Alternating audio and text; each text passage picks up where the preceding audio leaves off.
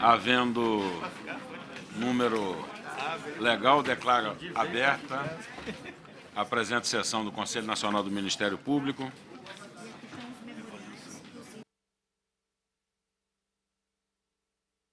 Solicito a todos os presentes que coloquem seus respectivos telefones celulares no modo sem toque.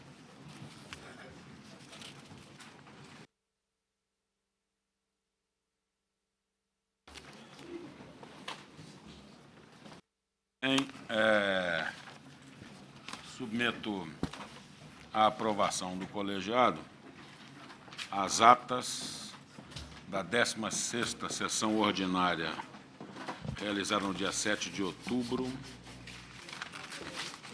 a 15ª sessão ordinária, ambas de 2013, se- setembro.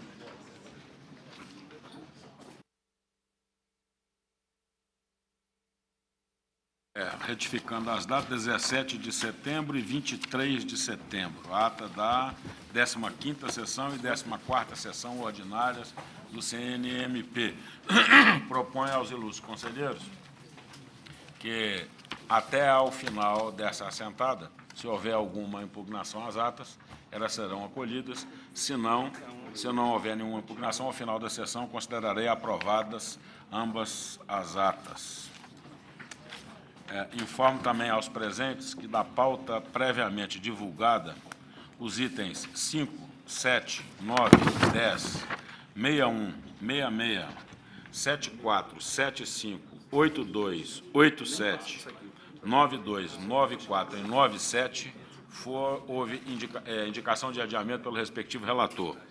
E foram retirados de pauta os itens 63, 73, 79, 80, 99, 100, 103, 111 e 112, também por, por indicação dos respectivos relatores. Presidente, eu gostaria de indicar para adiamento também os feitos de itens 8, 11, 12, 14, 8, 11, 12, 14 e retirada de pauta do item 35. Feitos os registros. Queria indicar o item 15, que é um pedido de vista. Eu recebi o processo sem- semana passada, uma vista conjunta até com os outros conselheiros. Peço excusas ao conselheiro Antônio Duarte e Luiz Moreira, que eu ainda não estou com voto pronto no item 15. Vossa Excelência indica adiamento ou retirada de pauta? Adiamento. Gostaria de, conselheiro. antes de manifestar, agradecer a todos é a minha primeira sessão aqui no Conselho e, com graça de Deus, irei cumprir minha missão com muita responsabilidade à altura que todos aqui se encontram. E, nesta oportunidade, já iniciando nossos trabalhos, gostaria de pedir, de indicar a retirada de pauta do item 7. Já estava adiado também, né? Presidente, eu queria indicar o adiamento do item 17. Tem uma proposta de resolução que trata da mesma matéria. O registro. Presidente, Pois não, conselheiro. eu gostaria de registrar votos de felicidades e de profícuo mandato como conselheiro desse Conselho Nacional do Ministério Público ao conselheiro Leonardo Carvalho, que inicia hoje as atividades. E aproveitando, eh, para requerer a Vossa Excelência o- a retirada de pauta, porque esse feito aqui tinha sustentação oral, o de número 87 na nossa lista, ficando para o dia 21 de outubro, sustentação oral, promotor de justiça de São Paulo. Obrigado, presidente.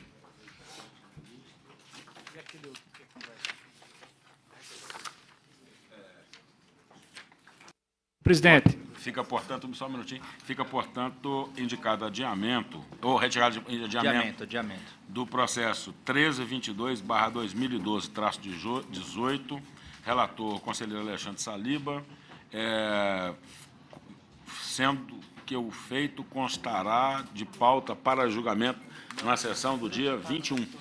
Isso? 21 de outubro. Pois não? presidente, eu gostaria de retirar de pauta o terceiro da pauta. É, uma vez que. ou retirada? Não, retirada de pauta, Retirada que eu de estou lançando decisão monocrática nele. Certo? E tem, e tem terceiro. E também, senhor presidente, se me permite, é, registrar a satisfação de ter, nessa primeira sessão, nosso colega eh, Leonardo Carvalho aqui, integrando o colegiado, que muito vai ajudar a todos nós no desempenho das nossas funções. Obrigado.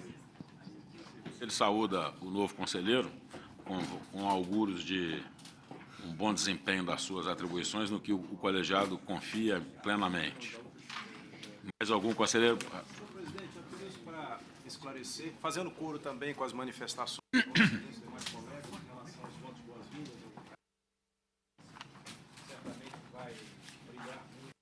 Microfone.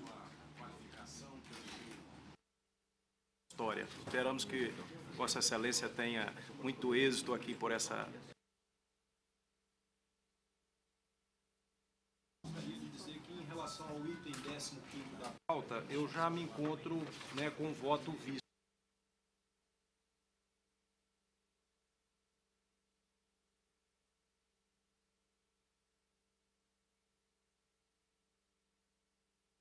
Ah, reinserido, né? Não, não está indicado adiamento o item 15. O item 15, que será, portanto, submetido a julgamento. Mais algum conselheiro?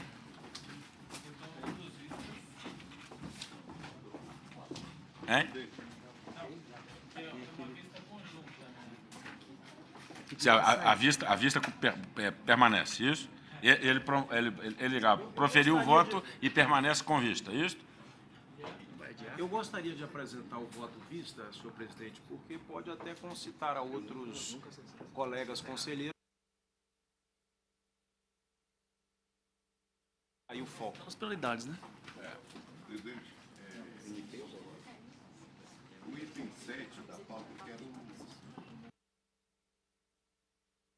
Permanece na pauta.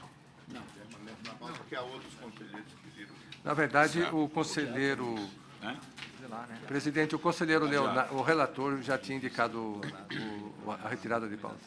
Certo. Então permanece adiado o item 7. Mais alguma colocação, seus conselheiros? Antes de passar, então, a, a, a evolução da pauta, eu tenho um comunicado, a- tenho um comunicado a fazer que no período de 23 de setembro a 4 de outubro, eh, foram proferidas 37 decisões monocráticas de arquivamento pelos ilustres conselheiros, inaugurando, portanto, esse, essa, esse esforço em que, por decisão monocrática, naquilo que for possível, possamos aliviar a pauta do colegiado.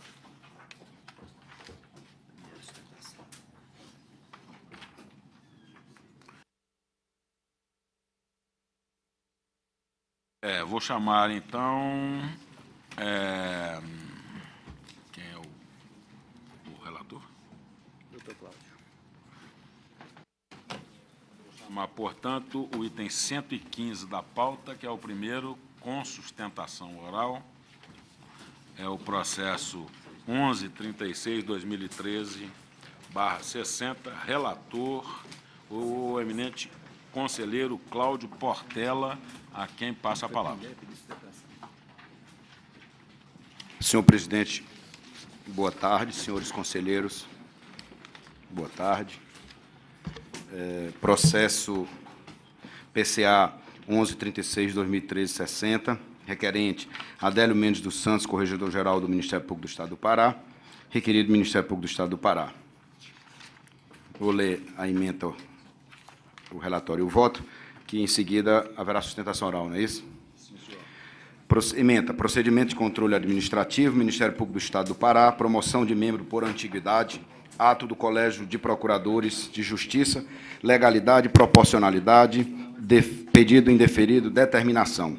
No concurso de promoção por antiguidade de membro do Ministério Público, o promotor de justiça regularmente inscrito e que seja o mais antigo, deve ser indicado ou recusado nos termos da Lei 8625 de 93 e demais leis orgânicas. No caso, a não indicação do membro por parte do Conselho Superior do Ministério Público do Estado do Pará, em razão de ausência de curso de aperfeiçoamento, equivaleu à recusa, ensejando recurso ao Colégio de Procuradores de Justiça, conforme artigo 12, oitavo E da Lei Orgânica Nacional do Ministério Público e 21, 10B da Lei Orgânica Local. Decisão fundamentada do Colégio de Procuradores de Justiça, que resguardou a legalidade, proporcionalidade e razoabilidade, conforme sua autonomia administrativa. pedido indeferido, mais determinação ao Ministério Público do Estado do Pará para que realize o curso de aperfeiçoamento referido no artigo 225, parágrafos 2 e 3 da Lei Orgânica Local. Essa é a emenda. É, esse processo ele participou da, da, da sessão eletrônica, a necessidade de leitura do, do, da emenda do voto, do, do relatório do voto, em respeito à, à existência de sustentação oral, certo? Trata-se de procedimento de controle administrativo instaurado a requerimento de Adélio Mendes dos Santos, Corregedor-Geral do Ministério Público do Pará, para desconstituir ato administrativo do Colégio de Procuradores desse Estado-membro.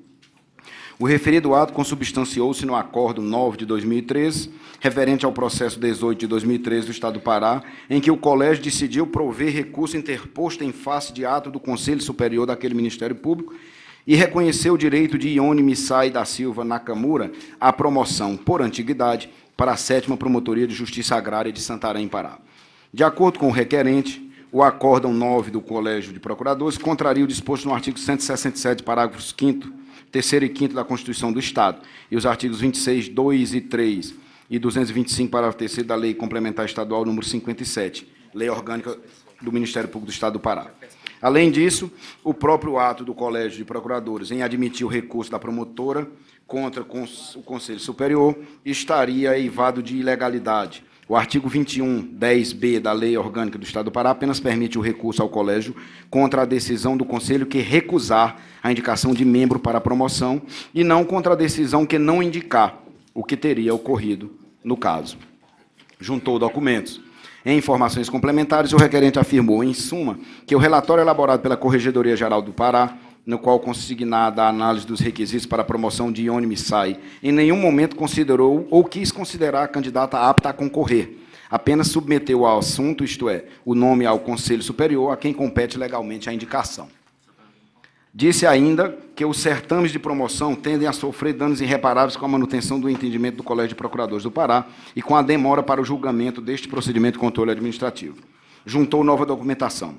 A promotora de justiça Ione Missai, em sua manifestação, afirmou que a ata da sexta sessão ordinária do Colégio Conselho Superior de 2013 deixa claramente consignado que o corregedor-geral opinara pela indicação de membro à promoção, mas, naquele momento, na sessão, revia seu ato, defendeu o cabimento de recurso ao Colégio de Procuradores, uma vez que a sua não indicação por parte do Conselho Superior, deixando-se o cargo vago, equivaleu a uma recusa da indicação. Por fim, informou que tem plenos conhecimentos para ocupar o cargo e que a própria administração do Pará é omissa em oferecer curso de aperfeiçoamento em direito agrário, que é requisito para a promoção, requereu o indeferimento dos pedidos e juntou documentos. A Associação do Ministério Público do Estado do Pará, em atendimento ao edital de chamamento dos eventuais interessados no feito, manifestou-se argumentando no mesmo sentido da promotora de justiça Ione Missai pelo indeferimento do pleito. Voto. Três questões relevantes e controvertidas antecedem a conclusão a respeito da legalidade ou ilegalidade do ato de promoção de Ione Missai à sétima Promotoria de Justiça Agrária do Pará, de Santarém, no Pará. O procedimento da Corregedoria do Pará na sistemática da promoção por antiguidade. Dois, o caráter de- da decisão do Conselho Superior de não indicar a promotora de justiça. Três, a competência do Colégio de Procuradores para decidir a respeito da promoção. Obrigado. Primeiro ponto. De acordo com a Lei 8625, incumbe à Corregedoria Geral do Ministério Público, dentre outras atribuições, remeter aos demais órgãos da administração superior do Ministério Público informações necessárias ao desempenho de suas atribuições.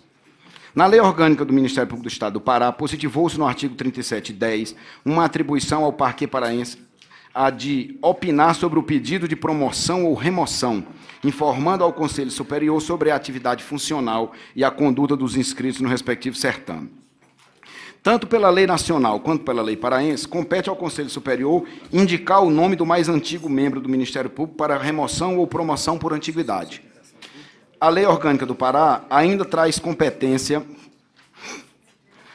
no sentido de o Conselho Superior recusar, no caso de remoção ou promoção voluntária pelo critério de antiguidade, o candidato mais antigo, em votação nominal e aberta e por decisão fundamentada de dois terços de seus integrantes, assegurada ampla defesa, conforme procedimento próprio previsto no regimento interno. No caso desses autos, o parecer da Corregedoria do Ministério Público do Pará consta de folha 50 54. Nele consignou-se que 29 promotores de justiça inscreveram-se para o concurso de promoção por antiguidade à sétima Promotoria de Justiça Agrária de Santarém.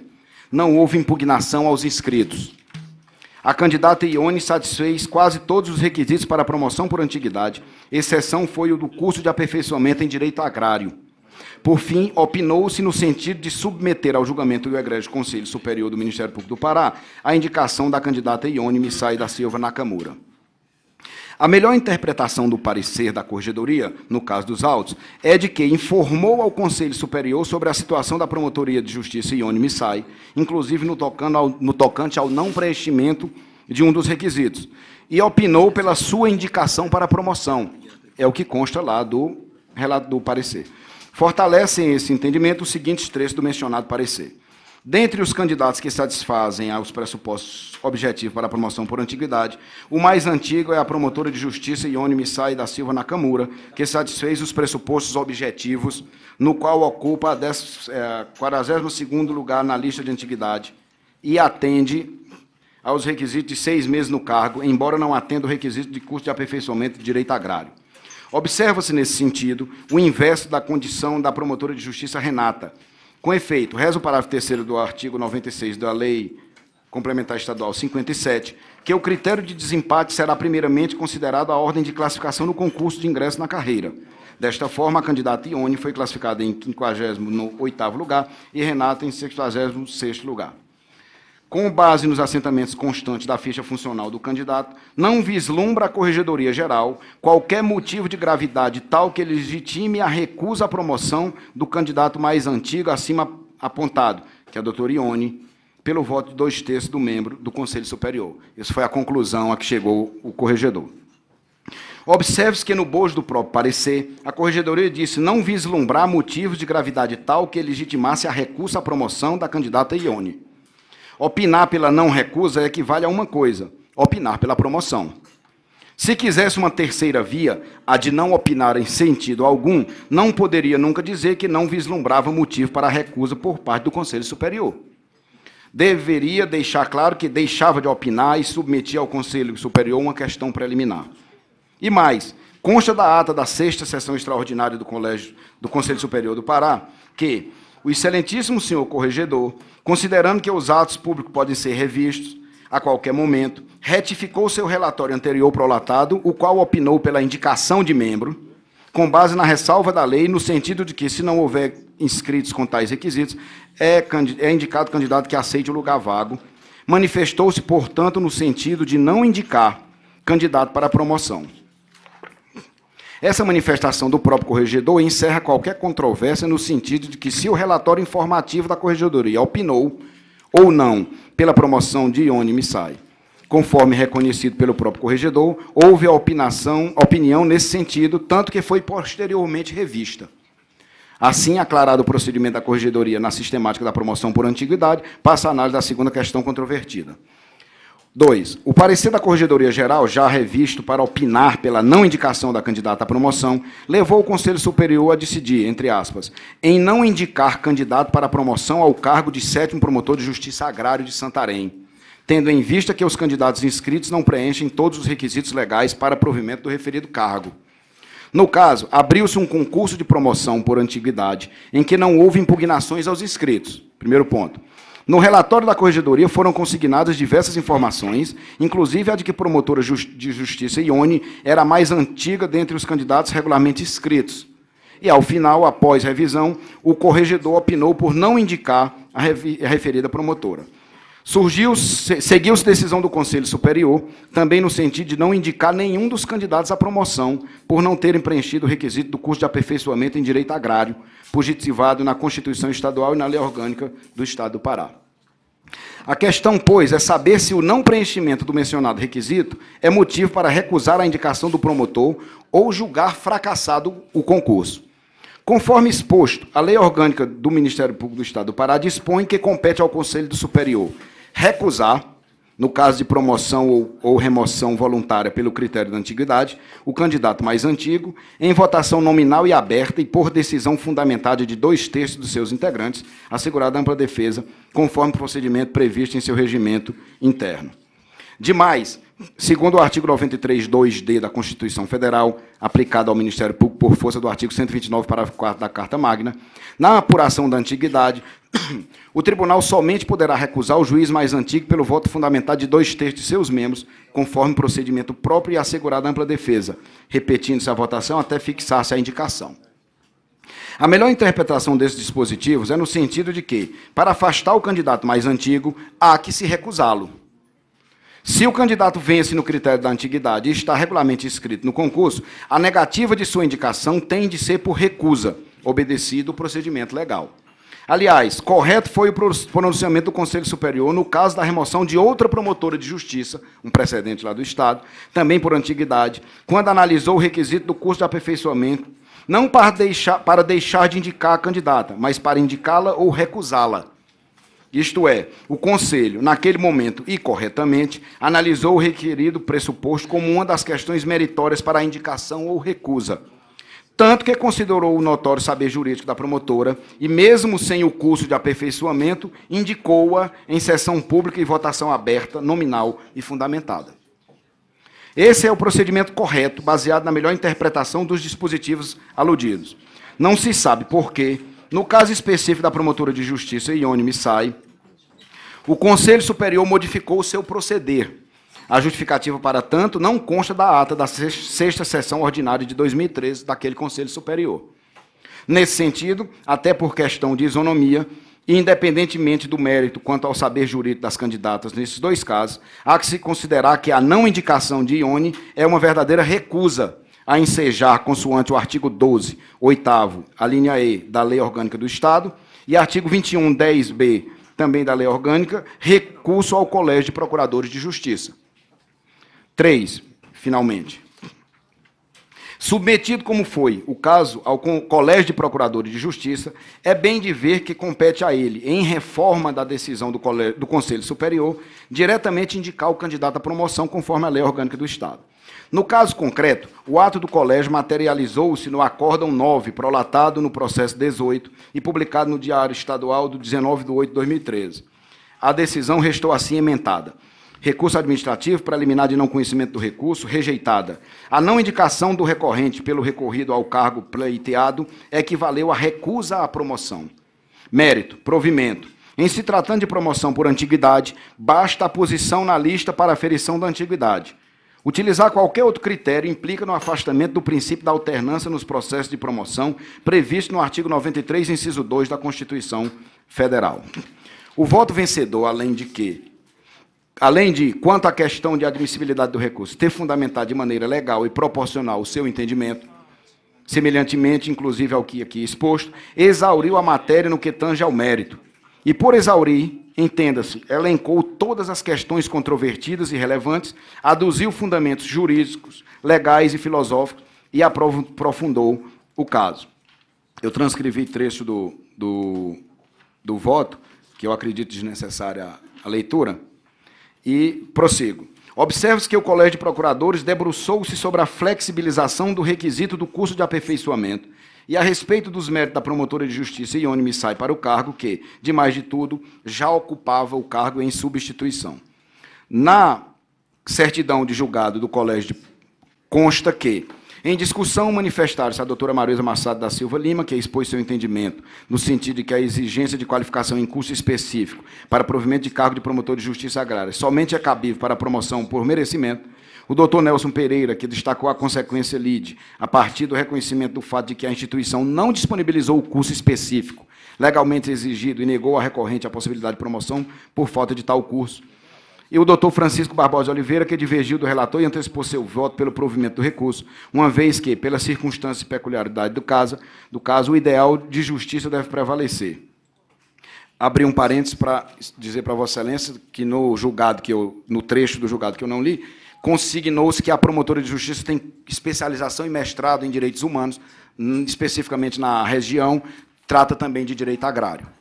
A partir da leitura dos votos e decisão do Colégio de Procuradores de Justiça, não vislumbro ilegalidade ou desproporcionalidade no Acórdão 9 de 2013, que materializou a indicação da promotora de justiça.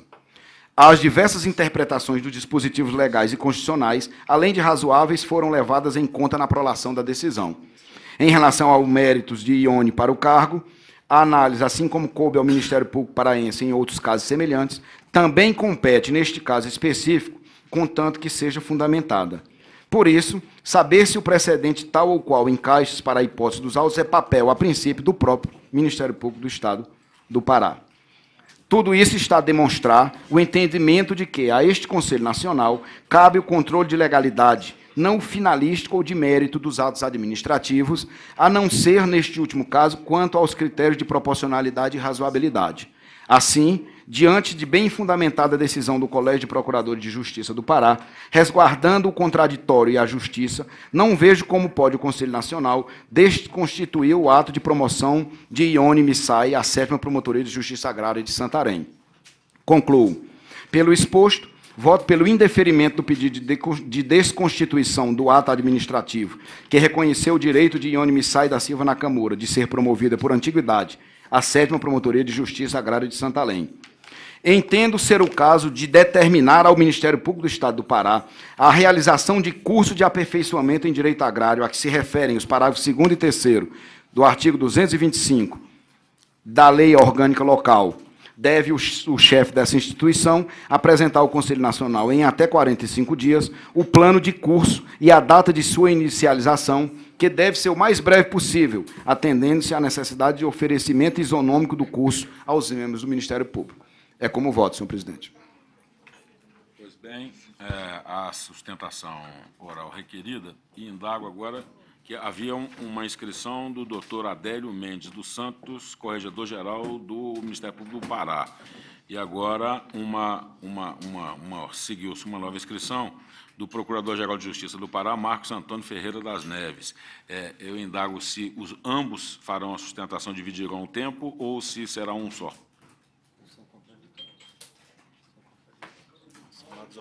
É? Os opostos, ok. É, com a palavra, portanto, pelo prazo regimental de até 10 minutos, o doutor Adélio Mendes dos Santos.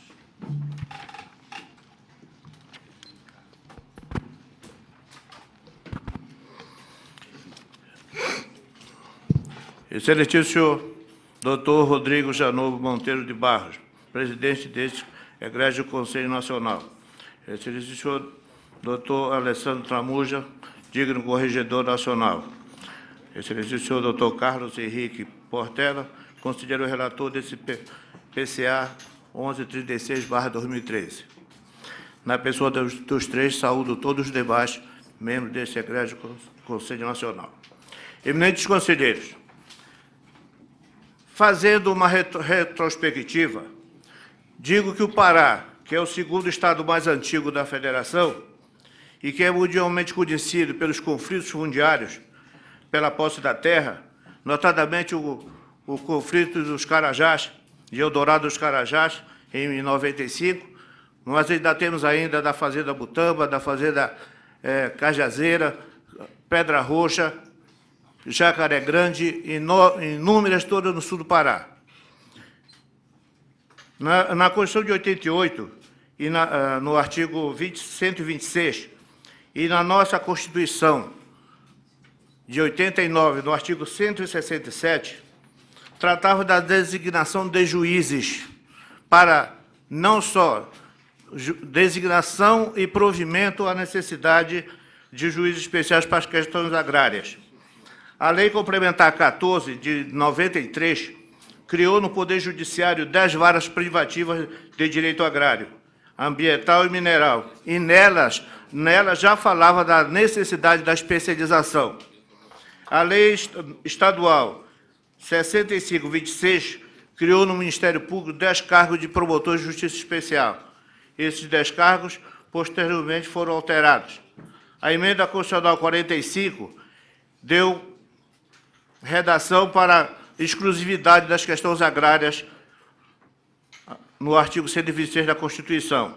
A nossa emenda constitucional estadual, a número 30, de 2005, alterou o artigo 167, é, dispensou a especialização e passou a cobrar, tanto faz para designação como para provimento de cargo, que o juiz de direito de, eh, tinha que ser aprovado no curso de, de aperfeiçoamento de direito agrário.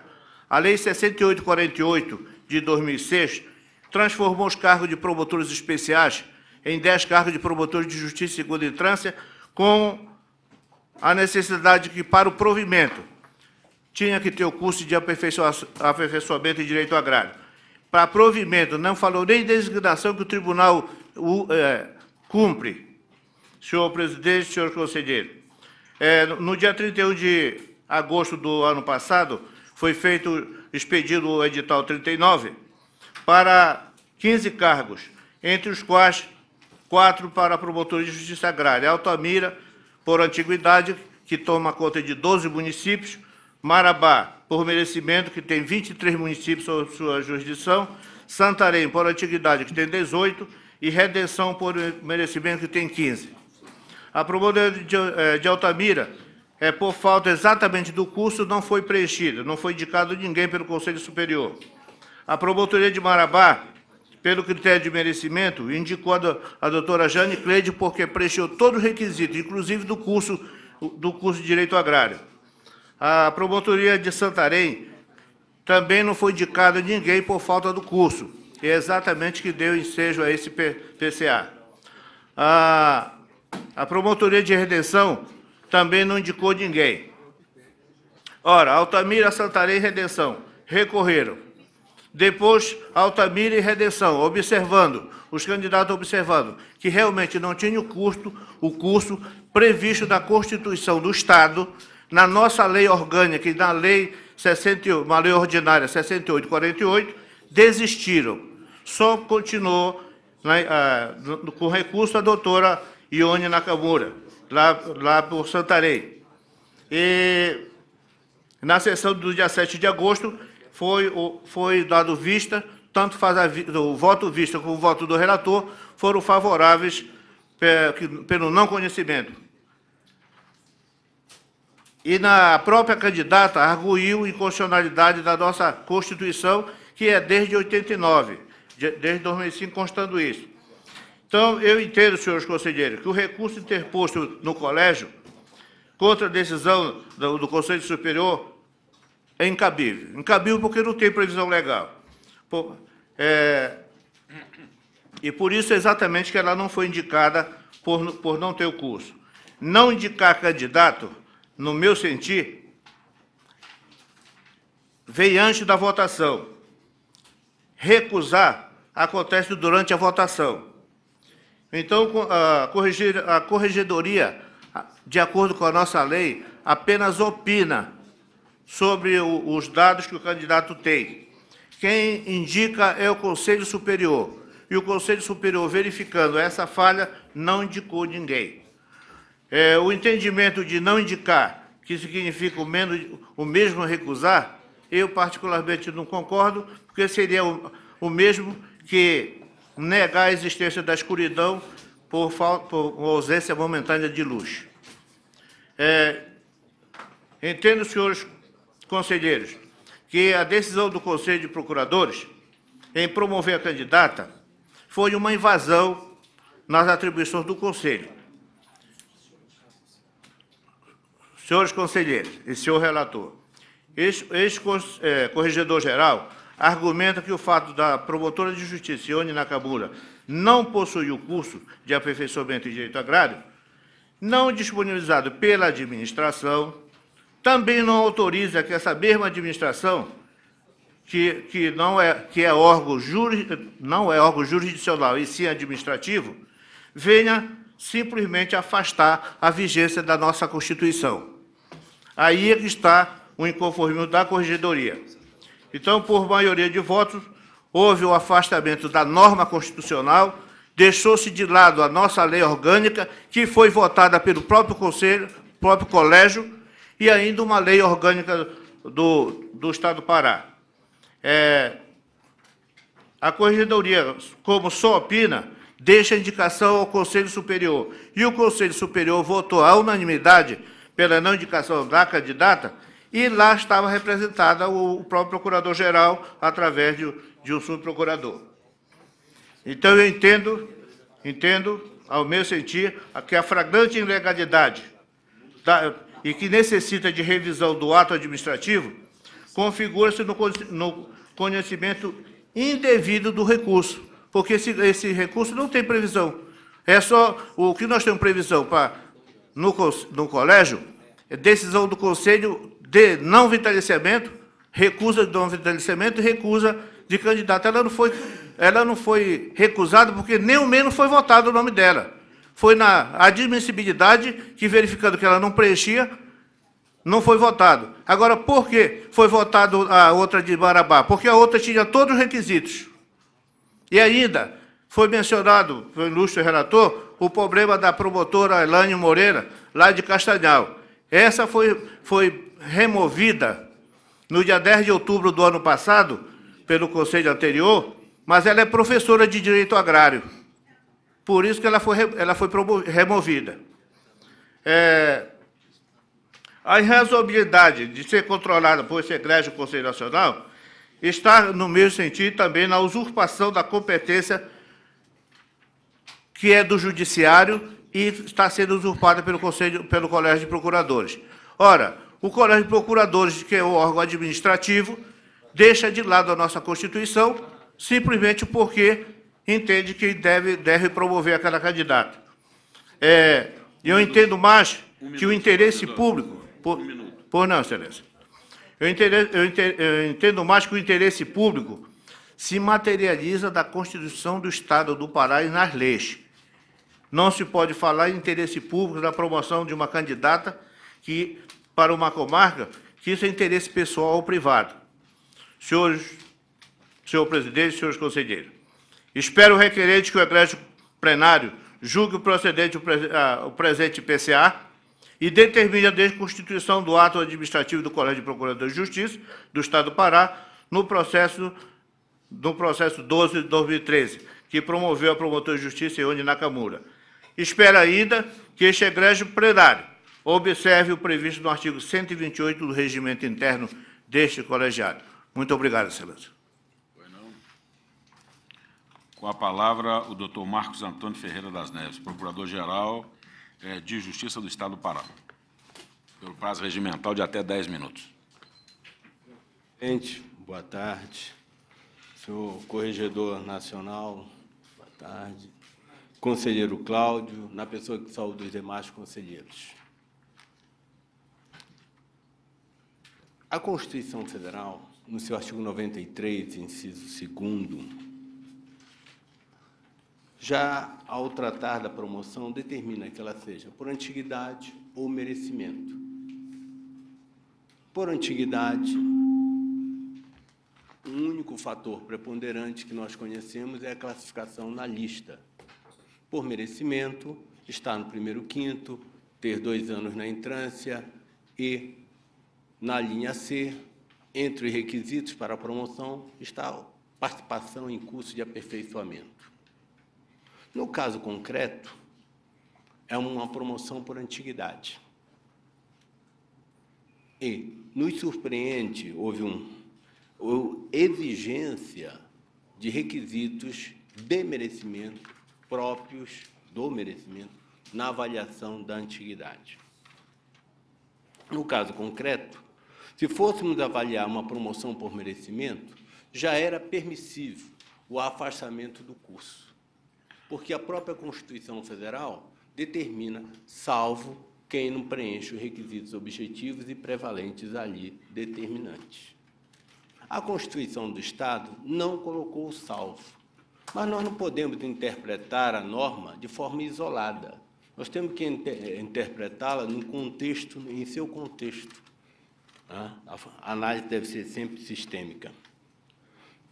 A promotora buscava a promoção por antiguidade. Como bem relatou o conselheiro Cláudio, a própria corregedoria, ao avaliar, fazer o relatório, admitiu, indicou a candidata. Sem contarmos que o processo de promoção e remoção tem a fase de inscrição tem a fase de impugnações. Se houvesse impugnação, a, candidata teria um tempo para fazer a sua defesa. Tem a fase do relatório, que foi que o conselheiro, o corregedor indicou a candidata. Se o relatório é dado um prazo de três dias para a candidata, se ele não tivesse indicado, ela poderia já ter feito a sua defesa. Nada disso aconteceu. Na sessão do Conselho, ele surpreende a todos alterando o seu voto. Ninguém entende o porquê. A lei, a lei admite o salvo por merecimento. E na antiguidade, a lei só admite um requisito, a classificação na lista. Além dessas questões legais, é de considerar que a candidata, a doutora Ione, ela já vinha exercendo há bom tempo a, a função de promotora de justiça agrária no Polo Santarém. Tem curso, é mestre em direitos humanos, especialização também em direito ambiental. E os conflitos agrários são socioambientais, agroambientais.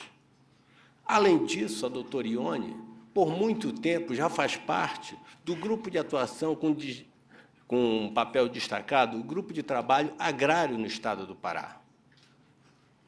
É estranho, seria muito estranho uma pessoa ser possível exercer a promotoria agrária por um bom tempo e, de repente, de uma hora para outra, dizer você não pode ser promotora agrária.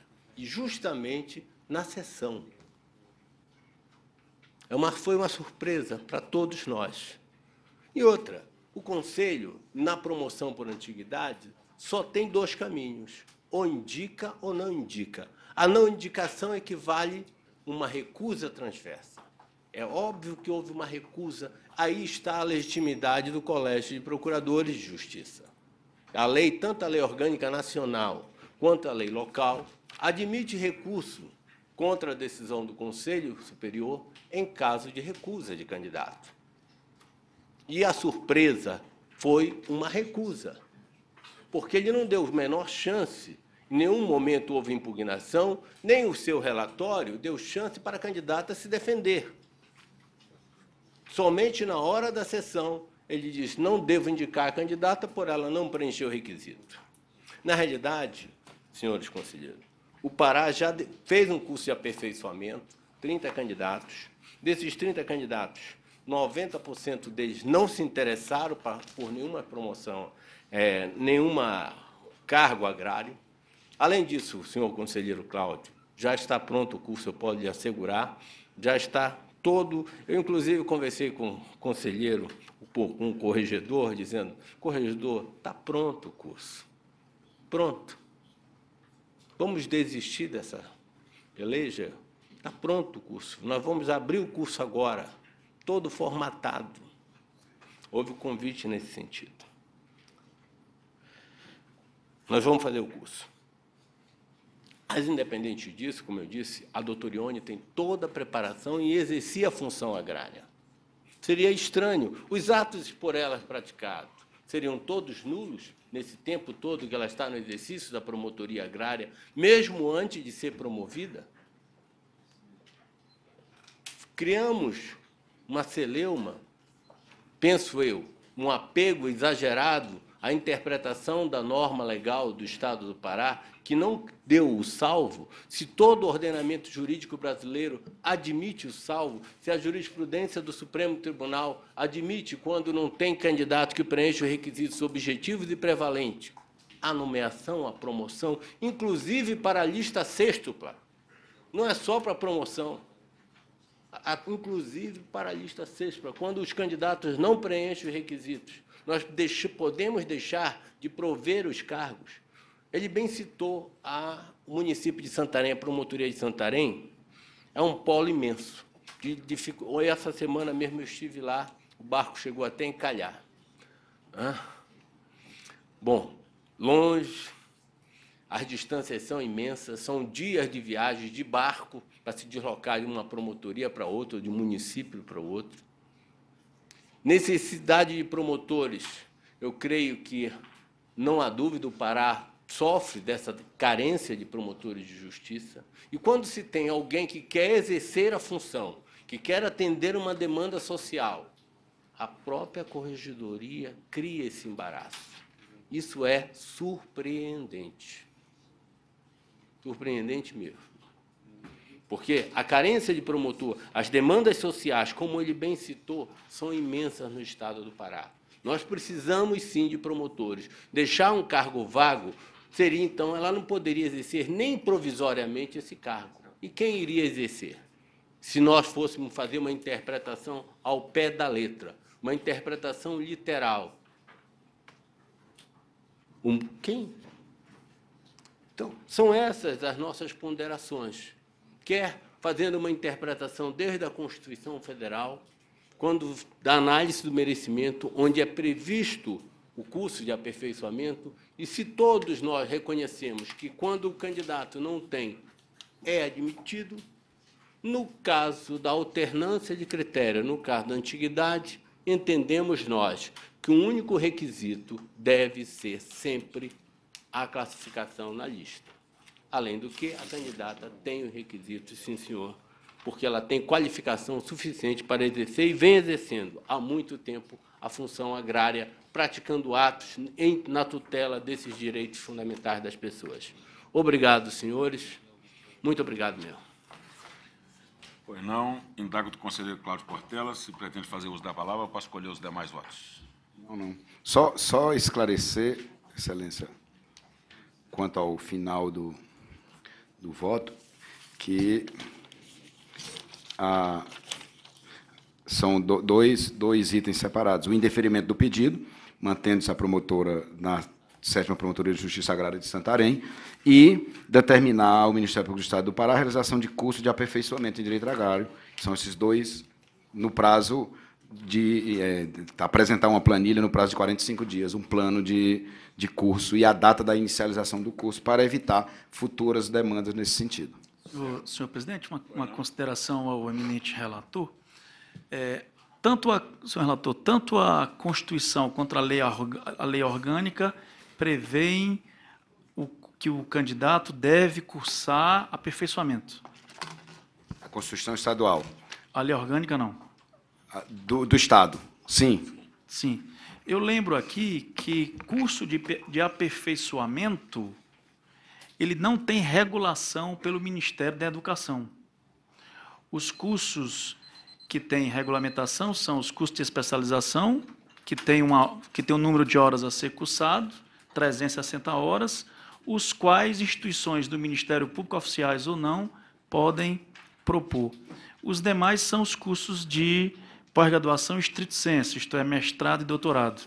Quer dizer, então, salvo melhor juízo, que essa exigência de que o promotor, para assumir a comarca, a promotoria, melhor dizendo, de direito agrário, ele deve cursar, aspas, de aperfeiçoamento. Neste caso aqui, a matéria é regulada exclusivamente pela União, isto é, pelo Ministério da Educação, não é? Por se tratar de cursos é, de natureza é, superior. Então, qualquer curso qualquer disciplina, inclusive de natureza privada, pode suprir a exigência. Vossa Excelência, se bem me recordo, em seu voto, diz que a candidata a promotora de justiça cursou em especial, no curso de mestrado, isto é, uma pós-graduação em estrito senso, disciplinas afins a, ao direito agrário. Então, do ponto de vista da Constituição e da lei orgânica, está suprida a exigência posta na, na norma. Perfeito, perfeito. É, posso escolher os votos? Com o voto do conselheiro Alexandre Saliba. Gostaria de um esclarecimento ao relator. É, houve um, algum prejudicado que, que reuniu os requisitos que foi alijado do certame por conta não, não, não, não, houve em nenhum momento houve a, realização do curso. É isso? Não, não. Se eu bem entendi, não houve. É, não, ela, Havia previsão ele, legal, mas o curso efetivamente segundo não foi... Segundo as informações, não. Não foi oferecido. Não. Os, os, promotores que se habilitaram a esta promotoria, a outra promotoria não, a outra promotora não fazia, não preenchia o requisito de seis meses para, para habilitação. Por isso é que a própria corregedoria, no parecer, opinou pelo, pela indicação dela, da promotoria O ontem. que, o que houve agora, então, foi uma mudança de rumo da corregedoria. Da corregedoria- No primeiro momento, ela, É. ela sinalizou positivamente. mas Inicialmente, depois- inicialmente ela, deu um- ela tem um parecer da corregedoria, de oito ou dez páginas, em que ela afasta todos os outros por critérios técnicos e é, é, indica que sobra apenas ela para promoção. No, na sessão é que a corregedoria, injustificadamente, porque injustificadamente, porque não há nos autos fundamento, diz que ela não tem mais os requisitos que a corregedoria antes havia dito que sim. Eu estou querendo dizer o seguinte, do ponto de vista das normas de educação no em vigor no Brasil, o curso de aperfeiçoamento é satisfeito com o cursar de uma disciplina ou seminário em mestrado, porque o curso de aperfeiçoamento ele não tem exigência nenhuma. Pode ser, inclusive, uma aula particular. Ok, a questão, a questão que eu coloco, só para esclarecimento, para externar o meu voto, é que não havia, então, pelo que Vossa Excelência relatou aqui, não havia, então, nenhum outro candidato preenchendo esse requisito Não. do curso. Para a vaga da sétima promotoria, não. É, então, eh, tendo em vista o caso concreto, a pertinência temática do curso por ela realizado, Direitos Humanos, que guarda realmente muito um, um- um laço muito estreito, e ho- homenageando também o princípio da segurança jurídica e da, da confiança da administração pública pela promotora de justiça citada, eu acompanho Vossa Excelência na íntegra. É, é como voto, presidente. O voto do conselheiro Esdras Dantas. Acompanho o voto do eminente relator. Conselheiro Leonardo Farias. Conselheiro Walter Agra. Com o relator, senhor presidente. Conselheiro Leonardo Carvalho. Com o relator, excelência. É, conselheiro Alessandro Tramurras. Com o relator, com, com as considerações feitas pelo conselheiro Alexandre Salim. É, conselheiro Mário Bonsalha. Presidente, eu acompanho o relator, destacando que, em todo caso, a, a promotora eh, promovida possui de pós-graduação Lato Senso em Direito Ambiental e Políticas Públicas e mestrado em Direitos Humanos pela Universidade Federal do Pará, de modo que ela está, sem sombra de dúvida, perfeitamente habilitada ao desempenho desse difícil mistério para a qual eh, foi indicada. Conselheiro Luiz Moreira. Com o relator, senhor presidente. Conselheiro Jefferson Coelho. Com o relator, presidente. Conselheiro Jarba Soares. que, como o conselheiro Salibas, que não havendo candidatos que preencham objetivamente tais requisitos, nada pode servir de óbice à promoção. E que eu tenho informações que a promotora de justiça é promovida, é vocacionada, qualificada e, esse- e exerce sua função com muita dedicação. E, no caso do meu estado, Minas Gerais, exatamente pelo perfil, é, houve uma pacificação no campo há mais de cinco anos, exatamente pelo perfil da atuação do membro do Ministério Público, com o relator. Conselheiro Antônio Duarte. Senhor presidente, eu só tenho uma dúvida em relação a esse ponto em que se argumenta que a administração do Ministério Público é omissa em oferecer esse curso de aperfeiçoamento.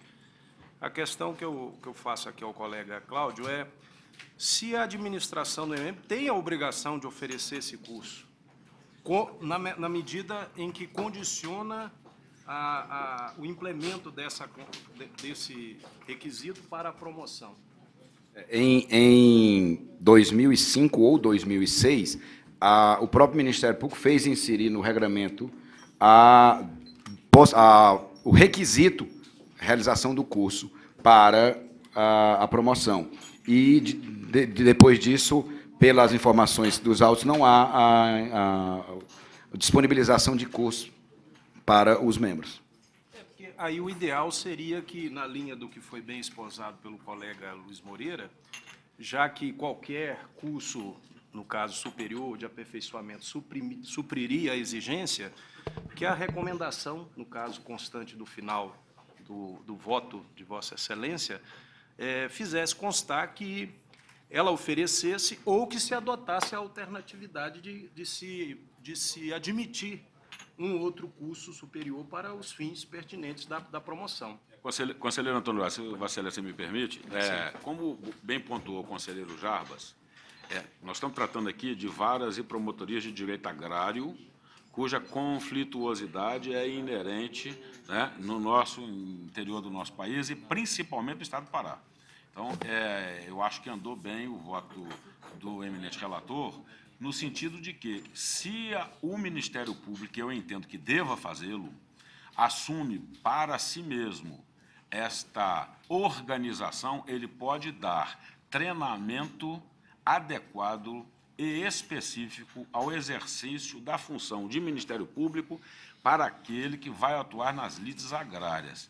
É, só queria pontuar este, esse aspecto, porque nós estamos tra tratando aqui, como bem disse o conselheiro Luiz Moreira, é, eu acho que a grande questão e a grande temática nessa, nessa matéria não é que se possa fazer um curso genérico e teórico na área, mas que o Ministério Público tome, às vezes, de promover a sensibilização e o treinamento adequado dos seus membros para é, se é, interpolar nesses conflitos que são muito pesados e são gravíssimos e que graçam no interior do nosso país. Certamente, senhor presidente, eu concordo Até, plenamente é, com diz- isso. Pois não. É, eu até é, gostaria de colocar sugestão, se for o caso, como foi dito da bancada aqui pelo Procurador-Geral de Justiça do Estado do Pará, é, vislumbra-se o início de um do primeiro curso, seria o curso pioneiro. Então seria interessante se o Procurador-Geral pudesse nos mandar, ao final desse curso, um relatório especificando como é que se desenvolveu o curso, para até que para que servisse para outros estados como uma referência. Fica aqui a sugestão. Eu voto, então, com o relator, excelência, agradecendo aí as ponderações. Não, é, conselheiro Marcelo Ferro. Para mim, a matéria se resume à interpretação da Lei Orgânica do Estado do- do Pará, que, repetindo uma lei já anterior, em 2006, o Ministério Público chamou para si a responsabilidade de fazer o curso. Constitui pressuposto para o provimento de cargos referidos no artigo 1º que o promotor de justiça tenha sido aprovado em curso de aperfeiçoamento de direito agrário, organizado pelo Ministério Público, preferencialmente com a colaboração das universidades e da Ordem dos Advogados do Brasil. Dispositivo repetido na nova lei orgânica, no artigo 225, parágrafo 3º da Lei Orgânica Estadual do Pará. Portanto, o Ministério Público, com isso, chamou para si o dever de oferecer esse curso, notadamente pela área que é muito comum na região do Pará e na região norte do Mato Grosso, devido à relevância especial. Enquanto não oferecer esse curso, não há fundamento para recusar candidato inscrito que não possua tal requisito. Aí, ou seja, a partir do momento que é candidata inscrita independente, para mim eu nem avalio se ela tinha ou não mestrado, tinha ou não especialização. Era uma promoção por antiguidade, ela era mais antiga, não tinha motivo para recusa e, e a administração não ofereceu o curso, então ela deveria sim ser lotada na nova promotoria. A partir do momento que a administração oferecer o curso, daí sim ela poderá nas promoções por antiguidade, se algum inscrito não tiver o curso, ela poderá fundamentado falar: não, nós oferecemos o curso e o promotor de justiça optou por não fazê-lo, então estamos recusando sua promoção na antiguidade. E no merecimento, auferir, dentre os que têm os cursos, quem tem mais merecimento. Então eu acompanho o relator. Também eu acompanho o relator com incorporando as achegas de todos os conselheiros e pontuando realmente é que é, se trata aqui de dúplice requisito, antiguidade e a formação, né, essa formação prática, essa formação que habilite o promotor ao exercício dessa difícil tarefa.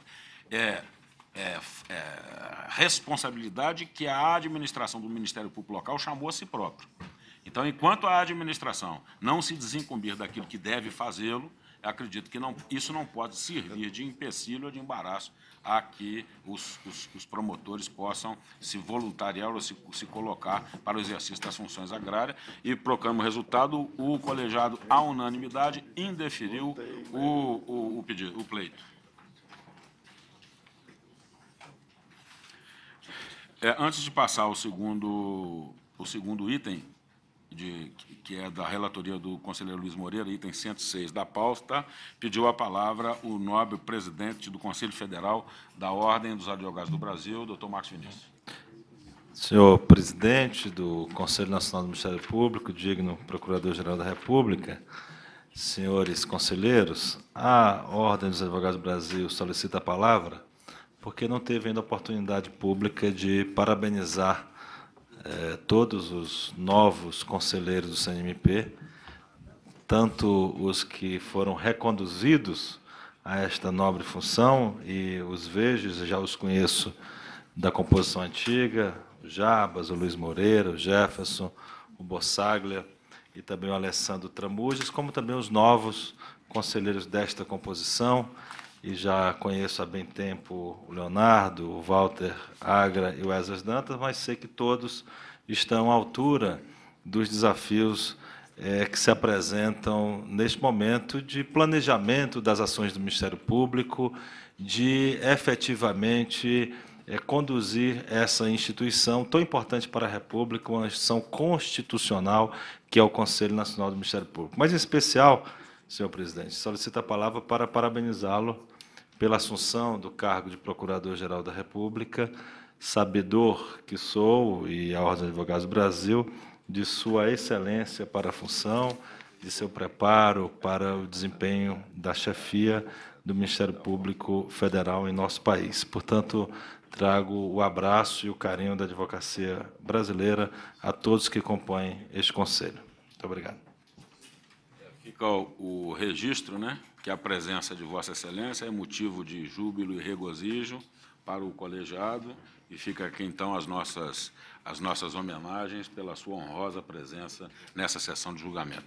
Passo, portanto, ao segundo processo de, da, eh, inscrito, é o item 106, processo é o 946, barra 2013, traço 07, relator é o conselheiro Luiz Moreira, e existe eh, inscrição para sustentação do doutor Marcos Torres de Brito.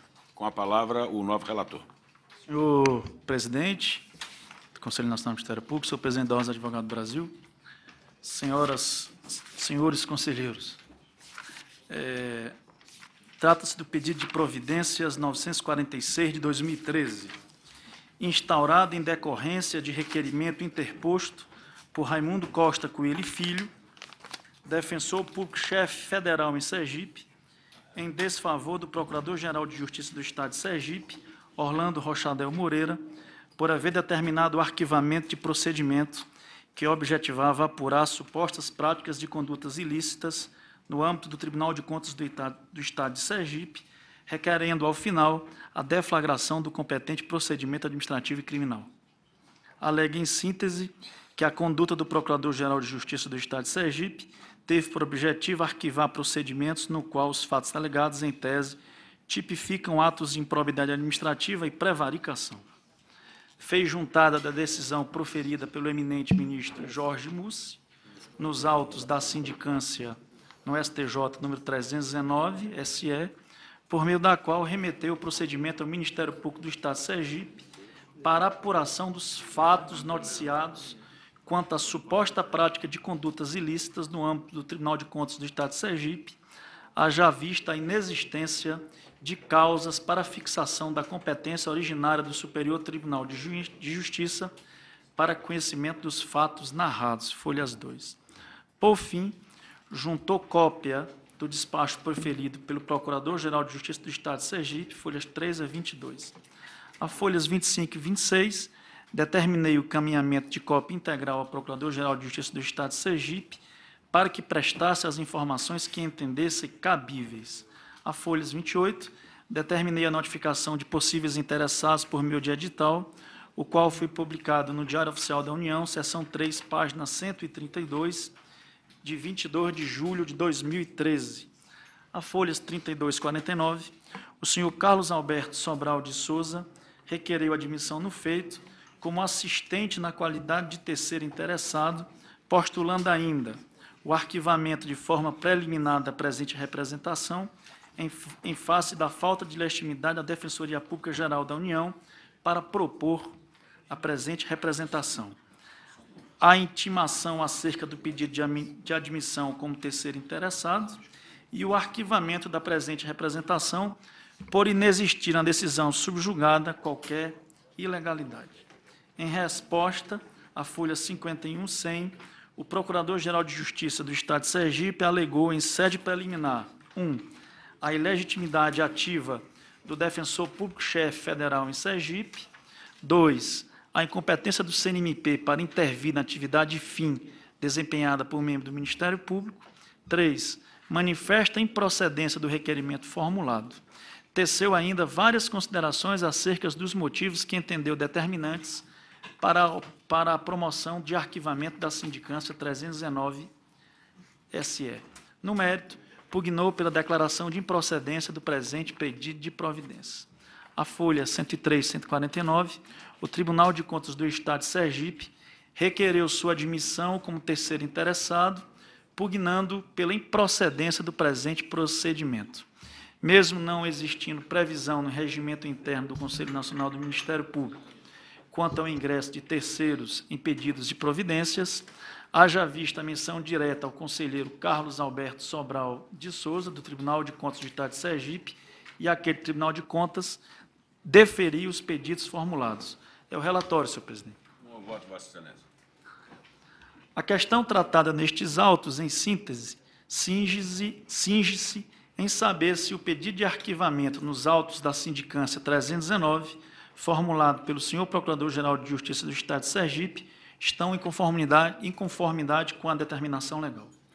As preliminares arguídas, tanto pelo Procurador-Geral de Justiça do Estado de Sergipe, bem como pelo presidente do Tribunal de Contas do Estado de Sergipe e pelo próprio Tribunal de Contas sergipano, mostram-se sem nenhuma possibilidade de acolhida, eis que, o eis que o mérito da presente ação não se conforma com a necessidade de se averiguar, em que pese fortes indícios de nepotismo, a conduta praticada pelo conselheiro Carlos Alberto Sobral de Souza no exercício de suas funções frente ao Tribunal de Contas sergipano, mas tão somente a conduta do Procurador-Geral de Justiça quando da determinação de arquivamento das peças de informações referentes à possível instauração de ação civil pública em desfavor daquele membro da Corte de Co- de Contas. Prima facie, estabelece o artigo 138 do Regimento Interno deste Conselho Nacional que todo e qualquer requerimento que não tenha classificação específica, nem seja acessório ou incidente de processo em trâmite, será autuado como pedido de providências.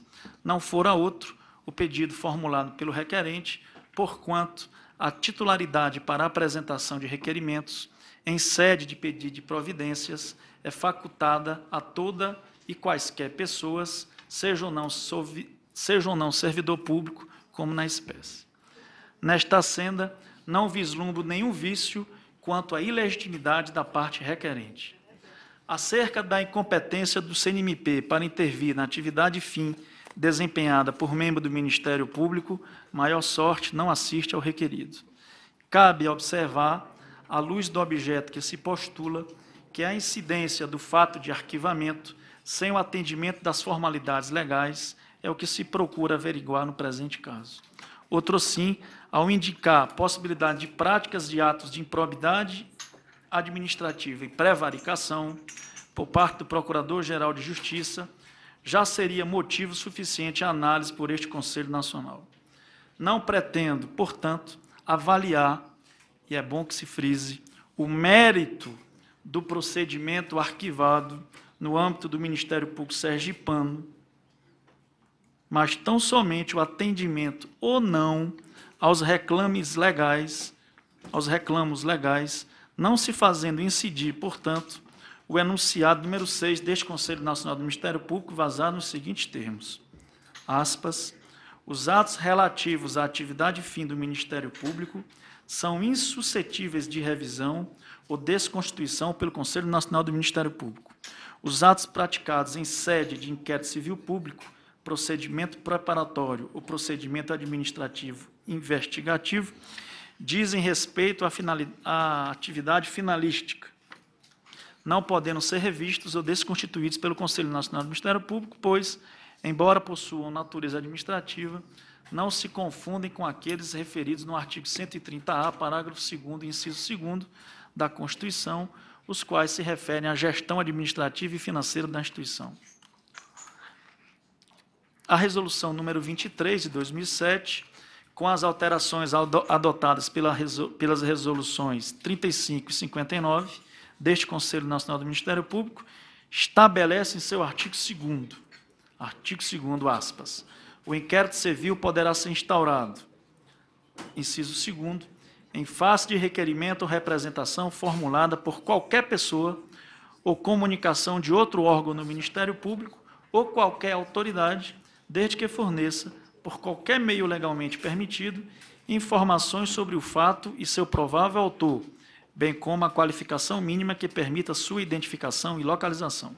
Parágrafo 1 o Ministério Público atuará, independentemente de provocação, em caso de conhecimento, por qualquer forma de fatos que, em tese, constituam lesão aos interesses ou direitos mencionados no artigo 1 desta resolução, devendo cientificar o membro do Ministério Público que possua atribuição para tomar as providências respectivas, no caso de não a possuir. Sendo assim, considerando a instauração, a partir de peças de informação, do terceiro ofício do Patrimônio Público da Procuradoria da República de Sergipe, vinculada à Quinta Câmara do Patrimônio Público e Social do Ministério Público Federal, não vislumbro quaisquer irregularidades na formulação inicial para instauração de procedimentos investigatórios. Desta forma, senhor presidente, rejeito todas as preliminares aventadas. No mérito, observo que se trata de questão bastante tormentosa a ser analisada, porquanto a esfera em que se preceitua o limite de atuação no âmbito da atividade fim e o compromisso funcional, por vezes apres- apresentam-se por demais tênue. A questão combatida teve início a partir do recebimento, por parte do Ministério Público Federal em Sergipe, através de seu terceiro ofício do patrimônio público, de supostas práticas de atos de irregularidades no âmbito do Tribunal de Contas do Estado de Sergipe, quando da contratação do servidor Ricardo Andrade de Souza, filho do conselheiro Carlos Alberto Sobral de Souza, para o exercício de atividades de assessoramento naquela Corte de Contas. Por entender que se tratava de atribuição afeta ao Procurador-Geral da República, o eminente Procurador da República, Silvio Roberto Oliveira de Amorim Filho, enviou o procedimento ao Procurador-Geral da República para que houvesse autuação e acompanhamento naquela Procuradoria, na, naquela Procuradoria-Geral da República, instaurando-se desta forma, no âmbito do Superior Tribunal de Justiça, a sindicância número 319 SE. Por seu turno, não vislumbrando hipótese de prerrogativa de foro, a eminente subprocuradora-geral da República, Lindora Maria Araújo, que atuou no feito, manifestou-se pelo encaminhamento dos autos de sindicância ao Ministério Público do Estado do Sergipe nos seguintes termos, aspas, compulsando os documentos fornecidos, folhas 175 a 201 e 315, 321, percebe-se que Ricardo Andrade de Souza ocupa o cargo de servidor do Tribunal de Contas do Estado de Sergipe desde 16 de março de 2001, órgão em que permaneceu como detentor de cargo em comissão até 13 de março de 2003. Não obstante, fortes indícios de contrariedade à súmula vinculante número 13 do STF, a conduta de nepotismo caracteriza ato de improbidade administrativa, sujeitando-se às sanções da Lei 8.429/92, que, por sua vez, não detém caráter penal. Segue a eminente procura- subprocuradora. Assim, neste ponto, não resta configurada a hipótese de prerrogativa de foro dos membros do Tribunal de Contas de Sergipe perante o Superior Tribunal de Justiça, uma vez que a Constituição Federal, em seu artigo 105, inciso 1º-A, somente estabelece para os crimes comuns ou de responsabilidade. Pelo exposto, requeiro a remessa dos autos ao Ministério Público Sergipe, a fim de que examine o cabimento de eventual ação de improbidade administrativa. anexo 14, folha 313, folhas 330 e 331 do apenso primeiro. No que diz respeito ao procedimento de sindicância, elas estão no anexo 3, páginas 2 e 3. Acatando o parecer ministerial, o eminente ministro Jorge Mussi, do STJ, remeteu o procedimento de sindicância número 319 ao Procurador-Geral de Justiça do Estado de Sergipe, consoante se depreende do anexo 2 do apenso 1 do presente pedido de providências, ofício 992 de 2013, datado de 11 de março do corrente. Desta forma, neste procedimento, observamos que os limites tratados são, de maneira eminente, voltados para a observância dos aspectos formais nos quais se estabelecem aos, ao membro do parquê atribuições para arquivar ou, ou não procedimentos de ação civil pública.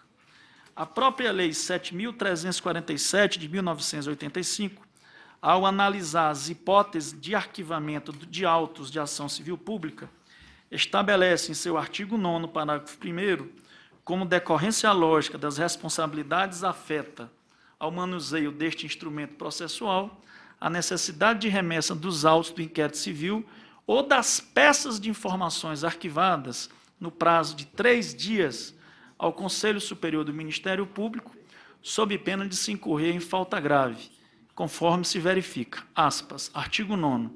Se o órgão do Ministério Público, esgotadas todas as diligências, se convencer da inexistência de fundamento para a propositura da ação civil, promoverá, promoverá o arquivamento dos autos do inquérito civil ou das peças informativas, fazendo-o fundamentadamente.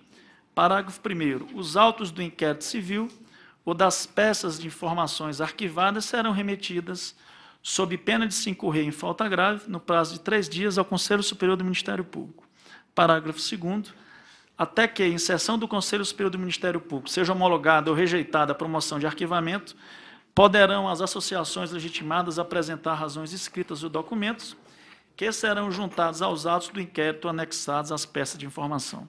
Parágrafo 3 a promoção, a promoção de arquivamento será submetida a exame e deliberação do Conselho Superior do Ministério Público, conforme dispuser o seu regimento.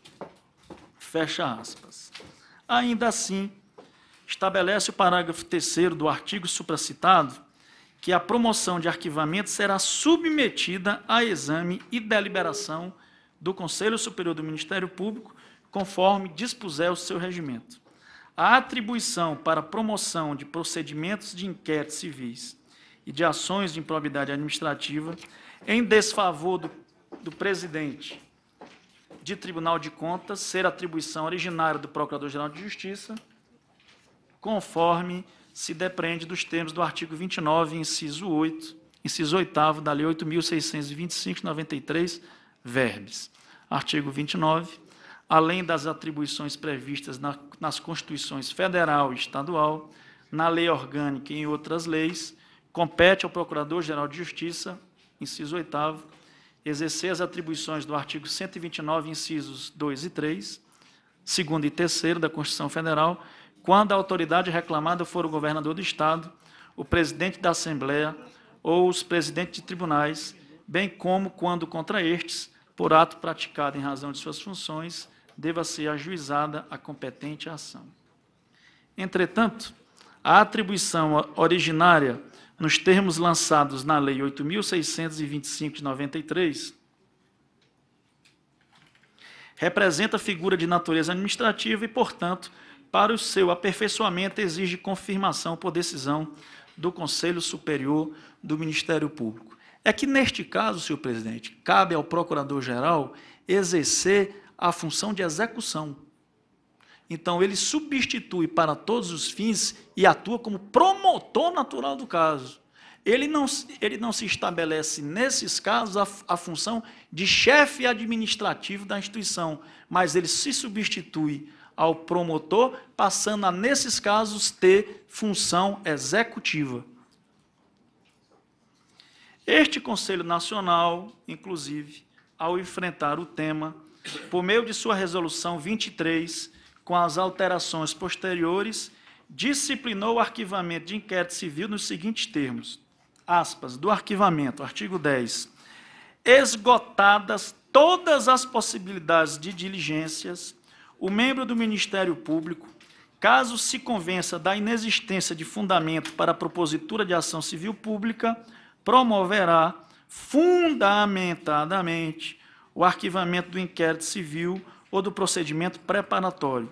Parágrafo 1 Os autos do inquérito civil ou do procedimento preparatório, juntamente com a promoção de arquivamento, deverão ser remetidas ao órgão de revisão competente no prazo de três dias, contado da comprovação da efetiva cientificação pessoal dos interessados, através de publicação na imprensa oficial ou da lavratura de termo de afixação de aviso no órgão do Ministério Público, quando não localizados os que devem ser cientificados. Fecha aspas. Desta forma, o arquivamento não se mostra insuscetível de revisão, eis que, mesmo possuindo atribuição para promoção ou não de arquivamento de procedimentos de inquéritos civis e de ações de improbidade administrativa em desfavor do presidente do Tribunal de Contas, dado o risco de altíssimo prejuízo à horária que, inclusive, as ações elencadas no artigo 129, no inciso 3 da Constituição da República, devem exigir, nos termos das leis 7.347 de 85 e 8.625 de 93 e da resolução número 23 de 2007 deste Conselho Nacional, para sua promoção, submissão a órgãos colegiados. O próprio artigo 30 da Lei 8.625 de 90, em consonância com o disposto na Lei 7.347 de 85, determina igualmente atribuição ao Conselho Superior do Ministério Público para rever o arquivamento de inquérito civil. Neste sentido, a Lei Complementar número 2, de 1990, com as, alterações e consolidação pela Lei Complementar 144 de 2007, que dispõe sobre a organização e atribuições do Ministério Público do Estado de Sergipe, em seu artigo 30, determina que, aspas, cabe ao Conselho Superior do Ministério Público rever o arquivamento de inquérito civil na forma da lei. Entre mentes, o regimento interno do Conselho Superior do Ministério Público do Estado de Sergipe, alterado e consolidado pela Resolução número 5 de 2007, no título referente às deliberações sobre a promoção de arquivamento de inquérito civil, do procedimento preparatório e das peças de informação, estabelece, aspas, título 13, da deliberação sobre a promoção de arquivamento de inquérito civil, do procedimento preparatório das peças de informação, capítulo 1 disposições gerais, artigo 97. Ao Conselho Superior cabe homologar ou rejeitar a promoção de arquivamento de autos de inquérito civil do procedimento preparatório ou das peças de informação nos termos do artigo 9 da Lei 7.347 de 85. Capítulo 2 das providências administrativas prévias. Artigo 98. Remetidos ao presidente do Conselho Superior os autos de inquérito civil do procedimento preparatório ou as peças informativas, juntamente com a promoção motivada de arquivamento, no prazo e sob as penas da lei, este farei incluir a matéria na ordem do dia da reunião ordinária seguinte. Da deliberação. Artigo 101, vou me, não vou ler os, o artigo 101, 102 e o parágrafo único, o artigo 103 dessa mesma lei. Todas a exigir, nesses casos, a manifestação do Conselho Superior. Resta, portanto, de clareza solar, que a atribuição de homologação de promoção de arquivamento de inquérito civil no âmbito dos ministérios públicos é atribuição afeta aos seus conselhos superiores, não restando em nenhuma hipótese, nenhuma hipótese, razoável extensão ao dirigente da instituição para promoção exclusiva.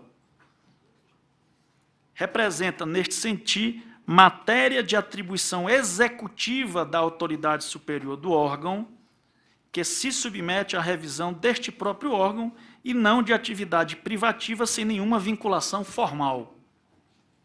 Desta forma, o procedimento de arquivamento é um ato composto que exige para sua completude a necessidade de cumprimento a dois requisitos objetivos, a saber, o esgotamento de todas as possibilidades de diligências e o dever de remessa a um órgão colegiado para que este, entendendo suficiente, promova o devido arquivamento. Na espécie, não há, nos autos deste pedido de providências, chama atenção, conselheiro Mário, a realização de quaisquer, quaisquer diligências pelo eminente Procurador-Geral de Justiça do Estado de Sergipe. De igual forma, não houve demonstração de remessa ao Conselho Superior do Parquê Sergipano para que este se manifestasse como entendesse necessário. Outro sim, sem adentrar no mérito sobre o arquivamento, vez que me, me colocaria em exercício de atividade fim, vedada pelo enunciado número 6 acima transcrito, observo que determinar o arquivamento e a imediata promoção de arquivamento de peças de informação, com base exclusivamente em peças anteriormente juntadas, quando se analisava apenas a atribuição para o prosseguimento do feito aqui pela, pela Subprocuradoria-Geral da República, mostra-se afastada de quaisquer razoabilidade, porquanto jamais seria suficiente, num procedimento como ora combatido, sustentar determinação de arquivamento apenas a partir dos depoimentos dos investigados. Apenas ilustrativamente, não há falar em ausência de indícios.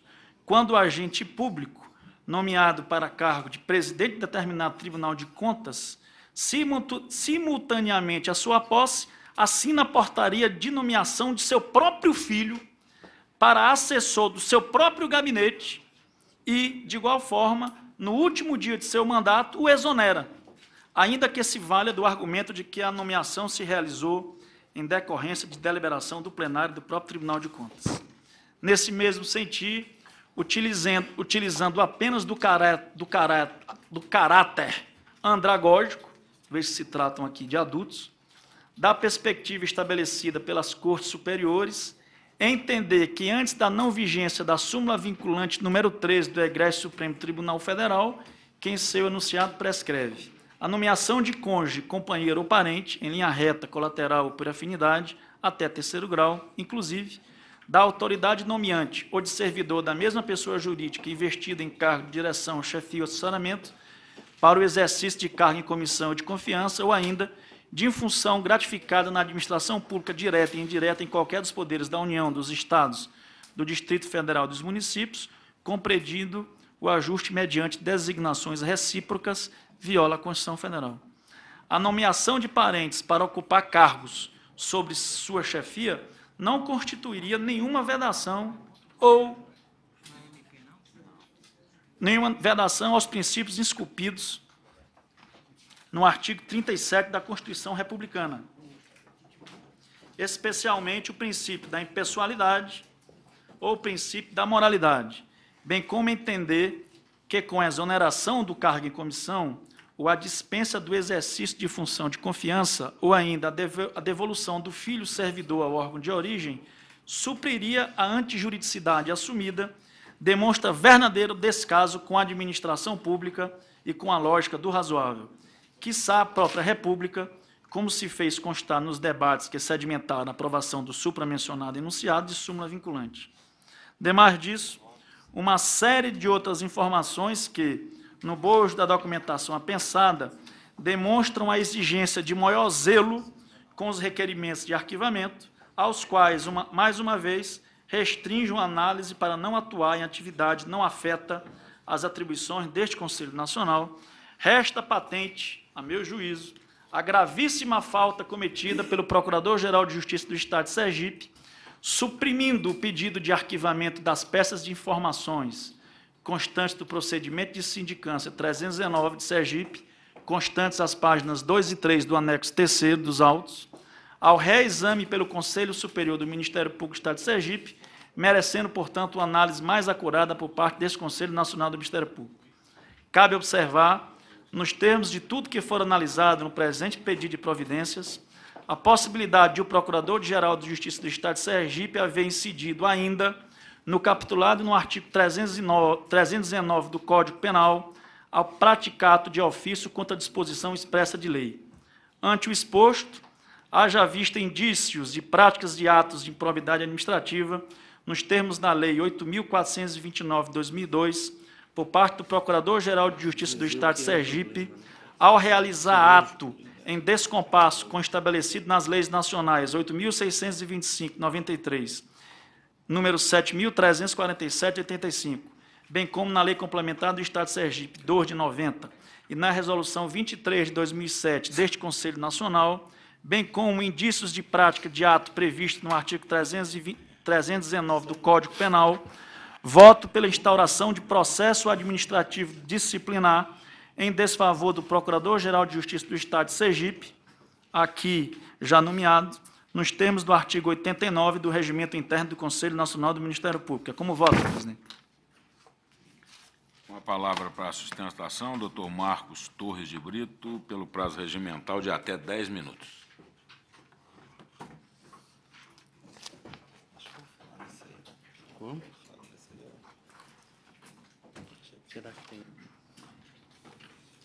Excelentíssimo senhor presidente desse egrégio Conselho Superior do Conselho Nacional do Ministério Público, é, conforme anteriormente falado com Vossa Excelência, na verdade, é, doutor Marcos Brito está como terceiro interessado, eu aqui estou representando o Procurador-Geral de Justiça, doutor Orlando Rochadel, imaginando que não, não, não haveria necessidade de me inscrever, já que já tinha feito inscrição é, o terceiro interessado.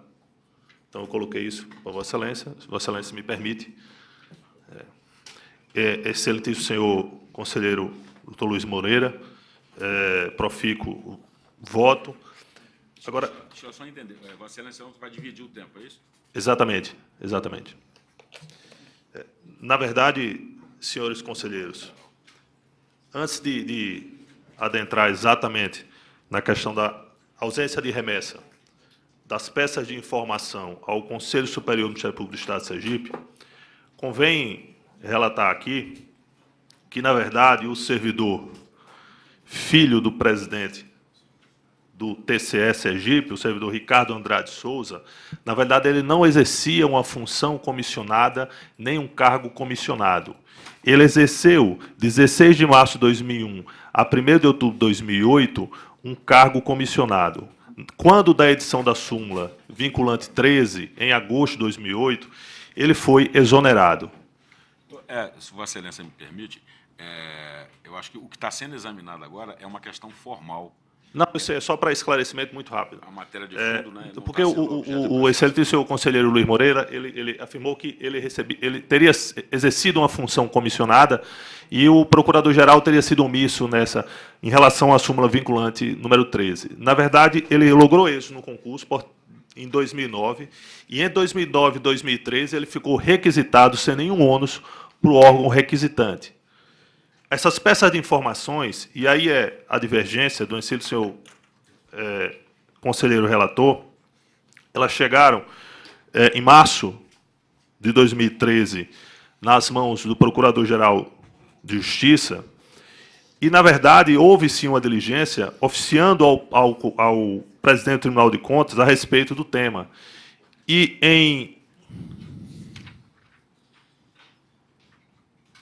junho de, de 2013, em 17 de junho de 2013, conforme pode-se ver no ofício 10, 16, 2013, volume 1, anexo 17, o conselheiro presidente informa que fez a devolução desse servidor. Portanto, entendeu o Procurador-Geral de Justiça que se houvesse ato de improbidade, estaria no artigo 11 eh, da Lei de Improbidade Administrativa. E que, segundo a jurisprudência dominante, notadamente do Superior Tribunal de Justiça, é necessária a comprovação do dolo ou a má-fé. Ele não vislumbrou no dolo ou a má-fé, visto que assim que foi oficiado ao presidente do, do, do TCE, ele foi imediatamente devolvido. Frises, não havia nenhum ônus para o TCE. Ele não exercia nenhuma função, nenhum cargo de confiança em 2013. No que tange a falta, e aí eu tenho que concordar em parte com o conselheiro Luiz Moreira, porque, na verdade, não foi inquérito civil. Na verdade, foram peças de informações. E acredito que o excelentíssimo Procurador-Geral de Justiça, ele tenha utilizado a regra, não do Código do, do, da Lei de Ação Civil Pública, mas sim fazendo uma interpretação excessiva do Código de Processo Penal e ele mesmo arquiva, entendendo que não havia qualquer ato de improbidade. E, ao mesmo tempo, ele determina a instauração de procedimento administrativo para verificar como é que está a situação de toda a corte do, do, do Tribunal de Contas a respeito da, do respeito à súmula vinculante. E eu, embora não esteja nos autos, eu por ser também titular da Promotoria do Patrimônio Público do Estado de Sergipe, instaurei um procedimento, é o procedimento 173010069, junto com o outro colega, para verificar como é que está a situação, esse procedimento. Está registrado esse número no PROEG, é, para verificar como é que está essa situação do respeito à súmula vinculante. Então, na verdade, imagino que o Procurador-Geral de Justiça não, em nenhum momento incidiu em má-fé ou tentando burlar os primados da administração pública, é, agindo sim com a sua convicção, tá certo, de que não havia nenhum ato de improbidade administrativa a se perquerir. Muito obrigado, excelência.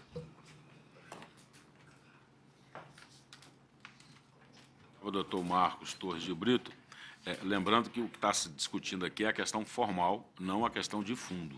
Excelência, é uma questão de ordem. É, tendo em vista que o que se discute nesse instante é uma questão formal e não mérito, e me parece que essa é uma questão pertinente de forma específica ao PGJ, certo?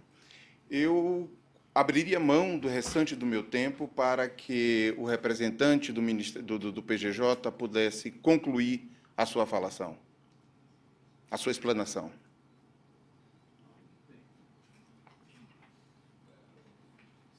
O senhor já concluiu a sua, a sua, a sua Verdade, Excelência e senhores conselheiros. É só para reiterar, é, embora minucioso o relatório e voto do conselheiro Luiz Moreira, é, ainda que não adentre no pano de fundo, na, na questão meritória, como frisou o conselheiro Luiz Moreira, mas a vinculação é tão forte, de tal forma que se foi colocado aqui, que inclusive possível até crime de prevaricação praticado pelo Procurador-Geral de Justiça, o que me parece é, é, extremamente demasiado, até porque, como eu disse anteriormente, e ele tem essa atuação, essa função originária, e ele agiu assim, até porque isso não é regra nos Ministérios Públicos dos Estados, é, ter essa atribuição devida do Procurador-Geral de Justiça nas ações de improbidade, ele agiu assim, repito, tal qual é, o artigo 28 do Código de Processo Penal, muito embora frise, houve sim uma irregularidade. Mas não houve nenhum momento má fé, até porque essa decisão do Procurador-Geral de Justiça foi publicada no Diário Oficial da Justiça e no Diário Oficial do Estado. Em nenhum momento o Procurador-Geral de Justiça se é, é, desvinculou da sua obrigação de zelar pelos princípios balizadores da administração pública, notadamente o princípio da moralidade. Ele, há quase três anos, vem perquirindo esse princípio, vem administrando o Ministério Público de Sergipe com muito zelo e com muito cuidado.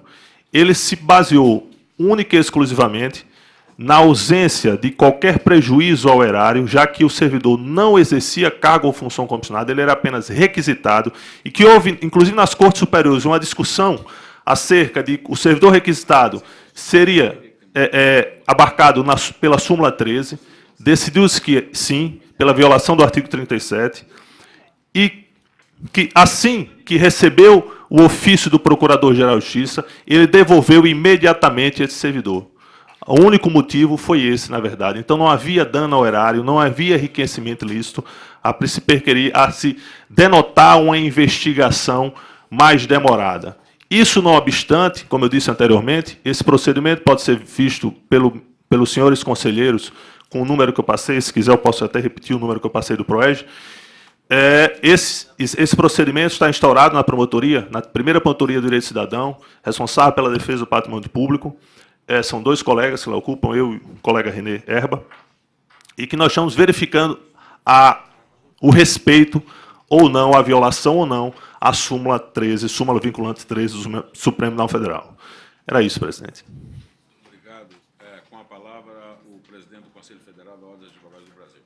Excelentíssimo Procurador-Geral da República, digno presidente, é, é para homenagear e parabenizar o voto do doutor Luiz Moreira Gomes Júnior, que bem viu a questão é, do equívoco, para dizer o mínimo, formal na condução deste caso, e que, de fato, o arquivamento é, seria uma medida, para dizer o mínimo novamente, não adequada. Então, propõe o conselheiro a abertura do PAD, o que seria uma medida é, importante, ou pelo menos uma sindicância, ou até mesmo uma verificação da corregedoria, mas o arquivamento, sem dúvida alguma, não se recomenda, até para o efeito didático, pedagógico que esse conselho também deve exercer. Então, é para apoiar o, o voto do conselheiro na, no sentido da abertura do PAD e o não arquivamento dessa questão.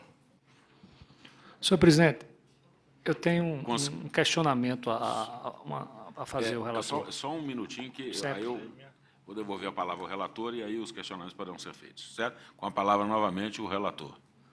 Presidente, eu, eu, na elaboração do voto, tive muita, muito cuidado em não me substituir à autoridade ministerial.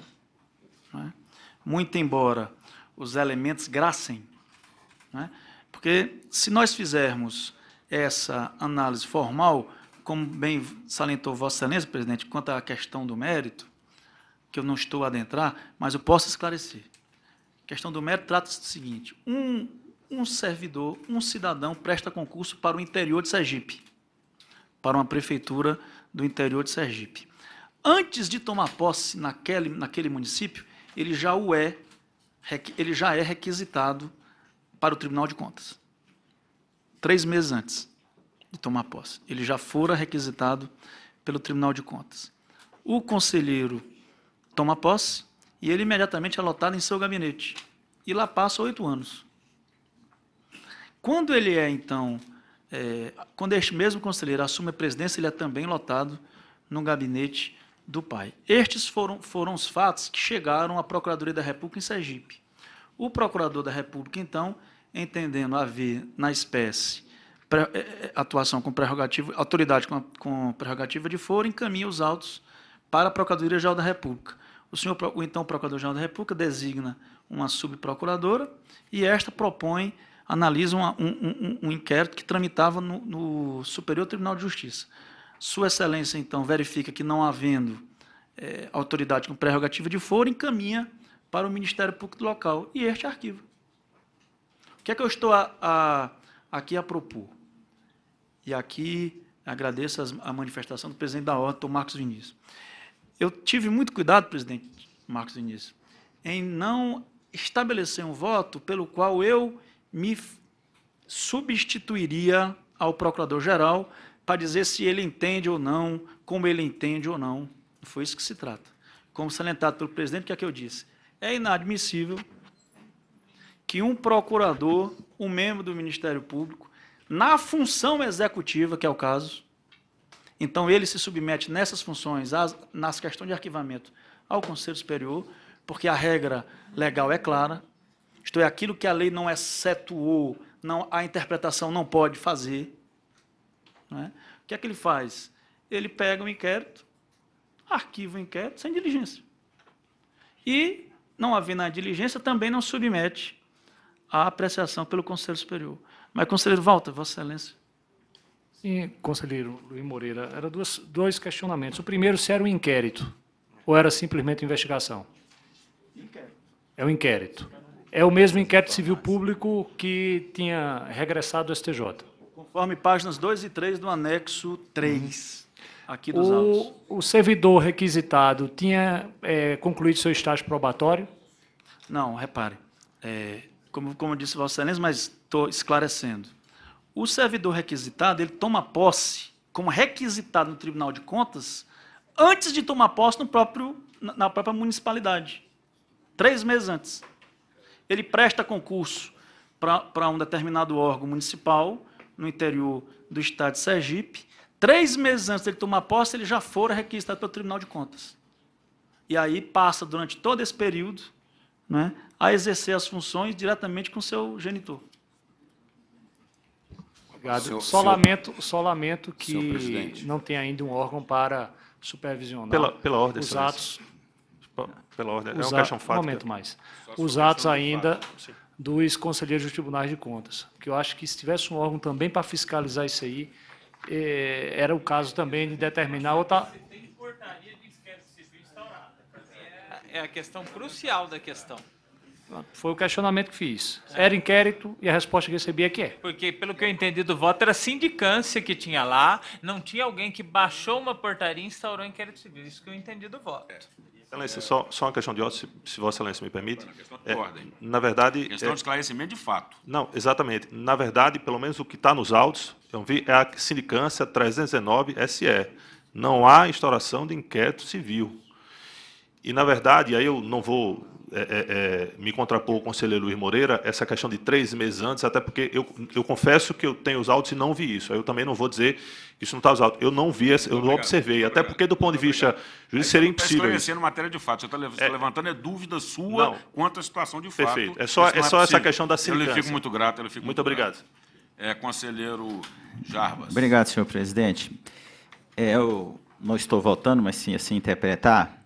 É, é o seguinte, eu ouvi atentamente o voto do conselheiro Luiz Moreira e, em relação às questões preliminares, é, concordarei com Sua Excelência.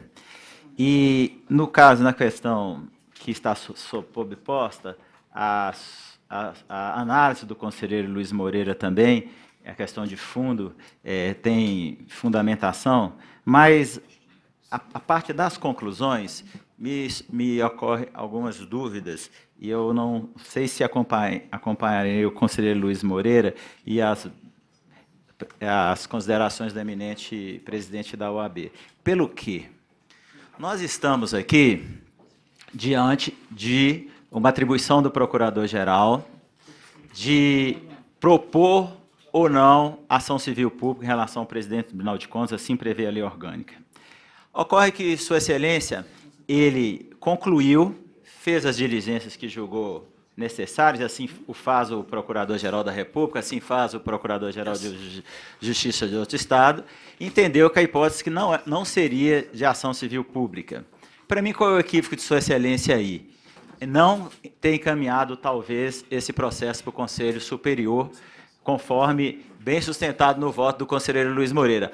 Ocorre que em muitos estados, aqui foi dito da tribuna, inclusive no meu, o Conselho não conhece arquivamento do Procurador-Geral de Justiça nas questões de improbidade administrativa, por entender que o presidente do órgão não precisa se submeter. Não estou dizendo que está certo ou está errado. Alguns estados existe essa dúvida.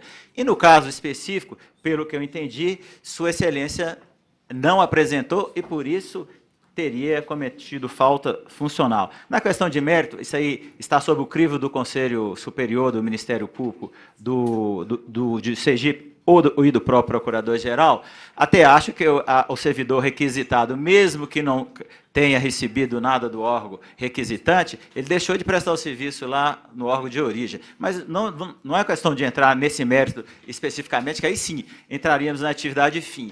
Aí, no caso, eu vou voltar eh, no momento oportuno, muito rapidamente, mas eu acho que o caso mais, a decisão mais, mais correta seria determinar ao Procurador-Geral de Justiça que se submeta a o seu arquivamento ao Conselho Superior e não instaurar um procedimento por falta funcional por conta de não ter submetido, já que há, um, há dúvidas, eh, no meu caso especificamente. Seria essa contribuição, presidente, que eu Conselheiro Cláudio Portela.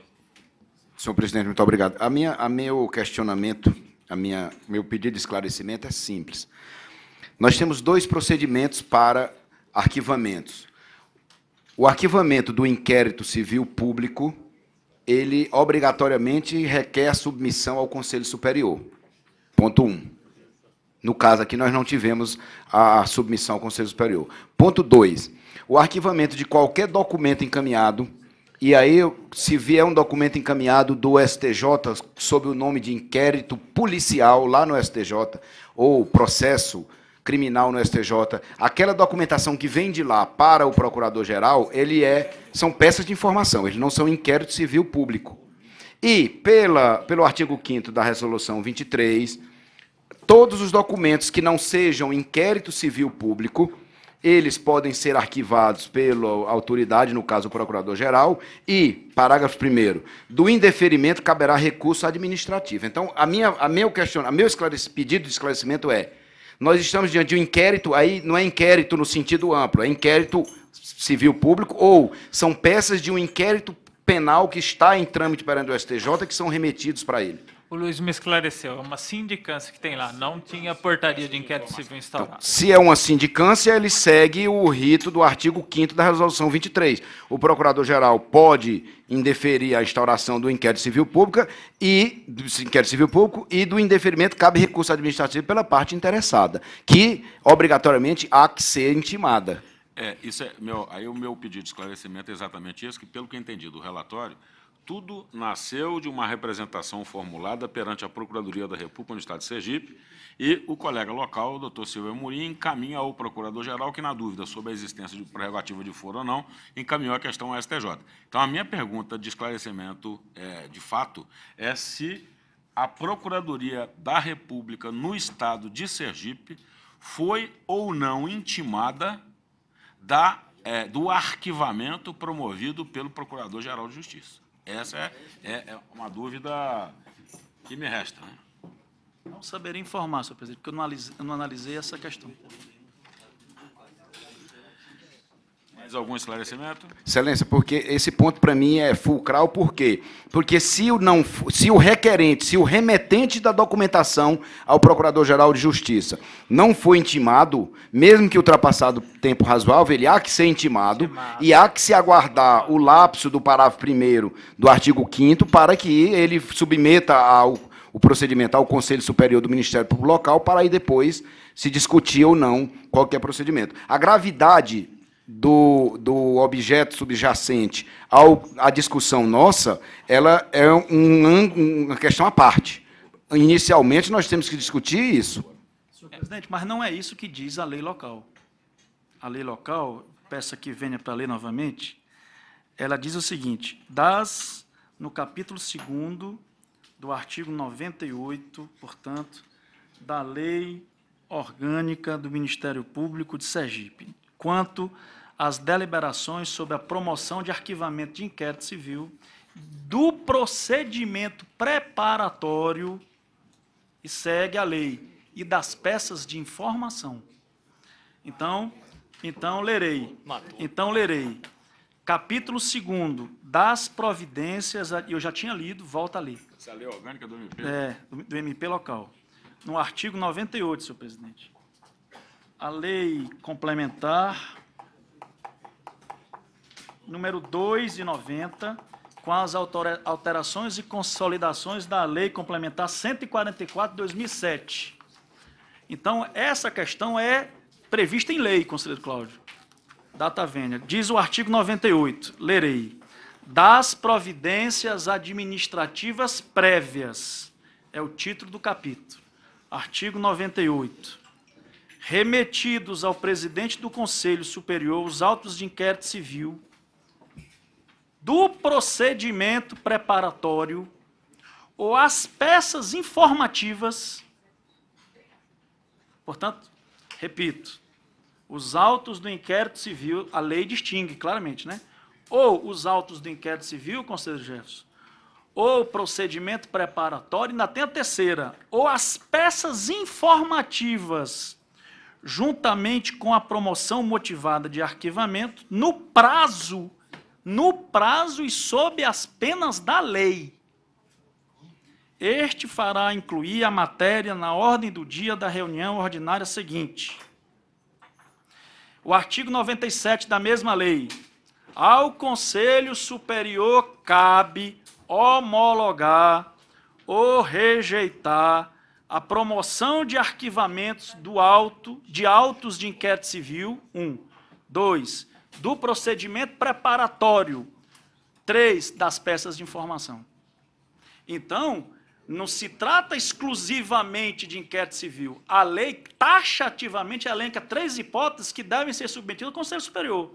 Então, o intérprete não pode excetuar, assim como não pode ampliar, em, nesses termos, na, na, na, legislação sancionatória, o que a lei não prevê.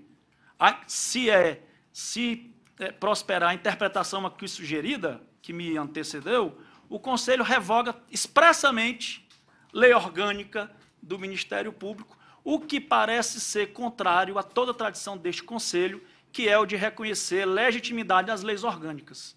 Você por gentileza, hum. da, lei? Pois não, conselheiro Marcos.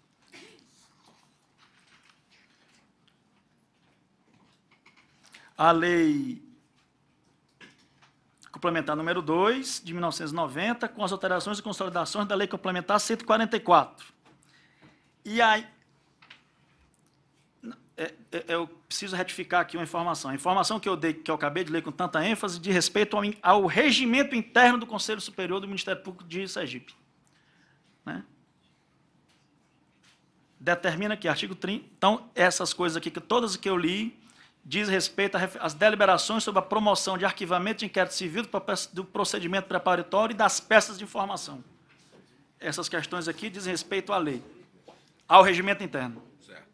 Parece que a questão está devidamente esclarecida. Vou passar a colheita dos votos. Conselheiro Luiz Moreira, eu não, na, na realidade, eu não estava discordando de Vossa Excelência. Eu estava pedindo um esclarecimento que foi muito bem posto por Vossa Excelência. Sendo assim, eu me sinto à vontade para votar. Só, eu acompanho esse conselho desde a composição. Esse tema foi debatido quando originou a resolução 23. Eu não era conselheiro, mas eu acompanhava a discussão em plenário.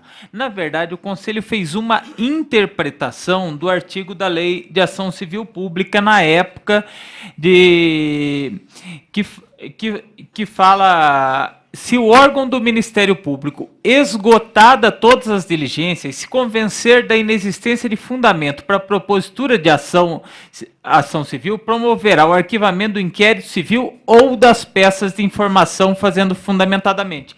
Que o que o Conselho interpretou, que como fala, se o órgão esgotadas todas as diligências, que essa submissão ao Conselho seria no caso de instauração de inquérito civil ou com base em peças de informação, que chamasse procedimento administrativo, o órgão agente fizesse diligências e chegasse ao conselho. E diversamente que estabeleceu no artigo 5 da resolução 23, que em caso de indeferimento liminar já na fase de liberação, não submeteria ao conselho, mas poderia a parte interessada fazer recurso ao conselho no prazo de 10 dias que deveria ser intimada.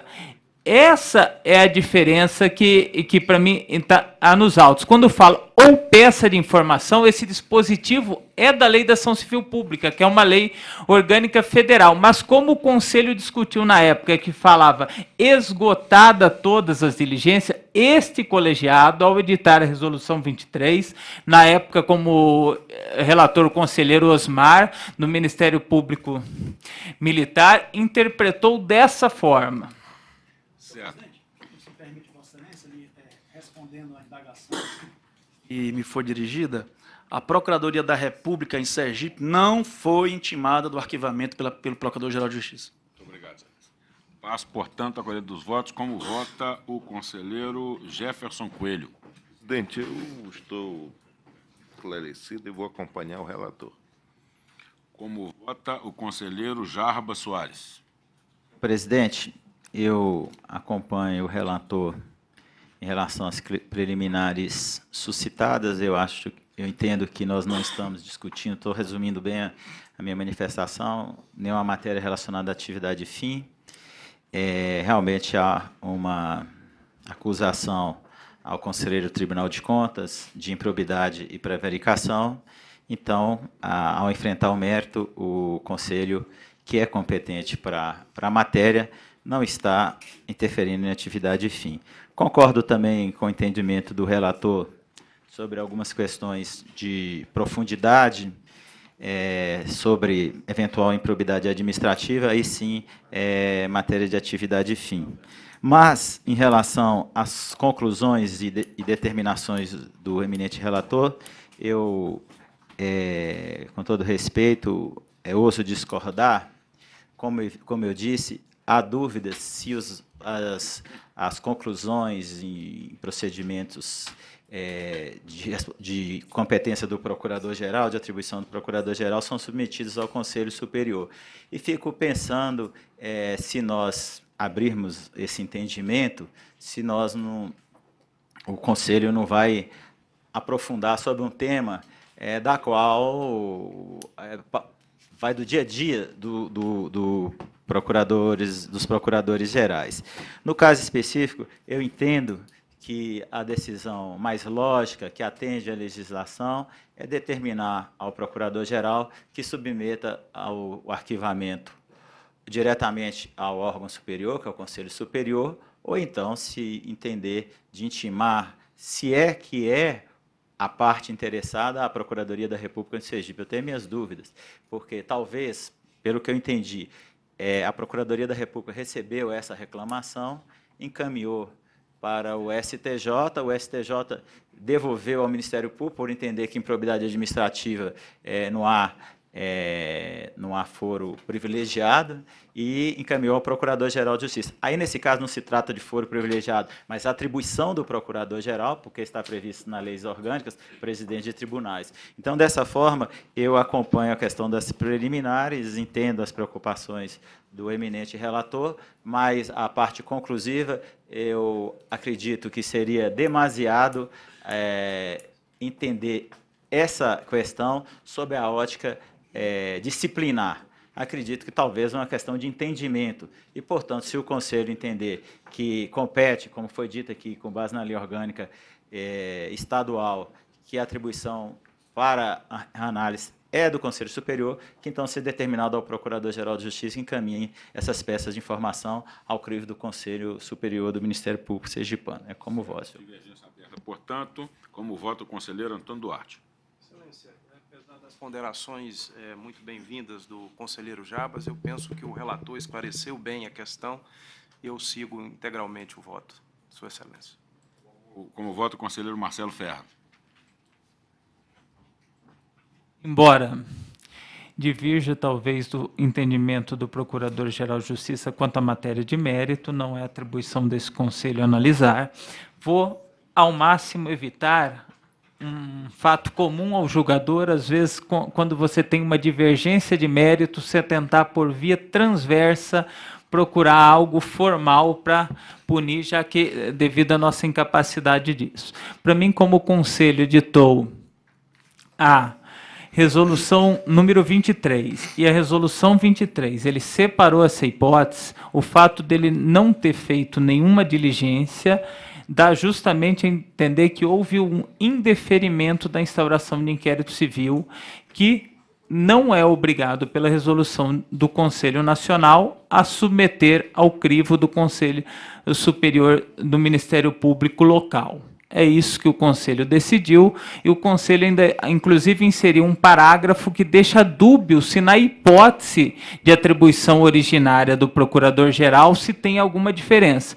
Pois no artigo 5 ele ainda colocou parágrafo 5 Na hipótese de atribuição originária do Procurador-Geral, parágrafo 5 do artigo 5 resolução 23 do Conselho, caberá pedido de reconsideração no prazo e na forma do artigo 1 Então ele ainda colocou um plus a mais na atribuição originária, que é a possibilidade de pedido de, de reconsideração. Então, nesse caso, como eu entendo que a remessa está se pedindo um PAD, por quê? Pelo procurador-geral ter. Esse é o motivo do voto do conselheiro Luiz Moreira. Pelo procurador-geral não ter encaminhado ao conselho no prazo de três dias úteis, que constitui, segundo a própria lei de ação civil pública, falta grave.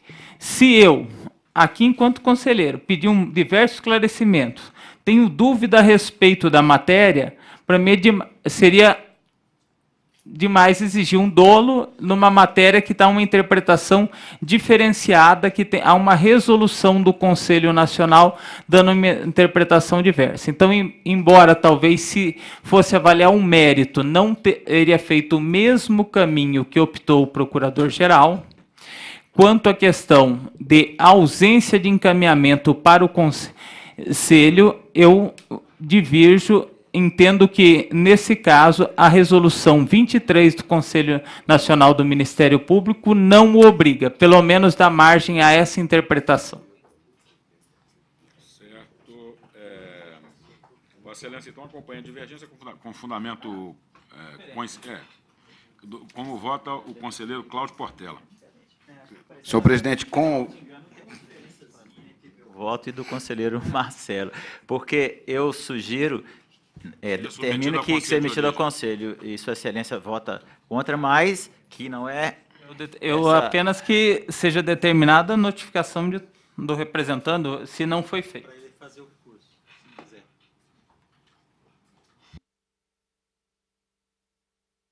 Senhor, senhor presidente, Tem a palavra. é, com os esclarecimentos trazidos pelo relator a respeito da existência de norma estadual determinando o procedimento, eu acompanho o voto do eminente relator. Só um, um plus que eu esqueci, eu, eu, como tinha o regimento interno, eu entendo que nossa resolução é superior ao regimento interno. Que eu, Conselheiro Cláudio Portela acompanha, portanto, o relator. Como vota o conselheiro Alexandre Saliba. Presidente, depois de ouvir atentamente todos os argumentos do relator e, e os debates travados aqui, eu também estou impregnado de dúvidas e tenho para mim que o, o- o- a sindicância é para o processo administrativo disciplinar o que o inquérito é para a ação penal. Então, me parece que, nesse caso, em que realmente são colocadas aí questões, questões tiradas da lei estadual de Sergipe, mas de muitas vezes interpretação, me parece que a saída mais é, equânime, uma saída mais justa ao caso concreto, a mim me parece que seria uma sindicância para ouvir todos os envolvidos, ouvir o Procurador da República de Sergipe, ver o que ele tem a dizer sobre a questão, Procurador-Geral de Justiça, enfim, todos envolvidos, uma sindicância para apurar, não sei se, é, se- não sei o que, que o conselheiro relator, Luiz Moreira, é, você chegou a pensar nessa possibilidade, do que diretamente se decidir pela abertura do processo administrativo disciplinar, que por si só já representa um, um gravame para um, uma pessoa que ocupa um cargo tão importante, enfim, chefia o Ministério Público de uma unidade da federação. Meu voto é no sentido da é uma terceira via, seria a sindicância em vez da abertura do PAD, para que fossem prestados esclarecimentos. Não há tal previsão regimental, conselheiro Saliba, e todas as e a instrução foi feita propriamente nesse pedido de providência, inclusive com a publicação de edital de terceiro interessado. Então, todas as autoridades, direta ou indiretamente, puderam se expressar e o fizeram. E aí o meu voto é pela conclusão do não, do não cumprimento da formalidade legal e regimental pela abertura de PAD. Bom, nessa hipótese, eu vou acompanhar, então, a divergência aberta pelo conselheiro. Vossa Excelência, Vossa Excelência estava propondo si- sindicância perante a Corregedoria Nacional. Isso. Essa era a minha posição, que me parece a mais equânime. Para que eu... Não, não é de pedir providência. É, um- é uma, é uma Para que isso... É, eu tô, eu- É uma é porque o. PAD, com a devida vênia, o PAD, eu não... Esclarecendo só uma questão aqui mencionada aqui pelo, pelo eminente conselheiro Saliba. A o feito tem, tem relator. Nesses casos aqui, o corregedor não funcionará mais como, co- como relator. O feito será distribuído a um, a um outro conselheiro que será nomeado relator do processo administrativo disciplinar. Isso sim, isso. Instaurado. Agora, a, a Sim, mas não há- sindicância é uma possibilidade. Não, mas que, sob que fundamento a, a, a, sindicância? O- a instrução já foi feita neste procedimento, pra, neste procedimento, neste pedido de providência. Conselheiro Luiz Moreira, é, o que eu entendi, o eminente conselheiro Saliba E quem será o relator, eu? dúvidas. Não. Ele seria Então, como a- é que vai a- ser? a- Então, a Corregedoria então deixa, eu- deixa eu entender aqui a saída regimental, que não tem previsão. O feito é distribuído por não haver qualificação com pedido de providência. É distribuído a um relator. Iria Aí co- se distribui a um outro relator com que finalidade? Não, não iria para outro relator, iria para a Corregedoria Não, a corregedoria não tem essa atribuição. Pra- pra Nesse caso aqui, não. Neste caso aqui, já, já há um feito. Já um feito devidamente instruído.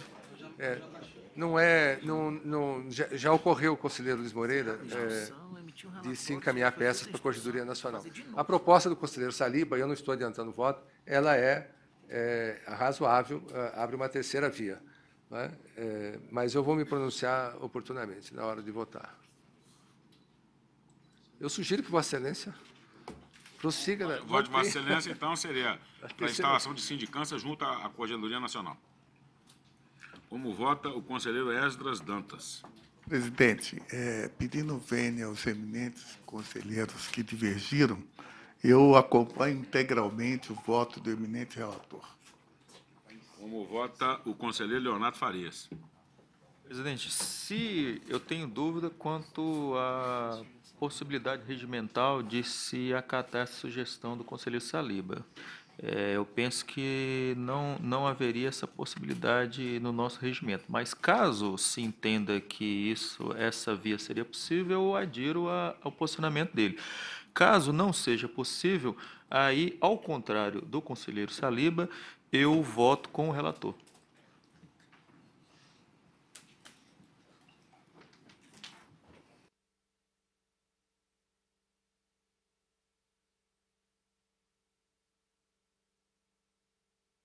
Esse voto, que na verdade você está fazendo um voto condicional. Se. Não, é, é, eu voto de acordo com o conselheiro Saliba, mas eu não sei se isso vai prevalecer ou não. Vossa Excelência acompanha a, a, a divergência inaugurada pelo conselheiro Alexandre Saliba. Sim. Como vota o conselheiro Walter Agra? Presidente, eu ouvi atentamente, fiz alguns questionamentos e vi o seguinte: uma coisa é em conteste. Está se reconhecendo que o procurador-geral errou. Errou ao é, é, arquivar o processo e não determinar nenhuma feitura. O regimento interno dele determinava que se fosse remetido ao Conselho Superior e isso não foi feito. Entendo que a nossa resolução ela limita, dá um teto. No caso aqui, o regimento interno do Ministério Público do Sergipe foi mais exigente ainda. E dentro do espaço que nós dissemos, que nós estabelecemos através de nossa resolução, atribuiu uma exigência a mais. E essa exigência não foi observada, não foi cumprida. E vamos investigar o quê? A forma com que o servidor foi é, é, requisitado, se ele recebia, se trabalhava, isso aí é próprio da ação que foi dita aqui na tribuna do procedimento da curadoria do patrimônio.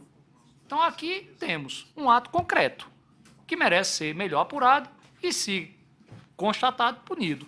Então, por essas razões, eu acompanho integralmente o relator em todos os seus posicionamentos no tocante a este voto.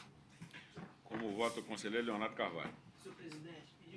Aos que entenderam de forma divergente, eu acompanho na integralidade o voto do eminente conselheiro Luiz Moreira.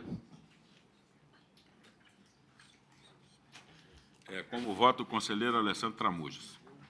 Com a devida vênia ao, ao conselheiro Luiz Moreira, eu realmente tenho, é, fiquei com bastante dúvida com relação se o motivo determinante realmente da abertura do PAD é essa questão do envio ao Conselho Superior do Ministério Público. Eu gostaria realmente de, de compreender melhor e acho que a alternativa colocada pelo conselheiro Saliba é bastante razoável e, e- e, nesse sentido eu vou acompanhar ele no caso para a abertura de uma sindicância.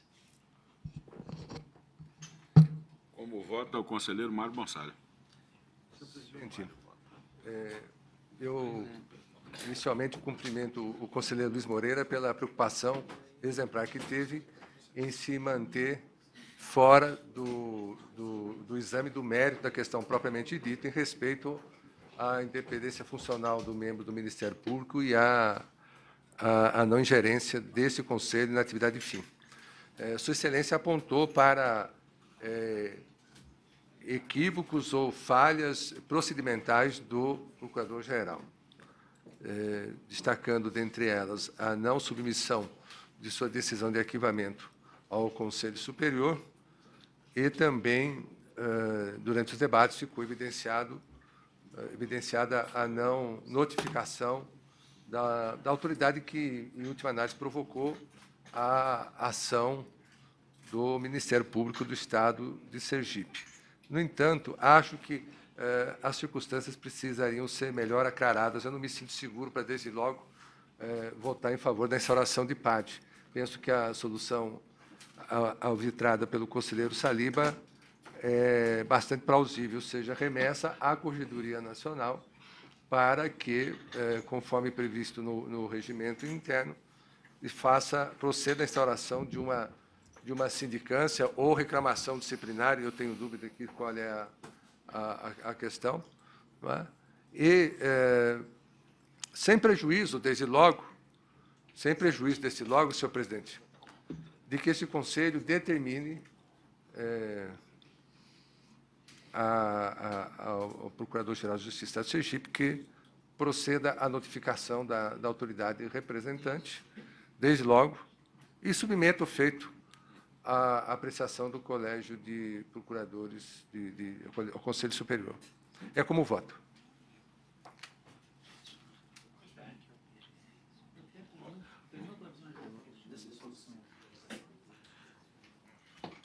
É, o por último, às vezes é bom, às vezes é ruim, né? É, eu tenho presente que, a esta altura, se dúvida existe no que se refere à conduta, é, neste momento vigoraria, né, transmutando-se é, os princípios do inquérito policial, é, são do princípio indúbio pró societatis. Se existe dúvida, é, merecemos aí uma, uma sobre o que vem ou não. O que eu tenho, embora o, o conselheiro Luiz Moreira tenha dito que não é a solução regimental e os problemas se colocam né, à nossa frente, e nós temos que arranjar uma solução para ele, a gente não pode se abster de votar, né? É que é, eu não sei, a esta altura, se a instauração de um processo disciplinar já seria realmente o, o, a solução é, conveniente para o momento. Observa, observa o seguinte, de toda a discussão aqui, é, duas dúvidas jurídicas subiram, vieram à tona. Duas dúvidas jurídicas. Primeiro, se as peças de informação estariam ou não, o arquivamento de peças de informação estariam ou não é, é, submetidas a a, a, ao, ao, duplo grau, assim, a revisão da decisão tomada. E o segundo, a segunda dúvida jurídica, é se o Procurador-Geral de Justiça, no caso, se o ato dele estaria ou não, é, seria ou não passível de, de reapreciação pelo Conselho Superior. Então, é, a, a, a forma como se coloca é, como é que eu tenho que compatibilizar toda essa esses princípios que a gente deve aplicar ao caso concreto. Então, entendendo que indúbio pró-societate, sim, e como existem dúvidas jurídicas relevantes nesses dois aspectos, acho, da pedindo vênia ao conselheiro relator, embora não haja uma solução é, regimental expressa, é que o melhor caminho seria realmente a instauração de uma sindicância na Corregedoria Nacional para que se possa é, clarear de vez todos esses argumentos. Então, pedindo vênia ao relator, também eu vou acompanhar a divergência aberta pelo conselheiro Alexandre Saliba, no sentido de ser instaurada a sindicância na, na, na, na, na Corregedoria Nacional. Tendo em vista que é, é para esclarecimento, eu adiro, adiro a, a, essa solução, porque acho que o esclarecimento é bom, até porque mesmo se, for, se interpretar que é caso de indeferimento, verificar se foram notificados interessados. Então, eu reformulo para, nesse momento, aderir a... Malícia já. Não, mas... Já não, então interessados do, a, da decisão é, do Procurador-Geral. Esse ato formal, acho que não houve a intimação, porque a intimação do Ministério Público se dá, se dá pessoalmente. Se houve a provocação, que foi da, da Procuradoria da República no Estado de Sergipe, é, o Ministério Público há de ser intimado. Aqui, aqui, aqui. Então, é, vou proclamar o resultado.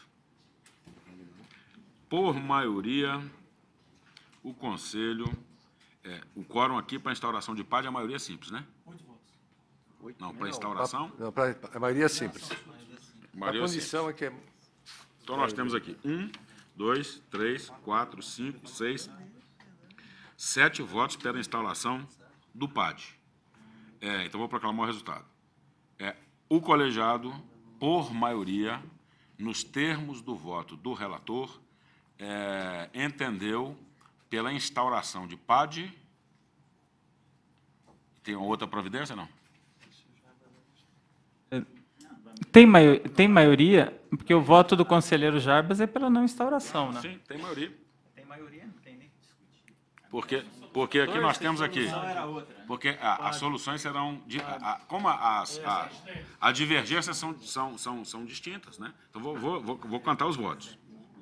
É, pela instauração de sindicância, temos um, dois, três, quatro, cinco, seis votos. Pela é, divergência para determinar que o ato do Procurador-Geral seja submetido ao Conselho Superior do Ministério Público do Estado de Sergipe, um voto. E sete votos pela instauração. Presidente, já que não proclamou o resultado ainda, eu tenho absoluta convicção que o caso eh, seria aquela meu encaminhamento para que o Procurador-Geral submeta a apreciação do Conselho Superior. Mas eh, esta, esse encaminhamento dado pelo conselheiro Saliba está mais próximo do que eu defendi, porque se vai exatamente avaliar essas questões como suscitado por Vossa Excelência, é, em que se, se vai analisar com maior profundidade o que eu já tenho convicção. Vai, vai analisar com maior profundidade o que eu já tenho convicção,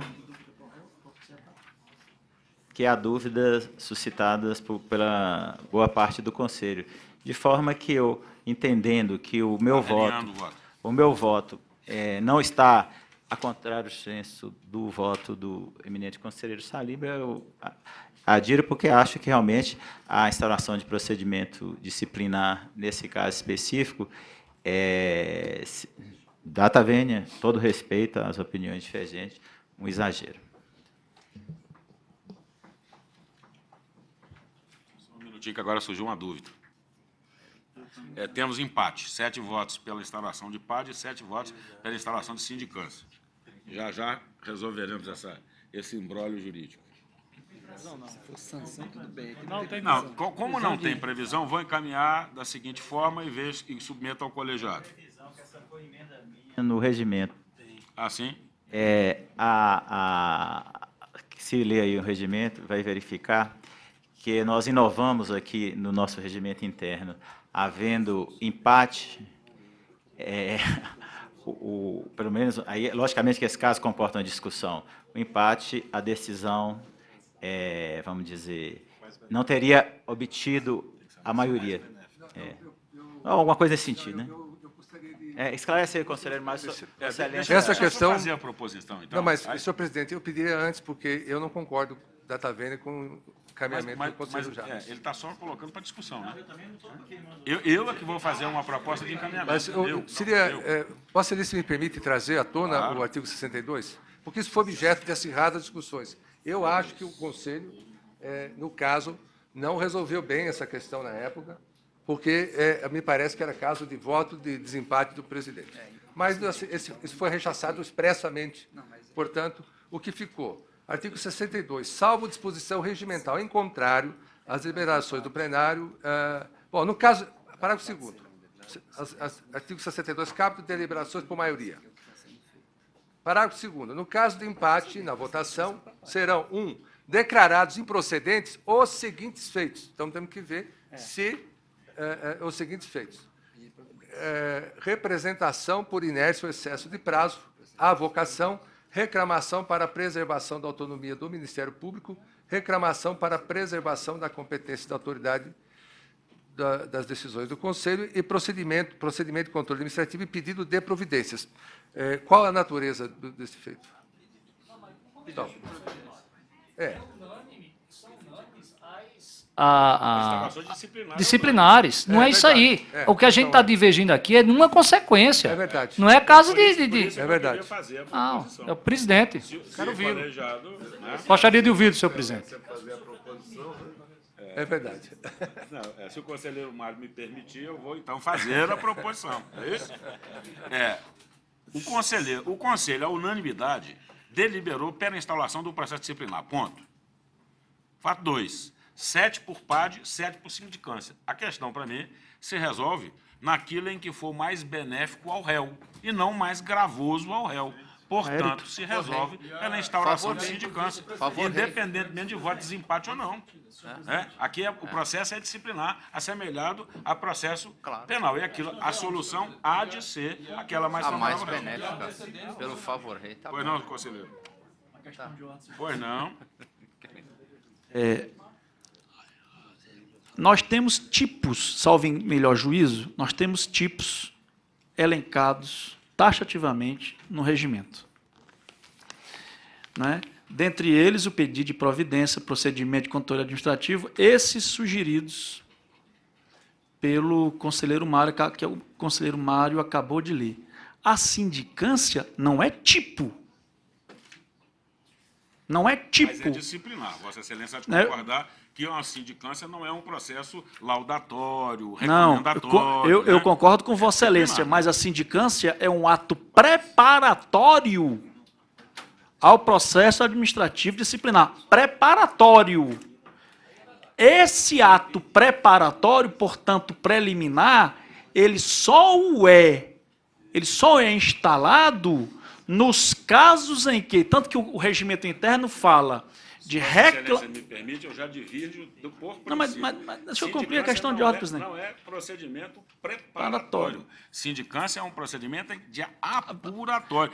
A sindicância, como diz o Conselho de Saliba, está para o processo disciplinar como um inquérito está para a ação penal. Então deixa eu Pode terminar. não. Então deixa eu terminar minha questão de ordem então. A questão de ordem que eu formulo é o seguinte: como nós já tivemos instalado um, um- um pedido de providências, pedido de providência este que é taxativamente estabelecido no regimento, do qual a sindicância não faz parte, por isso que o, que o pedido de providências teve um relator distribuído por sorteio, porque aqui não se trata de reclamação disciplinar, presidente.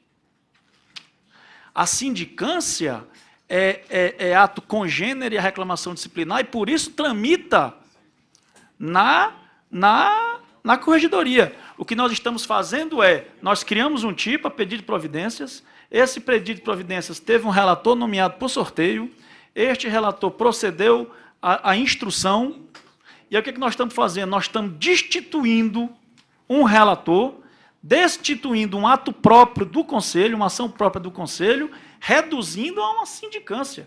Data vênia, eu não considero válida a saída apontada pelo Conselho, porque não há previsão regimental. Essa a questão de ordem que eu, que eu sugiro a Vossa Excelência. É, a questão de ordem está imbricada no julgamento que, foi, que acabou de, de- de ocorrer. Então, a pergunta é, é, algum dos senhores que votou pela instauração de sindicância quer realinhar ou rever o seu voto? Porque, conselheiro Luiz Moreira, eu não posso alterar o voto do conselheiro. Senhor presidente, Tanto penso... é a matéria disciplinar que o voto de Vossa Excelência para o quê? É para a instauração de um processo disciplinar. Então, a matéria é disciplinar, sim. Mas, se Vossa Excelência me permite, nesse caso aqui, isso, é- a instalação de processo administrativo disciplinar corre a revelia do corregedor. O corregedor nem distribuição recebe, nesse caso. É a abertura de PAD, a partir da deliberação do plenário, o corregedor está excluído da, da distribuição e o feito, portanto, o processo administrativo disciplinar será distribuído a um outro conselheiro. É, se- conselheiro Luiz Moreira, a, a- sua questão de ordem nos, nos levará ao seguinte dilema. Ou instauramos o processo administrativo disciplinar como quer Vossa Excelência, ou arquivamos. Esse é o dilema a que nos vemos submetidos. Se o colegiado entendeu, por sete votos, que o conveniente para o caso é a instauração de uma sindicância, Presidente, só para complementar o raciocínio do relator, que eu compreendi perfeitamente, a, a- a divergência aqui é em relação a, a como se apurar isso daí. O, o eminente relator Luiz Moreira segue o caminho, vamos colocar assim, da ação penal. Eu sigo o caminho do inquérito que tem o fim princípio de elucidação dos fatos. E me parece que, uma vez instaurada a sindicância, uma vez, a gente percebe que o plenário agora está rachado. Isso demonstra realmente que pairam dúvidas nesse momento, ao meu sentir, insuperáveis. Eu vejo a sindicância conduzida pela corregedoria através de três membros, com um presidente e outros eh, participando. O enfoque é outro. O, o- o sindicato sabe que existe esse procedimento, que é apuratório. É, é- é uma, é uma outra pegada, vamos dizer assim, entre aspas, do que um pedido de providências. Então, me parece que, que seria o, o meio termo. Tanto que eu, eu coloquei aqui, se não for acolhido, se, essa era minha, o meu posicionamento, se não fosse esse, eu, eu, eu votaria, então, pelo, pela não instauração do PAD, porque não me sinto eh, em condições de instaurar uma ação, vamos colocar assim, uma ação penal. Só, só se Excelência me Não. permite. Qual é a indicação regimental do- disso? Porque o que é que nós temos? Nós temos a, a sindicância, é- ela, ela está contida no item próprio à reclamação disciplinar. Reclamação disciplinar e sindicância. Sindicância não é feito que se distribui a conselheiro, já foi distribuído a um conselheiro, feito foi regular. Eu vou, eu vou submeter à votação, né, a questão já está devidamente esclarecida e debatida. Então, a proposta que submeto ao colegiado é que, é, sopesando ambos a- os, os- os processos de natureza disciplinar, sopesando ambos, em, tendo em vista o impacto na votação, que se resolva pela instauração de sindicância, que é o, o instrumento, eu diria, mais favorável ao rei do que a instauração do PAD. Eu encolho os votos. Como vota o conselheiro Alexandre Tramujas? Que a proposta é do presidente. Pela abertura de sindicância. É, como vota o conselheiro Mário Gonçalves? Senhor presidente, eh, quando lá atrás, na reforma do regimento, nós chegamos a essa solução, sabíamos que haveria situação eh, que eh, chegaríamos num ponto em, em que o regimento seria omisso. Este é o caso. Obviamente que, em ocorrendo omissão do regimento, temos que decidir em função do caso concreto e de maneira mais bem fundamentada possível. Penso que Vossa Excelência ah, propôs um- uma, uma solução bastante eh, razoável e prudente, que é a instauração, eh, portanto, da, da, da, da sindicância. Eu voto com a proposta. Conselheiro Luiz Moreira? Eu voto pela abertura de PAD, até porque, olha o paradoxo que nós criaríamos. Embora determinado pelo plenário, a sindicância pode ser arquivada monocraticamente pelo corregedor. Então, o plenário delibera e o, e o corregedor, após, após uma deliberação de 7 a 7 pelo plenário, o corregedor, monocraticamente, pode arquivar a sindicância. Ou seja, nós submetemos a autoridade, a autoridade do plenário a um conselheiro. Esta é a razão pela qual eu voto pelo PAD, senhor presidente. É, como vota o conselheiro Jefferson Coelho? Presidente, é, eu votei pela abertura do PAD, é, mas considerando que essa questão não está definida no âmbito do regimento interno e que, é, obviamente, será objeto de outras deliberações específicas quanto a esse tema de empate, é, nesse caso específico, com a minha ressalva aqui muito acentuada nesse caso, eu vou votar pela sindicância. Como vota o conselheiro Jarba Soares? Presidente, tendo em vista até meu voto inicial, eu acompanho a, a proposição de Vossa Excelência, até considerando que, partindo do pressuposto que está correto o entendimento do conselheiro Luiz Moreira, no seu voto cabe recurso também da decisão do corregedor para o plenário. Como vota o conselheiro Antônio Duarte? Senhor presidente, eu também penso que após eh, a- a ouvir os votos dos demais eh, colegas, eu penso que a sugestão de Vossa Excelência tem muita ponderação e, portanto, eu acompanho. Vota o conselheiro Marcelo Ferra. O que eu tenho conhecimento, em qualquer colegiado, o empate é a solução mais favorável. Eu acho que a gente não podia ser diferente. Como vota o conselheiro Cláudio Portela? Senhor presidente, a questão não é se eu voto com o PAD ou com a sindicância, é se eu, se eu aceito ou não a, propositura, a proposta de Vossa Excelência. Para dirimir o empate. Para dirimir o empate, perfeito. Então, não é se é PAD ou sindicância. E faço coro ao que dito pelo conselheiro Marcelo, de que no empate prevalece a- a dec- a- a- o direcionamento que Vossa Excelência deu. Como vota o conselheiro Alexandre Saliba? Como vota o conselheiro Edras, Dan- Esdras Dantas? Com a proposta do presidente. Como vota o conselheiro Leonardo Farias? Do Supremo Tribunal Federal, até mesmo em matéria penal, no sentido de, em caso de empate, decidir em favor do, do, do, do, do réu. O voto do conselheiro Walter Agra. decidindo aqui nenhuma láurea para o procurador-geral do caso de- do Estado de Sergipe, entendo que deveria efetivamente ser o PAD, mas em havendo empate, a forma melhor de decidir é a menos gravosa, como sugeriu Vossa Excelência, e por isso, pedindo todas as venhas ao conselheiro Luiz Moreira, acompanho o- a propositura de Vossa Excelência. Como voto do conselheiro Leonardo Carvalho. Senhor presidente, eh, lá no Ceará, quando existe essa controvérsia, né, tem o desbarrado Ademar Mendes, que ele era muito, com uma propriedade que lhe é peculiar, dizia que dos debates vem a luz. Né?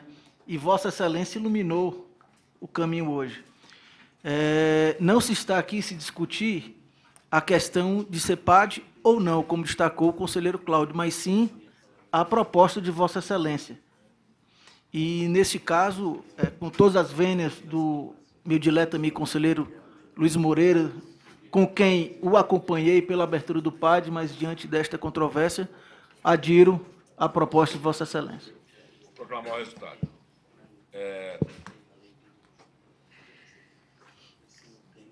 Houve empate na deliberação por sete votos sobre instauração de PAD nos termos do voto do relator ou de sindicância nos termos da divergência inaugurada pelo conselheiro Alexandre Saliba. Em razão do empate, questão de ordem foi submetida ao colegiado, no sentido de que, em se tratando de dois processos disciplinares, deveria haver solução mais favorável ao, ao réu, ao indiciado, não sei qual o nome adequado que deveremos usar aí, o requerido, o sindicado. E, portanto, o Conselho, por maioria, vencido o conselheiro Luiz Moreira, entendeu pela instauração de sindicância a cargo da Corregir- Corregedoria Nacional do Conselho Nacional do Ministério Público. Presidente, só por curiosidade, o, relato, o, o acordo ficará com quem? É, redigirá o acordo o, o, o conselheiro Alexandre Saliba. Presidente, eu acho que a relatoria deveria continuar com o conselheiro Luiz Moreira, porque é apenas, é apenas uma divergência na conclusão. Tem todas as outras preliminares que foi unânime. Na diligência final. É, Eu entendo que é o caso do conselheiro Saliba. Bom, é apenas uma ponderação que faço, porque no mérito foi unanimidade. Né? Então, o conselheiro Saliba vai se aproveitar em tudo ou quase tudo do voto do conselheiro Luiz Moreira. Vamos superar essa discussão, porque O artigo 60 do regimento diz, parágrafo 4, O artigo 60 do regimento interno, no parágrafo 4, diz: vencido o relator na questão principal do processo submetido a julgamento, será designado para lavrar o acordo o conselheiro que houver proferido o primeiro voto vencedor. É, é, um- é um castigo. É, vamos então, eu vou chamar o terceiro processo, é, o item 65 da, da lista. Relator é o conselheiro Cláudio Portela. É, existe solicitação para é, sustentação oral do doutor Neyton Cruvinel Filho e passo a palavra ao relator, item 65 da pauta. É o processo 326-2013-60. Senhor presidente, eu inicialmente peço licença de Vossa Excelência para utilizar dois minutos, não mais do que isso, para informar a este Conselho que o Egrésio Superior Tribunal de Justiça recentemente recebeu um agravo, julgou um agravo regimental, um agravo no, no RESP e converteu esse agravo em RESP, em que se discute uma questão de extrema importância para os rumos do Ministério Público, que é a possibilidade de ajuizamento de ação civil, ação penal pública subsidiária, ação penal subsidiária da pública por particular, esse, esse, de um caso ocorrido no Distrito Federal. O, a parte entendeu, o, o parente de uma, de uma vítima entendeu que, ultrapassados os 15 dias do, do recebimento do inquérito, com ou sem diligências do Ministério Público, a parte tem o direito, a vítima tem o direito de ajuizar ação penal subsidiária. Isso é de extrema gravidade para o Ministério Público, porque o julgamento desse RESP pode conduzir ao esfacelamento da privatividade da ação penal pública pelo Ministério Público, e, diante disso, eu solicitei de ofício a instauração de uma reclamação para a preservação da autonomia do Ministério Público neste Conselho, que foi é, designado relator o eminente conselheiro Alexandre Saliba. Então, quero deixar registrado aqui para Vossa Excelência a preocupação nossa em o STJ julgar uma ação, um recurso especial desse porte, de estabelecer que, mesmo sem inércia do Ministério Público no período quinzenal, há a possibilidade de a vítima ajuizar ação subsidiária. Isso é gravíssimo e um, conduzirá, com certeza, a um esfacelamento da nossa autonomia e da nossa privatividade da ação penal. Então, quero deixar registrado esse fato, Excelência. Passando agora ao... Presidente, pela ordem. Presidente, pela ordem. Antes de que o conselheiro eh, Cláudio Portela inicie o seu... Eu quero aqui invocar o, o parágrafo 4 do regimento interno nosso do artigo 54, que diz que não será admitida sustentação oral no julgamento de embargo de declaração. Então, como a hipótese aqui é de embargo de declaração, não cabe sustentação oral. 54, Na realidade, nós e temos- Essa matéria, especificamente nesse processo, já foi objeto de decisão do plenário. Na realidade, nós temos, nesse caso, dois recursos. Um recurso interno e um, recu e um embargo de declaração. Nós vamos julgar primeiro o recurso interno. Fim do julgamento do recurso interno, nós julgaremos o embargo de declaração. E faço isso é, invocando uma questão simples de lógica. O recurso interno foi ajuizado primeiro e, em seguida, foi ajuizado o embargo de declaração. Vossa Excelência tem a palavra. Muito obrigado. É, recurso interno em procedimento disciplinar, número 326-2013-60. Recorrente membro do Ministério Público do Estado de Goiás, recorrido Conselho Nacional do Ministério Público. Ementa. Recurso interno, processo disciplinar. Ministério Público do Estado de Goiás, pretensão de reforma da decisão recorrida. Inexistência de erro na valoração dos fatos. Independência das instâncias administrativa e penal, não ocorrência de prescrição.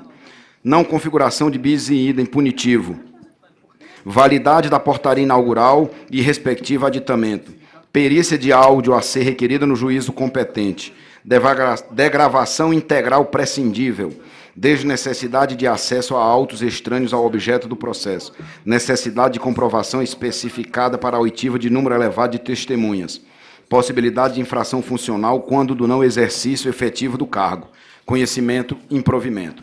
As instâncias administrativas e penal são independentes, precedentes do STJ e do STF. A infração disciplinar punida na lei como crime terá o prazo da prescrição deste, Lei Complementar do Estado de Goiás, número 25, artigo 203, parágrafo 1 Os processos éticos disciplinar no âmbito do Senado Federal e administrativo disciplinar no âmbito deste Conselho Nacional possuem consequências jurídicas diversas, cada um para um ferimento de deveres funcionais relativos a estatutos jurídicos distintos. A portaria inaugural e seu aditamento, além de, no caso, descrever suficientemente os fatos, não precisariam de exposição farta e exaustiva, mesmo porque ato inicial prévio à instrução. A perícia de áudio de interceptação telefônica deve ser requerida no juiz competente. É prescindível a degrava- degravação integral de áudio, além de- do que a oitiva do número elevado de testemunha deve ser concretamente fundamentada, não bastando alusão abstrata a suposto cerceamento de defesa, pena de paralisação indevida do procedimento. Deveres funcionais do membro do Ministério Público que deve ser observado mesmo quando do não exercício efetivo do cargo. Recurso interno conhecido e improvido. Relatório. Trata-se de recurso interno interposto pelo membro do Ministério Público do Estado do Goiás contra a decisão monocrática de folha 615-631, na qual afastadas preliminares da defesa prévia e indeferidos pedido de perícia e degravação integral de áudio, solicitação de cópia do processo de cassação no Senado Federal, solicitação de cópia do processo judicial perante a 11ª Vara da Justiça Federal de Goiânia e, eleva- e oitiva de número elevado de testemunha. O recorrente alegou, em suma, 1. Um, impossibilidade de instauração de processo administrativo disciplinar antes da condenação criminal transitada em julgado. 2. Prescrição da pretensão punitiva no âmbito administrativo. 3. Impossibilidade de dupla punição administrativa. 4. Inépcia da portaria inaugural. 5. Necessidade de suspensão do feito à espera de apreciação judicial da ilicitude da interceptação telefônica. 6. Necessidade de perícia e degravação integral de áudio. 7. Direito de acesso ao inquérito das operações da Polícia Federal denominada Vegas e Monte Carlo. 8. Necessidade de cópia integral do processo ético-disciplinar instaurado no Senado Federal. 9. Oitiva e restrita de todas as testemunhas arroladas. 10. Impossibilidade de ferimento a deveres funcionais do Ministério Público quando não exercício efetivo no cargo do parquê. Requereu a, forma, a reforma da decisão recorrida para acolher os pleitos da defesa prévia. É o relatório. Como visto por Vossas Excelências, são 10 os itens é, discutidos, por isso o voto é um pouco longo. Peço desculpa aos senhores em relação ao fato. Voto. A petição recursal é cabível, segundo previsão regimental, tempestiva, uma vez interposta no dia 12 de 8 de 2013, antes mesmo da juntada do mandado de intimação que ocorreu em 15 de 8 de 2013.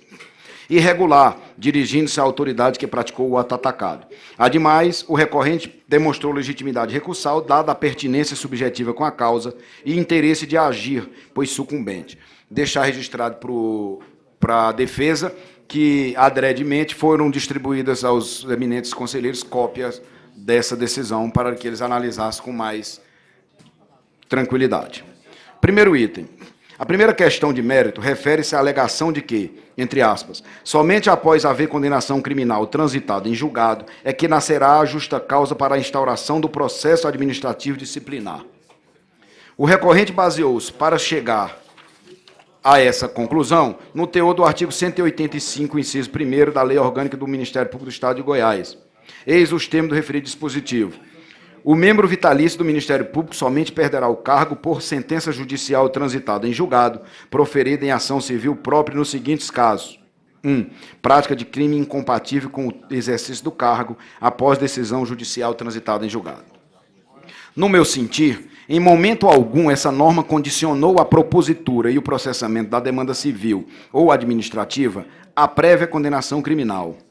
Fazer interpretação nesse sentido seria retirar a lógica do sistema de independência das instâncias e procrastinar absurdamente a solução civil ou administrativa. O propósito da norma é unicamente o de evitar decisões contraditórias, não se revelando causa impeditura da propositura da ação civil, mesmo porque há situações em que o juízo criminal reconhece a existência do fato e a autoria do crime, mas não a pena o acusado, seja pela prescrição, seja pelo perdão judicial, etc. É evidente que, em alguns casos, particularmente no perdão judicial, as sanções administrativas e civis são possíveis. De outro lado, a absolvição criminal por falta de prova não impede nem poderia impedir eventual condenação civil ou administrativa pelo simples fato de que os estatutos traduzem punições de diferentes naturezas. Com base nesse entendimento, este Conselho Nacional anulou, em decisão unânime, julgado do órgão especial do Ministério Público do Estado do Rio de Janeiro, no sentido da necessidade de se aguardar o trânsito em julgado de ação penal para decidir sobre a propositura de ação civil para perda do cargo de Procurador de Justiça. A decisão do Conselho Nacional foi lavrada com base no voto do então conselheiro Adilson Gurgel de Castro, que, dando interpretação adequada ao artigo 134 da Lei Orgânica do Ministério Público do Rio de Janeiro, cuja redação é praticamente idêntica à da lei complementar Goiânia, afirmou que, aspas, a propositura da ação civil para perda do cargo não sofre qualquer restrição na legislação. Assim, longe de configurar pressuposto processual da ação civil, a prática de crime constitui verdadeiramente elemento desta ação, mais precisamente a própria causa de pedido da ação civil de perda do cargo. Sim, porque afora os pressupostos gerais de admissibilidade comum a todo processo judicial, unicamente a prévia autorização do Colégio de Procuradores de Justiça emerge como pressuposto específico da ação de perda do cargo de membro do Ministério Público. Artigo 84, parágrafo 2 da Lei Complementar Estadual 25 de 98. Por fim, ainda que considerada a interpretação do recorrente, no máximo haveria a ausência superveniente do interesse do processamento administrativo enquanto não se tem decisão criminal transitada em julgado negando a existência do fato ou a própria autoria, este feito administrativo caminha normalmente. Sirvo-me da já assentada jurisprudência dos tribunais superiores nos seguintes direcionamentos. A, é, Superior Tribunal de Justiça, agravo regimental no recurso de mandado de segurança 29088, julgado em 25 de 6 de 2013. A jurisprudência deste Tribunal Superior é no sentido de que as instâncias administrativa e penal são independentes entre si, de modo que a influência de uma sobre a outra somente ocorre quando houver a inexistência do fato ou a negativa de autoria reconhecidos na esfera criminal. Verificada, pois, a independência entre as instâncias administrativa e criminal, não acolho a específica alegação da parte. Passo à segunda. Pleiteou-se o reconhecimento da prescrição, uma vez que a pena final somente poderia ser a advertência prescritível em um ano, conforme a Lei Complementar Estadual, artigo 203, inciso 1. O recorrente baseou-se no fato de que, conforme alegara no ponto anterior, antes, antes do trânsito em julgado da decisão penal condenatória, não se haveria de falar em processo disciplinar administrativo cujo objeto seja infração punível em lei como crime.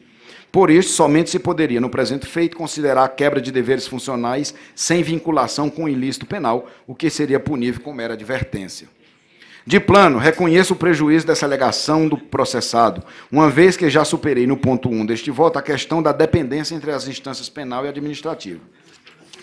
As duas podem caminhar paralelas e a infração disciplinar punida em lei como crime terá o prazo da prescrição deste. Analisemos a terceira questão. Falou-se no recurso em impossibilidade de dupla punição administrativa. O procedimento de cassação do mandato de senador seria não um processo político, mas verdadeiramente administrativo.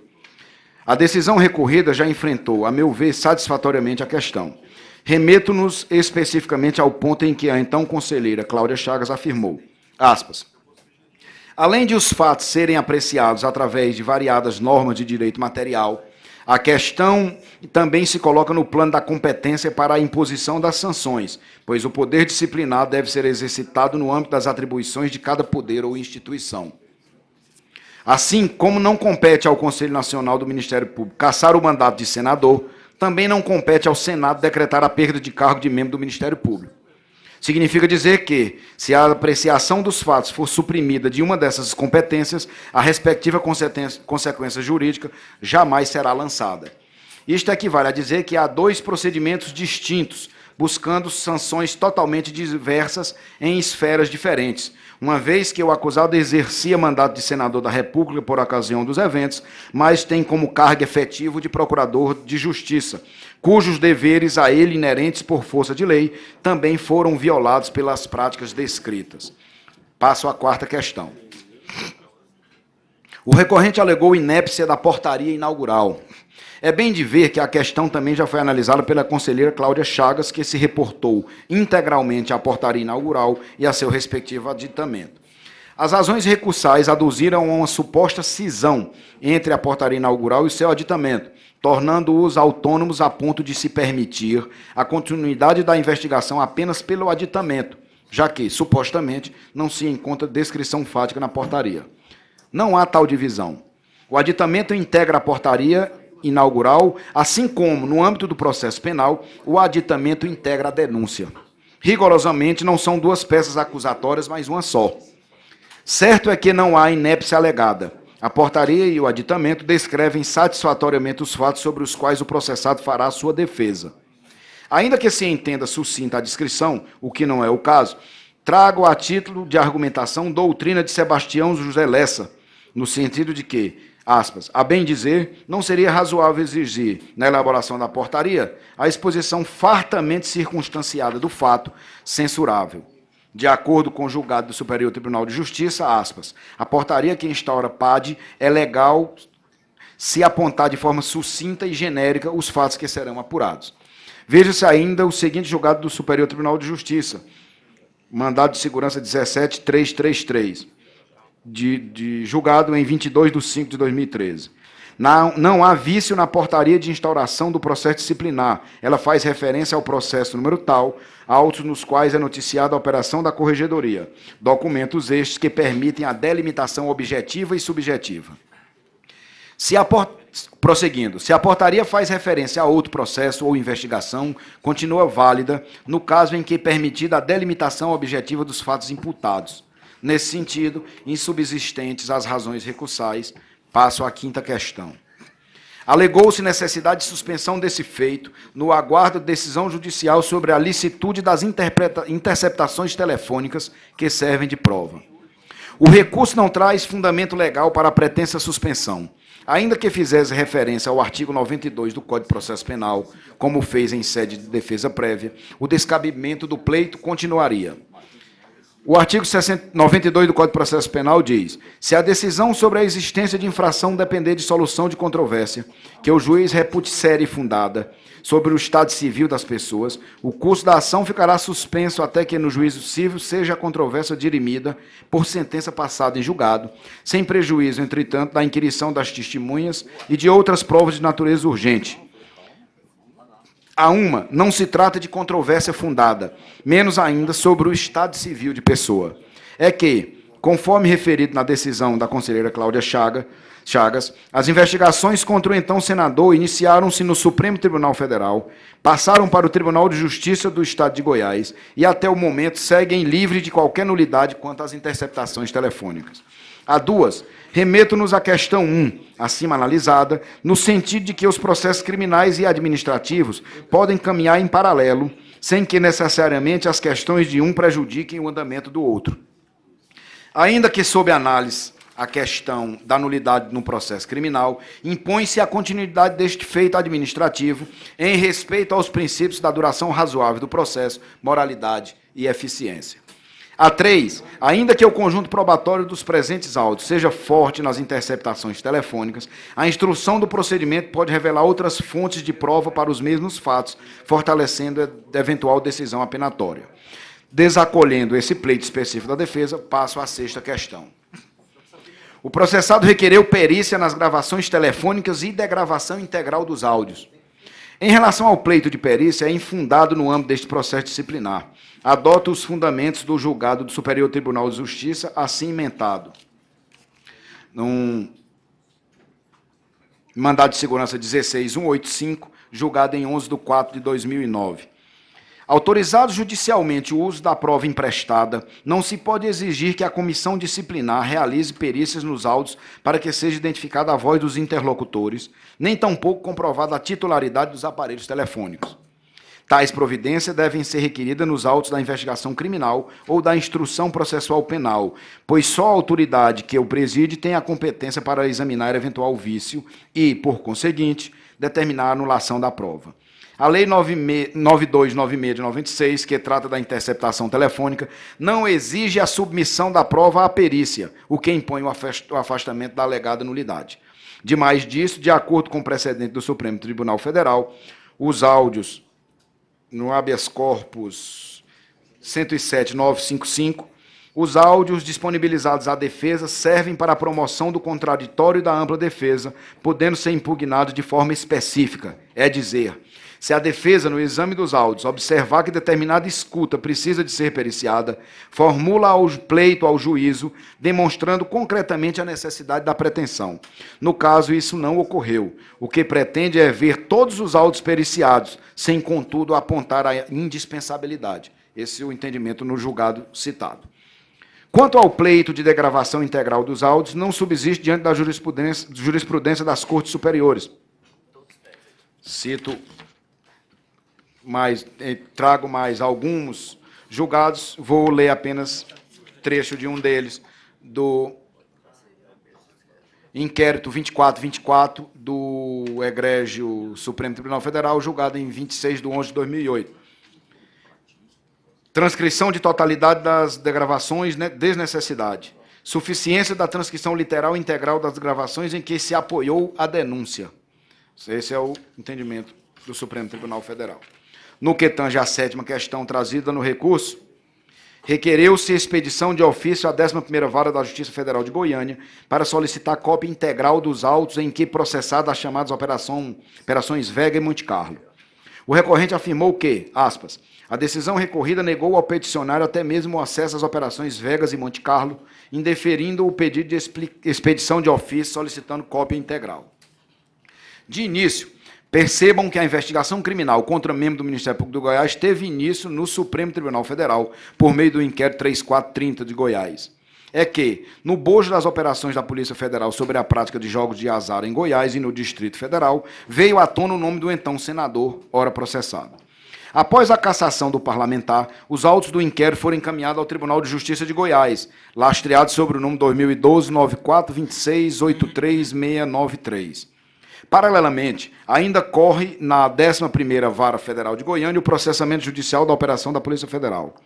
Nesse sentido, tem-se o processo criminal contra membro do Ministério Público de Goiás em trâmite no Tribunal de Justiça de Goiás, originado circunstancialmente das operações da Polícia Federal que tramitam na Justiça Federal, mas já apartado deles, isto é, com objetos distintos.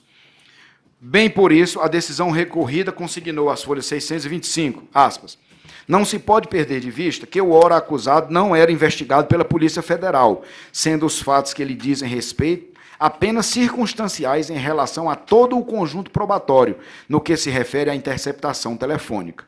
Partindo-se dessa premissa, é evidente que, no que tange à interceptação telefônica, apenas aqueles diálogos que dizem respeito ao ora acusado devem compor a prova dos autos, não havendo nenhum sentido em colacionar diálogos entre terceiros de conteúdo alheio ao objeto destes autos. Perfeita a conclusão. O eventual apensamento de cópia da integralidade dos autos em que processadas as operações mencionadas é desnecessário e protelaria indevidamente a conclusão deste feito. Os objetos, já desde o inquérito 3430 do Supremo, são diferentes, ainda que de nascedouro comum.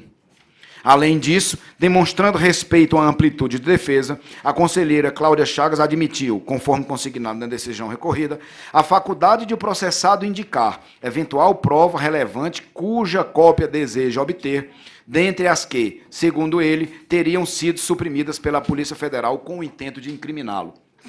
Passo à oitava questão. O recorrente alegou que não haver certidão nos autos comprobatórias da remessa a este Conselho Nacional da integralidade dos documentos e gravações relativos ao processo ético-disciplinar instaurado no Senado Federal, que culminou em sua cassação. A alegação é infundada.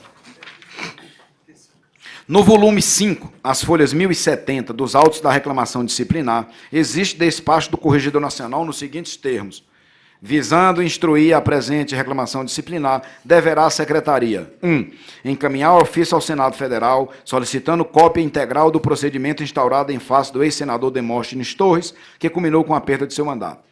A folha 1071 vê-se o ofício número 1927-2012 do Congresso Nacional, de 27 de 8 de 2012, destinado ao presidente do Senado Federal em cumprimento ao despacho acima transcrito, no verso da folha encontra-se anexado o aviso de recebimento devidamente assinado.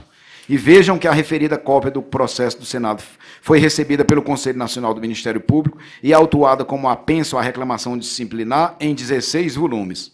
Demais disso, as folhas 1402/1403 e 1413/1414 da reclamação estão certificados os envios dos mencionados apensos ao advogado do recorrente Nesse sentido, não vejo como acolher a alegação do processado. Passo à nona questão. Disse o recorrente que, aspas, se o regimento interno do Conselho Nacional deixou em aberto o número de testemunhas, é porque entendeu possível a oitiva de tantas quantas necessárias para a apuração dos fatos. Baseado nesse entendimento, pediu a reforma da decisão para que se permita à comissão processante ouvir todas as testemunhas arroladas pela defesa prévia, mais precisamente 51 testemunhas.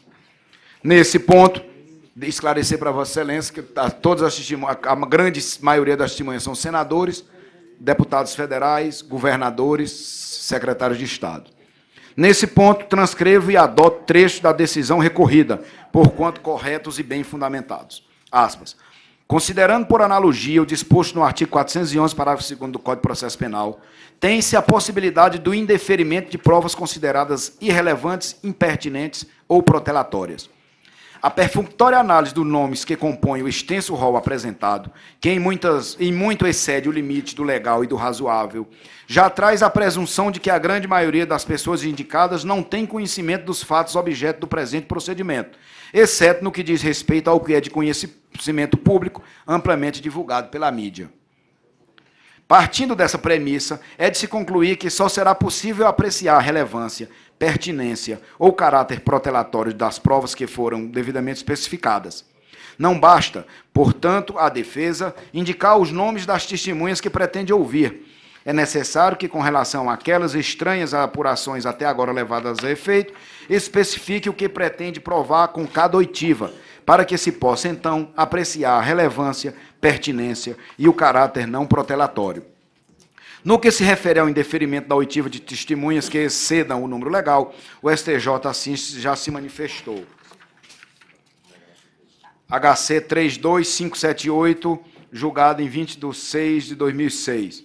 O juízo processante, na hipótese, diante do excesso das testemunhas arroladas e das dificuldades encontradas em suas localizações, emperrando o prosseguimento regular do feito, entendeu por bem, após a oitiva de 12 testemunhas da acusação e 7 da defesa, reduzir o rol testemunhal ao número legal. Como já havia ouvido um número maior de testemunhas da acusação, determinou a realização de oitiva de mais quatro testemunhas da defesa em atenção ao princípio da isonomia. Tal decisão, portanto, teve como objetivo dar maior celeridade ao trâmite processual, sem, contudo, violar os princípios da ampla defesa e da igualdade processual, já que possibilitou ao acusado a oitiva de sua testemunha em número razoável para o exercício de sua defesa e ainda na mesma quantidade das testemunhas de acusação ouvidas. Isso é o precedente do STJ. Veja-se que o regimento interno do Conselho Nacional permite o indeferimento de provas consideradas impertinentes, meramente protelatórias ou de nenhum interesse para o esclarecimento do fato, dos fatos, independentemente do número de testemunhas do fato. Artigo 94 do Regimento Interno. Na defesa prévia, o acusado poderá apresentar rol de testemunhas, juntar prova documental, requerer diligências, oferecer e especificar as provas que pretenda produzir. Parágrafo 1 O relator poderá indeferir pedidos considerados impertinentes, meramente protelatórios ou de nenhum interesse para o esclarecimento dos fatos. Parágrafo 2 será indeferido o pedido de prova pericial quando a comprovação do fato independer do conhecimento especial do perito. Nessa esteira, considere insubsistente a alegação do processado e passo à décima e última questão. A respeito de o recorrente não ter exercido efetivamente a função de agente do Ministério Público no momento dos ilícitos imputados, também adota as razões de decisão recorrida, por entendê-las absolutamente corretas. Aspas. O inciso segundo do artigo 91 da Lei Orgânica do Ministério Público de Goiás é de extrema clareza. O membro do Ministério Público deve manter conduta ilibada e irrepreensível na vida pública e particular, guardando decoro pessoal. O inciso 3 do mesmo artigo, de seu turno, determina ao membro do Ministério Público o dever de zelar pelo prestígio dos poderes, bem como das funções essenciais à justiça, respeitando suas prerrogativas e a dignidade de seus integrantes. Ainda que licenciado, impedido do exercício efetivo das funções, o acusado não deixou em nenhum momento de ser membro do Ministério Público. Ao contrário, não se estaria a pretender a perda do cargo. O licenciamento apenas desonera o licenciado do exercício efetivo, do efetivo exercício das funções ministeriais, mas não lhe retira as garantias, direitos ou vedações a eles inerentes. Tanto assim é verdade que o membro do Ministério Público licenciado ou em disponibilidade não pode exercer a advocacia nos termos do artigo 128, parágrafo 5º, inciso 2b da Constituição. Como procurador de justiça, independentemente do efetivo exercício das funções, cabe a observância dos deveres esculpidos em lei, dentre eles o de manter conduta ilibada e irrepreensível na vida pública e particular, resguardando o decoro pessoal, pressupostos fundamentais para a investidura e manutenção no cargo. As condutas imputadas ao acusado foram praticadas no pleno exercício da vida pública, no exercício da atividade de, de parlamentar, enquanto investido no cargo de procurador de justiça. Essas mesmas condutas, capazes de justificar a quebra de decoro parlamentar, macularam o dever de conduta ilibada na vida pública e particular, obstando o exercício das funções do Ministério Público. E tanto não é necessária a vinculação da conduta ao exercício das funções ministeriais, que o legislador estendeu o alcance do dever de probidade à vida privada. Com as condutas imputadas, o, o acusado não zelou pelo respeito às prerrogativas e dignidades de integrantes do próprio Ministério Público do Estado de Goiás, já que envolveu diversos dos seus membros, alguns até arrolados como testemunha na defesa. Outra patente violação a dever funcional, passível de apuração em processo disciplinar. Como se não bastasse o artigo 185.1 da lei em referência, diz que a perda do cargo se dará pela prática de crime incompatível com o exercício do cargo, não havendo qualquer dúvida no sentido de que os fatos que são imputados ao acusado são absolutamente incompatíveis com o cargo que ele detém. Um fato chama a atenção. Os direitos e as prerrogativas da função acompanham o membro do Ministério Público. Aí, a partir daqui, palavras minhas. Se é assim, para bonificar, há de ser para onerar. É que já o licenciamento não significa a saída do cargo, mantém-se este, o cargo, e quem o preenche impregnados de suas características, dentre elas os deveres, mormente aqueles que ultrapassam a vida pública para adentrar a vida privada. Concluo, senhores. Por todo exposto, voto pelo conhecimento e não provimento do recurso. Deve o recorrente ser intimado para que apresente a resposta ao item B da decisão de folha 615/631 no prazo de 15 dias. Esse item B da folha 615/631 foi a determinação no despacho após o recebimento da defesa prévia pela relatora à época, para que o o recorrente limitasse o número de testemunhas ao quantitativo legal estabelecido na lei orgânica do Estado de Goiás e ou indicasse em, de cada testemunha qual o fundamento para a sua oitiva. É como voto, senhor presidente. É, com a palavra o doutor Neyton Cruvinel Filho, pelo prazo regimental de até 10 minutos.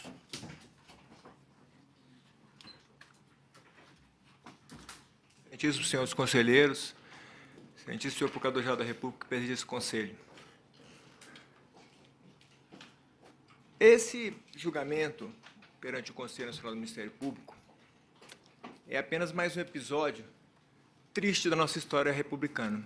Não sei se, gente, é, se muitos dos senhores perceberam que foi o seguinte, o senador Demóstenes Torres, principal nome da oposição, o mais ácido crítico do governo federal, foi caçado sumariamente após o vazamento de várias interceptações telefônicas, 298 ao total, feitas no inquérito que corria contra uma outra pessoa. Vazamento esse pontual, feito para criar uma imagem de ilicitude. A partir daí, ele foi sumariamente caçado com intervenção direta da Presidência da República na votação de sua cassação. Nós perdemos o mais produtivo senador da República, o melhor senador que esse país já teve e é o que as estatísticas mostram, responsável pelos principais projetos da última década, inclusive pela criação desse conselho. De lá para cá, a gente vem tentando lutar para que prevaleça o devido processo legal, coisa que até agora não aconteceu. Por quê? Porque houve uma atuação intensa da mídia impedindo qualquer julgamento imparcial. No dia que foi aberto esse processo, e esse processo não foi precedido de reclamação disciplinar, ele veio direto ao processo administrativo. Na reclamação disciplinar, a gente teria direito de defesa. Esse plenário estava lotado de repórter e câmera. Não tinha a mínima condição de julgamento imparcial. A primeira vez que a gente tem condição de exercer nosso direito de defesa foi na defesa prévia. E o que a gente busca na defesa prévia? A gente busca apenas que se siga a letra da lei. O que a portaria inaugural desse procedimento imputou ao senador Demóstenes Torres foi o, descumprimento de mero dever funcional, porque ele estava no exercício da função de senador da República. Ele não tinha como ter violado questões inerentes à função de procurador da República. Então, o que que imputou a ele? Imputou o fato de não ter mantido decoro na vida privada e de não ter, de, de ter de, é, atentado contra o prestígio dos poderes da República. Só não imputou a ele nenhum crime, porque no regime, na, na lei orgânica do Ministério Público de Goiás, aquela conduta tipificada como corrupção passiva também não está tipificada como infração disciplinar. Esses dois crimes, eles são passíveis de mera advertência. O prazo prescricional é de um ano já está prescrito. Isso é inegável. Para poder conseguir a suspensão do senador Demóstenes Torres, que era o que a mídia queria, precisou-se concluir que esse processo poderia redundar na sua demissão, o que é impossível. Para um processo administrativo redundar na demissão, é necessária uma sentença penal condenatória reconhecendo que o procurador cometeu um crime incompatível com o exercício da função. O PAD aqui, ele tem o objetivo único de verificar se aquele crime reconhecido na esfera penal é ou não incompatível com o exercício da função. Não tem como a gente tocar um PAD, prosseguir com o PAD, para poder entender que houve um crime. Esse crime não é infração disciplinar. A conduta tipificada como corrupção passiva não está capitulada como, como infração disciplinar e sequer está tipificada na peça inaugural. Aliás, na reclamação disciplinar, sequer tinha tipificação dos fatos. O, o, o corregedor, é, o então corregedor é, do Ministério Público, ele falou que estava infringida as condutas previstas no artigo 91, 2 e 3, mas não falava a pena prevista. Não falava porque era impossível falar a pena prevista e concluir que era possível a suspensão. E o objetivo naquela época era a suspensão. Nós insistimos várias vezes que se colocasse, então, aonde está na lei orgânica do Ministério Público de Goiás, previsto que uma pessoa que comete mera infração a dever funcional pode ser demitida. Não tem, não vai achar, não é possível. Aí, a ilustre relatora anterior do processo fez essa, esse exercício de dizer que havia um concurso formal com a previsão de prática de crime, que essa sim determina a demissão, para concluir que o processo podia prosseguir. Ora, a prática de crime é reconhecida na esfera penal. Se a prática de crime também é infração funcional, aí sim ela pode ser reconhecida na esfera administrativa. Nunca ao contrário. Aqui não. Aqui nós temos o caso de, um, de, uma, de uma conduta que não é tipificada como infração disciplinar. Está se mantendo o senador Demóstenes suspenso há um ano. Há um ano, quando a suspensão máxima prevista é de 120 dias, por causa de descumprimento de mero dever funcional. Por quê? Porque a imprensa quer isso. Da mesma forma que aconteceu com a sua cassação. A denúncia sequer foi recebida. Lá na, lá na, na, na ação penal, tem o pedido de suspensão da, da, da, do exercício da função. É medida preliminar. Cabe ao judiciário definir isso, não é esse conselho. A gente é, é, não existe. Quando o Estado precisa fugir do devido processo legal para punir uma pessoa porque a mídia quer, a gente está num momento de ausência de democracia. Nós estamos num momento de totalitarismo total. E é o que nós estamos vivendo aqui. O caso do senador Demóstenes é um caso típico disso. Hoje em dia no Brasil é assim, a pessoa comete um crime, um juiz de primeira instância decreta prisão temporária, ela fica lá cinco dias, dez dias, joga o nome da lama, na lama, depois é que vai se verificar se ela é, se ela é ou não culpada. A gente está vivenciando agora no Conselho Nacional do Ministério Público a mesma realidade. Pega-se um juiz de direito, suspende ele, depois vai ver o que acontece. Desde que, a, desde que a imprensa nacional queira que assim aconteça. A gente espera que a gente não trilhe esse caminho nesse Conselho. Esse conselho é super bem preparado. Escutei aqui várias vezes, em várias sessões que eu presenciei, uma coisa, uma grande verdade. Aqui estão os melhores quadros do funcionalismo brasileiro. Aqui estão as melhores biografias jurídicas do funcionalismo brasileiro. Eu espero que os senhores honrem as biografias dos senhores e não tutelem esse processo administrativo disciplinar absurdo e injurídico que está sendo instaurado. Por isso, é sim a portaria inepta e é fundamental que se acolha preliminar para se reconhecer que não é possível a instalação de processo administrativo disciplinar pela prática de crime antes de sentença penal condenatória. Isso é o básico do básico. Segundo preliminar. Nós temos dois tipos de processo no nosso ordenamento jurídico. Ou ele é judicial ou administrativo. Não existe processo político. Demóstenes Torres já foi julgado por um processo administrativo ético parlamentar. Não tem como ter dois, gente. Tem uma suma do Supremo Tribunal Federal dizendo isso.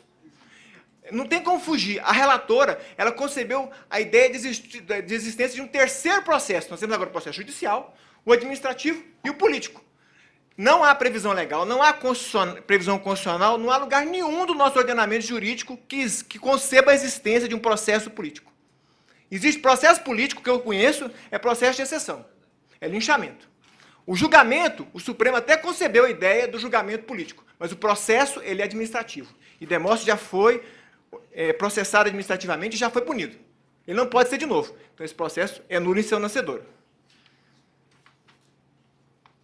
A questão das provas, eu até vou deixar a questão do restante importante, porque assim, a questão das provas é assim, nem deixar a gente produzir prova, a gente pode. Do que, que o Demóstenes é acusado? Ele é acusado de gravações telefônicas, a princípio, porque a denúncia só tem gravação telefônica, não tem fato. Transcreveu-se várias gravações telefônicas e não falou os fatos. Transcreveu-se as provas e não falou os fatos. No fim, se concluiu o seguinte: esse texto da, da, da é, que houve em tese o envolvimento com as atividades ilícitas praticadas por Carlos Augusto de Almeida Ramos, vulgo Carlinhos Cachoeira e outras pessoas, utilizando seu cargo e influência para benefício pessoal de terceiros. Esse, é esse é, a, é a acusação. Pois muito bem, o cargo dele era senador da República. Como é que ele vai provar que ele não fez isso? Ouvindo o senador da República, ouvindo o deputado federal, ouvindo o parlamentar. Quem não era senador da República, não era parlamentar, obviamente não teve convivência funcional com ele. O que nós arrolamos? Rolamos muito menos que oito testemunhas para cada imputação. Muito menos. Tem aí 12 ou 13 gravações, mais quatro imputações na, na, no aditamento. Nós arrolamos 52 testemunhas, senadores e deputados. Como nos negar até o direito de ouvir essas pessoas? O pedido de periciamento da, da, das gravações não foi infundado, não. Nós juntamos um laudo pericial. No laudo pericial de uma das gravações mostram que foram suprimidos 42 segundos na gravação. A PF tinha uma gravação de dois minutos e pouco, ela colocou a gravação só com um minuto e pouco. Por quê? Porque tinha uma, uma, uma fala que é interessante para a defesa que ela suprimiu. E mais, todas as gravações que os senhores estão de poder não são autênticas. A gravação autêntica ela tem um código técnico lá que chamam de Hush, que é que garante a autenticidade delas. Nenhuma dessas gravações são autênticas. Todas podem ter sido maquiadas. A gente criou uma perícia para provar isso. Um minuto, Toninho. Vou concluir então, senhor. A mesma coisa eu quero ter, eu diz o acesso ao inquérito das operações Vegas e Monte Carlo. Foi dessa operação que saiu a condenação, a, a, os elementos de prova. Vai se pensar só o que acusa e não vai se permitir a gente ter acesso ao que, nós, ao que possa nos defender? Por isso eu volto, a ratificar os senhores que aqui a gente precisa do devido processo legal. A gente precisa de um Brasil onde vigore o Estado de Direito, onde a mídia não paute nossas, nossas atuações. Isso só vai acontecer, no caso, nesse caso, com a extinção desse processo. É o que se espera com o provimento do recurso interno objeto de exame. Obrigado. Consulto ao, ao relator Cláudio Portela, se pretende ainda fazer uso da palavra. Não, Excelência, só algum esclarecimento se algum conselheiro, porventura, necessitar. Senhor Luiz Moreira. Senhor presidente, é, conselheiro relator Cláudio Portela, eu teria duas questões.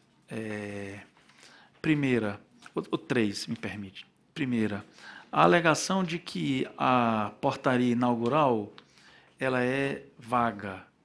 A tipicidade, a portaria inaugural do, do procedimento disciplinar, ela é, estabelece as tipificações das condutas e as pormen, pormenoriza. Segunda questão, no regimento, na, no, nesse recurso que Vossa Excelência traz ao conhecimento do plenário, que, é, é, é discutida a questão do afastamento? Do afastamento?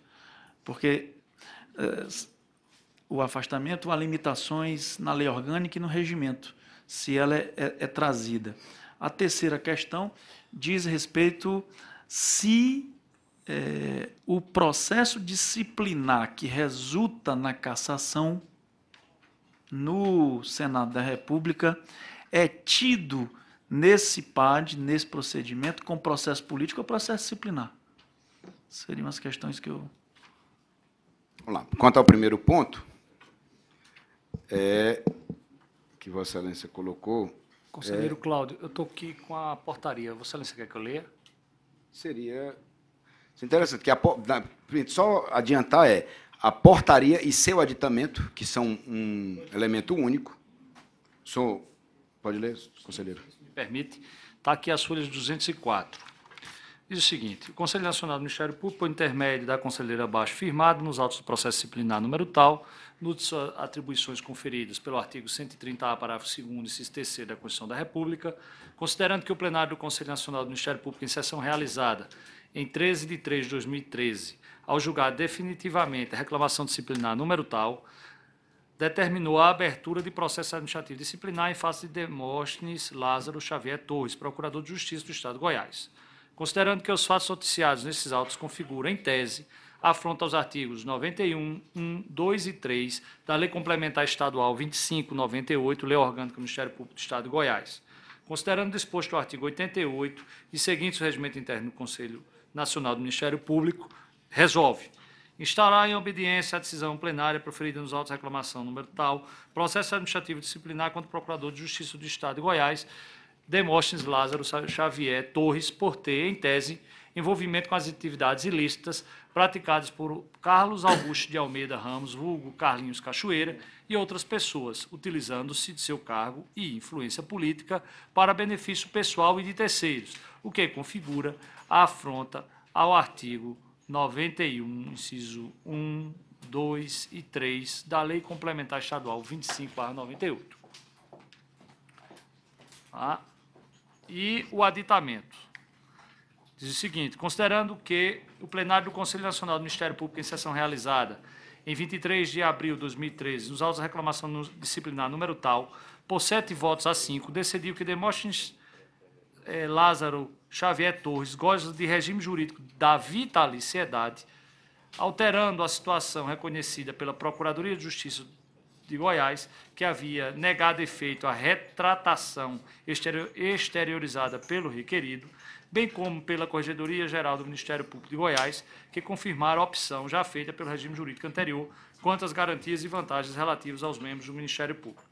Considerando este fato superveniente e que a norma contida no artigo 185.1 da Lei Complementar 25, de 6 de julho de 98, que instituiu a Lei Orgânica do Ministério Público do Estado de Goiás, estabelece que o membro vitalício do Ministério Público somente perderá o cargo por sentença transitada em julgado, proferida em ação civil própria, motivada pela prática de crime incompatível com o exercício da função. Resolve aditar a portaria número 1 de 12 de abril de 2013, publicado no Di- no Diário Oficial da União de 15 de abril de 2013, nos termos do anexo 1 da presente portaria, e reabrir o prazo para apresentação de defesa. O anexo 1 diz o seguinte: Fatos descritos nos autos da reclamação disciplinar número tal. As condutas atribuídas ao Procurador de Justiça do Estado de Goiás, Demóstenes Lázaro Xavier Torres, consubstanciam inequívoca violação aos deveres previstos no artigo 91, 1, 2 e 3 da Lei Complementar 2598 e configuram também, em tese, a prática de crimes incompatíveis com o exercício do cargo. Artigo 317, 319, 321 e 332 do Código Penal, e atos de improbidade administrativa definidos no artigo 9 10 e 11 da Lei Federal 8.429, além das imputações já descritas na portaria eh, número 1 de 2013. E depois faz a narração dos fatos. Também tive a mesma dúvida. A segunda indagação é sobre afastamento, não é isso? A segunda indagação é sobre... Afastamento. Sim, o afastamento... Questiona ou não questiona? Não, o recurso não. O afastamento é objeto do embargo de declaração. Nós vamos discutir posteriormente, Nesta sessão? ou- nesta sessão. Que como o embargo de declaração ele foi oposto posteriormente ao recurso interno, nós primeiro vamos discutir o recurso interno. E, além disso, como não cabe sustentação oral no embargo de declaração, se nós fizéssemos inversão, haveria a possibilidade de discussão em sede de sustentação oral dos embargos de declaração. Quanto à questão do processo? O processo, os dois são administrativos, só que de âmbito, de, de, de espectro diverso, na minha visão, que, é, é, seguindo o mesmo entendimento da, da conselheira Cláudia Chagas. Alguma outra questão, senhores? Escolher os votos? Sim. Como voto o conselheiro Alexandre Saliba. Eu gostaria de render as homenagens ao voto bem elaborado que eu tive acesso da lavra do conselheiro Cláudio Portela e registrar de saída que eu não vejo ausência de justa causa, como foi dito aqui da tribuna, para o prosseguimento desse processo administrativo. Muito pelo contrário, eu acho que a portaria que foi lida pelo conselheiro Walter Agra é bem elucidativa para eh, demonstrar a necessidade da, do prosseguimento do procedimento administrativo que espero chegue a, a- a bom termo no menor espaço de tempo possível. E isso, inclusive, eh, colaborará para se chegar a um, a um resultado na esfera nossa, aqui na esfera administrativa. É certo que na esfera política já houve uma decisão, que todos nós sabemos. A esfera criminal, por si só, já é, um, já é mais demorada. Todos nós tam- também sabemos dessa, dessa característica da responsabilidade penal. De modo que sigo o, o- o voto de Vossa Excelência, acompanho na íntegra, é, mas com essa, com, com- com a última é, anotação aqui, quanto à necessidade de a gente se di- discutir também código de ética do Ministério Público Brasileiro, para evitar qualquer tipo de indagação como essa que foi colocada da tribuna. Qual é, qual foi, o que, que não foi? Lógico, eu acho que já, já é, urge esse momento de nós aqui discutirmos. Eu sei que o Vossa Excelência, conselheiro Walter, é o relator. É, peço a- ao presidente que, que, que dê uma ênfase a essa questão aí, inclusive na sabatina da, do Senado Federal, eu fui questionado muito pelos senadores a respeito do Código de Ética, que na magistratura nós já temos. Eu acho que é o momento de, de também sentarmos para discutir isso daí, e também o regime disciplinar é, único, para evitarmos essas, essas, é, é, esse cipoal normativo dos estados da federação, da União, porque cada, cada estado, cada lei trata de uma maneira a questão administrativa. Então, com essas colocações, eu acompanho Vossa Excelência. É como voto, Vota presidente. O conselheiro Esdras Dantas.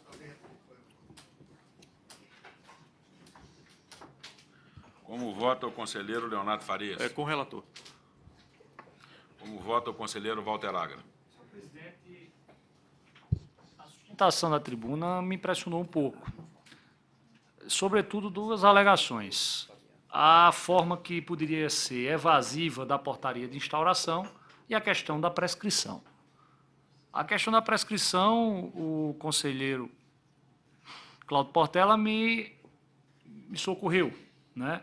me relembrando que, em havendo crime, e agora que houve o aditamento, em havendo crime, não, é, não haveria que se falar ainda na prescrição do prazo anual declinado da tribuna. Por isso pedi para ver a portaria, porque é da que tinha conhecimento que era a portaria inicial, não havia efetivamente atribuição à prática de conduta criminosa. Então, com isso, não vejo como prosperar a tese da prescrição. E a outra tese, que é a tese da descrição dos fatos, que é o que a gente o que se deve enfrentar ainda neste momento, a leitura da portaria que, de certa forma, exauriente, mostrou de que o procurador de justiça Demóstenes Torres está sendo acusado.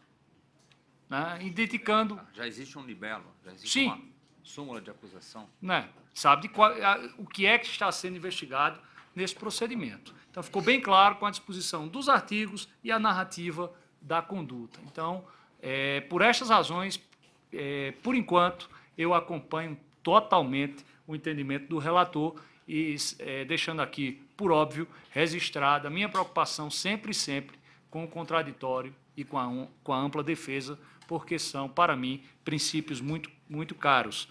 E, pelo menos neste momento, eu não vislumbrei ainda a violação deles. É assim que voto, senhor presidente. Deixo de colher o voto do conselheiro Leonardo Carvalho em razão de impedimento afirmado. É, colho, portanto, o voto do, do conselheiro Alessandro Tramurras. Acompanho o eminente relator. Conselheiro Mário Gonçalves. Acompanho o relator. Conselheiro Luiz Moreira. Com relação a esse processo, eu tenho as minhas preocupações que dizem respeito ao estado atual das, do regime disciplinar dos membros do Ministério Público. né?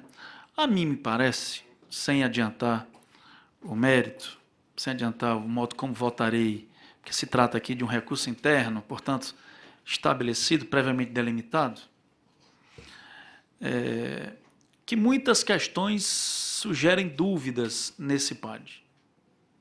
A primeira, que veio a ser a determinação por este Conselho de que o, o- o processado é vitalício. Não é quando havia prévia eh, expressa, havia manifestação expressa dele dizendo que, e por isso ele era senador, que continuava no regime anterior a 88, não é? e o Conselho entendeu, não é? vencido, eu fiquei entre os vencidos, que, embora senador, ele era vitalício por se tratar de uma garantia da sociedade e não do membro. É? Então, por quê? Porque dessa questão, da questão de seu vitaliciamento, é que decorre o questionamento de se ele está afastado e qual o fundamento do afastamento, que nós vamos entrar agora no embargo. Vamos ser discutido no embargo. Essa é uma, é uma questão que vem a discutir, presidente, da necessidade de Vossa Excelência se apreciar um- uma proposta de, de feita aqui no plenário do CNMP de remessa ao, ao Congresso Nacional de lei para estabelecer novos parâmetros para atuação pa- para o regime disciplinar. Porque a mim me parece, eu tenho essa, pelo menos essa desconfiança se expressa deste processo desde a sua inauguração, desde a sua da portaria que inaugurou, que não havendo possibilidade de o Ministério Público punir um membro do, um membro do Ministério Público com as acusações que se apresentam ao, ao então senador Demóstenes Torres, é? o, o Conselho vai afastando, afastando, afastando, afastando, afastando, afastando, de modo que nós temos um processo que já dura mais de ano. E aqui, conselheiro Cláudio, queria dizer aqui que lhe isento integralmente dessa, dessa questão. A mim me causa desconforto, lhe confesso, confesso, conversava isso com o presidente, não é? Que da tribuna seja diga que o Conselho Nacional não tem condições de ouvir 80 testemunhas, ou 100 testemunhas. São 15 mil os membros do Ministério Público no Brasil. O, o, o Conselho poderia indicar para cada um dos, dos indicados como testemunha um promotor, isso seria feito em uma semana, 10, 20 dias, um mês. O que não pode, e aqui é, eu confesso aqui, presidente, a minha, a minha impotência, ante a questão é que o Ministério Público continue sem meios de punir membros por absoluta falta de tipicidade. Então, é, não, não, não sei se é exatamente o caso que se trata, né? mas acho que o Conselho deveria tomar as providências para eliminar esse tipo de, de, de questão que paira sobre nós. Então, com relação ao, ao processo, eu divido de Vossa Excelência, vou dividir numa questão apenas, de, de respeito à impossibilidade de o Conselho aplicar pena administrativa, vez que o, o, o indiciado, o requerido, o processado, pelos mesmos fatos e pelas mesmas imputações, já, já foi condenado, o que caracterizaria, meu juízo, bis in idem. Né? Como voto, senhor presidente? Excelência, arquivo, então. Como voto o conselheiro Jefferson Coelho. Presidente, eu acompanho o relator. Como voto o conselheiro Jarba Soares. Presidente, eu só quero, se me permitir, duas observações bem rápidas aqui e registrar que realmente o Conselho entendeu, no caso do julgamento dessa preliminar, como aqui lembrado pelo conselheiro Luiz Moreira, que a vitaliciedade era inerente ao cargo, a garantia da sociedade para todos os membros da Constituição, antes ou não de 88, optou ou não, foi essa questão preliminar que foi vencida. O segundo ponto é que eu também, é, né, na época, é, entendi, defendi que não caberia ao Conselho instaurar nenhum tipo de procedimento contra o então senador é, Demóstenes Torres, enquanto no cargo. Cassado o mandato, e aí foi a razão que tem acompanhado a, a relatora, eu entendo que não há o bis in idem se a ação do então senador extrapolou o mandato e se confundiu com o cargo que detinha de procurador de justiça que acompanha a Sua Excelência, inclusive hoje. Por essa razão é, que eu queria deixar isso registrado. No segundo ponto, eu acompanho o eminente relator. Vossa Excelência deu alguma divergência ou não? Não, acompanho, só queria registrar é, esse raciocínio. Como voto, conselheiro Antônio Duarte. Como voto, conselheiro Marcelo Ferra. Como relator. Também eu acompanho o relator, declaro é, o resultado. O Conselho, por maioria, é, nos termos do voto do relator, desproveu o recurso interno, vencido o conselheiro Luiz Moreira. Agora, os embargos, os embargos Excelência. Tem a palavra. Ementa. Embargos de declaração, processo disciplinar, Ministério Público do Estado de Goiás. Não alegação de omissão, obscuridade, contradição ou erro material, não conhecimento. A mera alegação das hipóteses de cabimento dos embargos declaratórios é requisito de admissibilidade dos mesmos. A existência ou inexistência das, das hipóteses é mérito. No caso, ausência de alegação de omissão, obscuridade, contradição ou erro material. Embargos declaratórios não conhecidos. Trata-se de embargos declaratórios opostos por membro do Ministério Público do Estado do, do, de Goiás contra acordo de folha 642 a 649.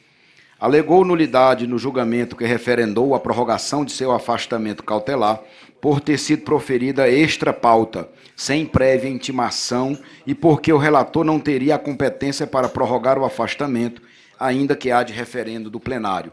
Então, são dois pontos. Teria sido proferido eh, o referendado extra pauta e o relator não poderia, há de referendo do, do, do plenário, eh, prorrogar a, o afastamento. Nós estamos discutindo, senhores, não é o afastamento, nós estamos discutindo a decisão que prorrogou o afastamento. Essa decisão do, do afastamento lá, inicialmente, ela já precluiu. Requereu a anulação do acordo e a determinação de nova data para julgamento, com prévia inclusão do processo em pauta e admissão de sustentação oral. É o breve relatório.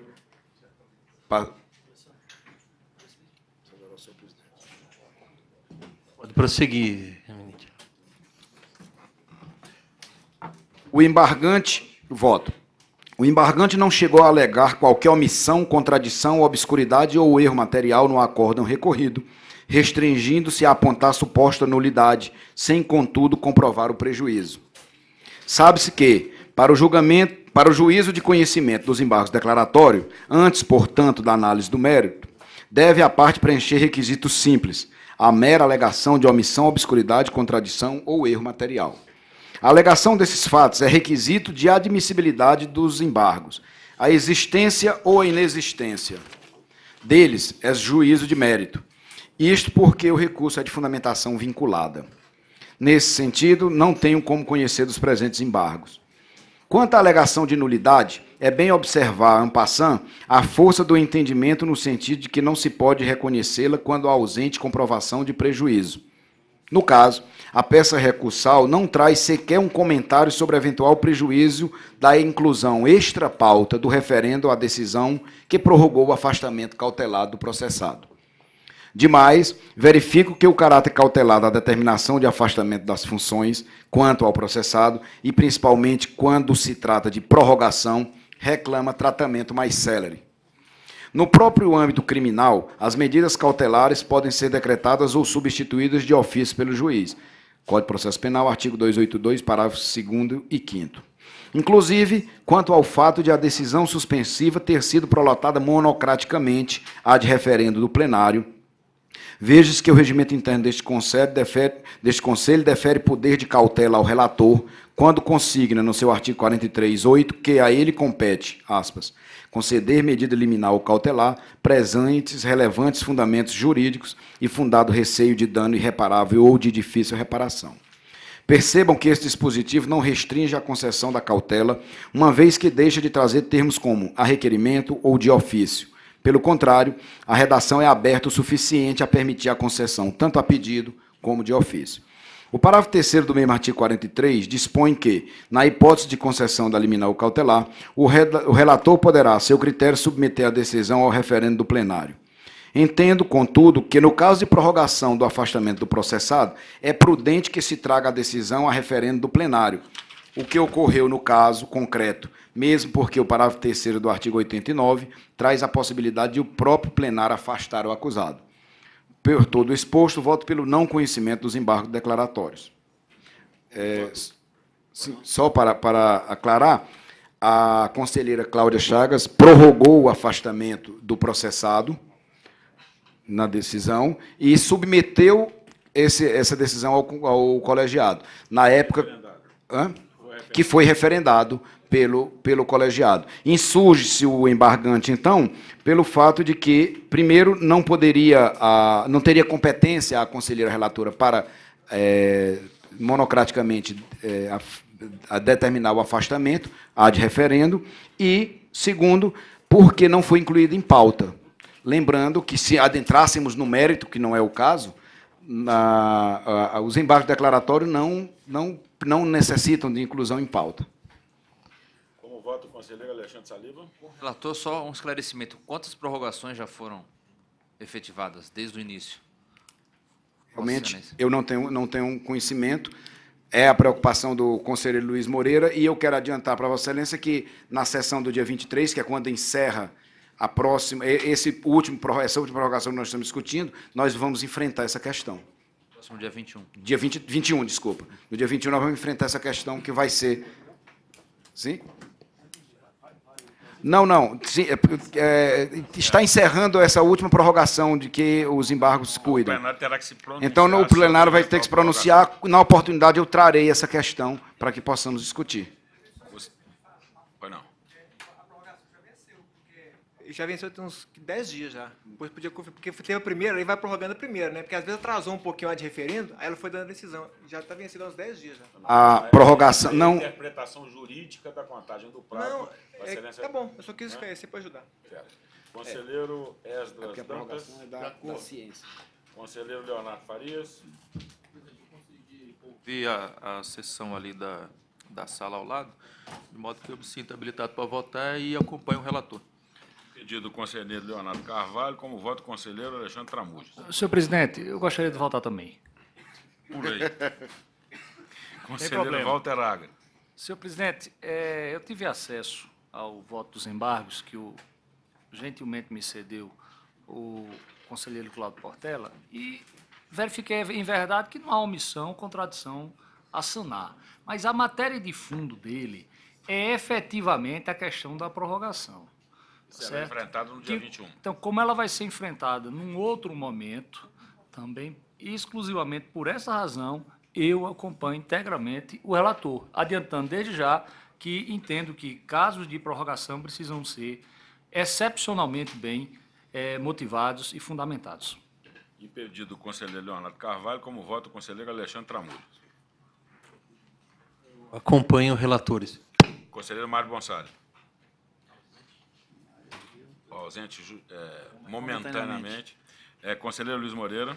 Senhor presidente, com relação a essa, ao afastamento, não- adianto que não vou divergir de Vossa Excelência, porque entendo ser uma, poderes especiais de cautela, né, pode o, o, o, o relator, como membro do plenário, tomar decisão, e essa, essa decisão pode ser ratificada ou, ou não pelo plenário.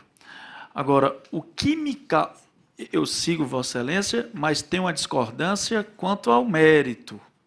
É que a lei do Ministério Público de Goiás não prevê suspensão para membro vitalício. Essa é a primeira, primeira questão. A segunda questão é que ainda se previsse, é, e aí a lei não prevê, se aplica subsidiariamente o regimento do Conselho, que prevê como limite para o afastamento 120 dias. Então, nós temos, a- portanto, algo. Vossa Excelência, ele não está conhecendo os embargos. Vossa Excelência Não. está superando para conhecer. Eu, não, eu, eu estou acompanhando, mas estou dizendo que eu me reservo, embora formalmente acompanhe, na- nessa questão apenas, de, de reconhecer ao, ao conselheiro relator poderes de cautela de o afastar. Mas isso não, não me compromete com a conclusão nem do julgamento posterior. Conselheiro Jefferson Coelho. O relator, presidente. Conselheiro Java Soares. Relator, presidente. Conselheiro Antônio Duarte. Eu também acompanho o relator. Conselheiro Marcelo Ferra. O relator. Conselheiro Mário Gonçalves. Senhor presidente, eu eh, acompanhei atentamente o voto do eminente relator e eu o acompanho. Também eu, é, o, o, e, de- e proclamo o resultado. O Conselho, à unanimidade, não conheceu dos embaixos de declaração. É, deverá constar declaração de voto do conselheiro Luiz Moreira. Chamo o item 70 da pauta. Relator, conselheiro Marcelo Ferra. Inscrito para sustentação oral, o doutor Luiz Eduardo Auríquio Botura. Com a palavra o relator. Meu voto, apesar de estar inserido já na sessão eletrônica, como tem o pedido de sustentação oral, eu vou procurar ler ainda que, ainda que resumidamente. É um recurso interno interposto pelo requerente, o Dr. Luiz Eduardo Botura, insurgindo contra uma decisão da Corregedoria Nacional do Ministério Público que, acolhendo o parecer do membro auxiliar, determinou o, o arquivamento dos autos e reclamação disciplinar. Tal procedimento originou de representação perante o Conselho Nacional formulada pelo decorrente em relação de um sistema um suposto esquema de repasse ilícito de valores a membros do Ministério Público de Mato Grosso do Sul, decorrendo do coluio com advogados, membros da magistratura daquele estado para obtenção de decisões judiciais simuladas, sobretudo quando se viu preso em face de um mandado que também teria sido expedido de forma irregular.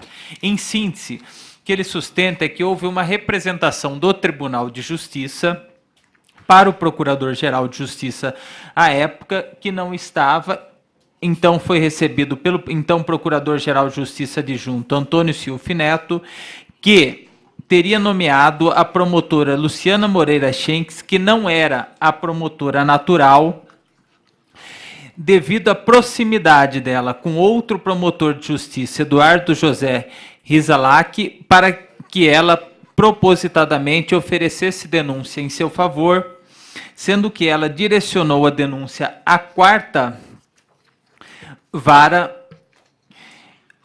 utilizando para usar tal fundamento de um número falso de inquérito policial. Sendo que, no mesmo dia que foi protocolizada a denúncia, já houve expedição de mandato de prisão em desfavor do requerente, supostamente demonstrando um coluio entre o Ministério Público e o Judiciário para um trâmite irregular e anormal, com o intuito de prejudicar o requerente, tendo em vista, na concepção dele, que ele teria feito graves denúncias contra fatos envolvendo o esquema entre Ministério Público, Advocacia e Judiciário.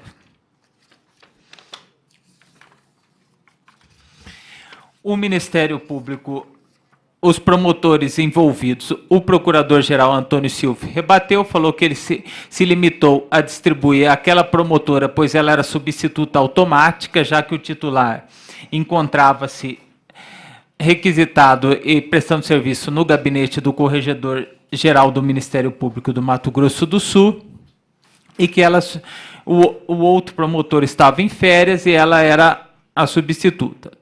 Doutora Luciana, por sua vez, informou que direcionou a denúncia à quarta vara, que era a vara de atuação dela.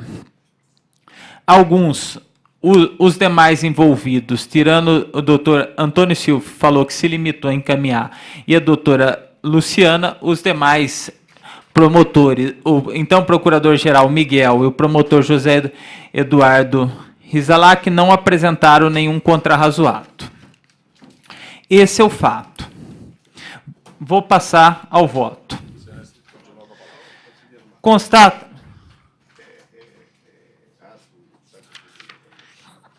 Sim. Afirmou o impedimento o conselheiro Jefferson. Constata-se da leitura do recurso apresentado que o recorrente se insurge contra o modo em que foi processada a denúncia que culminou em sua prisão. Não se conforma que a peça acusatória tenha sido subscrita pela promotora recorrida, Luciana Moreira Schenks, que, sob o ponto de vista, teria sido escolhida intencionalmente pelo procurador-geral adjunto Antônio Silves Neto por ser vizinha de sala e amiga do promotor Eduardo José Rizalac. Teria interesse direto em sua prisão em razão dos fatos denunciados pelo recorrente contra sua pessoa e de sua família. Verifico, todavia, nos autos que a douta corregedoria bem se aprofundou no tema, que supostamente sejaria violação ao princípio do promotor natural. Constato que a Folha 932, houve uma solicitação de informações complementares, com o propósito específico de se aclarar a situação, o que foi prontamente atendido pelo Ministério Público do Estado do Mato Grosso do Sul e feito a contento. Constato ainda que o requerente se contradiz com suas próprias informações registra na peça recursal que não existia tal prevenção anterior da 15ª Promotoria, utilizada pelos representados para justificar o direcionamento para a 16ª Promotoria, pois outro PP só foi distribuído em janeiro de 2009. No entanto, quando utiliza o mesmo documento com o intuito de provar fato diferente, empresta a ele outra conotação e alega Desde 12 de dezembro de 2008 já havia procedimento Prevento, pedido de providência 9/2009, folhas 259. Assim, entendo, bem como a corregedoria, que as informações apresentadas pelo recorrente encontram-se desencontradas, dotadas de um subjetivismo exacerbado com o nítido propósito de confundir este Conselho Nacional. Não vislumbro que a distribuição do pedido de providência para a promotora recorrida tenha sido realizado com a intenção de constituir uma promotora de exceção. Ficou assentado que a substituição realizada pela 16ª Promotoria à 15ª se deu em razão de circunstâncias outras que se justificam. Diga-se, o titular da 15ª, promo, da 15ª encontrava-se agregado ao gabinete do Corregedor-Geral no Ministério Público do Mato Grosso do Sul. Portaria 809-2008, Procurador-Geral de Justiça. O substituto automático, resolução 07-2007 PGJ, que seria o titular da 14ª, gozava de férias individuais. Por esta razão, ainda nos termos da dita resolução, o pedido de providência foi distribuído para o titular da 16ª Promotoria. Assim, em que pese as alegações do recorrente, entendo que não houve violação ao princípio do promotor natural, violação que somente poderia ter reflexo na esfera disciplinar se configurada a prévia intenção de prejudicar ou favorecer. Quanto ao fato da citada promotoria ter incluído um número de inquérito não adstrito ao recorrente, bem como ter direcionado a denúncia para o juízo da quarta vara criminal, sem que fosse procedida a distribuição, tenho que o fato decorreu de erro material, bem como interpretação de normas regimentais, respectivamente. Portanto, não houve falta funcional e tampouco cometimento de crime. A resolução 19/2010 PGJ determina que a 16ª Promotoria oficie nos feitos distribuídos à quarta vara criminal, o que denota a razão pela qual a promotora de justiça entendeu que a peça acusatória deveria ser direcionada ao citado juízo. Logicamente, o entendimento da promotora não impede a análise judicial da competência por parte da autoridade judiciária, podendo a matéria ser discutida na via adequada. Quanto ao erro material, consistente na inserção de número errôneo de inquérito, não vislumbro qualquer má-fé, sendo a situação plenamente justificada em face ao volume de trabalho existente, especialmente na proximidade do recesso forense. Assim, novamente coaduno com os fundamentos da Corregedoria Nacional, entendendo que não houve violação dos deveres funcionais por parte da promotora Luciana Moreira Schenck. Destarte, também não vejo vício na conduta do então Procurador-Geral Adjunto de Justiça, que despachou o pedido de providência para a 16ª Promotoria, pois, conforme informado anteriormente, era substituta automática da 15ª. Assim, não se pode falar em promotor e tampouco em processo de exceção. O fato de dois procedimentos semelhantes tomarem andamentos diferentes se justificam, já que foram apresentados em forma e momentos diferentes. Ante o exposto pelos fatos e fundamentos registrados, conheço do presente recurso interno para negar-lhe provimento. É como voto.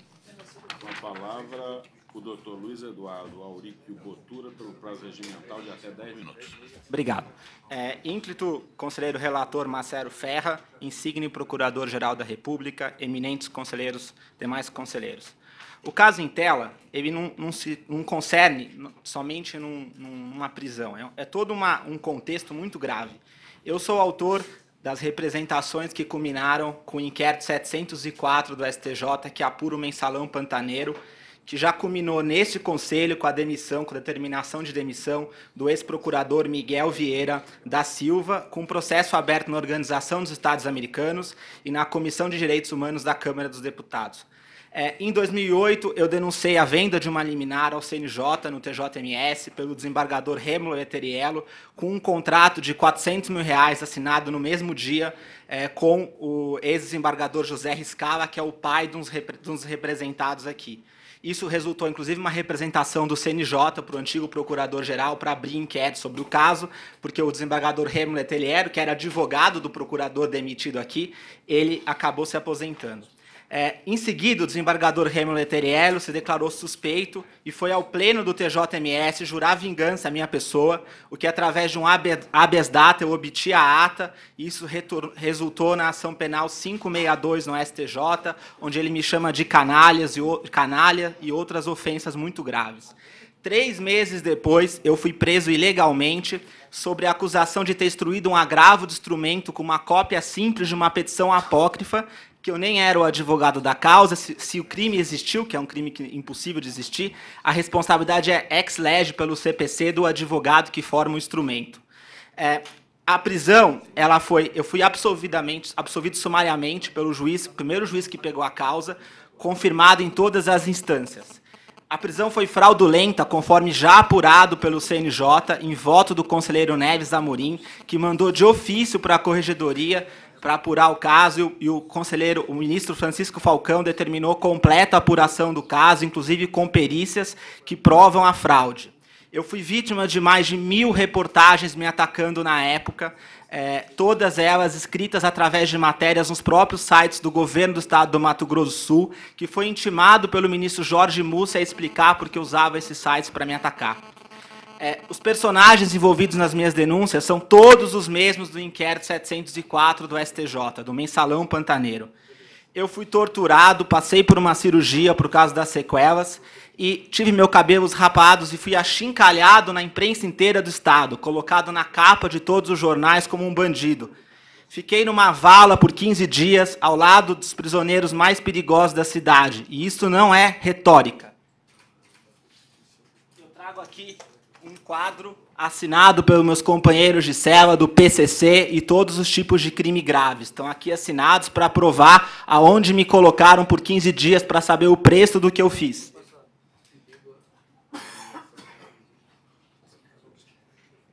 É, para recuperar a minha imagem, eu enfrentei eles como nunca se viu nesse país. São 22 decisões judiciais emanadas pelos juízes do Foro Central de São Paulo e desembargadores de São Paulo, reconhecendo a fraude contra a minha pessoa, mandando tirar o Google do ar porque eu não cumpria a ordem judicial de tirar as notícias contra mim. São diversos desdobramentos e um número histórico. 11 dos 31 desembargadores do TJMS se declararam suspeitos em qualquer ação que eu tenha interesse. Isso nunca se viu na história. É, o caso é muito grave. É, na Comissão de Direitos Humanos da Câmara, há uma audiência pública marcada para apurar o caso, e não só o meu caso, porque todos os cidadãos que se uniram à minha pessoa em ações populares foram mortos, sequestrados ou vítimas de tortura. O senhor Paulo Magalhães, advogado, é, presidente da Brasil Verdade, autor junto comigo da ação popular que quebrou a, a, a sigilo da conta da Assembleia de Mato Grosso do Sul, a conta do mensalão, foi morto buscando a filha na escola três meses atrás, com seis tiros. A pessoa que, que, que denunciou o que aconteceu com ele, que delatou, foi queimada, encontrada sem pernas, braços e cabeça na principal avenida de Campo Grande, cortada com motosserra para se mostrar o preço de enfrentar os mensaleiros de Mato Grosso do Sul. O senhor Tiago Verrone de Souza, autor da ação popular que quebrou o esquema do lixo em Campo Grande, foi vítima de atentado à mão armado. O, o- o jornalista Eduardo Carvalho, dono do portal I9, desculpa, o H News, que no mesmo dia que publicou uma denúncia minha contra o TJMS, foi assassinado. A ministra Helena Calmon já foi a público para perguntar o que acontece com tudo isso. Desculpe, é muita emoção. É, o jornalista Fabiano Coene, do portal I9, que é o único portal que ainda publica alguma coisa no Mato Grosso com independência, foi vítima de um sequestro há três semanas. E eu fui preso e torturado, o que é objeto do processo 682 de 2010 na OEA, e o CNJ já quebrou o sigilo do SAGE e houve fraude na minha prisão. Tudo feito em 23 minutos, na véspera do Flantão Florense, por uma acusação bizarra. Mais do que isso, eu recebi essa semana do presidente da Associação de Peritos do, do governo de Mato Grosso Sul, da polícia, um dossiê mostrando que o governador André Putinelli mostrou uma indústria de Araponga usando o próprio aparato estatal, muito pior que o Obama. A Polícia Civil de Mato Grosso Sul é compelida, sob pena de retaliação, a fazer laudos sobre fotos, mensagens, vídeos, conversas, e-mail, MSN, documentos, históricos sites eh, visitados e quebras telemáticas clandestinas. A polícia de Mato Grosso Sul se transformou num instrumento de coação a todos aqueles que ousam enfrentar os mensaleiros de Mato Grosso do Sul. Mas,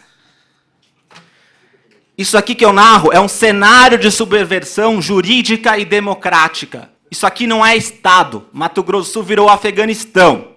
E o caso dos autos é muito grave. Não há contradição na minha versão. Havia um processo anterior que havia sido distribuído regularmente por uma outra promotoria e que as pessoas envolvidas alegam que essa seria a causa da prevenção da, da promotora Luciana Schenck. Mentira! O processo foi distribuído no dia 8 de 1 de 2009, o que prova que não havia como ter distribuição por um processo que foi protocolado antes, mas distribuído depois. Foi usado, é incontroverso, um número falso de inquérito policial no rosto da denúncia para burlar a competência e não para o juiz da quarta vara criminal, para um juiz lá que não era nem criminal para um juiz que estava lá colocado de plantão na quarta vara para me prender. Certo? Mais do que isso. É mentira que há um critério que uma promotora só oficia perante um juiz e que não há distribuição, porque isso seria francamente inconstitucional. A distribuição é a base, é a base de um mandado de prisão, de uma ordem judicial. Não há como se acreditar que possa se escolher uma promotora e automaticamente depois discipular uma distribuição. Ainda mais para um juiz que nem era o juiz da vara. É, o que usam aqui é o maquinácio, maquinácio claro. Tudo que aconteceu comigo aconteceu em três, quatro dias por acusação absurda e envolvendo as mesmas pessoas que estão envolvidas em todos os escândalos do mensalão. Eu juntei no processo telas e mais telas mostrando que tudo foi fraudado. E depois da quebra do CNJ, se mostrou que a decisão nunca foi cadastrada no SAG da minha prisão, que nunca houve é, conclusão para juiz nenhum. Não houve juiz. Foi lá, se pegou tudo combinado. Estado de coronel, Pantanal, em pessoa, pantanoso ao extremo. E mais do que isso, há provas periciais que nunca houve conclusão antes de eu ser preso. Assim que o mandado foi expedido, se colocou tudo em segredo de justiça clandestinamente, porque eu sou uma pessoa que sei me defender, e se eu descobrisse, impetraria um habeas corpus e nunca teria sido preso esconderam a ação para mim não ter como reagir e passar 15 dias numa vala tomando uma lição do que é enfrentar aquele sistema. Eu não desisti, fui até o final e vou até o final. Eu junto nos autos, depois que o CNJ concluiu as investigações dele, decisões e provas do CNJ cabais da fraude. Não é cabais, assim, provas periciais. Aos logs das pessoas colocando, escondendo ação, burlando distribuição, certidão que não era possível de, é, é, distribuir sem ter sorteio. Eles vão lá, inserem log para ter distribuição. Tudo ocorrido. Eu, inclusive, juntei uma ata notarial do distribuidor confessando a fraude. Porque hoje no Mato Grosso Sul eu sou uma liderança reconhecida. Tá, perfeito. Então, Excelência, eu quero, eu, eu quero, resumindo a questão, eu quero dizer para Vossa Excelência duas coisas. Estamos diante do maior escândalo de mensalão do Brasil, onde, conforme o Jornal Nacional, há 17 desembargadores envolvidos. Eu sou o denunciante do esquema. Um procurador-geral foi demitido por Vossas Excelências e não houve uma prisão, mas um sequestro. E esse conselho precisa apurar isso a fundo, porque eu não sou uma pessoa que vou me calar na vida, eu vou até o final nisso, eu não vou admitir que eu tenha sido sequestrado por exercer cidadania. Muito obrigado. Indago do, do conselheiro Marcelo Ferra, fazer uso ainda da palavra ou posso passar a colheita dos votos? Somente esclarecer que eu me ative a avaliar a conduta dos membros do Ministério Público, independente de suposto fato, olhado de eventuais inconsistência no sistema do judiciário, eventuais expedições falsas de mandado de prisão, que esta matéria afeta ao CNJ. E o que eu analisei é que o Procurador-Geral Justiça adjunto recebeu uma representação, encaminhou corretamente a uma promotora de justiça que tinha que, em sua concepção certo ou errado, ofereceu uma denúncia perante o juiz o qual ela achava competente. Sendo que o juiz, ao receber uma denúncia do membro do Ministério Público, ele tem três caminhos. Ele recebe a denúncia, rejeita a denúncia ou encaminha ao juiz que ele entender competente. Então, foi isso que eu... Tô, e não vi, assim, nenhum elo subjetivo capaz de motivar a achar que havia entre os membros do Ministério Público algum coluio com o fim de prejudicar o, re, repre, o ora representante da tribuna. Vista. O conselheiro Luiz Moreira é, adianta pedido de vista. Gostaria de saber se algum dos senhores pretende antecipar o voto ou se aguardam. Então, proclamo o resultado. É, após o voto do relator, que desprovia o recurso, pediu vistas antecipadamente o conselheiro Luiz Moreira, aguardam os demais.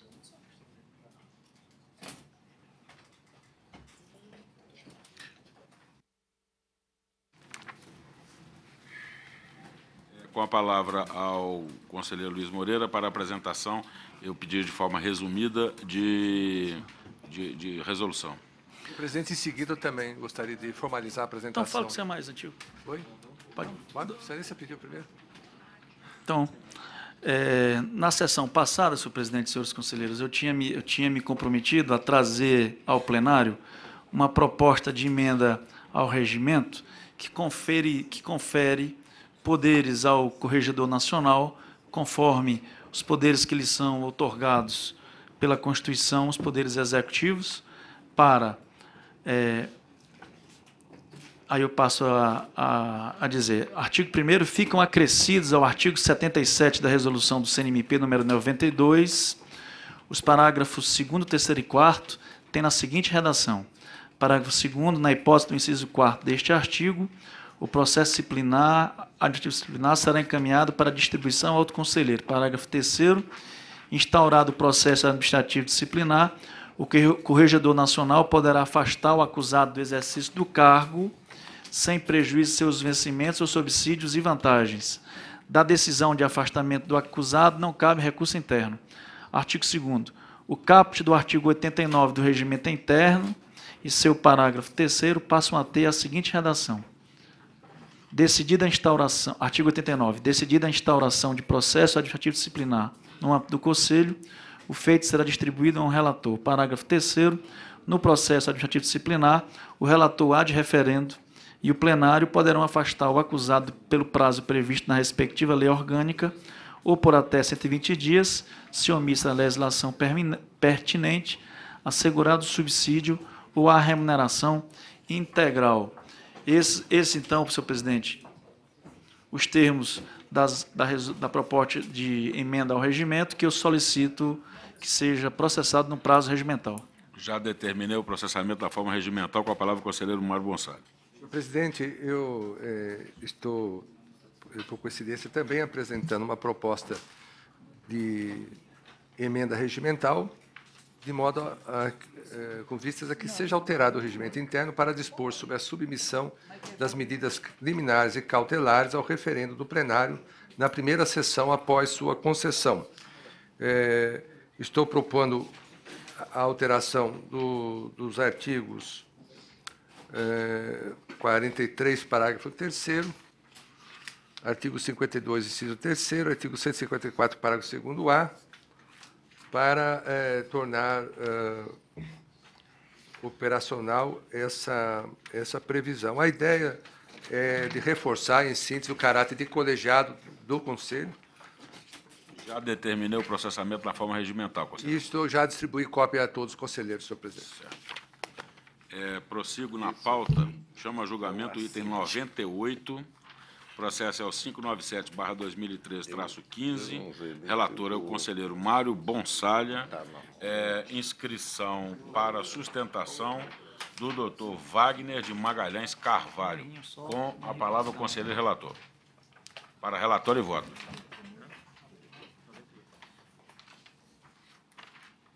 Presidente, trata-se de procedimento de controle administrativo iniciado a partir de petição subscrita pelo promotor de justiça Wagner de Magalhães Carvalho, por meio da qual pleitei anulação da resolução 11 2011 do Colégio de Procuradores do Ministério Público do Estado de Goiás, que alterou atribuições da Sexta Promotoria de Justiça de Formosa, Goiás, da qual hoje o requerente é titular.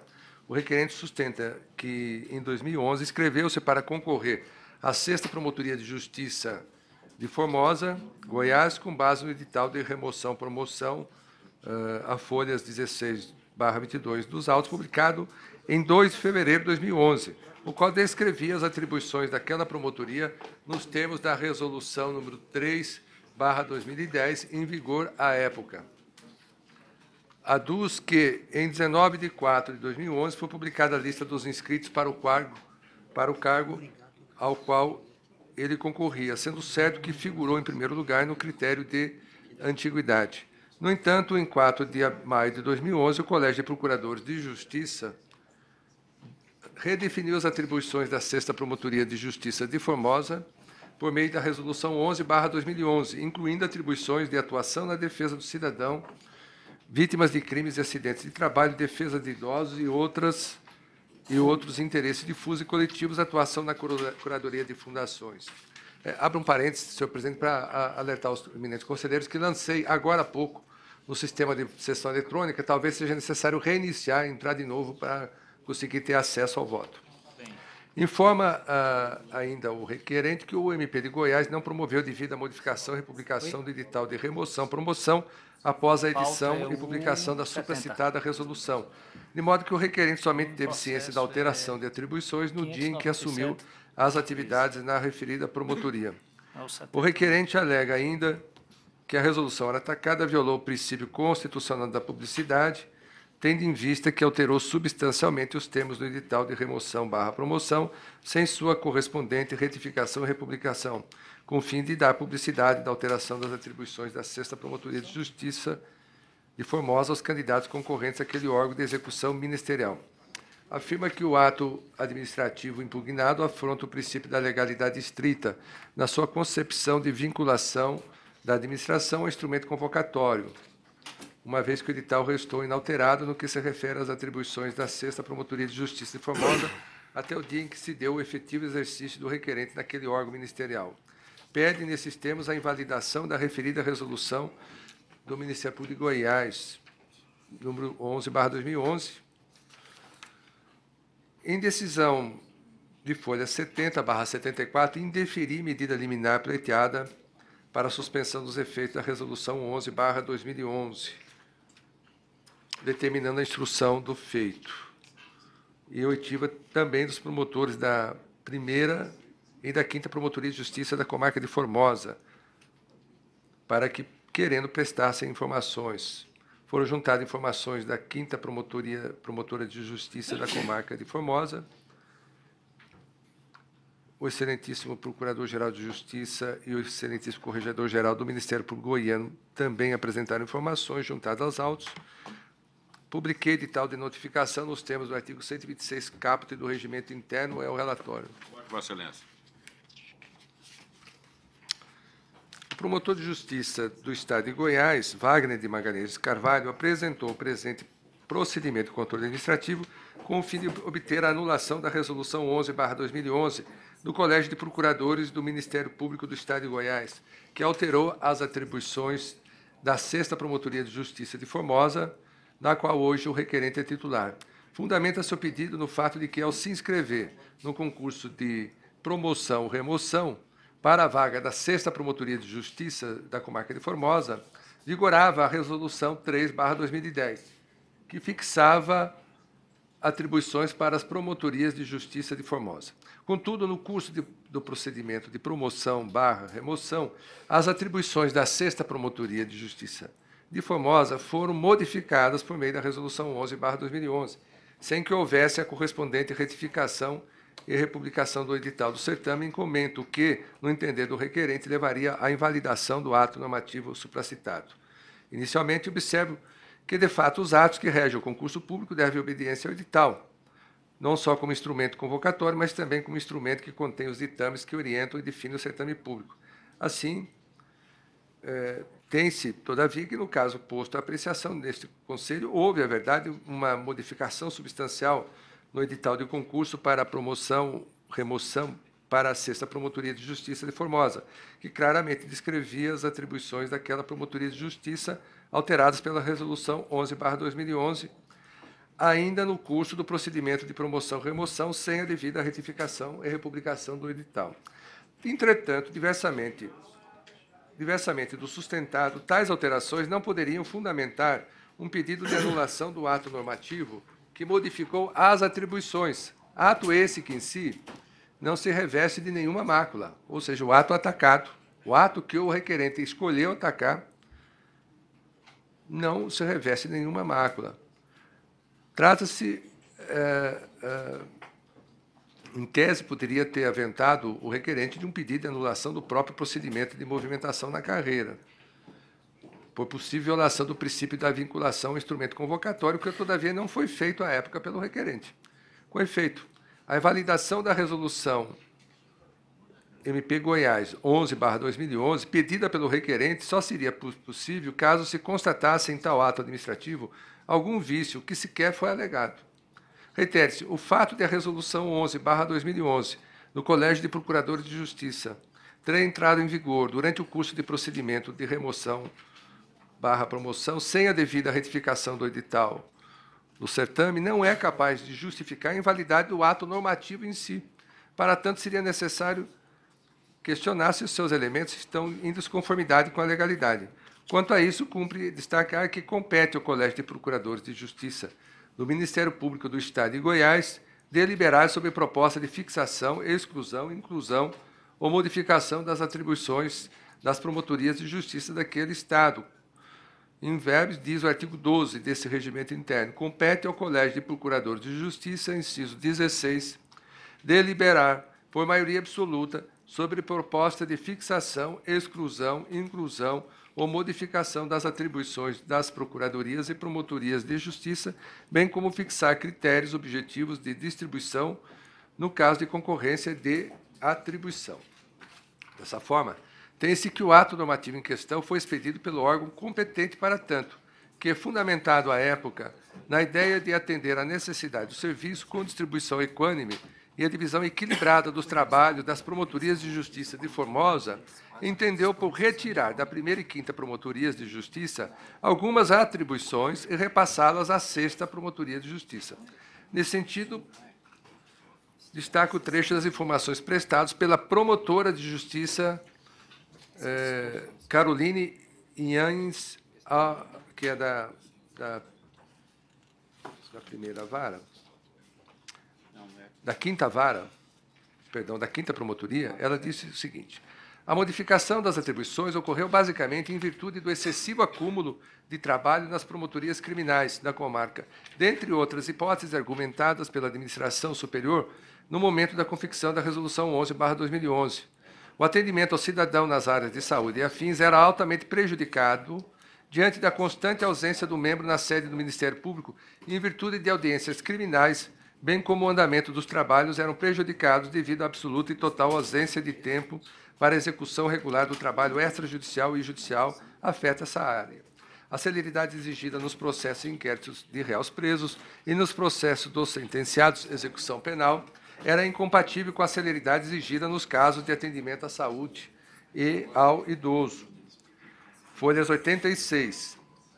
Desse modo, prossigo, a solução encontrada pela administração superior do Parque Goiano foi justamente a de, aspas, revisar as atribuições da primeira e quinta PJ e, por consequência, inserir a atribuição do cidadão na sexta PJ, a qual possuía, na época, atribuição judicial restrita aos juizados cíveis e criminais, o qual permitiria atuação compatível com as áreas do patrimônio público e cidadão, fecha aspas, sim, além disso, segundo consta, outro motivo aventado para alterações das atribuições da Sexta Promotoria de Justiça ocorreu em virtude da criação da comarca de Flores de Goiás, com esvaziamento dos processos e feitos extrajudiciais envolvendo matéria relacionada ao patrimônio público referente aos municípios de Flores de Goiás e Vila Boa, a rigor, os documentos acostados às folhas 151/156 e 193/273, estatísticas processuais das promotorias de justiça de Formosa, Goiânia, Goiás, conquanto não permito atestar peremptoriamente a justiça da atual distribuição de trabalho, mesmo porque não se tem aqui exata dimensão da complexidade de cada um dos feitos, tampouco permite apontar qualquer manifesta disparidade que justifique uma excepcional intervenção no conteúdo da Resolução 11-2011, regularmente aprovada pelo Colégio de Procuradores de Justiça. é que, na ausência de ilegalidade manifesta, há que se prestigiar a autonomia administrativa do Ministério Público, consagrada no artigo 127 da Constituição Federal, e entregue à guarda desse CNMP nos termos do artigo 130-A, parágrafo 2º, 1 da Constituição. De outra parte, alega o requerente que não tomou nenhuma providência na época, como a desistência do certame ou a inscrição em outras vagas, porque só teria ficado sabendo da alteração das atribuições da Promotoria de Justiça quando assumiu seu novo posto. Assim, aduz que a não republicação do edital do certame, com essa alteração de atribuições, afrontaria a publicidade dos atos administrativos. Entretanto, é de se destacar que, como se disse, a publicidade do ato administrativo se concretiza com a sua publicação na imprensa oficial, que, no caso da Resolução 11-2011, se deu em 4 de maio de 2011, muito antes, portanto, de o requerente assumir a nova Promotoria de Justiça.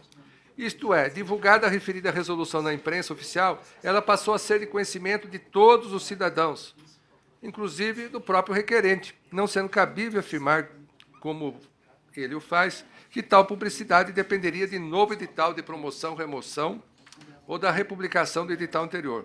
Poderia, portanto, ter o requerente questionado, na época dos fatos, a legalidade do procedimento de movimentação na carreira, ou ainda desistido do certame, como ele mesmo disse que teria cogitado fazer se soubesse da alteração em tela. Dado que seu ato de promoção à Sexta Promotoria de Justiça de Formosa somente se consumou em 3 de junho de 2011, quase um mês após a divulgação da Resolução 11 de 2011. Todavia, manteve-se requerente inerte, assumindo a Promotoria de Justiça, já com as suas novas atribuições e passando a exercê-las plenamente por quase dois anos. Só dois anos depois que veio é, é, aqui este Conselho instaurar o presente PCA, ou seja, em 10 de maio de 2013. Não é despeciendo registrar que, conforme informado nas manifestações apresentadas nesses autos, tramita no âmbito da administração superior da instituição nova proposta de alteração de atribuições das promotorias de justiça de Formosa, relação à qual o requerente já apresentou manifesta aqui essência, folhas 87 e 159 dos autos. Antes posto, senhor presidente, julgo improcedente o presente procedimento de controle administrativo. É como voto. A palavra o doutor Wagner de Magalhães Carvalho, pelo prazo regimental de até 10 minutos. Excelentíssimo senhor presidente, excelentíssimo senhor conselheiro relator, em nome de quem cumprimento os demais membros desse colegiado, eu figuro aqui como requerente nesse procedimento de controle administrativo que tem por objeto, é, precisamente, o pedido de anulação dessa resolução número 11, 2011, do Colégio de Procuradores de Justiça do Estado de Goiás, que redefiniu as atribuições da Sexta Promotoria de Justiça, da qual sou titular. Inicialmente, eu gostaria de destacar o que esse procedimento de controle não trata. Esse procedimento de controle administrativo não trata da prerrogativa do procurador-geral de propor ao Colégio de Procuradores a redistribuição das promotorias de justiça. E também não trata da prerrogativa do Colégio de Procuradores de Justiça de efetivamente fixar essas atribuições através da proposta do Procurador-Geral. De maneira alguma. Essas regras, inclusive, estão previstas, respectivamente, no artigo 15, inciso 38 e 18, inciso 18, da Lei Complementar Estadual. São, inclusive, expedientes, não é? regras extremamente salutares para a organização é, funcional do Ministério Público, sobretudo naquelas comarcas onde se detecta um desequilíbrio nas atribuições. Isso não é comum de acontecer. Portanto, de maneira alguma se contestam aqui as prerrogativas do Procurador-Geral de propor e do Colégio de Procuradores em é, alterar, de fato, as atribuições conforme essa proposta. O que está sendo atacado aqui é a forma como isso foi feito. A forma. O problema aqui é de forma e não de fundo. Não é? Então, como bem destacou o eminente relator, em 2 de fevereiro de 2011, foi publicado o edital. O edital que abriu ah, as vagas de promoção para diversas comarcas do Estado, dentre elas Formosa. Né? Então, o edital de 2 de fevereiro, publicado pelo Conselho Superior do Ministério Público do Estado de Goiás, ele fixou claramente, com base na resolução número 3, as seguintes atuações da Sexta Promotoria de Justiça. Atuar perante o Juizado Especial Civil e Criminal, atuar na curadoria integral do patrimônio público, competência concorrente nas ações penais é, de crimes contra a administração pública e auxiliar nas atribuições da quarta promotoria. Então, a base para a base para a elaboração do edital foi a resolução número 3, 2010 do Colégio de Procuradores. Então, foi o ato com base no qual se elaborou o edital. Em 19 de abril, a lista de inscritos foi publicada e em 4 de maio de 2011, não é, surgiu essa resolução que redefiniu as atribuições da sexta promotoria, sem, contudo, promover a modificação do edital e a republicação do edital de promoção. Né?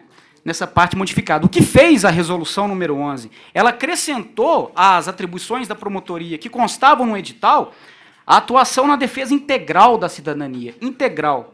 E aqui nós estamos falando de entorno do Distrito Federal. A atuação na defesa da cidadania no entorno do Distrito Federal, no Estado de Goiás, não é coisa fácil. Vítimas e crimes de acidentes do trabalho, defesa de idosos e outros interesses difusos e coletivos, inclusive educação, atuação na curadoria de fundações. Então, o que a gente percebe é que houve um, uma, uma, uma ampliação notória dessas atribuições, não é?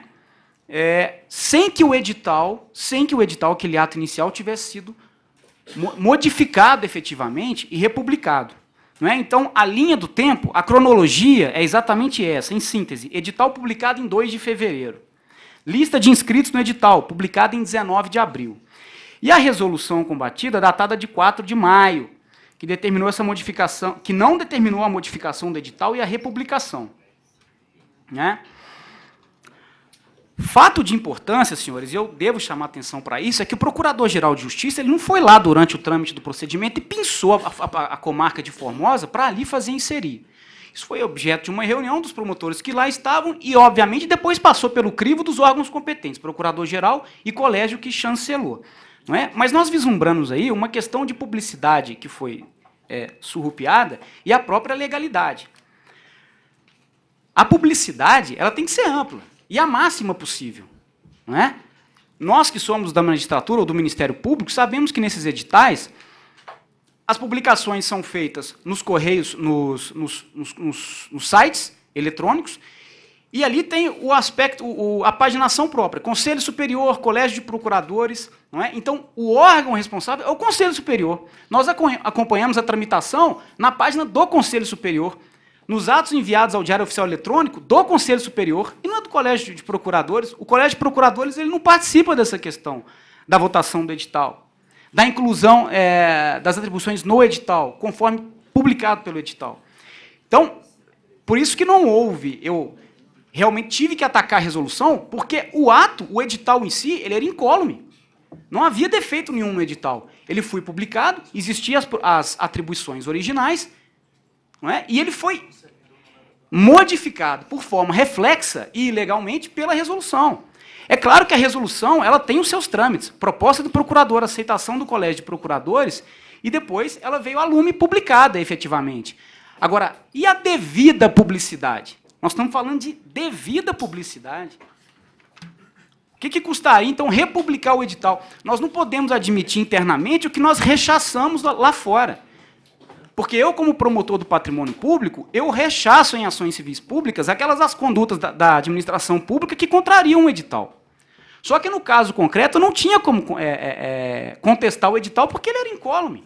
Não havia nenhum problema com o edital. Ele continuava mantendo, justamente porque ele não foi mexido. Ele continuava mantendo as mesmas atribuições. E o princípio da legalidade estrita, nesse caso, ele vem como uma luva. O artigo 3 da Lei Geral de, de, de de licitações, ele é expresso em colocar. A necessidade de vinculação aos termos do edital. Nesse caso, o edital não foi não foi observado. Abriu-se a vaga com as atribuições A, B e C, e na minha assunção era B, C, D, E e F. Não é? Agora, isso foi arguído dois anos, quase dois anos depois, porque atribuição é um tema espinhoso. Quem é promotor de justiça, quem já foi ou é promotor de justiça e atuou no interior sabe como é um tema espinhoso trabalhar com atribuições, mexer em atribuições, não é? Então, eu quando cheguei na comarca, realmente tive o cuidado de não num primeiro momento discutir essa questão, até para não criar uma indisposição. Com o passar do tempo, eu fui percebendo que a acumulação dessas atribuições era um verdadeiro absurdo numa comarca igual Formosa, com mais de 100 mil habitantes, não é? no entorno do Distrito Federal, onde a demanda da cidadania é absurda, né? os atos é, que violam a administração pública no âmbito do patrimônio público vêm a galope. Essa promotoria de flores de Goiás que foi criada, eu sou o substituto automático, sou eu que vou lá fazer a 170 quilômetros de distância as audiências, não é verdade? De maneira que é, dificulta bastante, me dificultou bastante essa questão de só trazer a lume é, esse debate agora, reconheço, mas pautado primeiro nessa questão, não é, da dificuldade de se discutir sobre atribuições. E depois, um ano depois da minha assunção, parecer da Corregedoria Geral do Ministério Público, elaborado após correição ordinária levada a cabo pelo doutor Ailton Flávio Vec, considerou que materialmente, materialmente, a resolução 11 já não atendia mais aos interesses do Ministério Público na comarca em função do prejuízo que ela causava ao serviço. Tanto que essa proposta é, do, do corregedor-geral Ailton Flávio Vec foi encampada pelo Procurador-Geral de Justiça e, atualmente, está na pauta de votação do Colégio de Procuradores, para redefinir. O próprio Procurador-Geral, depois de escudado em estudo estatístico do Corregedor-Geral, Ailton Flávio diz que, olha, não atende mais ao interesse do Ministério Público na comarca a resolução número 11. Aqui eu estou dizendo ad argumentando, porque a minha insurgência aqui é contra a forma.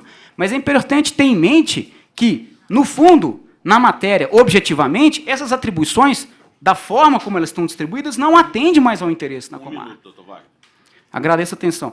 É, eu gostaria de deixar apenas consignado que eu, eu é, muito antes, não é, da minha assunção, é, muito antes do meu bacharelado, eu já me decidi pelo Ministério Público, mas apenas muitos anos depois eu consegui entrar no Ministério Público, não é? E não entrei no Ministério Público para trabalhar pouco. A minha intenção não é trabalhar menos, é trabalhar melhor. Até porque Ministério Público, para mim, não é emprego, é filosofia de vida. Né? Mas eu quero oferecer um trabalho melhor para a comunidade e é a forma como está colocada essa questão. Já foi decidido pela Corregedoria de que não é a melhor forma atualmente, apesar de eu estar discutindo aqui matéria de forma. Né? Não havia como eu atacar o edital. Fechando, não havia como do meu ponto de vista, juridicamente, eu atacar o edital porque ele era incólume. Não tinha o que atacar, até porque ele não foi modificado. Né? Então, é, colocando rapidamente essas questões, eu Encerrado. Agradeço a atenção de Vossas Excelências. Dago do conselheiro Mário Gonçalves, se, tem, se pretende fazer uso ainda da palavra, se eu posso passar a colheita dos votos. Presidente, só o ponto fulcral é o seguinte: essa resolução foi editada em 4 de maio de 2011 e a, a promoção do requerente somente se consumou no mês seguinte, em 3 de junho de 2011, quase um mês após a divulgação. É, foi publicado no, no, Diário Oficial, portanto, conhecimento é, presumido e certamente real por parte de todos diretamente interessados. Não houve qualquer questionamento. Dois anos depois, vem agora ao CNMP com uma, uma demanda, é, com todo respeito que me parece temerária, propor é, atacar a resolução 2011, editada pelo Colégio de Procuradores de Justiça no exercício das suas atribuições regulamentares. Realmente não vejo como prosperar. É, mantenho o voto, senhor presidente. Certo. O, passo a colher dos votos, como voto o conselheiro Luiz Moreira. Relator. Conselheiro Jefferson Coelho. Conselheiro Jarba Soares. Conselheiro Antônio Duarte. É, conselheiro Marcelo Ferra acompanho o relator, entendendo que realmente a publicação era totalmente desnecessária, senão teria uma solução paradoxal. Quando o promotor já é titular e está na promotoria, este Conselho Nacional já decidiu, em diversos casos, que nada obsta que o órgão competente, que é o Colégio de Procuradores ou o órgão especial em alguns colégios, altere as atribuições da promotoria. E quando o promotor sequer ainda assumiu ela, haveria necessidade de uma republicação publicação de edital. A vinculação ao edital atinge tão somente a necessidade de não poder promover o promotor para promotoria diversa da que ele está inscrito. Não equivale a uma vinculação às atribuições daquela promotoria, senão seria uma situação similar ao funcionário público que quando presta um concurso, a jornada de trabalho era 35 horas semanais, altera para 40, ele achar que tem direito adquirido por causa daquele edital de licitação. Então eu acompanho acompanho integralmente o relator. Conselheiro Cláudio Portel. Senhor presidente, antes, porém, eu queria pedir a Vossa Excelência 30 segundos para convidar todos os conselheiros aqui presentes para o oitavo workshop das tabelas unificadas do Ministério Público, a se realizar nos dias 16 e 17 de outubro no Hotel Royal Tulip. E acompanho o, o relator. Conselheiro Alexandre Saliba. Acompanho o relator com as considerações lúcidas e bem precisas do conselheiro Marcelo Ferra. Conselheiro Esdras Dantas. Conselheiro Leonardo Farias. É com o relator. Conselheiro Walter Agra. Presidente, essa, essa questão também aportou em meu gabinete. Tive o cuidado de analisar aqui o voto do conselheiro Mário Gonçalves. E essa situação, como foi dita da tribuna, realmente está sendo rediscutida.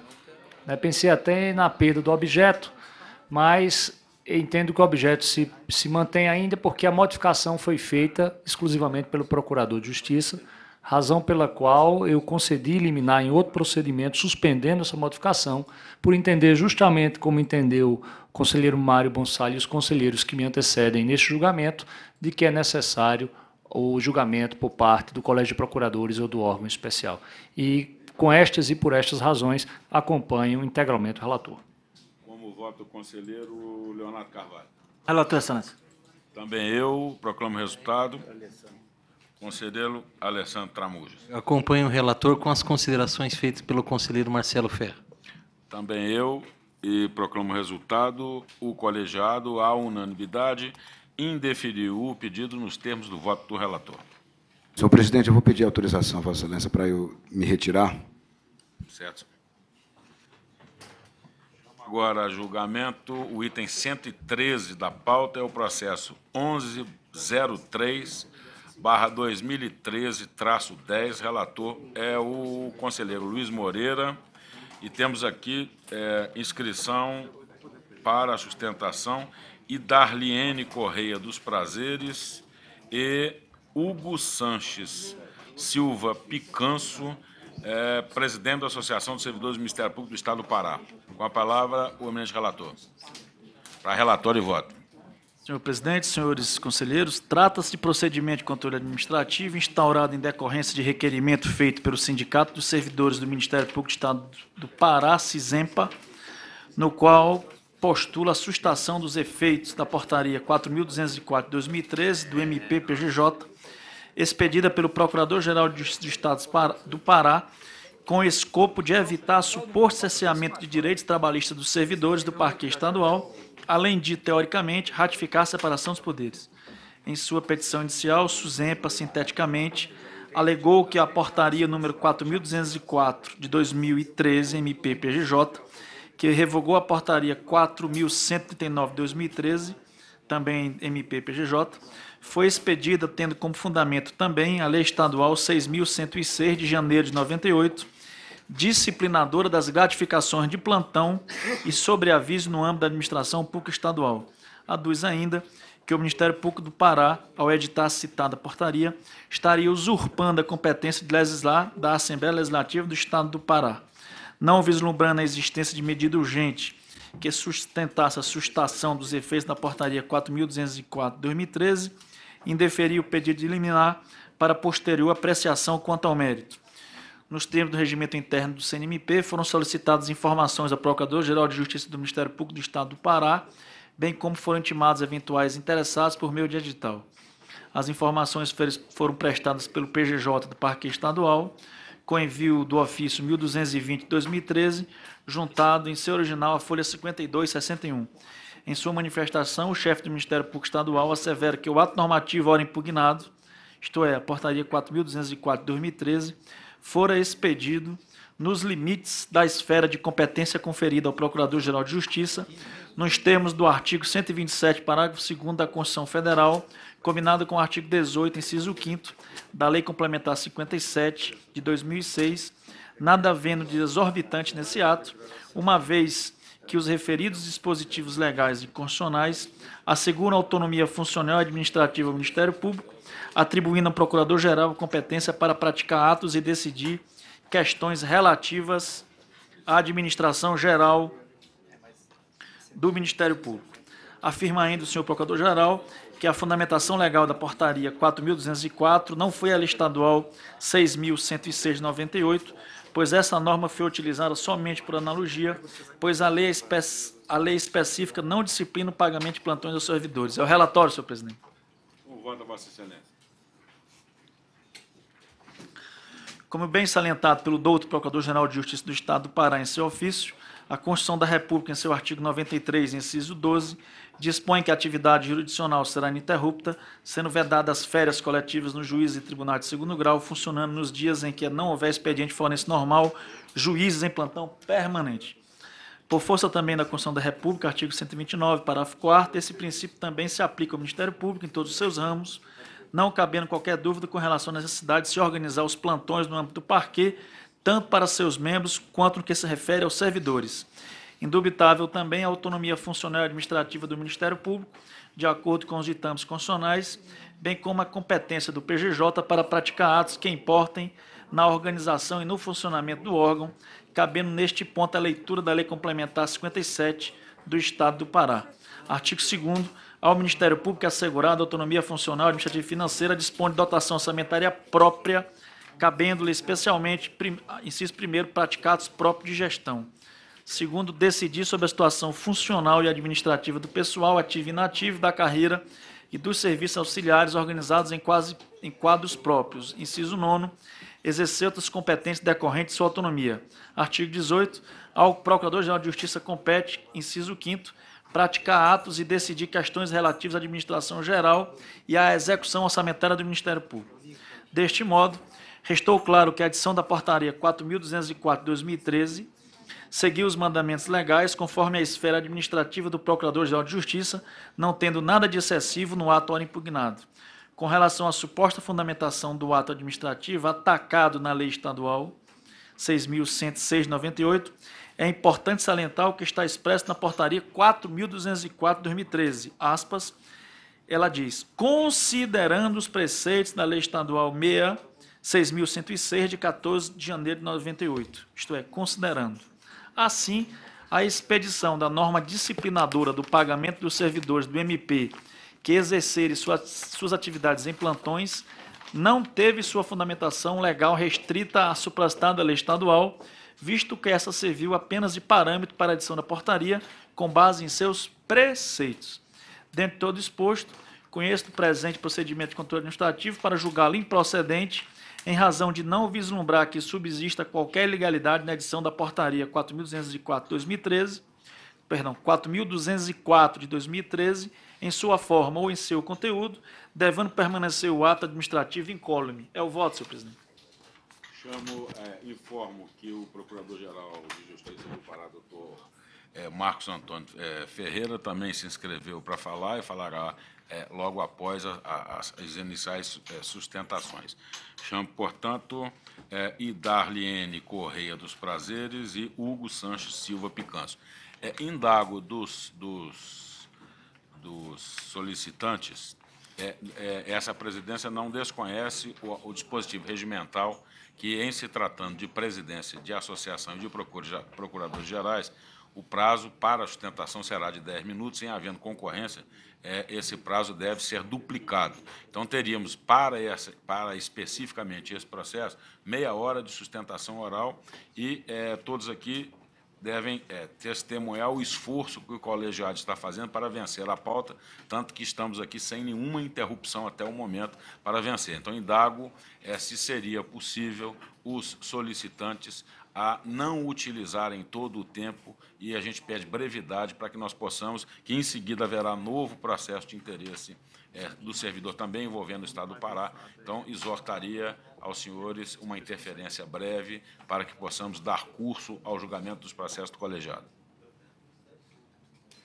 Excelentíssimo senhor presidente do Conselho Nacional do Ministério Público, é, doutor Luiz Moreira Gomes Júnior, relator, a quem eu cumprimento aos, os demais membros do Conselho. A entidade sindical, o CISEMPA, ora representado aqui por sua diretora-presidente, vem buscar, postular garantias trabalhistas que estão, no momento, cerceadas por ato do Procurador-Geral de Justiça do Ministério Público do Pará, por meio da Portaria 4204, para as quais eu faço algumas considerações para enfatizar o que colocamos nos autos. Nós não combatemos, nesses autos, a questão do plantão em si, previsto constitucionalmente, né, atividade jurisdicional ininterrupta. Apenas que, na condição de plantonista do Ministério Público, o servidor, ora convocado, ele não vai ser desenvolver uma atividade extraordinária de caráter é, de caráter extraordinário ou efêmero. Ao ser convocado, é, para trabalhar mais sem nenhuma retribuição pecuniária. Vamos lá, reformulando aqui esse primeiro item. Quando o servidor do MP é convocado para o plantão, ele, nesse caso, da portaria, no caso dos servidores é, detentores de, de tempo integral, eles vão trabalhar sem nenhuma retribuição a mais, retribuição pecuniária. O MP informa que utiliza a Lei Estadual 6.106 apenas para efeitos de remuneração dos plantões. Ocorre que tal lei nasceu apenas para disciplinar atividades em unidades de saúde. O artigo 2 da referida lei permite estender o regime de plantão para outras categorias, mas em casos excepcionais. Não é o caso dos plantões feitos por integrantes do Ministério Público, nesse caso, servidores. Logo, a utilizar tal lei para amparar a remuneração dos servidores no âmbito do parquê, se incorre em erro grave, pois falta legalidade nos atos, resoluções e portarias que disciplinam o plantão do MP nos atos, que constitui improbidade administrativa, a desatenção aos princípios da administração pública. Como se não bastasse, a Lei nº 6.106, de 98, diz em seu, em seu texto que é incompatível com gratificação de horas extras. Contudo, a portaria expedida pelo PGJ diz ser incompatível ainda com gratificação de tempo integral, chefia, direção, assessoramentos e afins. E ainda descreve que devem ser relacionados preferencialmente para a escala de plantões estes servidores, na busca de, de se não remunerar tais servidores que trabalham em regime de plantão. Logo, a portaria exorbitou a lei ao estender o rol de incompatibilidades da remuneração do que previsto em lei. O MP precisava regulamentar os plantões e o fez por meio de resoluções e portarias. Convém ressaltar nesse momento que, em julho deste ano, o senhor procurador-geral, aqui presente, ele baixou uma portaria pelo qual os servidores que, que fossem convocados ao plantão não receberiam, pelo plantão, é, retribuição pecuniária, mas apenas folga, que naquele momento ela só seria concedida a critério da administração em até um ano depois de solicitada. Depois ele revogou a portaria, por essa atual, que está sendo combatida nesse momento, 4204. Curioso constar aqui nesse momento que, ao mesmo tempo que o senhor procurador ele invoca que preferencialmente sejam esses, esses servidores detentores de TI, chefia, para que não pague pelo, pelos plantões, Curioso que também o colégio começa nesse momento, colégio de procuradores, elaborar anteprojeto de lei pelo qual indeniza por plantões, por dia trabalhado em finais de semana, feriados, pontos facultativos e recessos forenses, os membros do Ministério Público do Pará. Ou seja, integrantes servidores convocados preferencialmente não serão remunerados ao passo que os membros já têm, inclusive, com é, projeto de lei aprovado, seus plantões com retribuição pecuniária. De fato, o plantão não está regulamentado pelo regimento jurídico estadual. É preciso projeto de lei que regulamente, no âmbito do parquê, porque a lei estadual utilizada não se aplica à natureza jurídica do plantão ministerial, muito menos sua forma remuneratória. O que pretendeu o MP foi montar um arcabouço que possibilitasse administrar os plantões e sua remuneração de forma que lhe conviesse. Isso é ato improbo, que, que fere princípios da administração pública. Apontamos que, ao indicar expressamente que farão plantões os servidores que não serão remunerados por isso, a motivação do PGJ é dar mais trabalho em finais de semanas e feriados a servidores e não remunerar por isso. Ressaltamos que os chefes não exercerão suas chefias nos plantões, ou seja, são atribuições que exorbitam as previstas legalmente nos seus cargos ou funções, mesmo sejam comissionados. Aduzimos que os cargos comissionados também, também devem ter suas atribuições descritas em lei, ou não. Logo, em alguns casos, tais servidores poderão ser convocados para exercer suas atribuições, mas tal natureza difere dos plantões ministeriais cuja natureza é ininterrupta. Salientamos que nas relações de trabalho as horas extras não são regra, assim como plantões, ao contrário, são exceções e devem ser remuneradas por esta condição. Toda relação de trabalho, e como a estatutária não pode ser diferente, deve levar em consideração o aspecto social, humano, familiar dos trabalhadores. Assim, postulamos que trabalhar sábados e domingos, rotineiramente em plantões, e não receber contraprestações por isso, remonta aos tempos da escravidão. Desta forma, é presente para requerer na espécie vertente a sustentação dos a sustação dos efeitos da portaria 4204/2013. Obrigada. Agradeço pela brevidade na, na, na, intervenção. Passo a palavra ao doutor Hugo Sanches Silva Picanso, é, exortando também para que... Com certeza, com certeza. Bom, inicialmente queria cumprimentar o doutor Rodrigo Janot, é um imenso prazer estar fazendo essa sustentação oral aqui nesse conselho. E ao relator Luiz Moreira Gomes Júnior, também um imenso prazer, doutor, o qual saldo os demais conselheiros dessa corte aqui.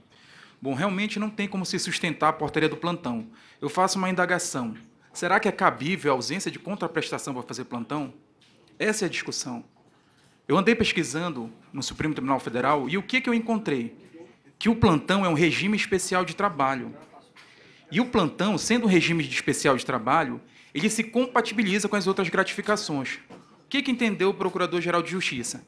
Ele quis colocar as demais gratificações, direção, chefia e assessoramento, aquelas previstas no artigo 37, inciso 5 como se já tivesse embutido o pagamento do plantão, o que não é correto.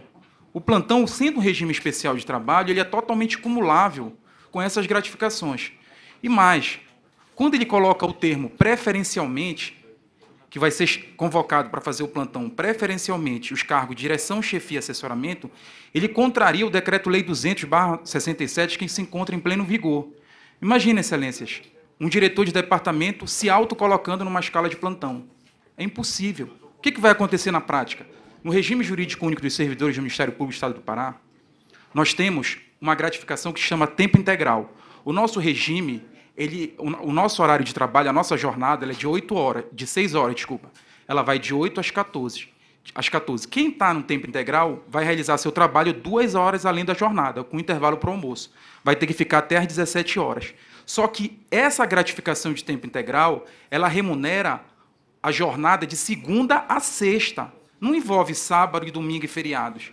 Então, quando a administração paga o tempo integral, ela não está pagando o plantão, porque o tempo integral ele remunera a jornada e não o regime especial de trabalho. Por isso que ela é totalmente compatível. E também as, as outras gratificações, aquelas previstas no artigo 37, inciso 5 que trata da direção, chefia e assessoramento, são totalmente cumuláveis o diretor, o assessor ou o cargo de comissão, quando ele vier para um trabalho aos sábados, domingos e feriados, ele tem que receber. Porque a Constituição, no artigo 7 inciso 15, ela prevê lá que todo, todo trabalhador, seja urbano ou rural, tem direito ao repouso semanal remunerado, preferencialmente aos domingos.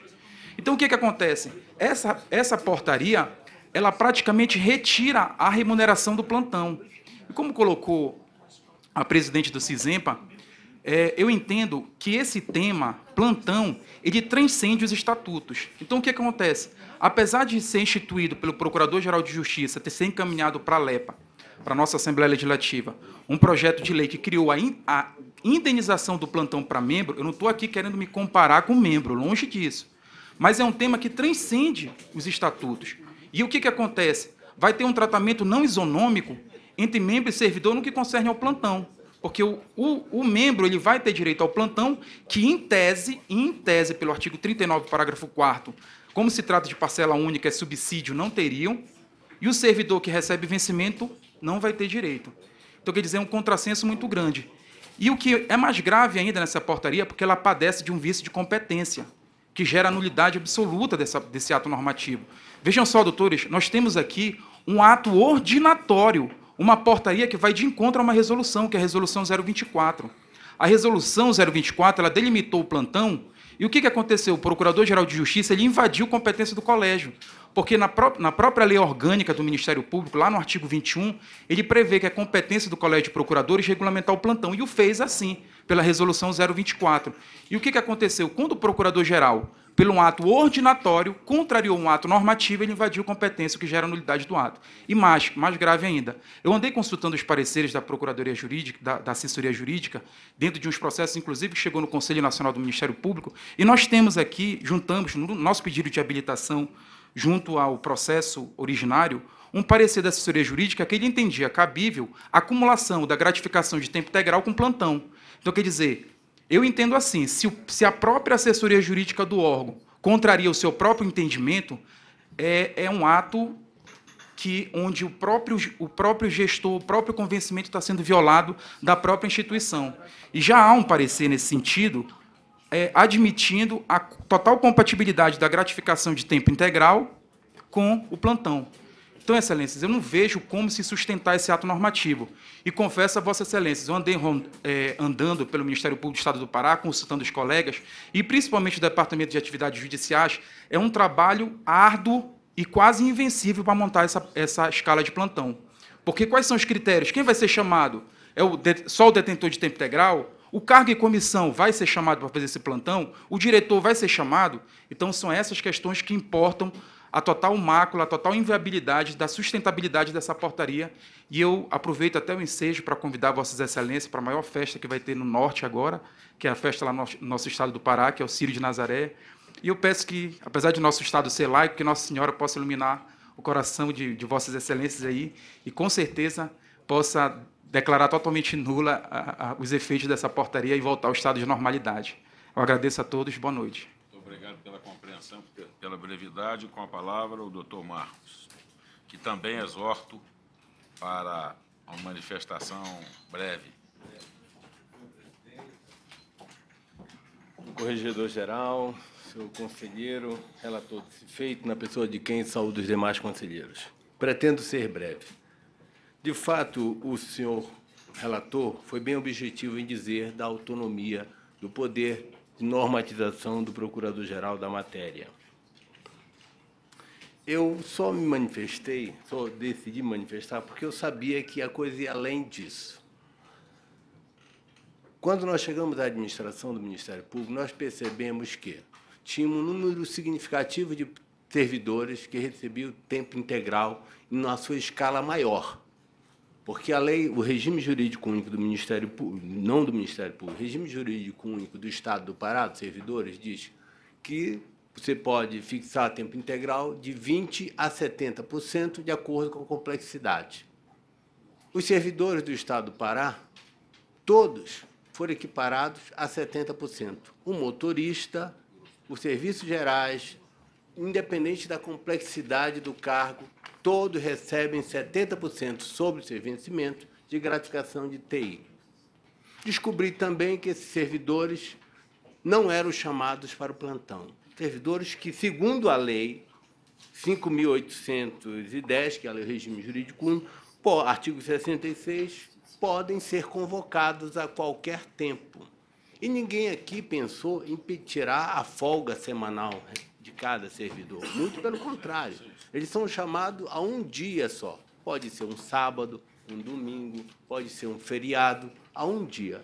E na escala que nós estamos pretendendo fa- fazer, esse servidor, já que tem tantos servidores com tempo integral lá, vai cair uma ou duas vezes por ano. É tão difícil fazer escala que vai cair uma ou duas vezes por ano nessa escala. E ele recebe tempo integral. A outra coisa é que os servidores comissionados, que também pode ser chamado a qualquer tempo, como estão os nossos servidores aqui trabalhando, além de uma jornada né, previamente estabelecida de seis horas, mas quem é é comissionado pode ser chamado a qualquer tempo, eu pensei, poxa, será que era justo eu só chamar os outros servidores que não têm TI, que não têm comissionado, que ganham menos, esses devem ser sacrificados aos finais de semana? Ou quem recebe vantagem, uma vantagem re- realmente consistente, 70%, ou comissionado, que recebe uma gratificação bem maior, é que devem ser chamados a colaborar para o serviço público. Penso eu que a lei diz que eles podem ser chamados. E não, a princípio pensei em não pagar gratificação de plantão. Mas como era o costume lá da gratificação do plantão para os servidores que não têm TI, não têm chefia, não é cargo comissionado nenhum. E eram só esses que tiravam o plantão. Então eu digo, peraí, calma.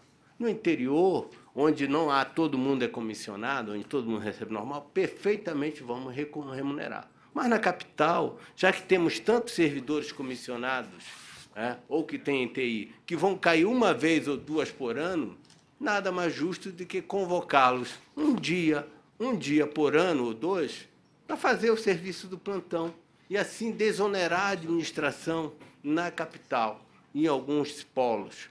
Essa foi a ideia. Pensei, a princípio, dar folga compensatória, mas eles não estão satisfeitos com folga compensatória. Eles querem a verba do plantão.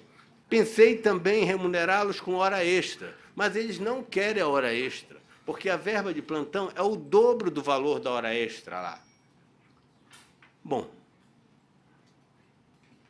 eu tenho que pensar no interesse público.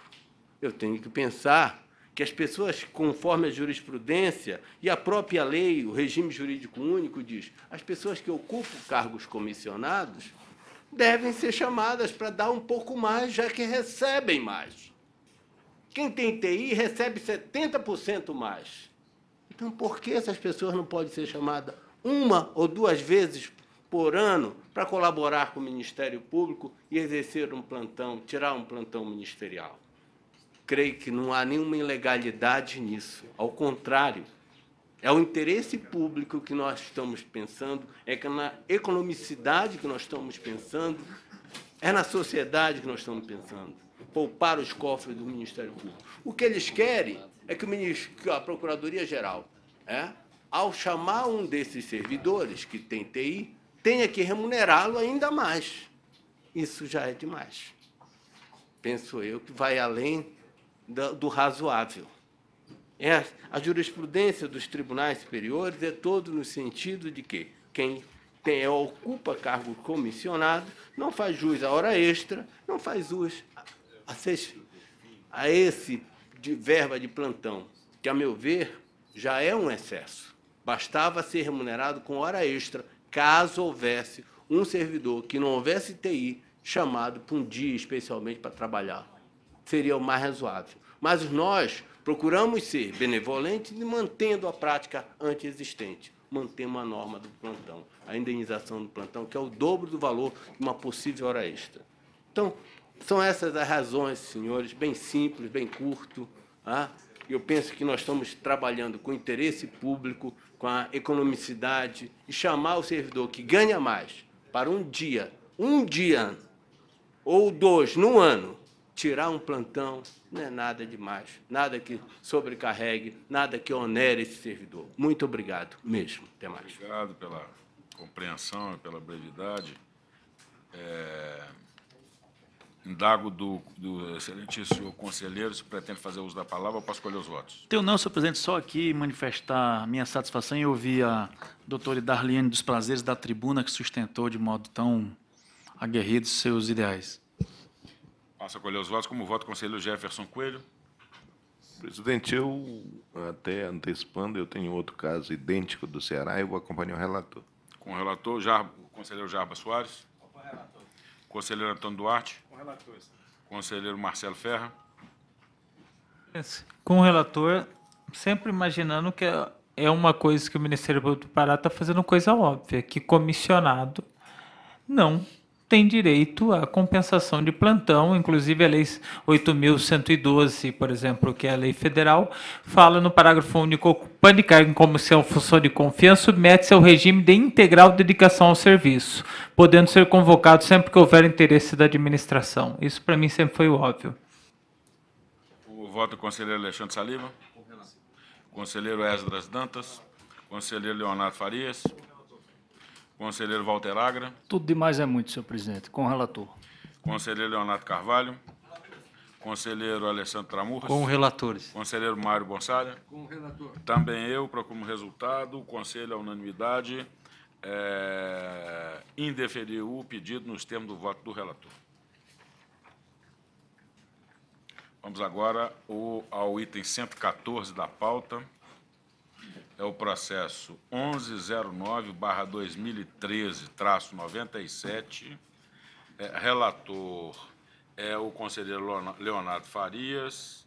Existe sustentação inscrita é, do Sindicato de Servidores do Ministério Público do Estado do Pará, CISEMPA, através da doutora Idarliene Correia dos Prazeres. Com a palavra, relator. Presidente, eu só vou pedir licença para me ausentar. Vai lá. Bem na hora.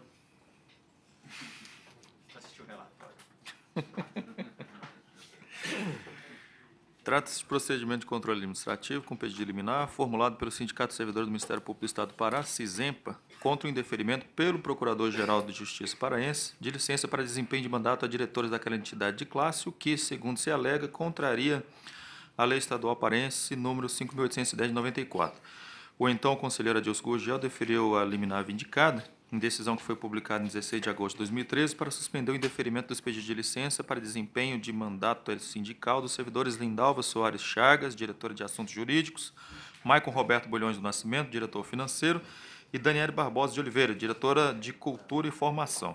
Em síntese, a decisão está fundamentada em previsão constante da lei estadual, que eu citei há pouco, que autoriza o afastamento de servidores eleitos para cargos de direção ou representação nas entidades sindicais até o máximo de quatro. Na petição de folha 51 e 62, argumenta o requerente que até o presente momento a decisão não foi cumprida. O Procurador-Geral de Justiça do Ministério Público do Estado do Pará, por sua vez, apresentou informações alegando que os atos combatidos estão baseados no interesse público, na eficiência e na continuidade da administração. Segundo afirma, foram considerados os seguintes fundamentos. Um, a faculdade da expressão somente poderão, até, constante do parágrafo 1 do artigo 95 da Lei Estadual 5.810 de 94, o limite máximo de servidores que esse dispositivo autoriza a administração a conceder licença classista, a aplicação subsidiária dos parâmetros da Lei 8.112 de 90, o interesse público na quantidade, na continuidade e na eficiência dos servidores, o número reduzido de servidores existentes nos municípios em que os interessados estão lotados e a posição do cargo de direção ocupado por aqueles servidores no respectivo sindicato. Ao final, o requerido pugna pela revogação da medida liminar concedida ao relatório. Voto, Vossa Excelência. A liberdade de associação profissional e sindical em direito do trabalhador, assegurada no, no inciso 20 do artigo 5º e no artigo 8 da Constituição Federal. No âmbito do Estado do Pará, os artigos 77 e 95 da Lei Estadual 5.810, de 24 de janeiro de 94, garantem ao servidor direito à licença para desempenho do mandato classista nos seguintes termos. Artigo 77. O servidor terá direito à licença, dois pontos, inciso 7 para atividade política ou classista na, fórmula da, na forma da lei. Artigo 95. É assegurado o direito à licença para desempenho de mandato em confederação, federação, sindicato representativo da categoria, associação de classe de âmbito local e ou nacional, sem prejuízo de remuneração do cargo efetivo. Parágrafo 1 somente poderão, somente poderão ser licenciados os servidores eleitos para cargos de direção ou representação das referidas entidades, até o máximo de quatro por entidade, constituída em conformidade com o artigo 5º, inciso 70, a linha B da Constituição Federal. Por sua vez, o artigo 92 da Lei Federal 8.112, abaixo transcrito, estabelece critérios que condicionam o número de servidores licenciados para atividade classista. Eu vou me dispensar de ler isso aqui, porque é, todos têm acesso e já conhecem o conteúdo, eu vou direto ao que interessa. Pelo que se extrai dos dispositivos acima transcritos, a administração não está obrigada a conceder a licença para atividade sindical a quatro servidores, como pleiteou o sindicato requerente. A lei concedeu ao administra ao administrador margem de liberdade para decidir, no caso concreto, o número de servidores a serem licenciados. Pois bem, no caso, a Procuradoria-Geral de Justiça do Ministério Público do Estado do Pará, considerando o interesse público na continuidade e a eficiência na prestação do serviço público, entendeu devido o licenciamento de apenas um servidor, de forma a evitar prejuízo aos administrados. Aliado a isso, é razoável a proporção entre o número de servidores licenciados para desempenho de mandato classista e o número de associados da entidade sindical, sem que isso atente contra os princípios da autonomia e liberdade sindical. No caso, conforme informação do próprio requerente, o Ministério Público do Estado do Pará, no Ministério Público do Estado do Pará, existem menos de 5 mil servidores. De modo que o deferimento da licença à servidora eleita para o cargo de diretora-presidente afasta a alegação de prejuízo à liberdade de associação sindical prevista no inciso 20 do artigo 5 e no artigo 8 da Constituição Federal. Suposto, meu voto é pela improcedência do pedido de controle administrativo, revogando em consequência eliminar deferida as folhas 18 e 22. É como voto. senhor presidente. É, franqueia a palavra à doutora Darliene Corrêa dos Prazeres, é, apontando que o Procurador-Geral também fará uso da palavra e exortando ambos novamente, se possível for, é, a brevidade nas suas intervenções. Cumprimentando novamente, senhores, eu aqui na qualidade de presidente do sindicato, é, por esse ato do nosso procurador-geral, pela primeira vez na, na história da entidade, se indefere concessões de licença classista de mais de um diretor. A gestão passada contava com três diretores licenciados. Tribunal de Justiça do Estado do Pará, com, é, com duas entidades sindicais, tem oito servidores licenciados. O Ministério Público do Pará fez concurso recente e nomeou é, 219 novos servidores. Com base nisso, eu posso argumentar convicção que não tem nenhum fator que possa se impedir que se conceda licença. Ora, se a lei permite até quatro, com que base o senhor procurador vai indeferir as outras três? Nós, enquanto entidade, entendemos que era, é para emperrar o nosso trabalho. Tanto que, em julho deste ano, fiquei sozinha no sindicato. Estou, inclusive, emocionada, porque se posso contar com mais três colegas por quem deferir. Vamos lá. Será que se conta com eh, quadro de deficiência de servidores? Ora, se assim fosse, todas as entidades sindicais teriam que ter apenas o presidente?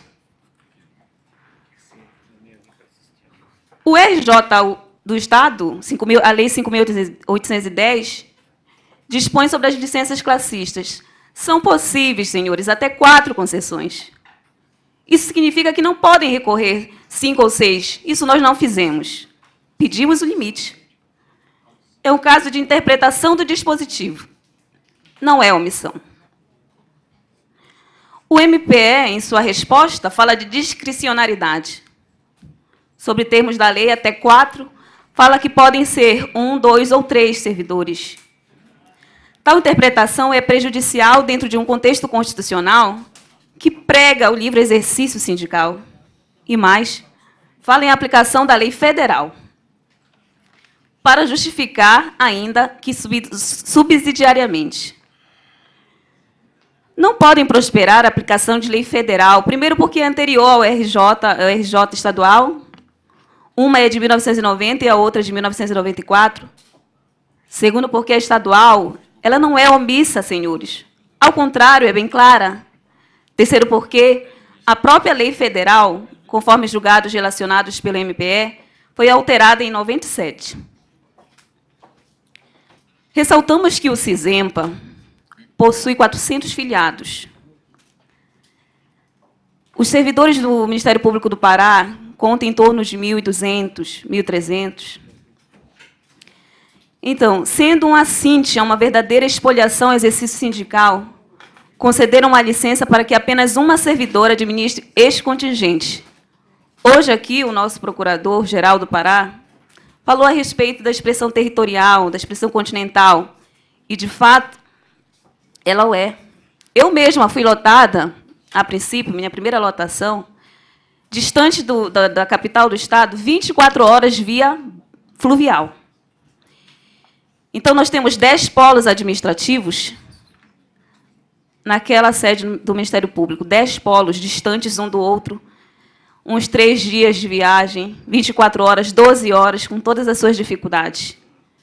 Como pode o gestor do Ministério Público, órgão fiscal da lei, querer emperrar a atuação dessa, desse sindicato, concedendo apenas uma licença, e eu terei que assumir o quê? Diretoria de imprensa, comunicação, jurídica, todas as outras. Por quê? Os demais diretores, uma está lotada na, na cidade de Tailândia, quatro horas de viagem, ou seja, a atuação sindical dela vai estar prejudicada.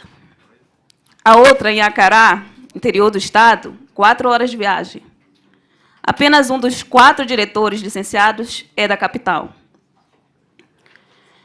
O MP fala que tem faculdade de usar o poder discricionário para licenciar quem achar que deve. Isso se sobrepõe ao constitucional e livre exercício sindical, na medida que o PGJ licenciou apenas uma servidora para agir no Estado do Pará, com seus mais de um mil servidores.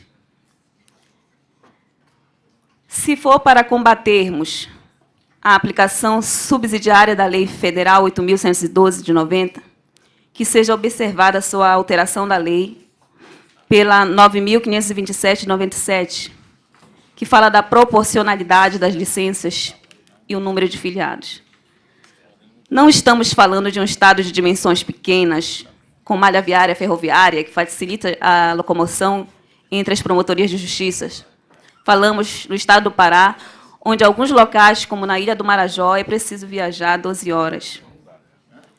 Insistimos que a questão do MPE em negar as licenças é puramente política, senhores uma vez que existem diversas evidências de tratamento dispensado pelo Procurador-Geral de Justiça, ao CISEMPA, que, de, que demonstram suas reais vontades de massacrar a atuação do sindicato. Nós, desde o início da nossa gestão, 1 de julho de 2013, e esse procurador atual também é recente no cargo, tivemos apenas uma reunião. As dificuldades de diálogos estão imensa. Gestões anteriores, por mais que os nossos pleitos, uma questão sindical, sempre, estão, sempre são difíceis, mas a atual está se superando. Então, esta entidade sindical solicita aos senhores que mantenham a decisão liminar, pela qual nós já contamos atualmente com quatro servidores no sindicato. Que mantenham porque aqui é o Conselho Nacional do Ministério Público, certo? Conto com vocês. Muito obrigado pela brevidade da intervenção. Com a palavra o Procurador-Geral do Estado do Pará. A quem exorto também, dado o adiantado da hora, brevidade da intervenção. Procurarei ser breve. Senhor presidente, senhor corregedor, senhor doutor Leonardo, conselheiro relator, na pessoa de quem são os demais conselheiros. Quero saudar também a nossa presidente do sindicato, que eu tenho maior respeito e discordo de suas colocações, em especial quanto ao respeito à atividade sindical. Muito pelo contrário. O Ministério Público do Pará tem maior respeito pela atividade sindical, tem maior respeito à associação de classes, temos um representante do Ministério Público com o presidente da ANPEP. Temos, você, Vossas Excelências acabaram de ver que, além da presidente do Sindicato dos Servidores, temos a Associação dos Servidores, que falou ainda agora há pouco, o Hugo, que também está afastado. A questão concreta é, o Ministério Público do Pará, apesar de termos feito concurso e nomear, termos nomeado recentemente 100 servidores de nível médio e cento e poucos servidores de nível eh, superior para analista, através de concurso público, ainda tem muitas deficiências. E as deficiências né, são principalmente no interior paraense. Há muitas promotorias ou, ou municípios sem promotor de justiça. Os promotores têm que se deslocar, eles sim, duas, três, quatro promotorias ou municípios. Municípios onde tem distâncias homéricas por travar. O doutor Léo foi promotor, foi juiz da, é juiz do Estado do Pará, conhece as distâncias do Estado do Pará, e a acumulação de promotorias no Estado do Pará não é tarefa fácil. É muito difícil. Principalmente nos municípios, dentro dos nossos territórios, dentro dos nossos municípios. Os servidores, é impossível eles fazerem acumulação. Algumas vezes nós utilizamos, e é muito comum, o pagamento de diárias, o pagamento de, para o deslocamento dos servidores, porque nós não temos servidores em todas as promotorias. Há uma carência, mesmo após o concurso, a carência existe, porque a licença maternidade, a licença saúde, a licença de toda a ordem do servidor, além das férias e tudo mais.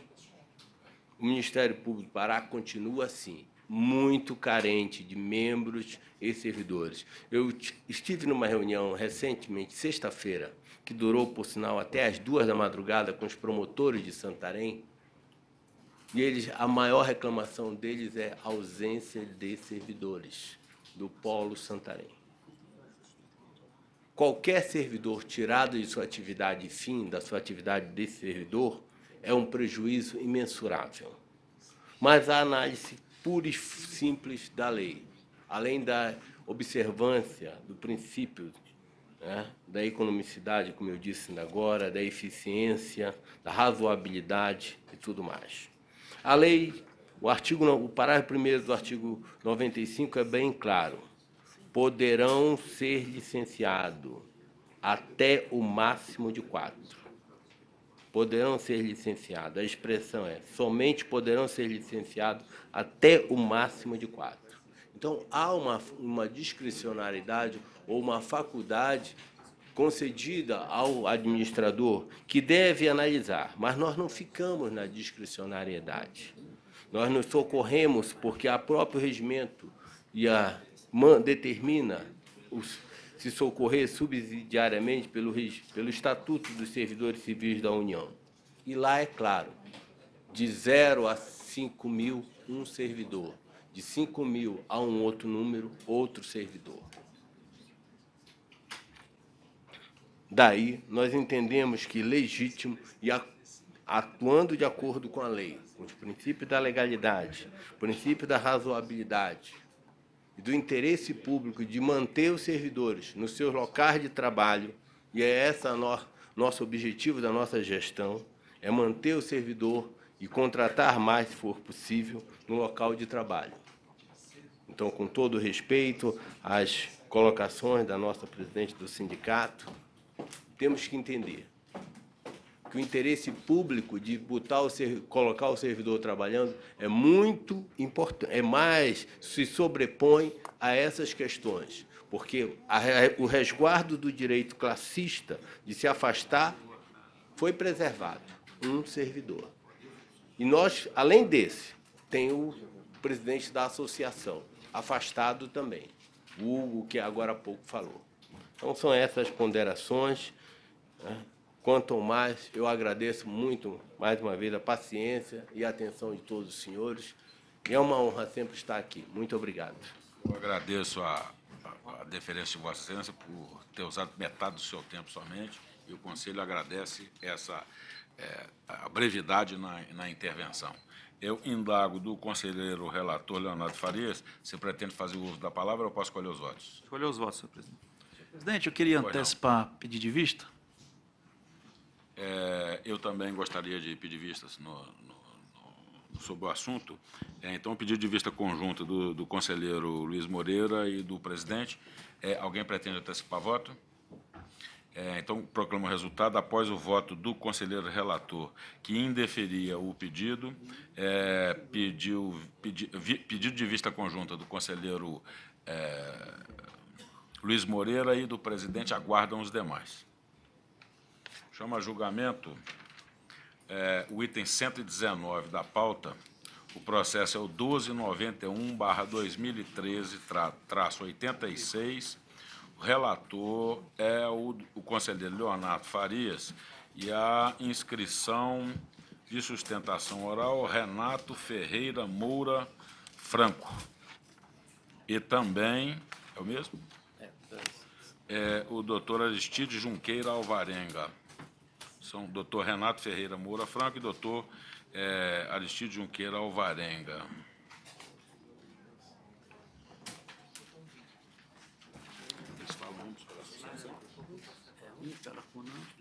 Ah, tá certo. Não, não. O, o que eu sou impedido é. Ainda tem esse, mais um outro. É. É, com a palavra, o relator. Bom, senhor presidente, trata-se de procedimento de controle administrativo instaurado por provocação da Associação Paulista do Ministério Público, por meio da qual requer a desconstituição de ato praticado pelo Procurador-Geral de Justiça do Ministério Público do Estado de São Paulo, que indeferiu o pedido de pagamento de auxílio alimentação a membros afastados em virtude do exercício de mandato em associação representativa de classe. A requerente assevera, em síntese, que é assegurado ao membro do Ministério Público de São Paulo o direito ao referido afastamento, sem prejuízo do subsídio e das demais vantagens do cargo, bem como da contagem do período de afastamento como de efetivo exercício, para todos os efeitos legais, em conformidade com o artigo 38, inciso 4 da Constituição Federal, o artigo 125 da Constituição Estadual, os artigos 2 e 3 da Lei Complementar Estadual 343 de 84, o artigo 53 da Lei Orgânica do Ministério Público, Lei 8.625 de 93, e o artigo 217 da Lei Orgânica do Ministério Público de São Paulo, Lei Complementar 734 de 93. Acrescenta que, em observância à hierarquia das normas, a administração do Ministério Público de São Paulo não pode sobrepor aos referidos comandos legais o ato normativo 742 de 2012, cujo artigo 3 dispõe que, abre aspas, não farão jus ao auxílio alimentação os membros do Ministério Público afastados da carreira. Aduz que o ato administrativo viola o princípio da legalidade, a garantia da irredutibilidade de subsídio e o exercício da liberdade sindical. Por meio da decisão de folha 53 e 55, deferir o pedido de liminar a fim de determinar o pagamento de auxílio alimentação aos membros que atendam aos requisitos constantes do artigo 217, inciso 4 da Lei Complementar Estadual número 734 de 93, até o julgamento do mérito do presente procedimento ou a superveniência de decisão em contrário. Instado a, apreciar, a apresentar informações, o Ministério Público de São Paulo interpôs recurso interno no qual o Procurador-Geral de Justiça daquela unidade ministerial sustenta, em suma, a inexistência de incompatibilidade do ato do artigo número do artigo 3 do ato normativo 742 de 2012 com ordenamento jurídico. Assevera que, em face dos princípios da razoabilidade e da proporcionalidade, a natureza indenizatória do auxílio alimentação obsta o seu pagamento a membros afastados, na medida em que se trata de vantagem cuja percepção depende do efetivo exercício do cargo, não se podendo admitir tal exercício de forma fictícia. Defende, portanto, que a vantagem não se amolda às exigências contidas no artigo 217, parágrafo 3 e no artigo 219 da Lei Complementar 734 de 93. Registra ainda que a Lei Estadual número 7.524 de 91, que instituiu o auxílio alimentação em favor dos servidores públicos do Estado de São Paulo, estabeleceu que não faz jus ao benefício o servidor afastado do cargo nos termos da Lei Complementar 343 de 84, que prevê o afastamento para exercício de mandato em entidade representativa de classe, de classe. Alega que, como a vantagem foi concedida aos membros do Ministério Público de São Paulo em razão das normas constantes de sua lei orgânica e da Lei Orgânica Nacional do Ministério Público, que remete à legislação que regula, em caráter geral, os servidores públicos, as particularidades que caracterizam o auxílio alimentação devem ser semelhantes para ambas as carreiras. As folhas 61 mantive a decisão territória da liminar, por meio da petição de folhas 169 a 173, a Associação Nacional dos Membros do Ministério Público, CONAMP, defendeu a procedência do pedido e requeriu seu ingresso no feito na qualidade de interessado no pedido, pedido que, que deferia a folha 193. As folhas 209 a 216, a requerente apresentou contra-razões ao recurso interno, reiterando os fundamentos expostos na inicial relatório.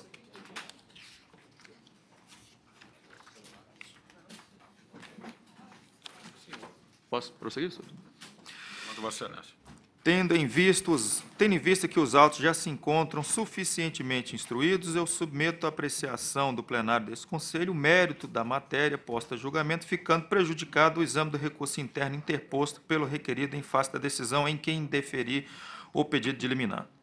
Pois bem, o presente procedimento objetiva, como dito, a desconstituição de ato praticado pelo Procurador-Geral de Justiça do Ministério Público do Estado de São Paulo, que indeferiu o pedido de pagamento de auxílio alimentação a membros afastados em virtude do exercício de mandato em associação representativa de classe. Em princípio, eu entendo que não é devida a concessão de vantagens pecuniárias a membros do Ministério Público sem base normativa. No entanto, o caso guarda algumas peculiaridades. Com efeito, Embora não haja permissivo legal específico para o pagamento de auxílio alimentação aos membros do Ministério Público de São Paulo, a Lei Complementar Estadual número 734 de 93 estabelece em seu artigo 181, inciso 16, a possibilidade de extensão de, abre aspas, outras vantagens previstas em lei, inclusive as concedidas para os servidores públicos em geral, fecha aspas nos moldes do que determina o artigo 50, inciso 12 da Lei Orgânica Nacional do Ministério Público, Lei 8.625-93. Noutras palavras, por expressa remissão normativa, os membros do Ministério Público de São Paulo fazem jus ao auxílio alimentação, uma vez que tal vantagem é devida aos servidores do Estado de São Paulo, em decorrência de sua instituição pela Lei Estadual 7.524 de 91. De modo que, ainda que se questione tal entendimento, o fato é que essa é o fato é que a legalidade da extensão do benefício aos membros do Ministério Público, em acréscimo à parcela única do subsídio, foi reconhecida pelo Conselho Nacional do Ministério Público por ocasião do julgamento do procedimento de controle administrativo número 447/2010-40.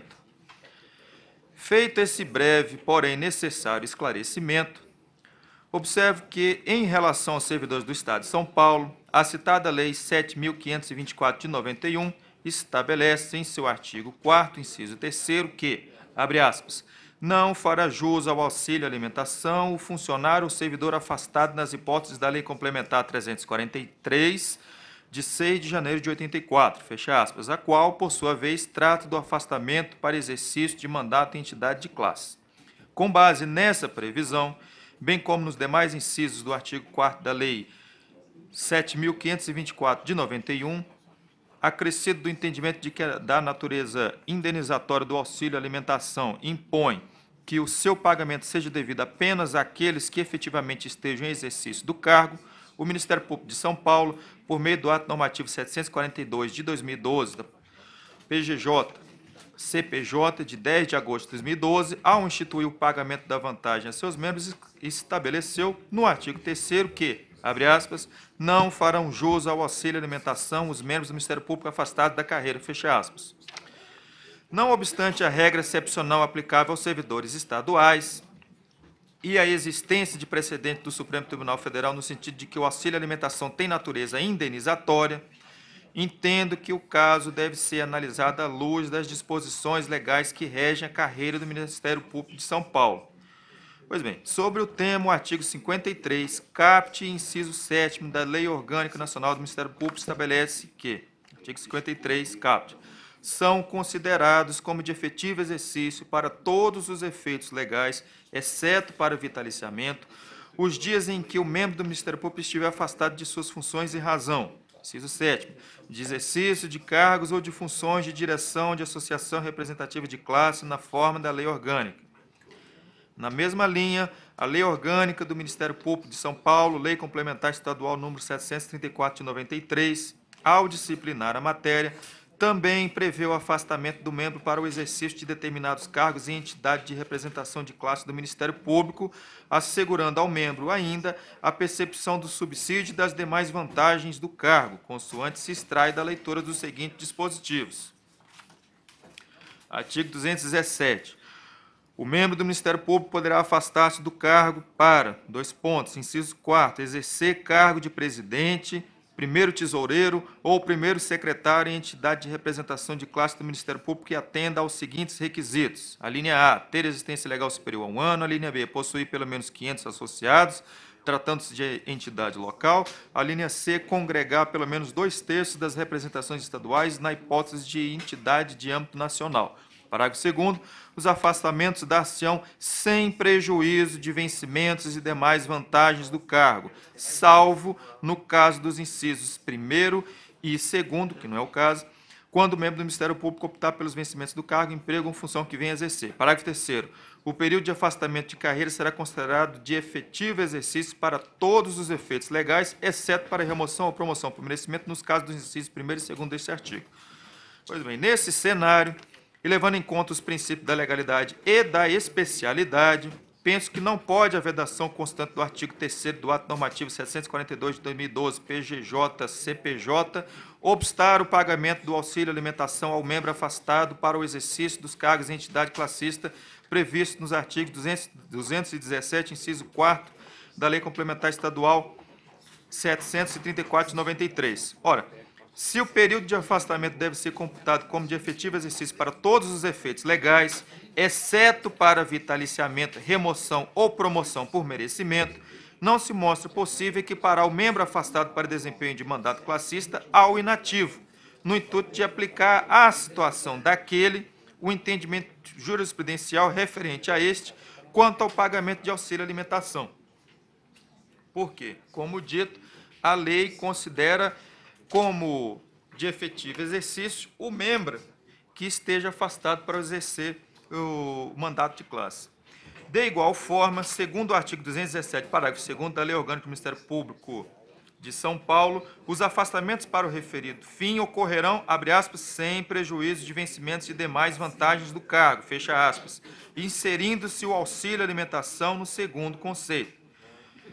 Embora seja incontroversa a natureza indenizatória do acréscimo pecuniário, observe-se que o dispositivo legal não estabelece qualquer distinção a respeito de quais vantagens continuariam a ser percebidas pelos membros afastados e quais poderiam, em tese, ter o pagamento suspenso pela administração.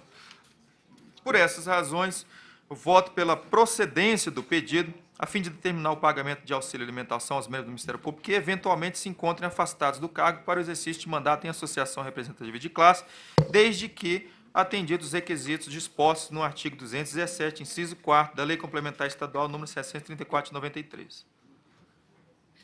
É, convido para as sustentações doutores Renato Ferreira Moura Franco, pela Associação Paulista do Ministério Público, doutor Alexandre Junqueira Alvarenga, pela CONAMP, me parece, né?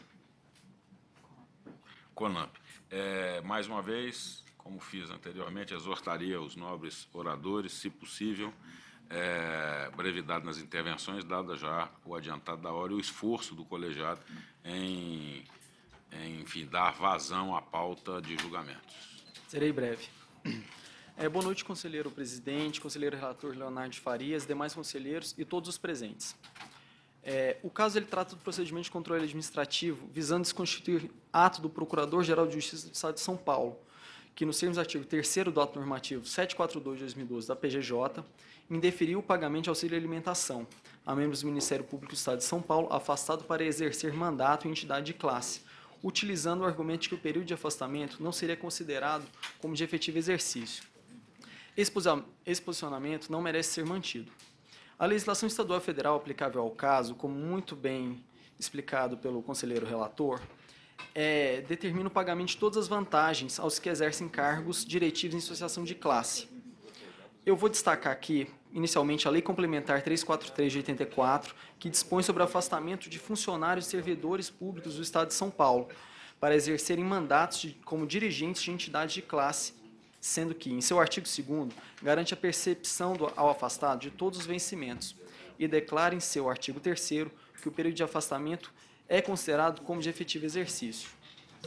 Essencial também o destaque a Lei Orgânica do Ministério Público do Estado de São Paulo, que em seu artigo 217, inciso 4 parágrafo 2 diz que o membro do parquê poderá se afastar do cargo para exercer cargo diretivo em associação de classe, sem prejuízo de seus vencimentos e das demais vantagens. E ainda, o parágrafo 3 determina que o período de afastamento será considerado para todos os efeitos legais. Da mesma maneira, a Lei Orgânica Nacional do Ministério Público considera como de efetivo exercício os dias em que o membro do Ministério Público estiver afastado exercendo mandato diretivo, conforme se depreende o artigo 53, inciso 7.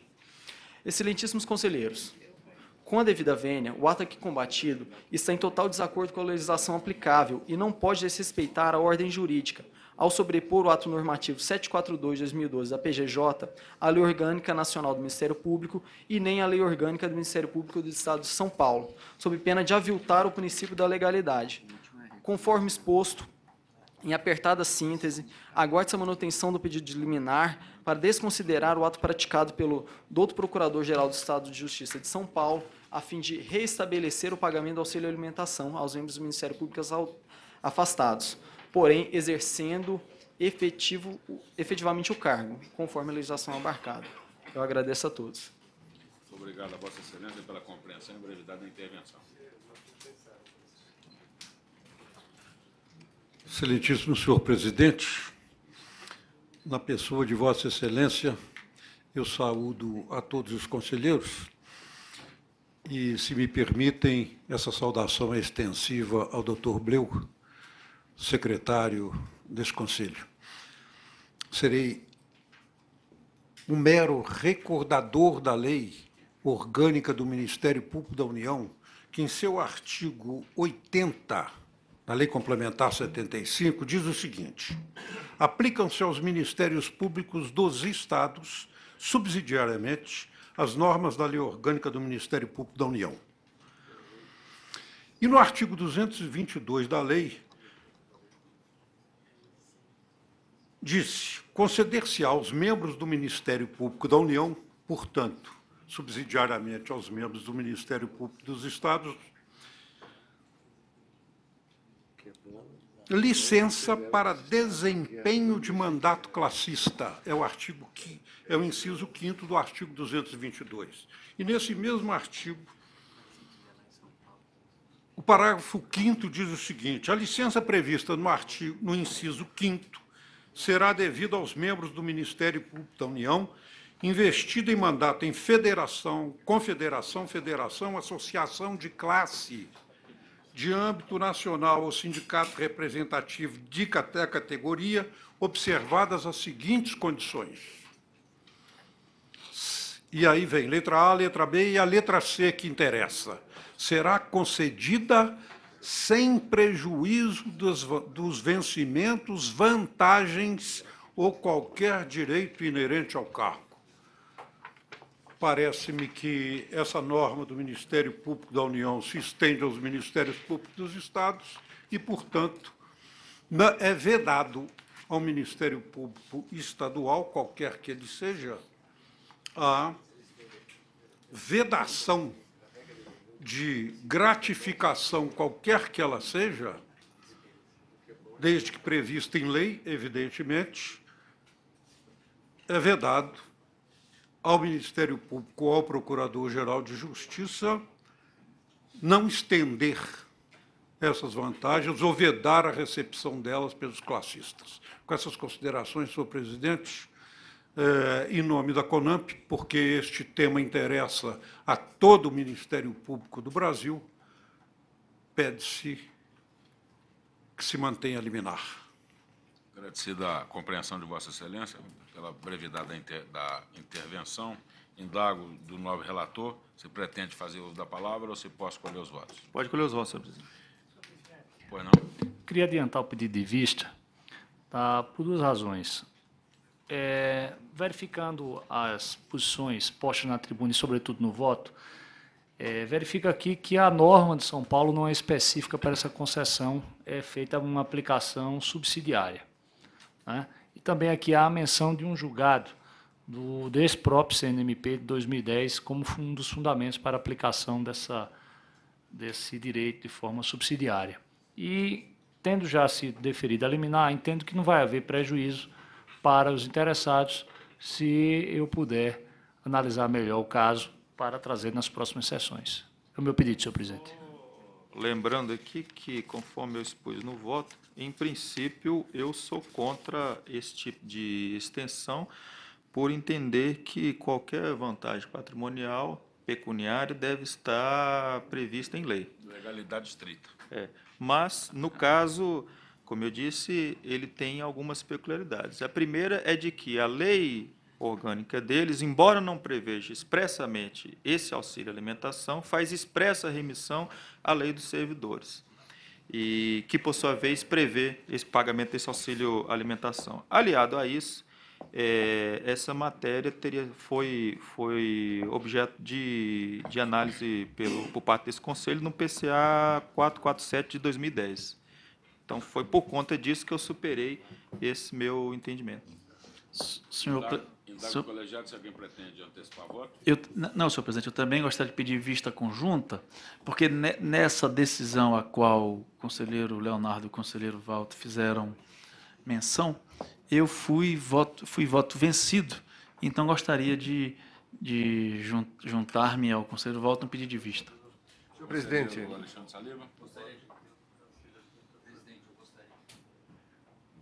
Senhor presidente, é, eu, eu ouvi atentamente o voto do eminente conselheiro Leonardo. Sua Excelência fez ressalvas quanto à sua posição pessoal no tocante ao pagamento de auxílio eh, alimentação, ah, mas reconhecendo que esse conselho já se pronunciou sobre essa questão em julgamento realizado, se não me engano, no ano passado. Não é? E, portanto, eh, com base nesse entendimento, eh, vota no sentido de confirmar, eliminar e julgar procedente o, o pedido, não é isso? Sim, porque eh, era uma questão que precede, saber se o pagamento é devido ou não, precede a, a, a questão que é objeto da controvérsia, que é saber se o pagamento deve ou não contemplar os membros afastados para exercer para exercerem eh, eh, mandato, mandato de classe. Eu entendi que sim, porque esse afastamento ele ocorre sem prejuízo de quaisquer vantagens remuneratórias ou não. Senhor presidente, eh, eu vou pedir vênia aos eminentes conselheiros que pediram vista.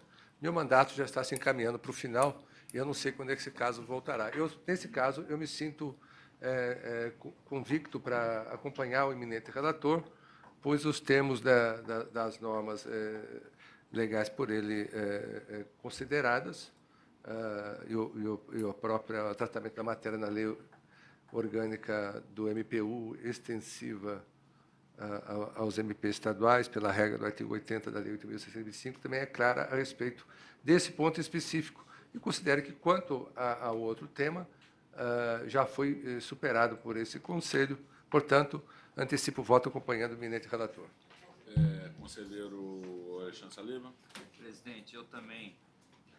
Pedindo vênia aos colegas Luiz Moreira e Walter Agra, que pediram vista antecipadamente, em conjunto, eu faço coro à manifestação do conselheiro Mário Bonsalha, acompanhando em toto lapidar voto do conselheiro Leonardo Farias, só registrando que eu tenho uma posição um pouco divergente quanto à questão da necessidade de autorização legal expressa, legalidade estrita. Eu acho que, me parece que tendo a, a, a- lei que trata do regime jurídico dos servidores, poderia também extrair daí o, o fundamento de validade. Aliás, no sentido que foi julgado na semana passada pelo Supremo Tribunal Federal, no voto de Sua Excelência o ministro Teori Zavascki, analisando a questão também do auxílio alimentação, mais ligado à magistratura. Está um a um, né? Tá um a um, mas é, meu pensamento é no sentido de Sua Excelência, ministro Teori. E de modo que acompanhe, então, o, o voto do conselheiro Leonardo Farias, como voto, presidente. Marcelo Ferro.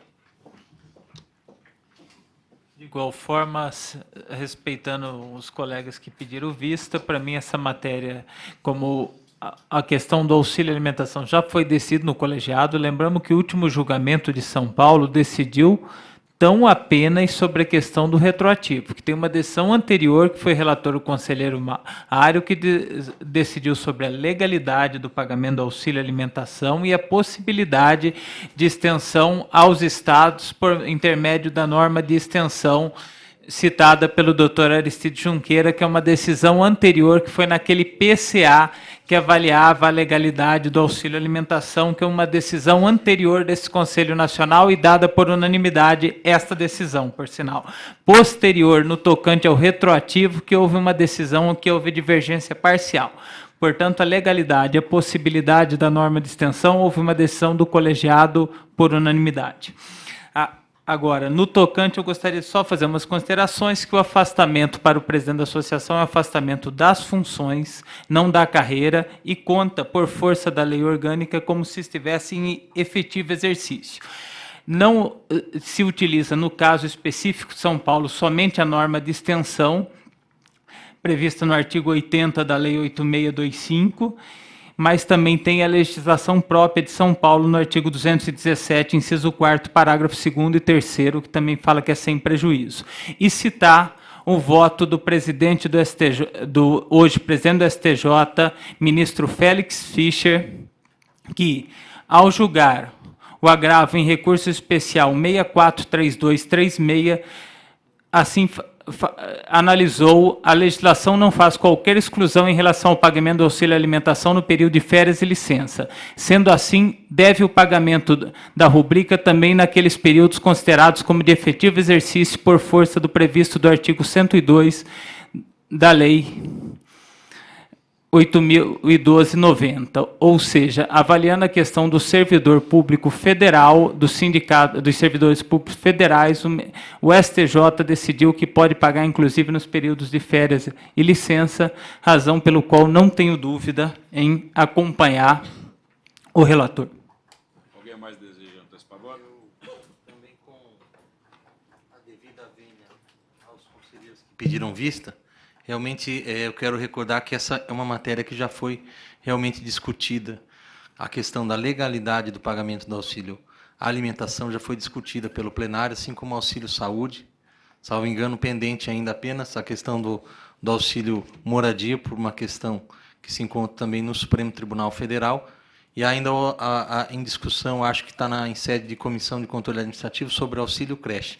Mas no que tange ao auxílio alimentação, realmente já há posicionamento, tanto com relação à alimentação e ao auxílio saúde. Então, eu entendo que é uma matéria realmente superada. Foi, foi verificado em todos os estados da federação esse tipo de pagamento. Com relação a, ao mérito propriamente é, do pagamento ao presidente da entidade de classe, eu acompanho integralmente o voto é, do conselheiro relator. Proclamar o resultado? Alguém mais pretende antecipar voto? Senhor presidente, é, eu gostaria de pedir vênias ao meu dileto amigo Walter e Luiz Moreira, a quem rendo as minhas homenagens, para, não sem antes, parabenizar os advogados que aqui estiveram na tribuna, pessoa do Aristides Junqueira, mas para registrar que agora, no, no dia 18 de junho, o ministro Humberto Martins também assentou que nos, os servidores públicos fazem jus ao recebimento de auxílio alimentação durante o período de férias e licença, na linha do que é destacado pelo conselheiro Marcelo Ferra, no agravo, no agravo regimental no recurso especial 1360774, então bastante recente, e que o voto do conselheiro Leonardo no, no tema de fundo quanto à questão dos, daqueles que se licenciam para exercício de atividades associativas eu comungo com o mesmo entendimento, pedindo vênia aos que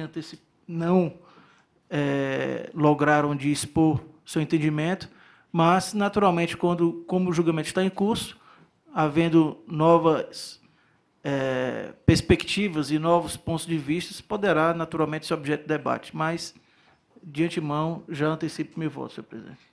Vou proclamar o resultado. É, depois do voto do relator que deferia o, o pedido para desconstituir o ato atacado, pediu vista o conselheiro Walter Agra. Anteciparam o voto os conselheiros Leonardo Carvalho, Alessandro Tramujas, Mário Bonsalha, Marcelo Ferra e Alexandre Saliba, todos eles acompanhando o relator, aguardam os demais é, vista, é pedido de vista conjunta do ministro, do, do, do, do, do ministro Walter Agra e do ministro Luiz Moreira.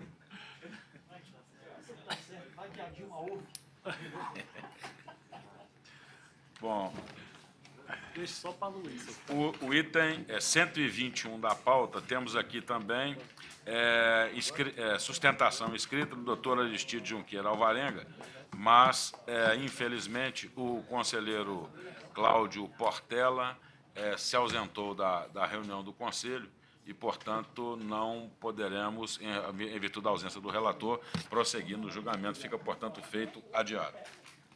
O item 64 da pauta, conselheiro é o relator Antônio Duarte, referente ao processo 076-2013, traço 68.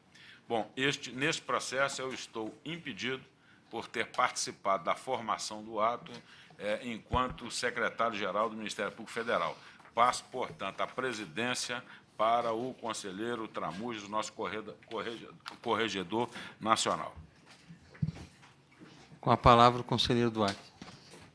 Senhor presidente, eminente corregedor nacional, Alessandro Tramujas, demais conselheiros, senhoras e senhores,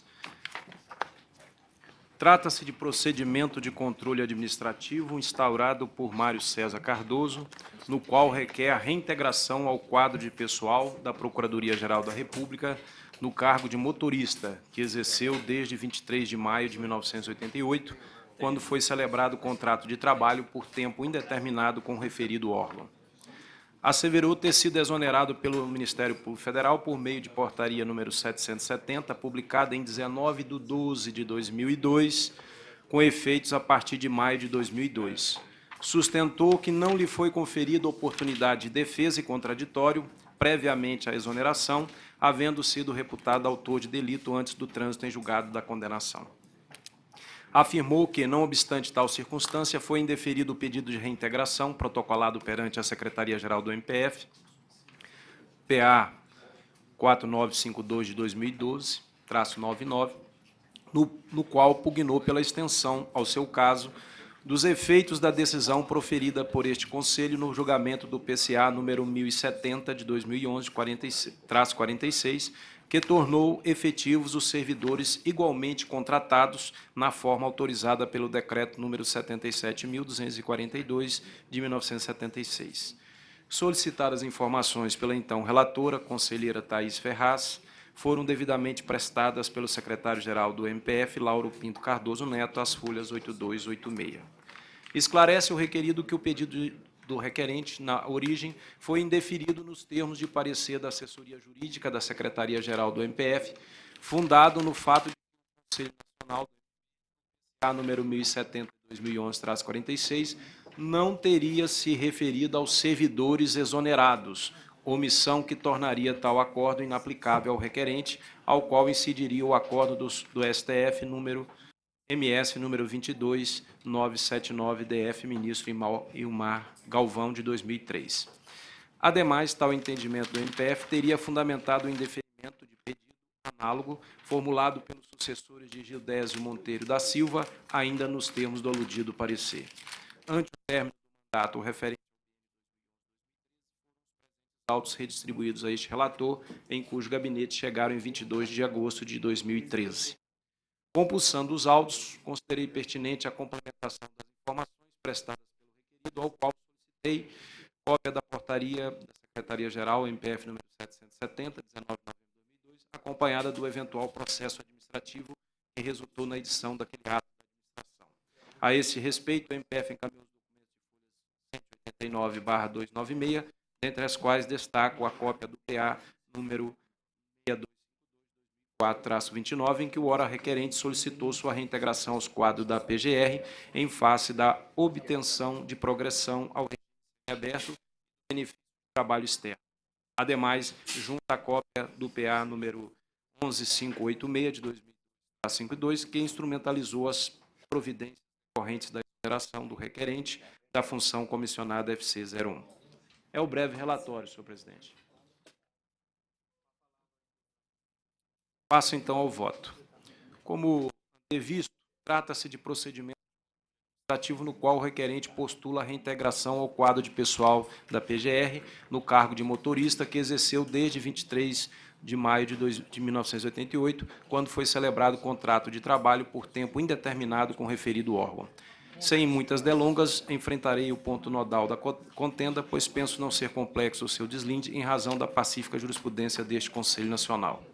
Primeiramente, gostaria de tratar da extensão dos efeitos do PCA 1070 de 2011, 46, de relatoria do conselheiro Mário Bonzalha. O requerente pede, em síntese, seu enquadramento como servidor efetivo do MPF nos termos deferidos aos requerentes do PCA 1070-2011-46, com a consequente reintegração aos quadros daquele órgão. A referida decisão do Conselho, de relatoria, como já dito, do conselheiro Mário Bonzalha, foi assim emendada procedimento de controle administrativo instaurado a pedido de servidores do MPF contratados na forma do decreto 77242 de 1976, antes da Constituição de 88. Possibilidade de transformação das funções por eles exercidas em cargos públicos efetivos do, do, dos quadros do MPF, na forma do parágrafo 1 do artigo 243 da Lei 8.112 de 1990. Jurisprudência do Tribunal de Contas da União princípios da segurança jurídica e da isonomia, procedência do pedido. Trata-se de especial instaurado por 16 servidores que foram contratados na forma do artigo 2 e parágrafo do decreto 77242-76, antes da vigência da atual Carta Constitucional, que pretendem ser efetivados nos quadros do MPF. A situação dos requerentes amolda-se à previsão do artigo 243 da Lei 8.112 de 90 e, consequentemente, a do parágrafo 1 do mesmo artigo. O TCU, após decidir a consulta número 001827 de 2009-6, formulada pelo STM, consolidou posicionamento no mesmo sentido em que pleiteado nestes autos. Vários órgãos da administração federal, a exemplo do TST e do STM, já deferiram pedido semelhante aos seus respectivos servidores contratados na forma do decreto número 7742476 necessidade de observar os princípios da segurança jurídica da isonomia, procedência do pedido com efeitos financeiros contatados, contados da data do requerimento inicial deste feito. Compulsando os autos, constato que a decisão administrativa ora impugnada fundamentou-se na insubsistência do vínculo funcional do requerente como óbice à pretendida extensão dos efeitos do PCA número 1070 2011-46, hora lido, reproduzindo entendimento exarado em caso análogo e recentemente rechaçado por este Conselho Nacional nos autos do PCA número 895-2012-24, relatora conselheira Cláudia Chagas, assim emendado. Procedimento de controle administrativo. Servidor do, do MPF já falecido, contratado na forma do decreto 77242-76, antes da Constituição de 88 possibilidade de transformação da função exercida em cargo público efetivo na forma do parágrafo 1 do artigo 243 da Lei 8.112 de, de 90, reconhecida no PCA número 1700. 46. Jurisprudência do Tribunal de Contas da União. Princípios da segurança jurídica da isonomia. Legitimidade dos herdeiros para requererem o reconhecimento do direito de enquadramento do empregado como servidor público efetivo do MPF, nos termos já deferidos aos demais servidores em idêntica situação. Reflexo nas pensões previsto na Lei 8.112 de 1990. Do lapidar voto proferido pela conselheira Cláudia Chagas, destaco os seguintes trechos por elucidativos da semelhança do presente caso com aquele objeto do recente julgado deste CNP. O relator esclareceu a questão com muita precisão, anotando que o pleito dos requerentes encontra-se amparado em entendimento atual do plenário do Tribunal de Contas da União, órgão que detém competência constitucional para interpretar as normas administrativas. Ressaltou a necessidade de garantir a observância do princípio da segurança jurídica, bem como o fato de que, há anos, os requerentes buscam reconhecimento administrativo do direito à efetivação nos quadros do MPF. Além disso, o próprio princípio da isonomia preconiza que adotemos o mesmo tratamento jurídico dado por outros órgãos da administração pública federal em situações análogas envolvendo servidores vinculados ao decreto 77242 de 76, a exemplo do TST, do STM e do TRT da décima região. O fato do servidor ter falecido antes da decisão do PCA 1070-2011-46, proferida em 13 de 12 de 2011, não impede seu enquadramento, já que preenchia todos os requisitos na data do óbito. Nesse sentido, cabe destacar a decisão TST no processo 717802-1000-6, que abrangeu os servidores já aposentados, determinando o cancelamento da aposentadoria do INSS e a concessão de pensão prevista na Lei 8.112 de 1990.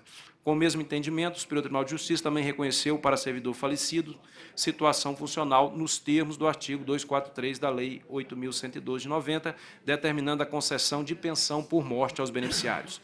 No que se refere ao mérito, deve o pedido ser julgado procedente. Da leitura dos presentes autos, verifica-se que, de fato, a situação funcional do falecido servidor Gildésio Monteiro da Silva, desde o seu ingresso até a sua morte era em tudo idêntica à daqueles que figuraram como requerentes no já referido PCA.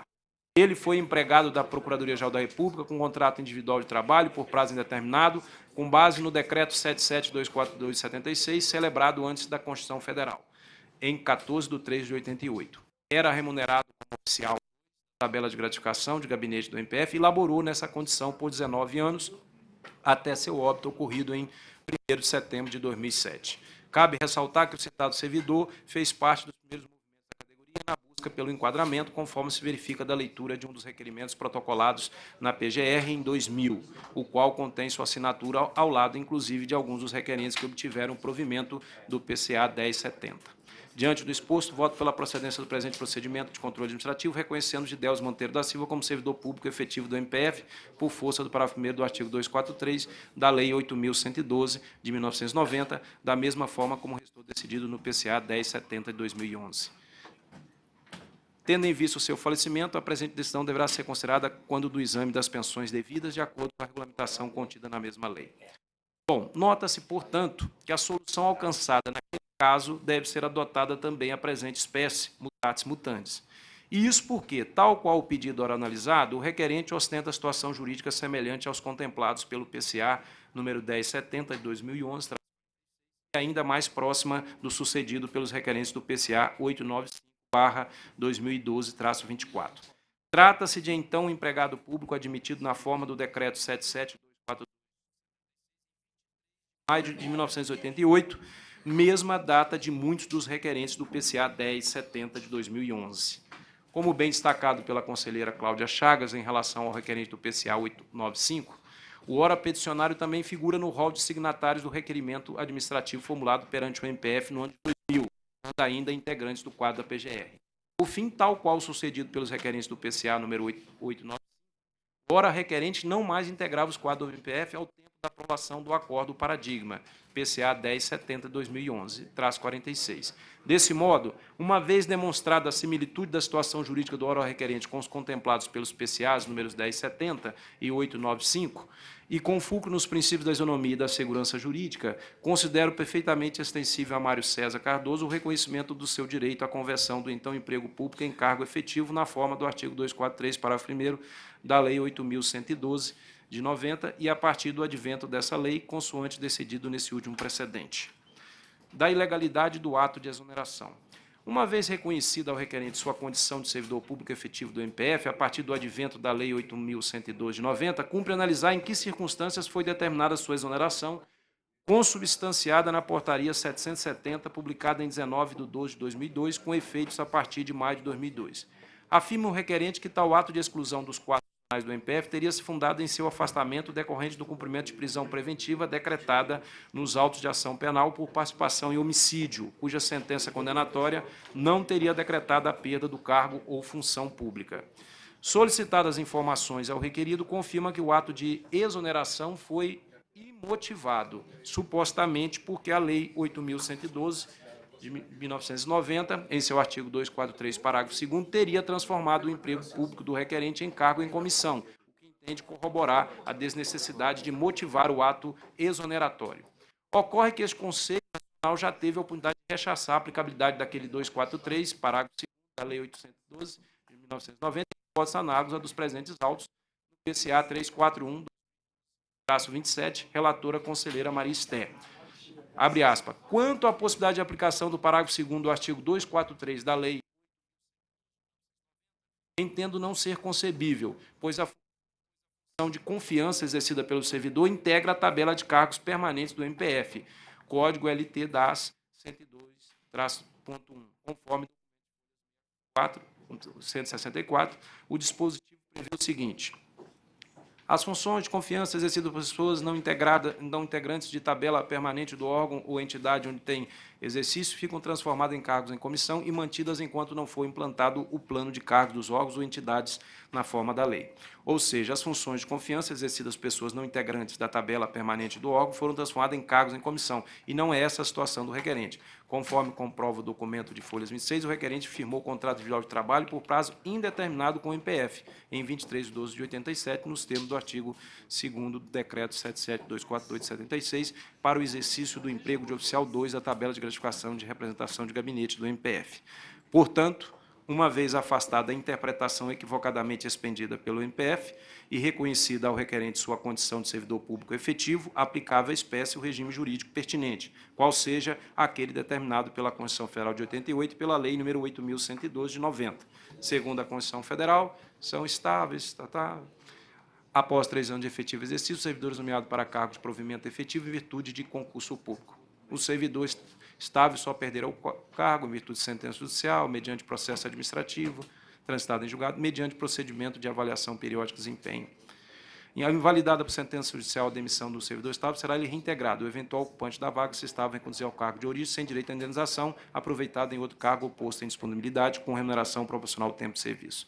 Desse modo, não configurada qualquer das hipóteses de perda do cargo efetivo, efetivo elencadas no texto constitucional, mistera a aplicação da solução preconizada no supratranscrito parágrafo 2 qual seja a reintegração do servidor aos quadros do Ministério Público Federal.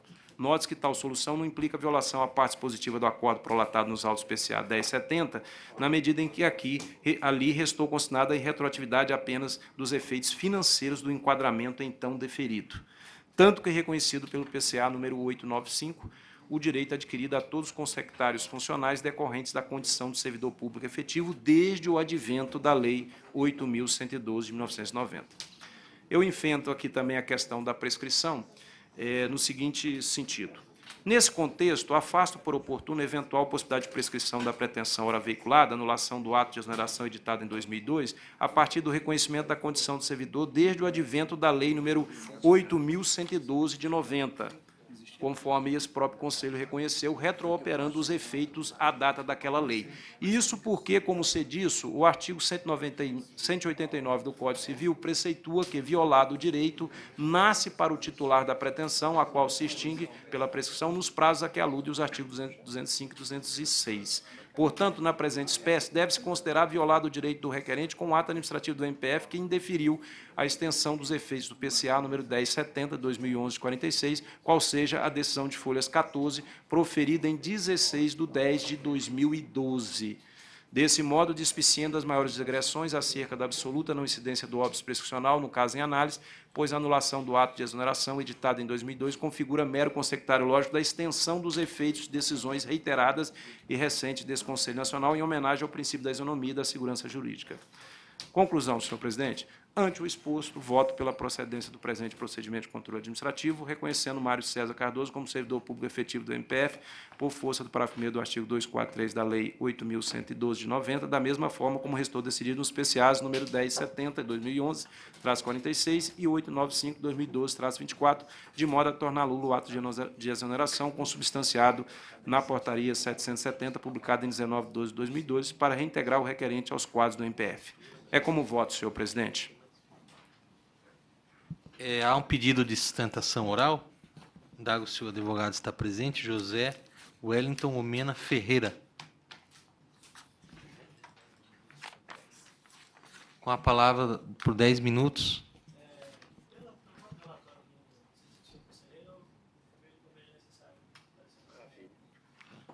Senhor presidente, eu queria antecipar pedido de vista. Indago aos demais conselheiros se vão aguardar pronunciamento. Pedido de vista. Esclarecimento ao relator. Eu ouvi atentamente, até tínhamos conversado anteriormente sobre o caso. É um questionamento. Dentro do PCA, existe a informação de, da pena, se, qual foi a pena aplicada, a pena corporal? Na verdade, o que, aconteceu? Ele foi partícipe de um homicídio. No interregno é, dessa discussão em torno da efetivação ou não. Hum. Na verdade, estava sendo negado, ele inclusive é, integrava o primeiro pedido, né? mas não foi esse o motivo que o levou a ser demitido. A administração, em nenhum momento, é, o demitiu é, por, por conta da, da sentença penal. Inclusive, a sentença penal ela não faz constar na sua parte expositiva qualquer referência à perda do cargo propriamente falando, né? como um efeito, e também... É, não tinha o cargo, exatamente, nem podia, né? na verdade, porque não, não estava reconhecido o vínculo. Mas a administração apenas o demitiu imotivadamente, entendendo que o vínculo era precário. Nesse sentido, há comentários, sim, no, no bojo do, do processo, há referências a que ele estaria respondendo ao processo e, e, tudo mais, mas o fato é que, administrativamente, em nenhum momento foi questionado isso ah. pela administração, no sentido de ser o motivo, o, o filtro condutor sim, da sua demissão. Sim. É, que veja só, eu entendi exatamente e analisando de maneira estanque a questão funcional, é, eu me posiciono, tenho essa, é, essa, essa inclinação de acompanhar Vossa Excelência. A única questão que, que surge é, uma vez ele reintegrado, enfim, dado, sendo dado provimento ao PCA, é, me parece incompatível uma pessoa condenada por um crime grave como esse, é, exercendo a função pública normalmente. É, é, acho que aí a questão da, da vista, justamente para poder equacionar, porque uma coisa é a questão funcional dele, a questão do, da reintegração, outra coisa é se uma vez reintegrado é possível a retroatividade da sentença para abarcar, uma vez que não há, a, a, não há obrigatoriedade, o artigo 92, eu estava consultando agora há pouco, do Código Penal, diz que não é efeito automático nesse caso. Então teria que ter uma, um provimento jurisdicional nesse sentido. Não houve, como bem colocado aqui pelo conselheiro Marcelo Ferro, porque ele não ostentava a condição de servidor público. Acho que por isso. Então ele, ele foi levado à justiça é, penal, recebeu ali uma, uma sanção, e o juiz, como não tinha é, informação, não, obviamente não aplicou a, a, a, automaticamente, não, não, declinou as razões pelas quais tirava o cargo dele. A, minha única preocupação, conselheiro Antônio Duarte, é que, é, é, sendo dado provimento, o retorno dele ele convivendo com uma condenação como essa, não sei se ainda houve não, trânsito em julgado. Ele já cumpriu, já está em liberdade, né? Já, Sim, mas já, o trânsito em julgado, cumpriu a reprimenda. Já cumpriu a reprimenda. Pois é, mas mesmo assim, não me, não, não, não me sinto confortável é em admiti-lo. Em admiti é uma outra questão. A, questão. a questão jurídica, no meu modo de pensar, é se ele tinha ou não direito a ter estendido os efeitos que este Conselho resolveu estender para aqueles mesmos colegas que, ao tempo em que ele também atuava, tinham um vínculo que seria pois é, é, conselheiro, precário. Permite uma parte? E, e ainda, não, há claro. um, e ainda há um dado complicador que é relativo à prescrição, porque ele está pedindo a extensão né, da, da decisão. Ele não era parte na, na, na, no procedimento que, que, no qual se ensejou a, a decisão que ele, que ele, cujos efeitos ele quer ter para si. E ele foi exonerado quando? Em 2002. Pois é. E é agora que ele fez o pedido, né? Então. É, nasceu, no meu modo de pensar, é, assim, baseado no, no princípio da, da accionata. Sim, sim. Nasceu para ele, é, vamos dizer assim, o direito de pleitear a extensão na medida em que o Conselho reconheceu. Eu, em relação a ele também, se ele no modo de pensar, a mesma, parte, a mesma natureza jurídica daquele eu, vínculo, eu, reconhecimento da efetividade. Pronto, eu não teria dificuldade em acompanhar esse raciocínio se ele tivesse sido parte, mas ele está pedindo apenas a extensão, apenas a extensão. Né? Então, ou seja, passaram-se aí mais de 10 anos. É, na verdade, a decisão do Conselho foi em 2012. Né? Eu penso que dali na, nasce, nasce para ele uma nova, um, novo, um novo direito, uma nova pretensão. Não, ele foi parte, inclusive ele figurou, ele figurou em vários requerimentos, inclusive no requerimento que estes colegas é, manejaram perante aqui o, o, conselho. Ele também, ele também figurava, mas na ocasião, quando eles, eles é, foi indeferido no âmbito do MPF, aí eles entraram aqui no, no, no conselho. Nessa ocasião, ele já não entrou porque ele estava lá resolvendo a questão dele na Justiça Penal. Conselheiro esperar essa questão da Vai prescrição. o pedido de vista. Né? Mas, de qualquer forma, eu aguardo, então... A, é, eu, eu, vou, eu vou aguardar o pedido de vista, mas quando esse caso for é, retornar à análise, eu acho que essa questão aí é de suma importância para que nós possamos resolver a questão do homicídio, né, que ele foi condenado. É... Eu, eu gostaria de dizer que justamente pedi vista para examinar esses diversos aspectos eh, suscitados pelos colegas e alguns outros. Eu ia, se o presidente não. me permite, eu ia antecipar voto, mas o que aqui também chamou a atenção na questão diz respeito à ausência na penalidade obtida não é, dessa previsão. Então, nós não podemos também nos substituir ao magistrado e dizer eh, quais seriam as, as possíveis aplicações, de, quais seriam as possíveis penas que ele aplicaria, tendo em vista essa ou aquela eh, pretensão ou, ou interpretação. Eu entendo como absolutamente relevantes a, preocupação do Conselho de Saliba. Aliás, nós estamos só divergindo do Conselho de Saliba. Está na hora da gente começar a concordar. Mas se não há, mas se não há na pena imposta a previsão de perda do cargo, o Conselho, do mesmo modo que reconhece aqui a independência funcional dos membros do Ministério Público, também de- há de reconhecer os limites né, da atuação do magistrado. Então, ora, se ele não aplicou pena, com certeza ele tinha, o magistrado tinha ciência de que se tratava de alguém que desempenhava função pública. né? Então, há um... Aliás, me permite, conselheiro, o irmão dele, que foi, o, o irmão dele foi o que espalmou. Ele era um partista, ele conduziu o irmão até o palco dos acontecimentos e ele respondeu por participação. O irmão dele não foi afastado, foi condenado e continuou, ele era servidor do, Ministério, do, do Distrito Federal e não foi afastado. Então era como se nós estabelecêssemos um bis idem.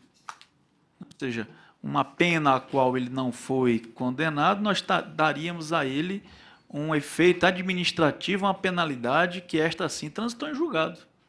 Eu acho que, nesse caso aqui, a análise há de ser formal, reconhecer os limites da sentença, que inclusive já transitou em julgado, já foi cumprida, né? e reconhecer, salvo melhor juízo, vou aguardar a vista por isso, né? se é possível tirar daquela sentença transitada em julgado, já cumprida, é, penas outras que não as contidas naquela pena. Eu vou me permitir só, senhor presidente. É só um enxerto aqui, obviamente que são muitos detalhes, mas com certeza o doutor Mário, com o pedido de vista, perspectivará melhor.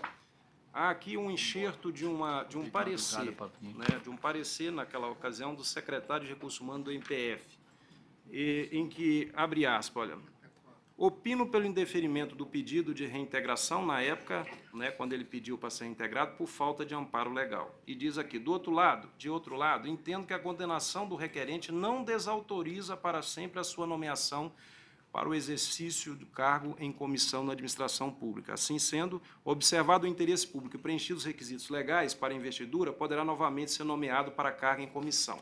Ressalte, porém, que, se tratando de cargo que exija regime de dedicação exclusiva, não há como compatibilizar o seu exercício com o cumprimento de pena restritiva de liberdade. Isso aqui foi encaminhado, inclusive, do doutor Janot, de acordo e tal, por isso que ele se deu por impedido, porque ele participou eh, da, da análise né, deste ato. Quer dizer, foi feita menção à questão em si, mas não enfrentada no âmbito administrativo. Quer dizer, a administração tinha conhecimento, mas resolveu, ao invés, porque entendia que ele não tinha o cargo, simplesmente utilizasse do, do, do, do dispositivo legal que entendia que o cargo mas não fez, na portaria que o desligou, não fez menção à eventual decisão penal. Quer dizer, e nem a decisão penal se referiu à perda do cargo. Posterior também, não foi a, Não, isso a aqui foi a penal, primeira. a portaria que o desligou, não foi posterior? Isso aqui foi de 2004, né? já foi o pedido dele de, de reintegração. Votou pela procedência o conselheiro Antônio Duarte, pediu vista o conselheiro Mário Bonsaglia, aguardam os demais conselheiros. Item 89 da pauta, processo 1523-2012, relator o conselheiro Alexandre Saliba, com a palavra. Corregedor Nacional. Questão aqui, uma questão polêmica. Eu vou tentar resumir aqui, o voto é extenso e devido ao adiantado da hora e constar como último item da nossa pauta de hoje, eu vou tentar abreviar ao máximo para contar aqui ah, aos senhores conselheiros, aos colegas, o cerne da controvérsia. É, é um, aqui, eu estou tratando aqui de um recurso interno interposto pelo Sindicato dos Técnicos em Tributação, Fiscalização e Arrecadação de Minas Gerais, visando reformar a decisão de arquivamento proferida pelo conselheiro Tito Amaral, que era o relator originário desse PCA. Uh, o recorrente, o Sindicato dos Técnicos, informa que em julho de 2010, outro sindicato, o dos fiscais e agentes de tributos lá de Minas também, ofereceu uma representação perante a Promotoria de Justiça titularizada pelo doutor Leonardo Barbarella, Barbabella, Leonardo Barbabella, titulada da Promotoria de Justiça de Defesa do Patrimônio de Minas, requerendo, essa representação tinha como objetivo é, a expedição ao Poder Executivo Estadual de Minas Gerais para que se abstivesse de encaminhar todo e qualquer projeto de lei que pudesse resultar em situação de compartilhamento de atribuições de competência privada, privativa exclusiva do cargo efetivo de auditor fiscal da Receita Estadual. Então, na verdade, era um temor dos fiscais e agentes de que é, houvesse, que pudesse ser deflagrado qualquer procedimento no âmbito do Poder Executivo do Estado de Minas, no sentido de encaminhamento de projeto que pudesse colocá-los na mesma situação dos técnicos em tributação.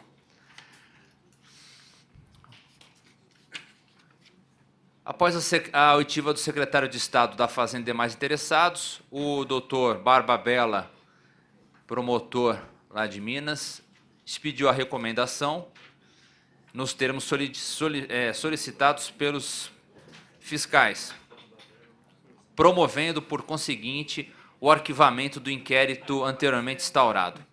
Aí, aspas, por entender ausentes os motivos ensejadores da adoção de outras medidas legais além da expedição de recomendação à administração pública para evitar a prática das supostas irregularidades noticiadas. Fecho aspas. Diante da confirmação pelo Conselho Superior do MP de Minas do arquivamento do inquérito civil, com a consequente preservação da recomendação expedida pelo promotor Barba Bela, o Sindicato dos Técnicos veio até esse conselho via PCA, buscando o reconhecimento absol, da absoluta, em tese, inconstitucionalidade da recomendação inibitória da deflagração de processo legislativo dirigida ao Executivo Mineiro. Naquela ocasião, o conselheiro Tito Amaral, relator original do feito, arquivou esse PCA.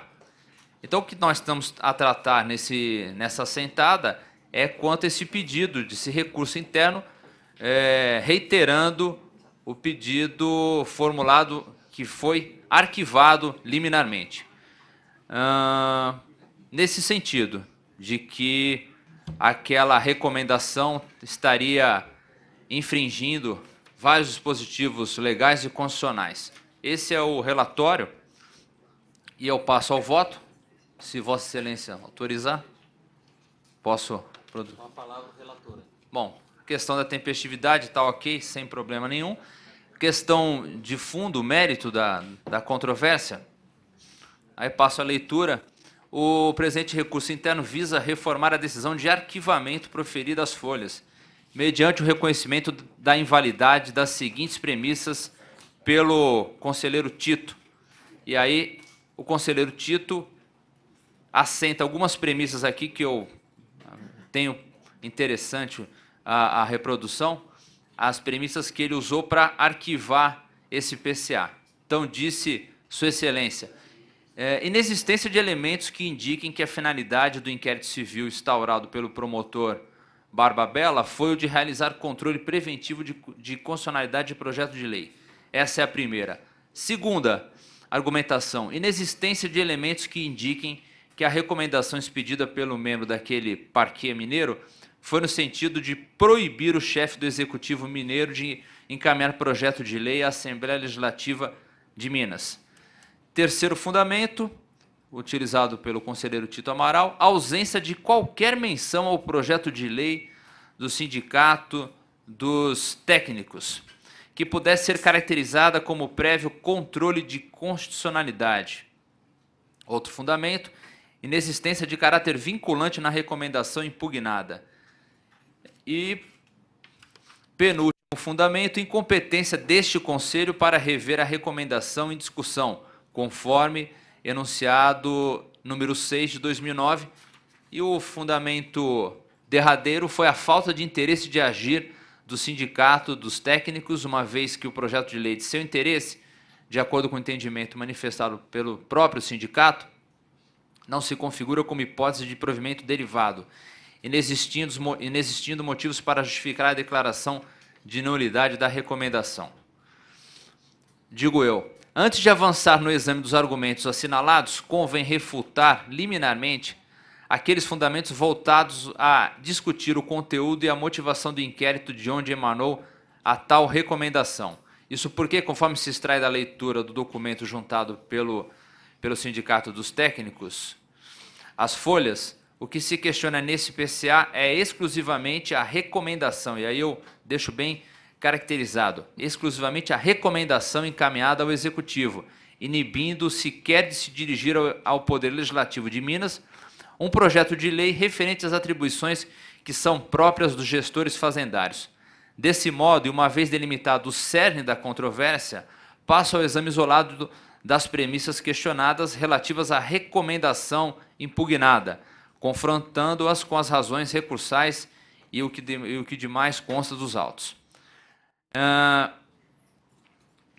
sobre o controle preventivo de constitucionalidade, que eu abro aqui um tópico para tratar do tema, eu digo que, de acordo com as, com as razões recursais, o objetivo explícito era a realização de um controle preventivo de constitucionalidade de determinado projeto de lei, para que, com isso, as autoridades políticas competentes se abstivessem de deflagrá-lo. A fim de sustentar tal argumento, o Sindicato dos Fiscais aponta o seguinte trecho das informações prestadas pelo promotor Barba Bela a este Conselho Nacional. E aí é o promotor falando. Aspas, instaurado o competente inquérito civil público e após a realização da instrução probatória pertinente, restaram evidenciados indícios dos fatos narrados na representação inaugural, em razão de que o órgão de execução singular expediu recomendação aos órgãos da administração estadual competentes para que se abstivessem de adotar qualquer medida, inclusive no campo de projeto de ato legislativo que pudesse consubstanciar burla ao princípio constitucional do concurso público para investidura em cargo público. Fecha aspas. Digo eu, com efeito, diante de tal manifestação, torna-se inegável o fato de que o promotor de justiça em questão, o doutor Barba Bela, talvez motivado por um justificado excesso de zelo com a coisa pública, considerou atribuir à sua recomendação um alcance não usual, de legitimidade duvidosa, voltado a impedir o Poder Executivo e o Poder Legislativo mineiro de exercerem suas competências privativas constitucionais.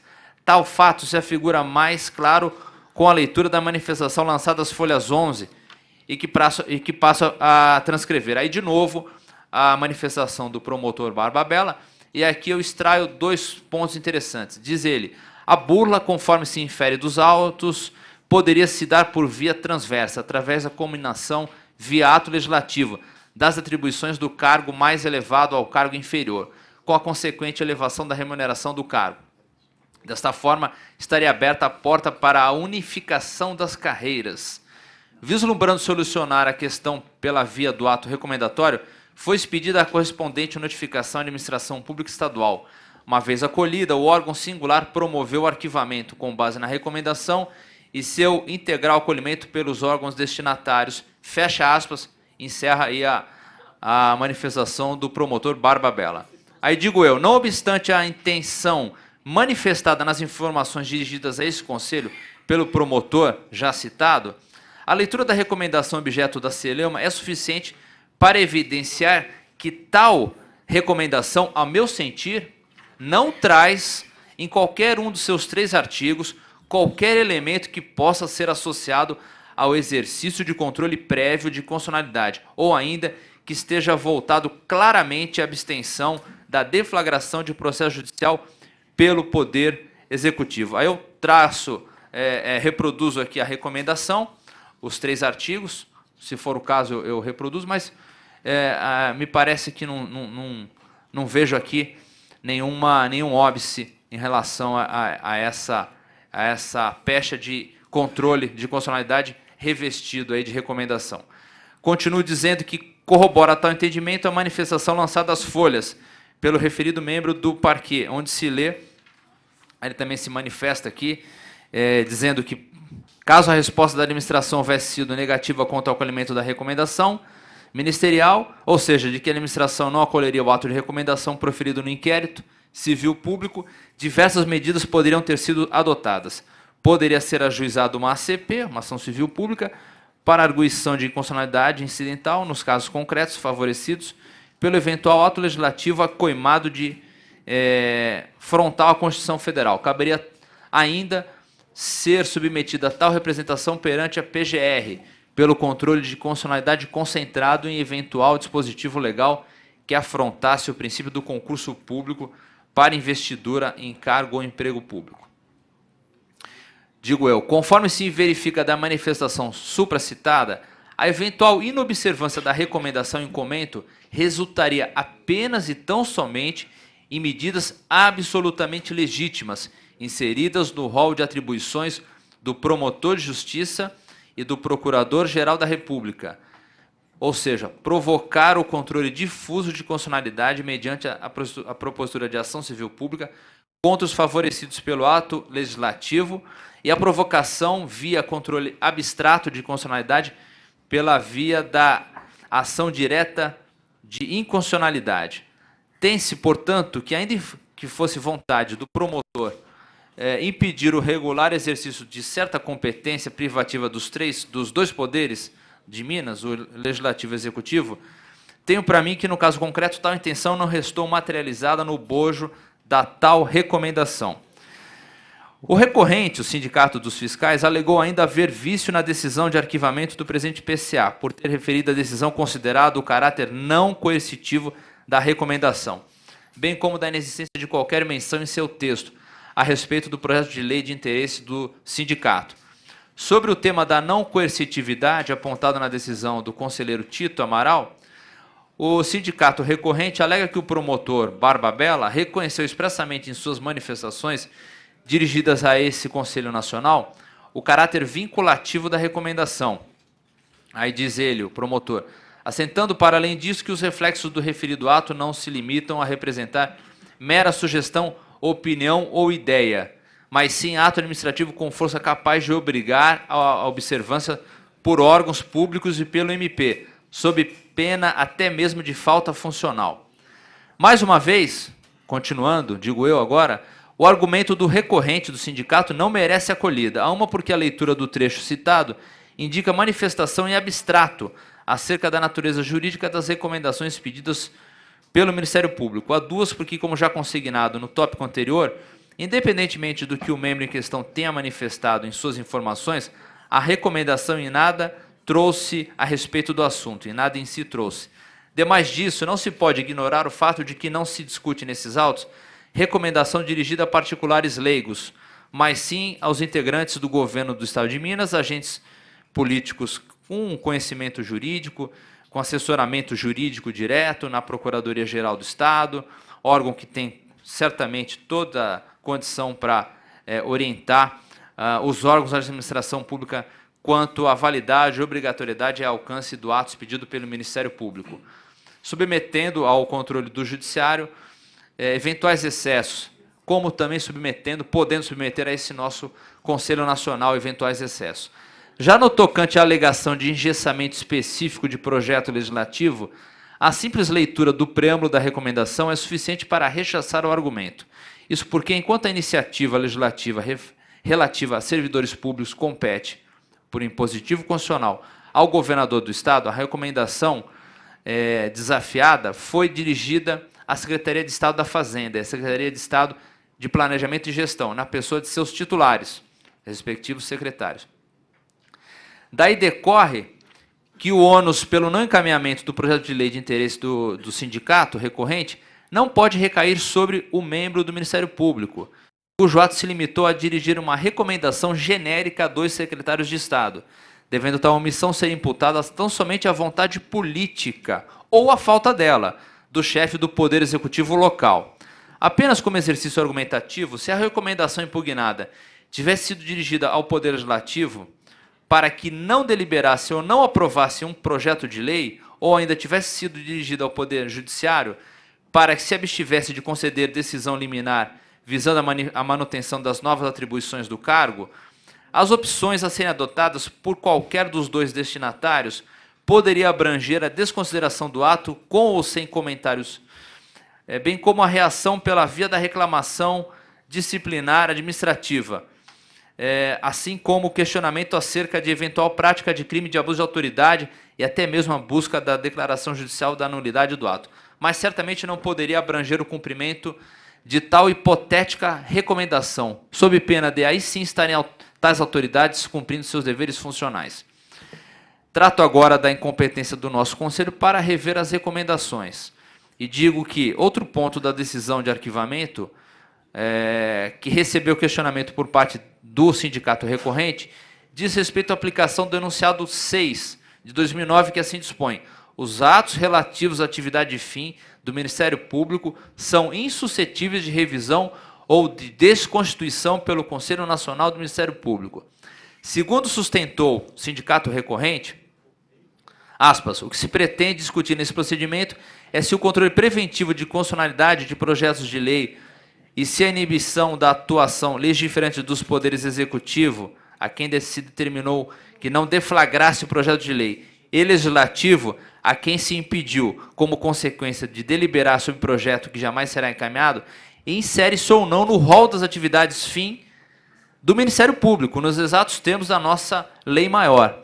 Em outras palavras, o recorrente, sindicato recorrente, defende que a discussão posta é, em análise, na análise para nós aqui conselheiros, não gravita em torno do conteúdo da recomendação em si, ou seja, se o projeto de lei de interesse do sindicato era ou não inconstitucional, mas sim sobre a dúvida quanto à competência e legitimidade do MP para exercer o controle preventivo de constitucionalidade de propostas legislativas, inibindo os poderes constitucionais de deliberarem determinadas matérias que, ao ver do parquê, seriam inconstitucionais.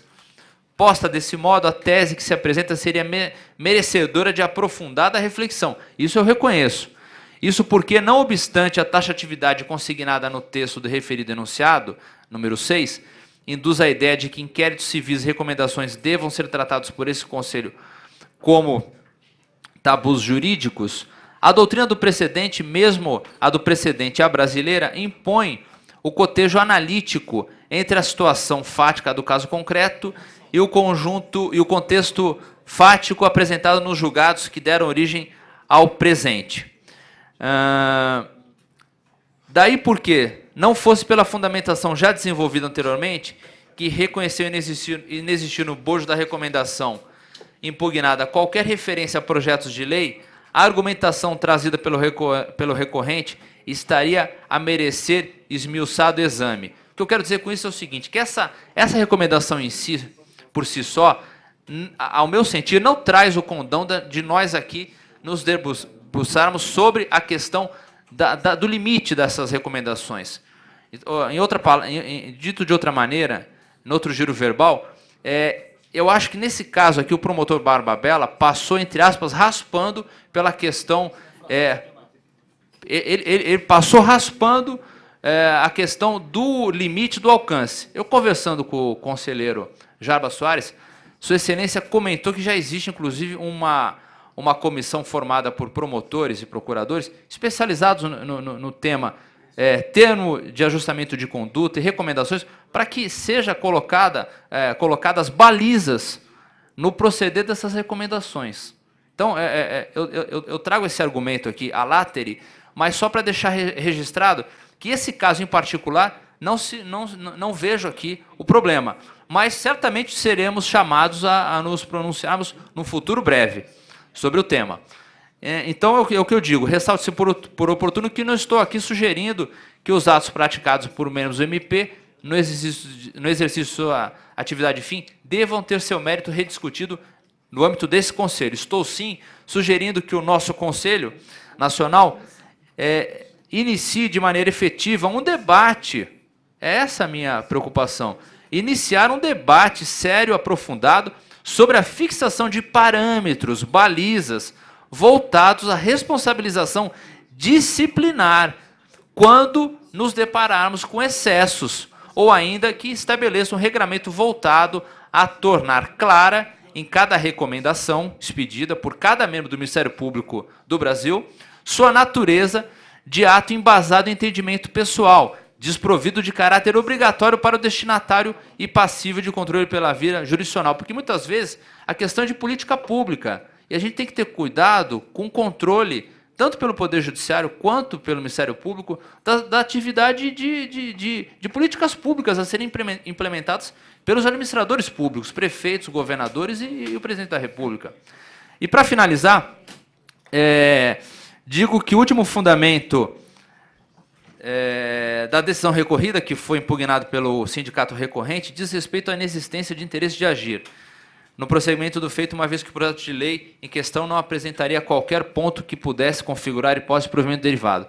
Sobre o tema, independente dos argumentos trazidos pelo sindicato recorrente, a questão resta prejudicada diante da abordagem que eu realizei nos tópicos anteriores, especialmente os que concluem no sentido de que a recomendação em questão não tem qualquer poder de impedir, de inibir o chefe do Poder Executivo local. Então, volto a dizer, essa, esse caso aqui passou raspando, mas poderíamos estar aqui diante de uma situação diferenciada, é, em que seria analisada a questão da responsabilização disciplinar do membro do Ministério Público. Então, com essas considerações, eu conheço do recurso interno, mas no mérito não dou provimento, mas colo- colocando aqui o tema é, subjacente que me parece de maior relevância, que é a questão da recomendação. É como voto, presidente.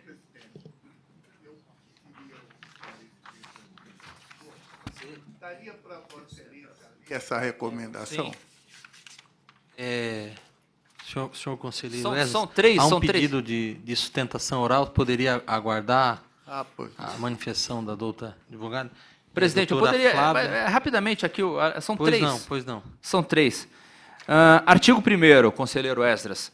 A administração pública deverá adotar as medidas necessárias a fim de impedir a ocorrência da antiga e reprovável figura do, aspas, provimento derivado, em quaisquer cargos das carreiras públicas estaduais, em especial nos cargos da carreira de auditor fiscal da Receita Federal, cuja remuneração alinha-se entre as mais elevadas do Executivo Estadual, restringindo a investidura nos aludidos cargos exclusivamente na forma do artigo 37, incisos 1 e 2 da Constituição Federal.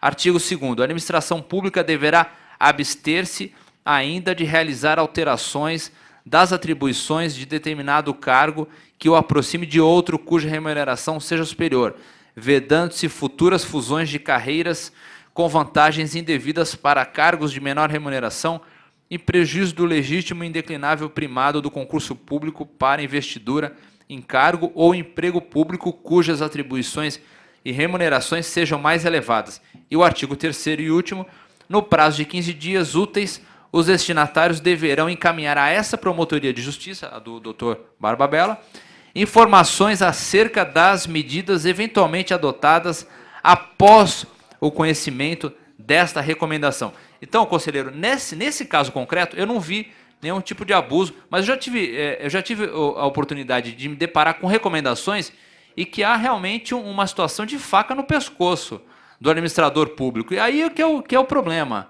conselheiro ah, Assad. Esse que é o problema. Então, eh, aqui é mais para nós refletirmos sobre o caso, mas, enfim. Palavra com a doutora advogada Flávia Cardoso Campos Guti, por 10 minutos.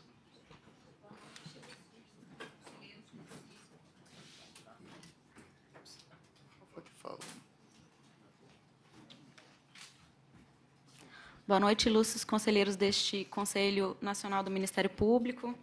É, entendo o adiantado da hora, mas tentarei ser o mais breve possível. A matéria, de fato, é complexa. E eu vou iniciar é, a minha sustentação relendo a conclusão da, da, da representação e da, da recomendação expedida pelo ilustre promotor Leonardo Barba Bela, que não deixam dúvidas acerca do caráter coercitivo dessa recomendação. A conclusão foi a seguinte: pelo exposto, determina-se a expedição de recomendação à Secretaria do Estado da Fazenda, à Secretaria do Estado de Planejamento, ao governo estadual, para que sejam adotadas as medidas necessárias a fim de impedir a ocorrência da figura do provimento derivado em quaisquer cargos das carreiras estaduais em especial nos cargos da carreira de auditor fiscal da Receita Estadual, bem como de abster-se de realizar ou propor eventuais fusões de carreiras com vantagens indevidas para cargos de menor remuneração, em prejuízo do concurso público para investidura em cargo ou emprego público. Seguindo nos considerando, o ilustre promotor afirma considerando que, no caso do presente inquérito civil público, restou comprovado que os ocupantes dos cargos da carreira de auditor fiscal detêm competência exclusiva para realizar o lançamento do crédito tributário, considerando que a carreira de gestor fazendário não detém competência para efetuar o lançamento do crédito tributário, fazendo aqui, é, digo eu, um controle preventivo de constitucionalidade. Em terceiro, resolve expedir recomendação à secretaria e ao governo estadual, na pessoa de seus ilustres titulares, para. Artigo 1 a administração pública deverá adotar as medidas necessárias a fim de impedir a ocorrência da antiga e reprovável figura do provimento derivado, em quaisquer cargos das carreiras públicas estaduais, em especial nos cargos da carreira de auditor fiscal da Receita, cuja remuneração alinha-se às mais elevadas, é, é, as mais elevadas do Poder Executivo Estadual, restringindo a investidura dos autos de descargos exclusivamente na forma do artigo 37 da Constituição Federal. A administração pública deverá abster-se ainda de realizar alterações das atribuições de determinado cargo que o aproxime de outro cuja remuneração seja superior, vedando-se futuras fusões de carreiras com vantagens indevidas para cargos de menor remuneração em prejuízo do legítimo e indeclinável primado do concurso público. Bom, é, ilustríssimos conselheiros, se tal proceder não é inicia, por, iniciando por controle preventivo de constitucionalidade, inibindo a deflagração de processo legislativo, não, não consigo encontrar outra forma que isso fosse possível. É, esse procedimento de controle é, administrativo foi apresentado pelo Sinfaz, é, em que traz a discussões de Vossas Excelências os limites da atribuição do Ministério Público na expedição de recomendações, especialmente ao poder público, como trata a heterodoxa re recomendação que aqui se discute. É, o Sindifisco ofereceu representação para a instauração de inquérito civil endereçada ao representante do Ministério Público, que tinha destinatário certo, o governador do Estado de Minas Gerais. Nessa representação, o científico afirma a existência de fraude burla à obrigatoriedade de realização do concurso público.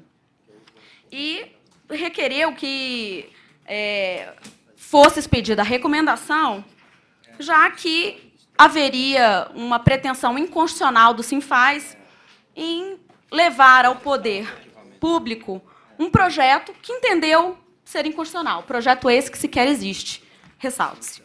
É, na inicial da representação, pedi os pedidos formulados foram intimação do governador do Estado de Minas, de Minas Gerais e do secretário de Estado para que se abstenham por completo de providenciar e encaminhar todo e qualquer projeto de lei denominado projeto para incremento da arrecadação, ou qualquer outro projeto com nova nomenclatura que é, resultasse na situação de compartilhamento de atribuições. É, o segundo pedido, esclarecer e cientificar formalmente o governador do Estado de Minas Gerais que a pretensão do Sinfaz caracterizaria ilícita transposição de atribuições, que significaria, no seu entender, uma forma de provimento derivado. É, outro pedido, esclarecer e cientificar solenemente o governador do Estado de Minas Gerais para adotar todas as providências necessárias à sustação à pretensão do Cifaz, então questionada. E, de fato, foi o que o científico conseguiu. Por quê? Porque o ilustre representante do Ministério Público, doutor Leonardo Barba Bela, entendeu pelo cabimento da expedição de recomendação ao Poder Público Estadual, inclusive oficiando ao governador do Estado de Minas Gerais, que se abstivesse de realizar alterações nas atribuições na forma de provimento derivado. E, claro que, por essa característica heterodoxa da recomendação, buscou-se uma manifestação do Conselho, na origem, e foi negado daí a apresentação deste PCA.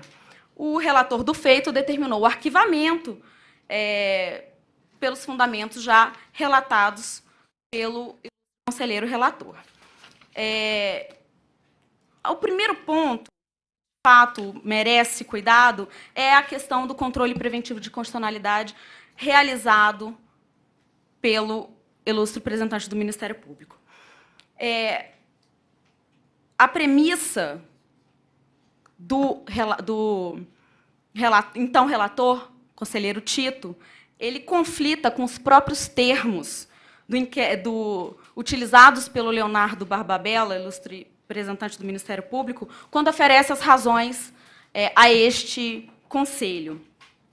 É, inicialmente, é, ele mesmo afirma que na espécie, o órgão de execução ministerial, após encetar farta atividade instrutória, concluiu pela presença de indícios de atos tendentes a burlar o, o sagrado princípio constitucional do concurso público. Ou seja, a recomendação foi expedida funda fundada na premissa de que a pretensão do Sinfaz violaria o princípio constitucional do concurso público. Ora, se as razões do pedido formulado pelo científico não é, claramente apontariam a violação do princípio do concurso público, a expedição da recomendação em sentido contrário se mostraria dissociada com o que foi postulado. Ou seja, se, uma, se o científico pretendeu a expedição de recomendação porque entendeu inconstitucional a pretensão do Sinfaz... Certo. É, a, a recomendação, na verdade, ela estaria dissociada porque é o controle de constitucionalidade, a, perdão, a representação, a recomendação, ela tem, teria sim o fundamento na inconstitucionalidade desse, desse suposto projeto de lei a ser apresentado pelo, pelo Sinfaz.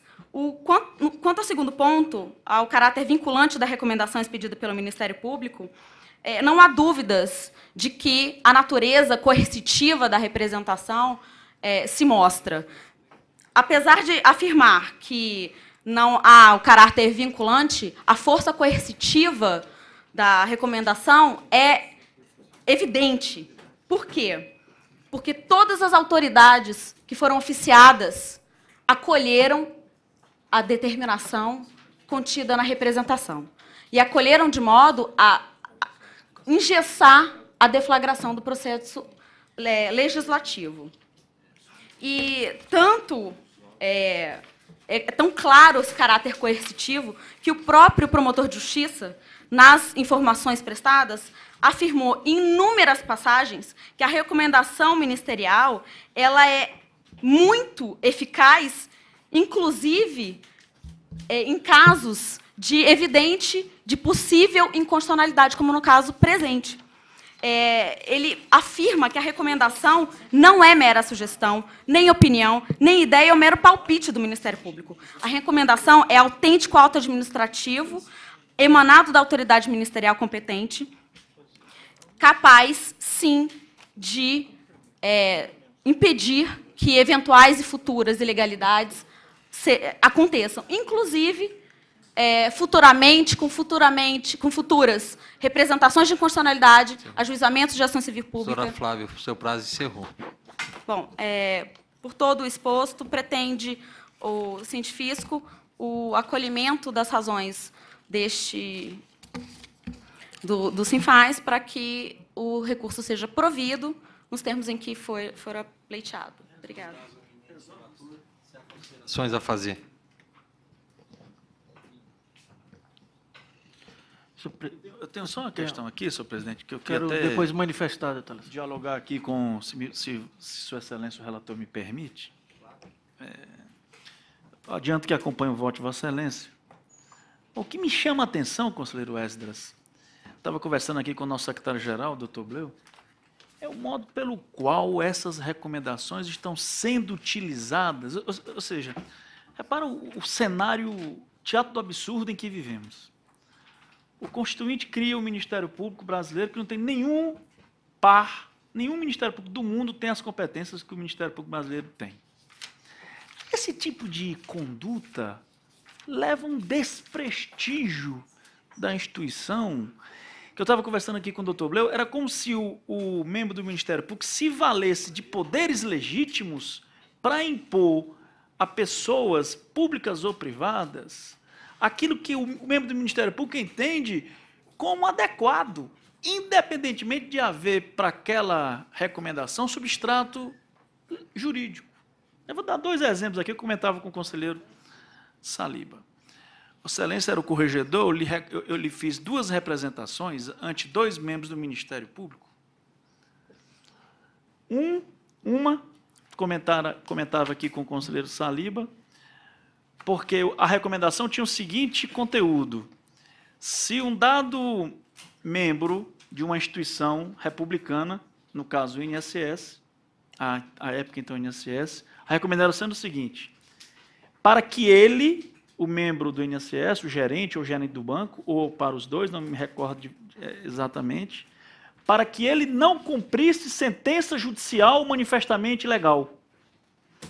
Então veja bem, veja bem, há uma, uma sentença prolatada por um juiz, no caso federal,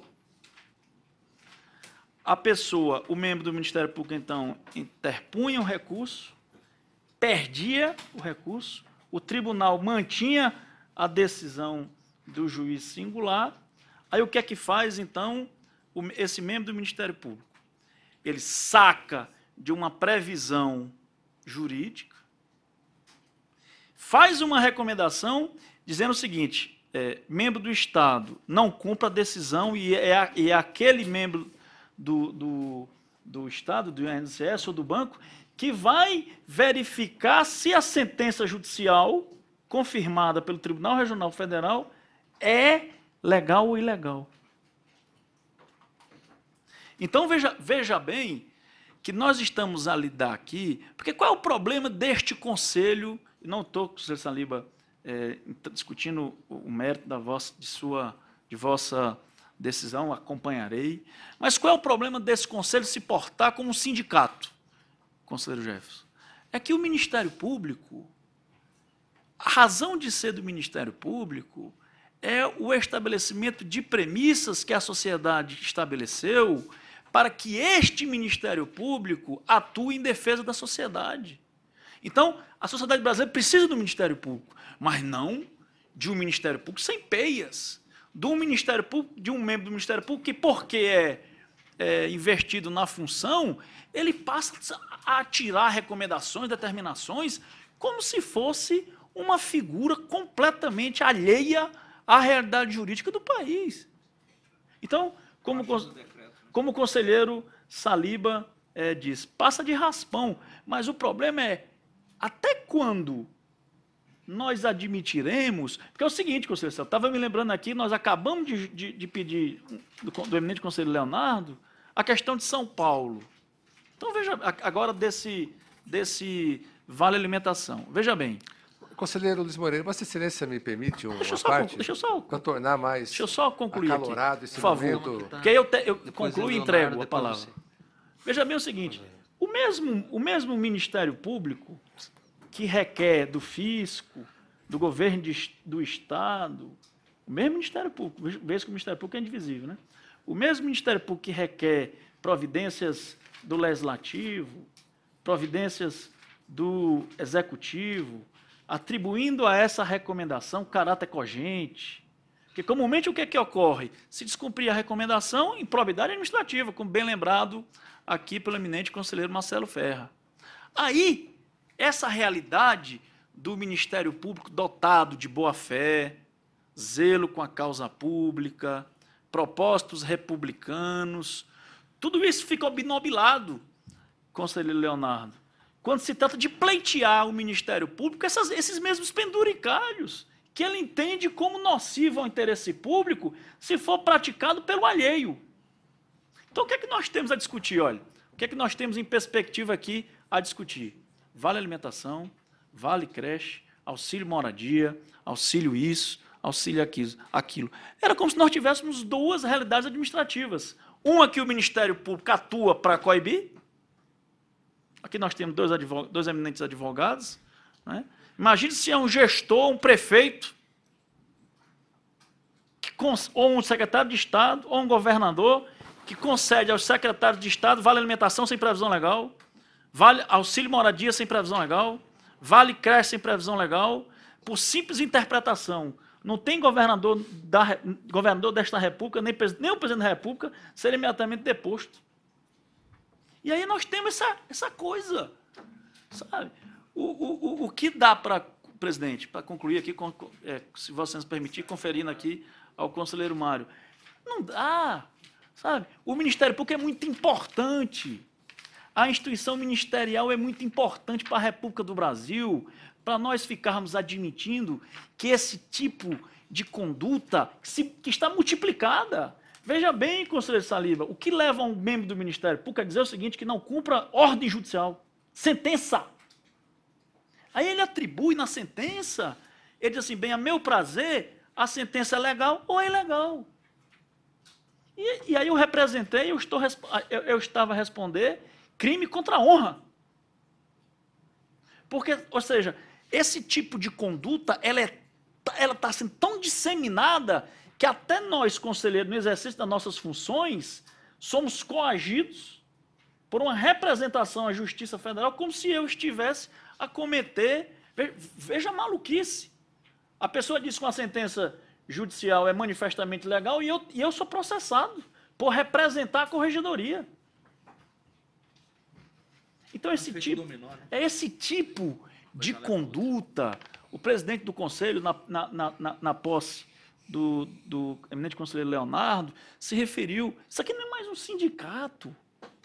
Ou este conselho assume para si a missão constitucional de colocar as coisas no devidos, nos seus devidos lugares, ou o ministro, não vai ter PEC 37, porque haverá outra, e outra, e outra.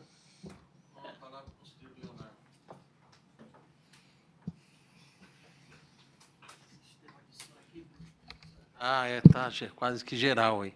Por gentileza. Falando que começa. Que aparece. Fala. Fala aqui. Olha aí, já tem um novo aí, já tem um novo. aí. Presidente, já me garanto um microfone. Senhor né? presidente, antes de iniciar as minhas eh, ponderações, gostaria de parabenizar a doutora Flávia, que integra o escritório da doutora Cláudia Bacchianeri, que é muito festejada lá no eleitoral.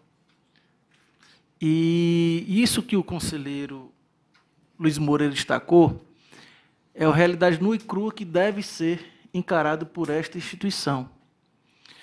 Porque de onde eu venho, as críticas em relação às recomendações, e aqui eu não discuto a constitucionalidade e a legalidade dela, tanto a recomendação quanto o termo de ajustamento de conduta, mas a forma como elas estão sendo colocadas, de modo até mesmo esvaziar os demais poderes.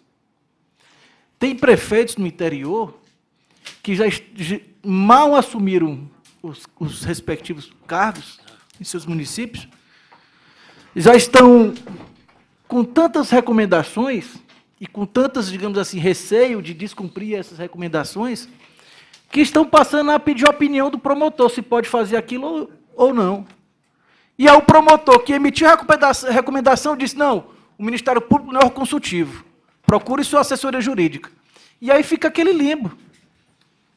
O administrador público não sabe a quem recorrer.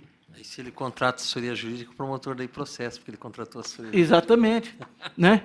Então, esse tema de recomendação realmente é um tema caro à sociedade, porque é, não se pode permitir que um instrumento tão importante que é a recomendação e o TAC venha sendo desvirtuado.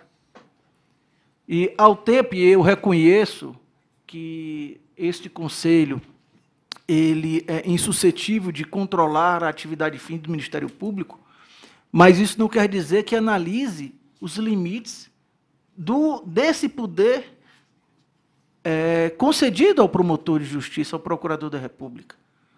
Porque no momento em que você age no exercício de um direito, mas utilizando desse instrumento, passa a ultrapassar esses limites, eu entendo que competiria sim a esse conselho analisar a responsabilidade por parte de quem o emitiu.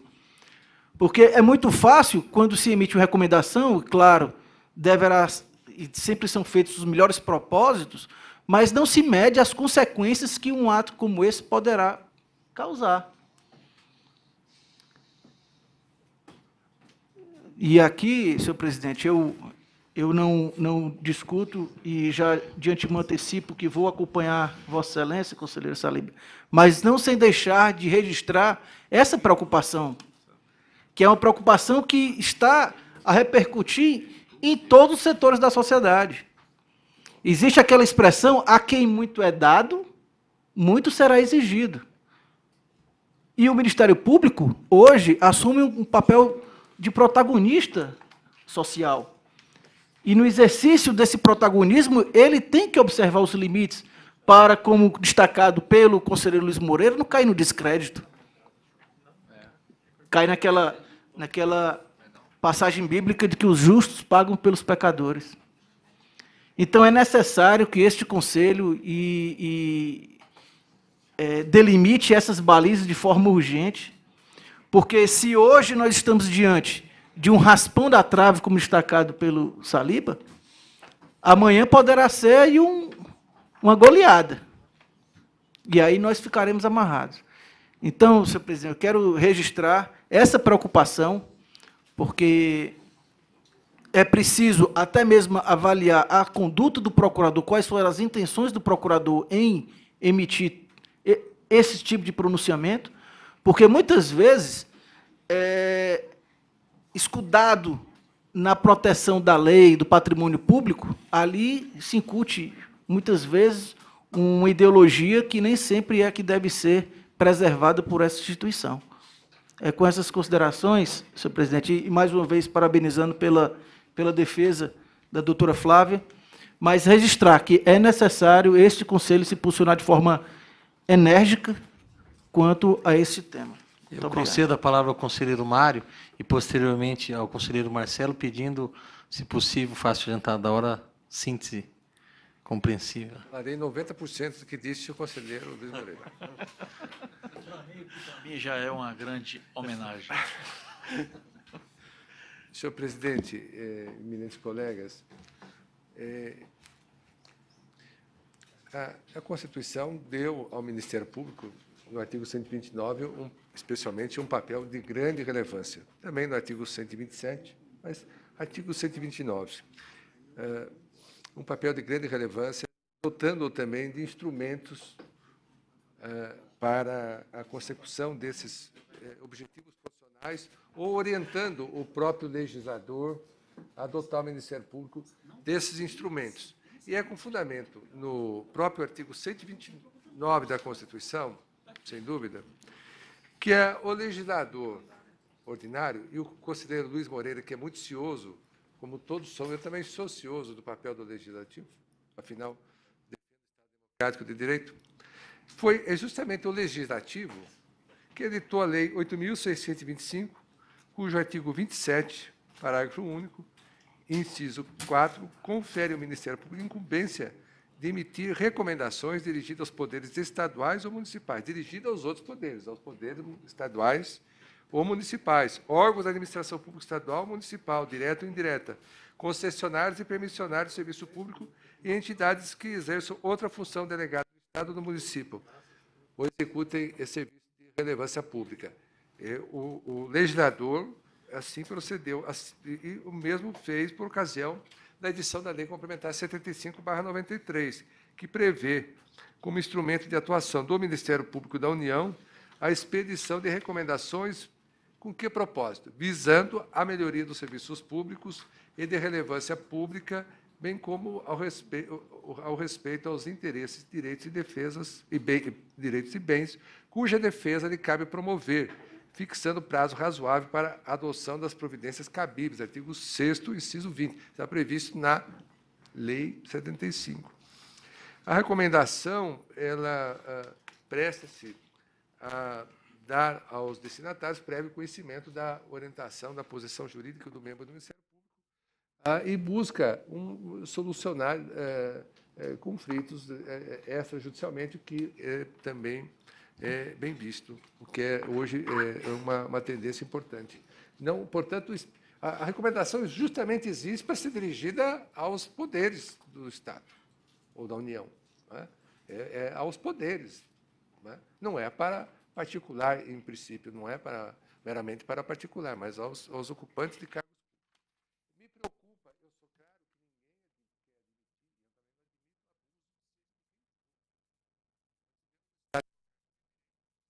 deles, é, dos agentes públicos deve ser exercido nos estritos ditame, limites é, e regramentos constitucionais e legais. E, e ninguém, é, obviamente, vai ser conivente com abusos cometidos. Acho, digo tudo isso apenas para dizer me preocupa uma tendência, uma possível tendência à criminalização de recomendações. Não digo por parte desse Conselho, porque esse Conselho, inclusive, tem o dever constitucional de zelar uh,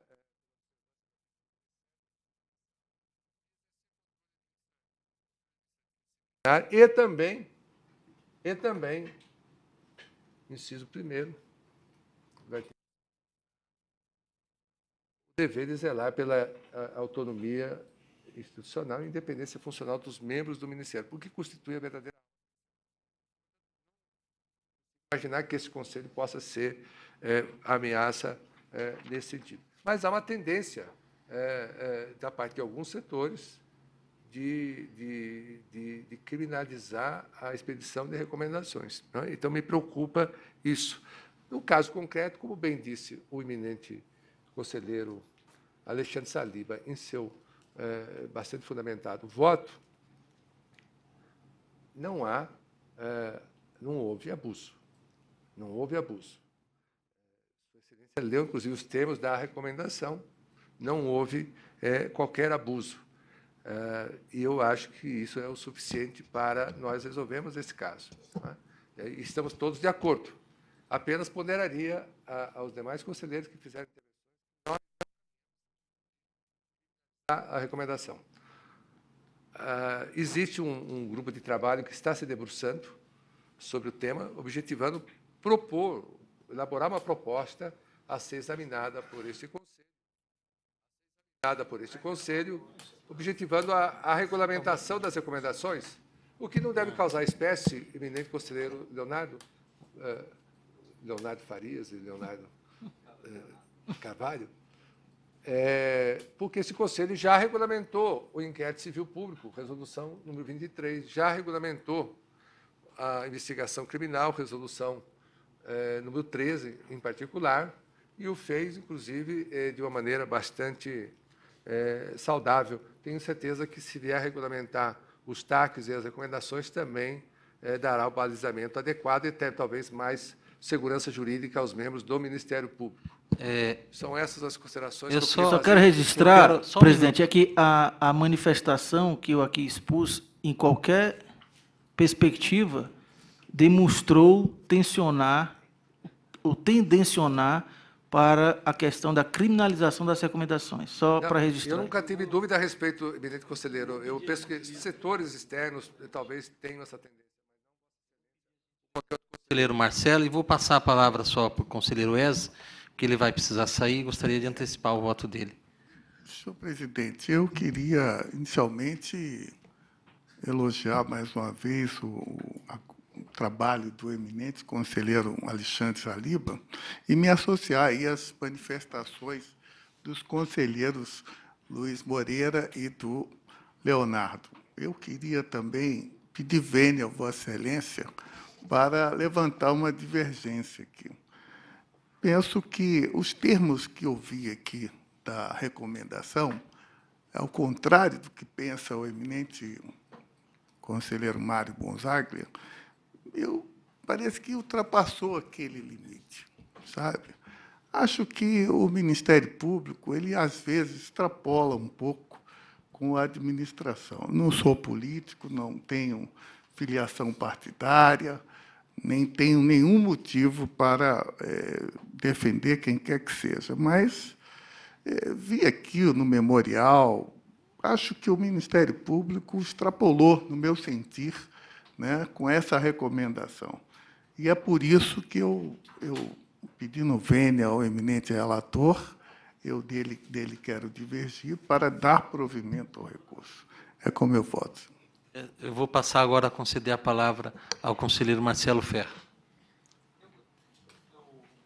aproveitar da adiantada da hora e já falar votando, eu vou acompanhar o relator. No caso concreto, diferente do conselheiro Esdra, tem três artigos. Um fala que é abster de fazer processo legislativo que em relação ao provimento derivado. O que é provimento derivado? É acesso sem concurso, é você fazer ascensão funcional, é você mudar de um cargo para outra pessoa. Isso é provimento derivado. Isso é vedado. Tem inúmeras decisões do Supremo vedando que a administração deverá abster de juntar cargos, ou seja, pessoas às vezes fez curso pra, concurso para nível médio, outro para nível superior, eles unificam num só, porque às vezes aquela pressão em cima do governador, a pressão em cima daqueles que é muito comum no serviço público, a pessoa presta serviço para uma função menor, ela é gabaritada, ela é qualificada, ela passa a fazer exercer a mesma função na prática do outro, como às vezes, como tem nos cartórios, nos judiciários federais, com técnicos e analistas, como tem daí aca- acaba aquela demanda, vamos ganhar igual, né? Já que eu trabalho igual, eu faço o mesmo serviço. É, mas o Supremo diz que não pode foi uma alteração do texto constitucional de 88. E, ao final, o promotor deu prazo de 15 dias, tão somente para falar que informações, que, o que, que a administração providenciou para quê? Para impedir o provimento derivado e o artigo 2 que, de uma certa forma, equipara seu provimento derivado. Eu tenho preocupações com a recomendação. Minhas preocupações são diferentes. É- É de membro do Ministério Público que entende que o descumprimento de recomendação por si só caracteriza ato de improbidade. Isso eu acho que é danoso.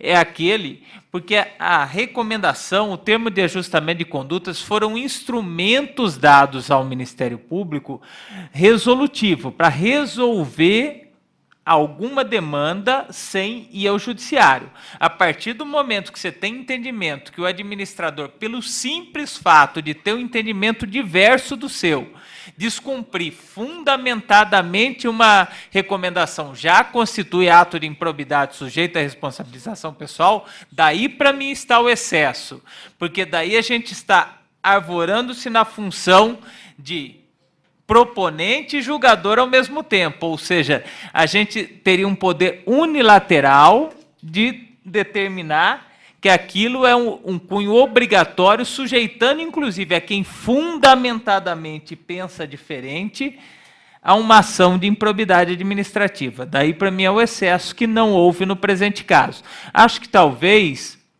mais importante que essa missão é a gente ter algum entendimento do Conselho Nacional eh, do Ministério Público, num sentido do quê?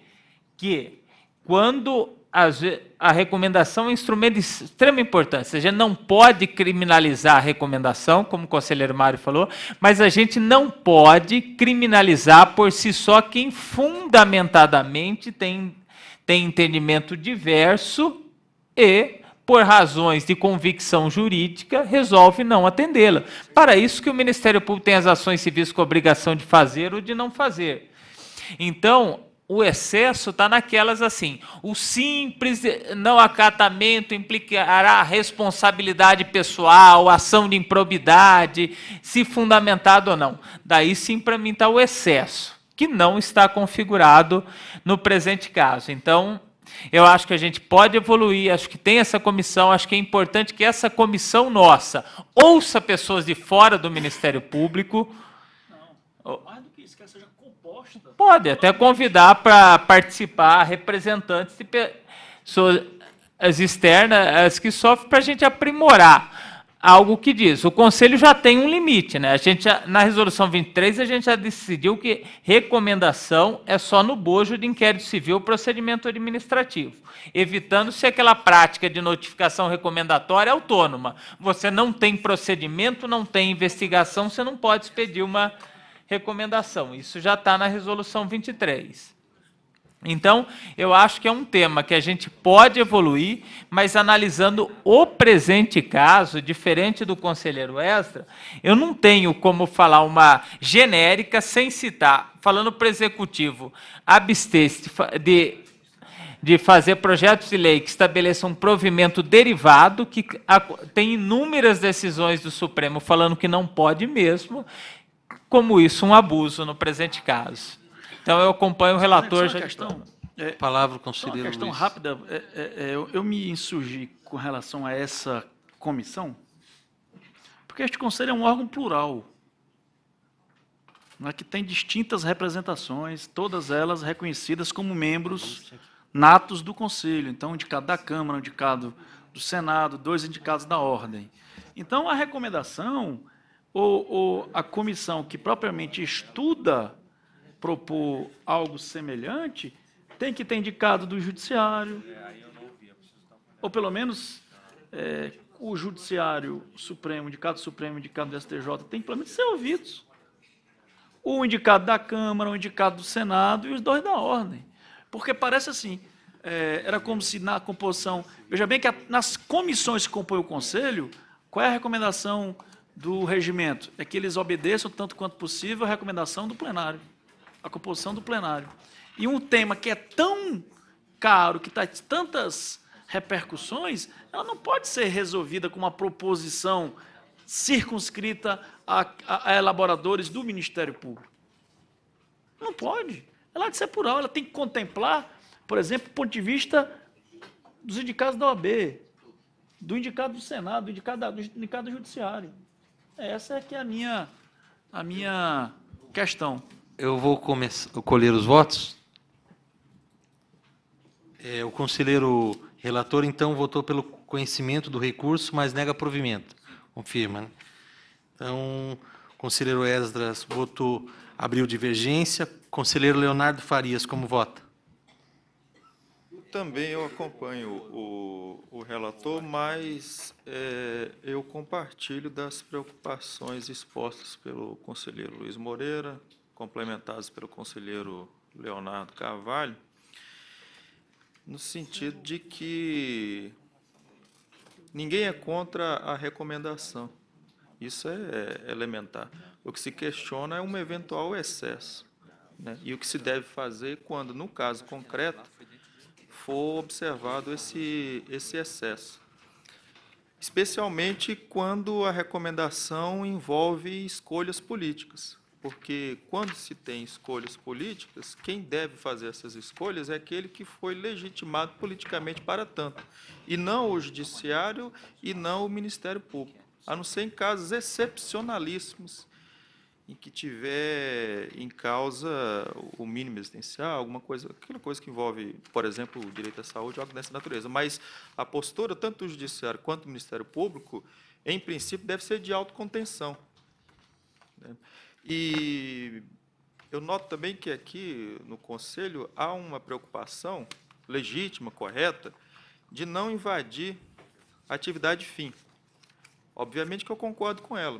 Agora, é preciso tomar cuidado que, em alguns casos excepcionais, excepcionais a prática do ilícito, a prática da, da, da falta funcional, ela, é, ela ocorreu justamente no exercício da atividade fim. Então, nesse caso, não se está, o Conselho não estaria fazendo um controle da atividade fim, mas sim um controle daquela falta funcional que foi praticada através da atividade fim. Mas, no caso concreto, como disse o conselheiro Saliba, é, embora o demandado tenha passado de raspão ali no, no, no ilícito, no ilícito disciplinar, penso que que no caso concreto não, não, não chegou a tanto, embora embora tenha tenha tenha ido muito perto. Então, com essas considerações, eu acompanho o relator, me associando às preocupações que foram expostas pelos colegas. Conselheiro Leonardo Carvalho. Com ela. Eu, como já destacado anteriormente, vou acompanhar o conselheiro Alexandre Saliba, mas estava aqui com ele conversar se diante do contexto é, seria possível evidenciar alguma conduta praticada por esse promotor que viesse a configurar um indício de apuração disciplinar. Então, eu sugeria que fosse encaminhado cópias autos à corregedoria, para a corregedoria fizesse essa avaliação a quem competeria essa, esse juízo de valor. Conselheiro Mário Bonsagli. O eminente relator Peço vênia para me opor à sugestão apresentada pelo conselheiro Leonardo. Penso que aí. O Leonardo Carvalho. Carvalho. Carvalho. Pois não.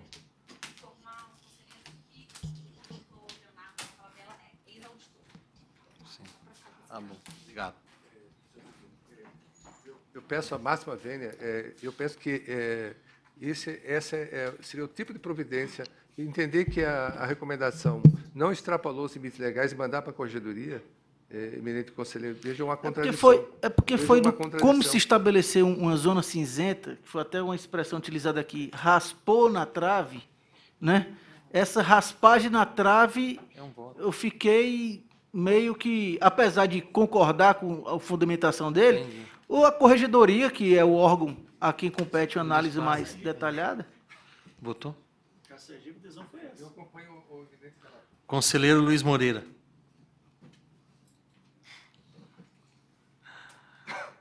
Do ponto de vista jurídico, como gosta, como gosta de dizer o, o conselho, ia chamar Vossa Excelência deputado Leonardo Faria, o conselheiro Leonardo Faria, aqui na, a decisão há de ser técnica. Agora, isso não significa, e é preciso, conselheiro Mário, que nós estejamos atentos, e o Conselho há, há de perseverar nessa tendência, a atuação do Conselho para evitar esse desbordar tem em vista garantir a existência do Ministério Público. Não é o contrário, não. Os conselhos, tanto do Ministério Público e do Judiciário, eles foram criados a partir de uma perspectiva de correção de rumos. Portanto, a, a, as respectivas atuações engrandecem as instituições. E me parece que não fosse o, que, o, o, o voto extremamente técnico do conselheiro Saliba, eu estaria aqui, conselheiro Saliba, eu quero dizer que ele só não tem uma revisão em decorrência da, da, da brilhantismo do seu voto. Porque Vossa Excelência foi que soube, com muita maestria, é, contornar eventuais questões e conduzir o rio por um leito muito estreito. Agora, quando o conselheiro Esdras lê a recomendação, essa recomendação é, é, porque, é porque nós não somos a autoridade que recebe a recomendação.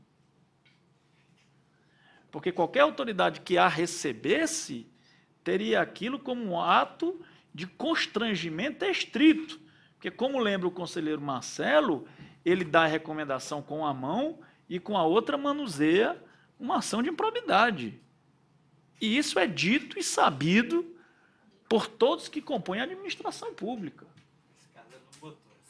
Como, Ele como, não como põe, vota, mas é, é, é subrepetício. Então, é, em homenagem ao, ao brilhante voto do conselheiro Saliba, somente por essa razão eu, eu acompanho, porque a minha tendência era acompanhar o voto do conselheiro Esdras. conselheiro Jefferson Coelho. Conselheiro Os Antônio Duarte. acréscimos do conselheiro Leonardo. Conselheiro Antônio Duarte. Duarte.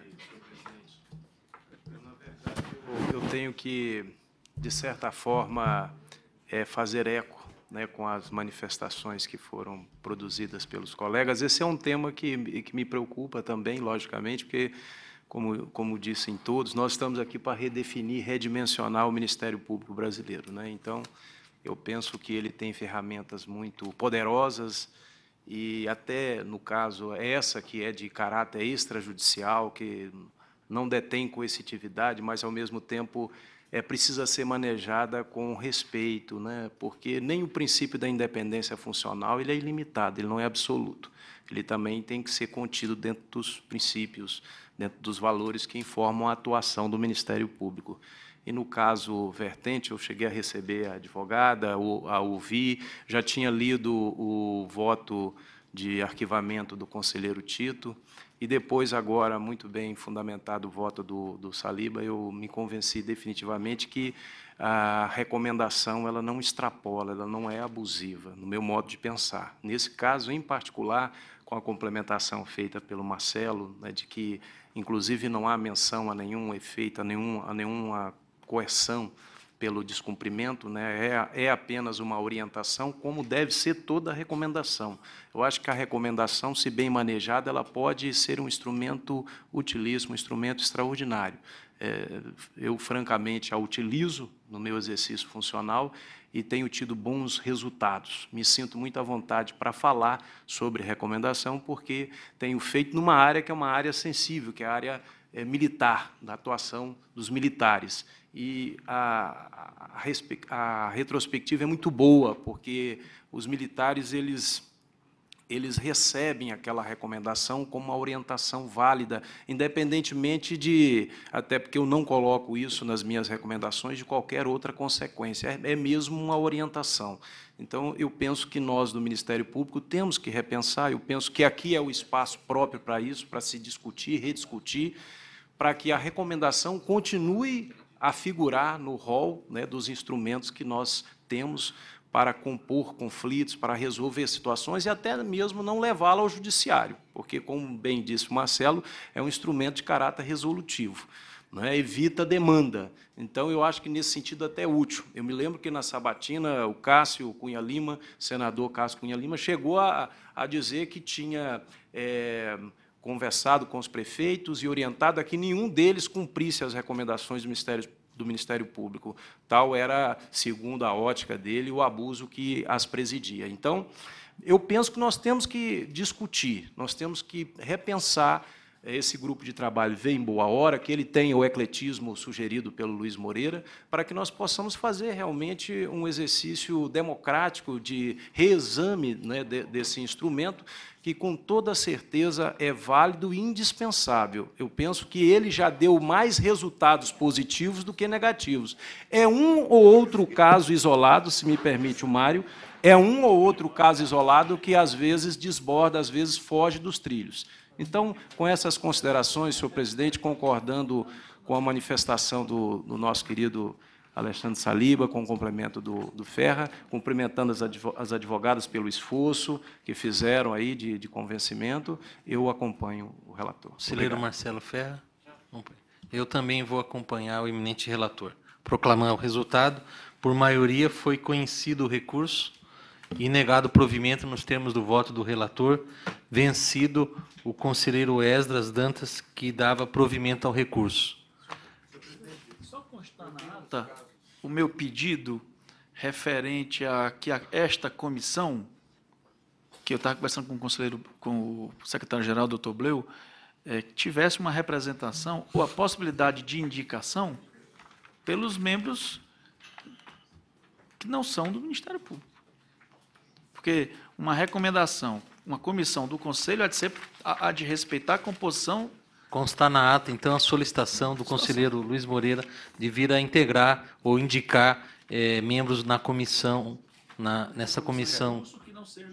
Eu só, eu só, lembra- seja eu só lembraria, do Ministério Público. eminente conselheiro de Moreira, que essa participação dos membros que não são do, do Ministério Público e que estão eh, representando eh, órgãos previstos na Constituição, no artigo 130A, se dá, sem dúvida nenhuma, em plenário. Eu vou Né? encer- Sem prejuízo do pedido de vista. Eu etc. agradeço a, Há, inclusive, previsão regimental disso deve se, se realizar, inclusive, nas comissões. Então, é comissão. Eu, eu vou declarar encerrada a sessão. Agradeço. Fica para a próxima. Agradeço a paciência e a presença de todos. Muito obrigado.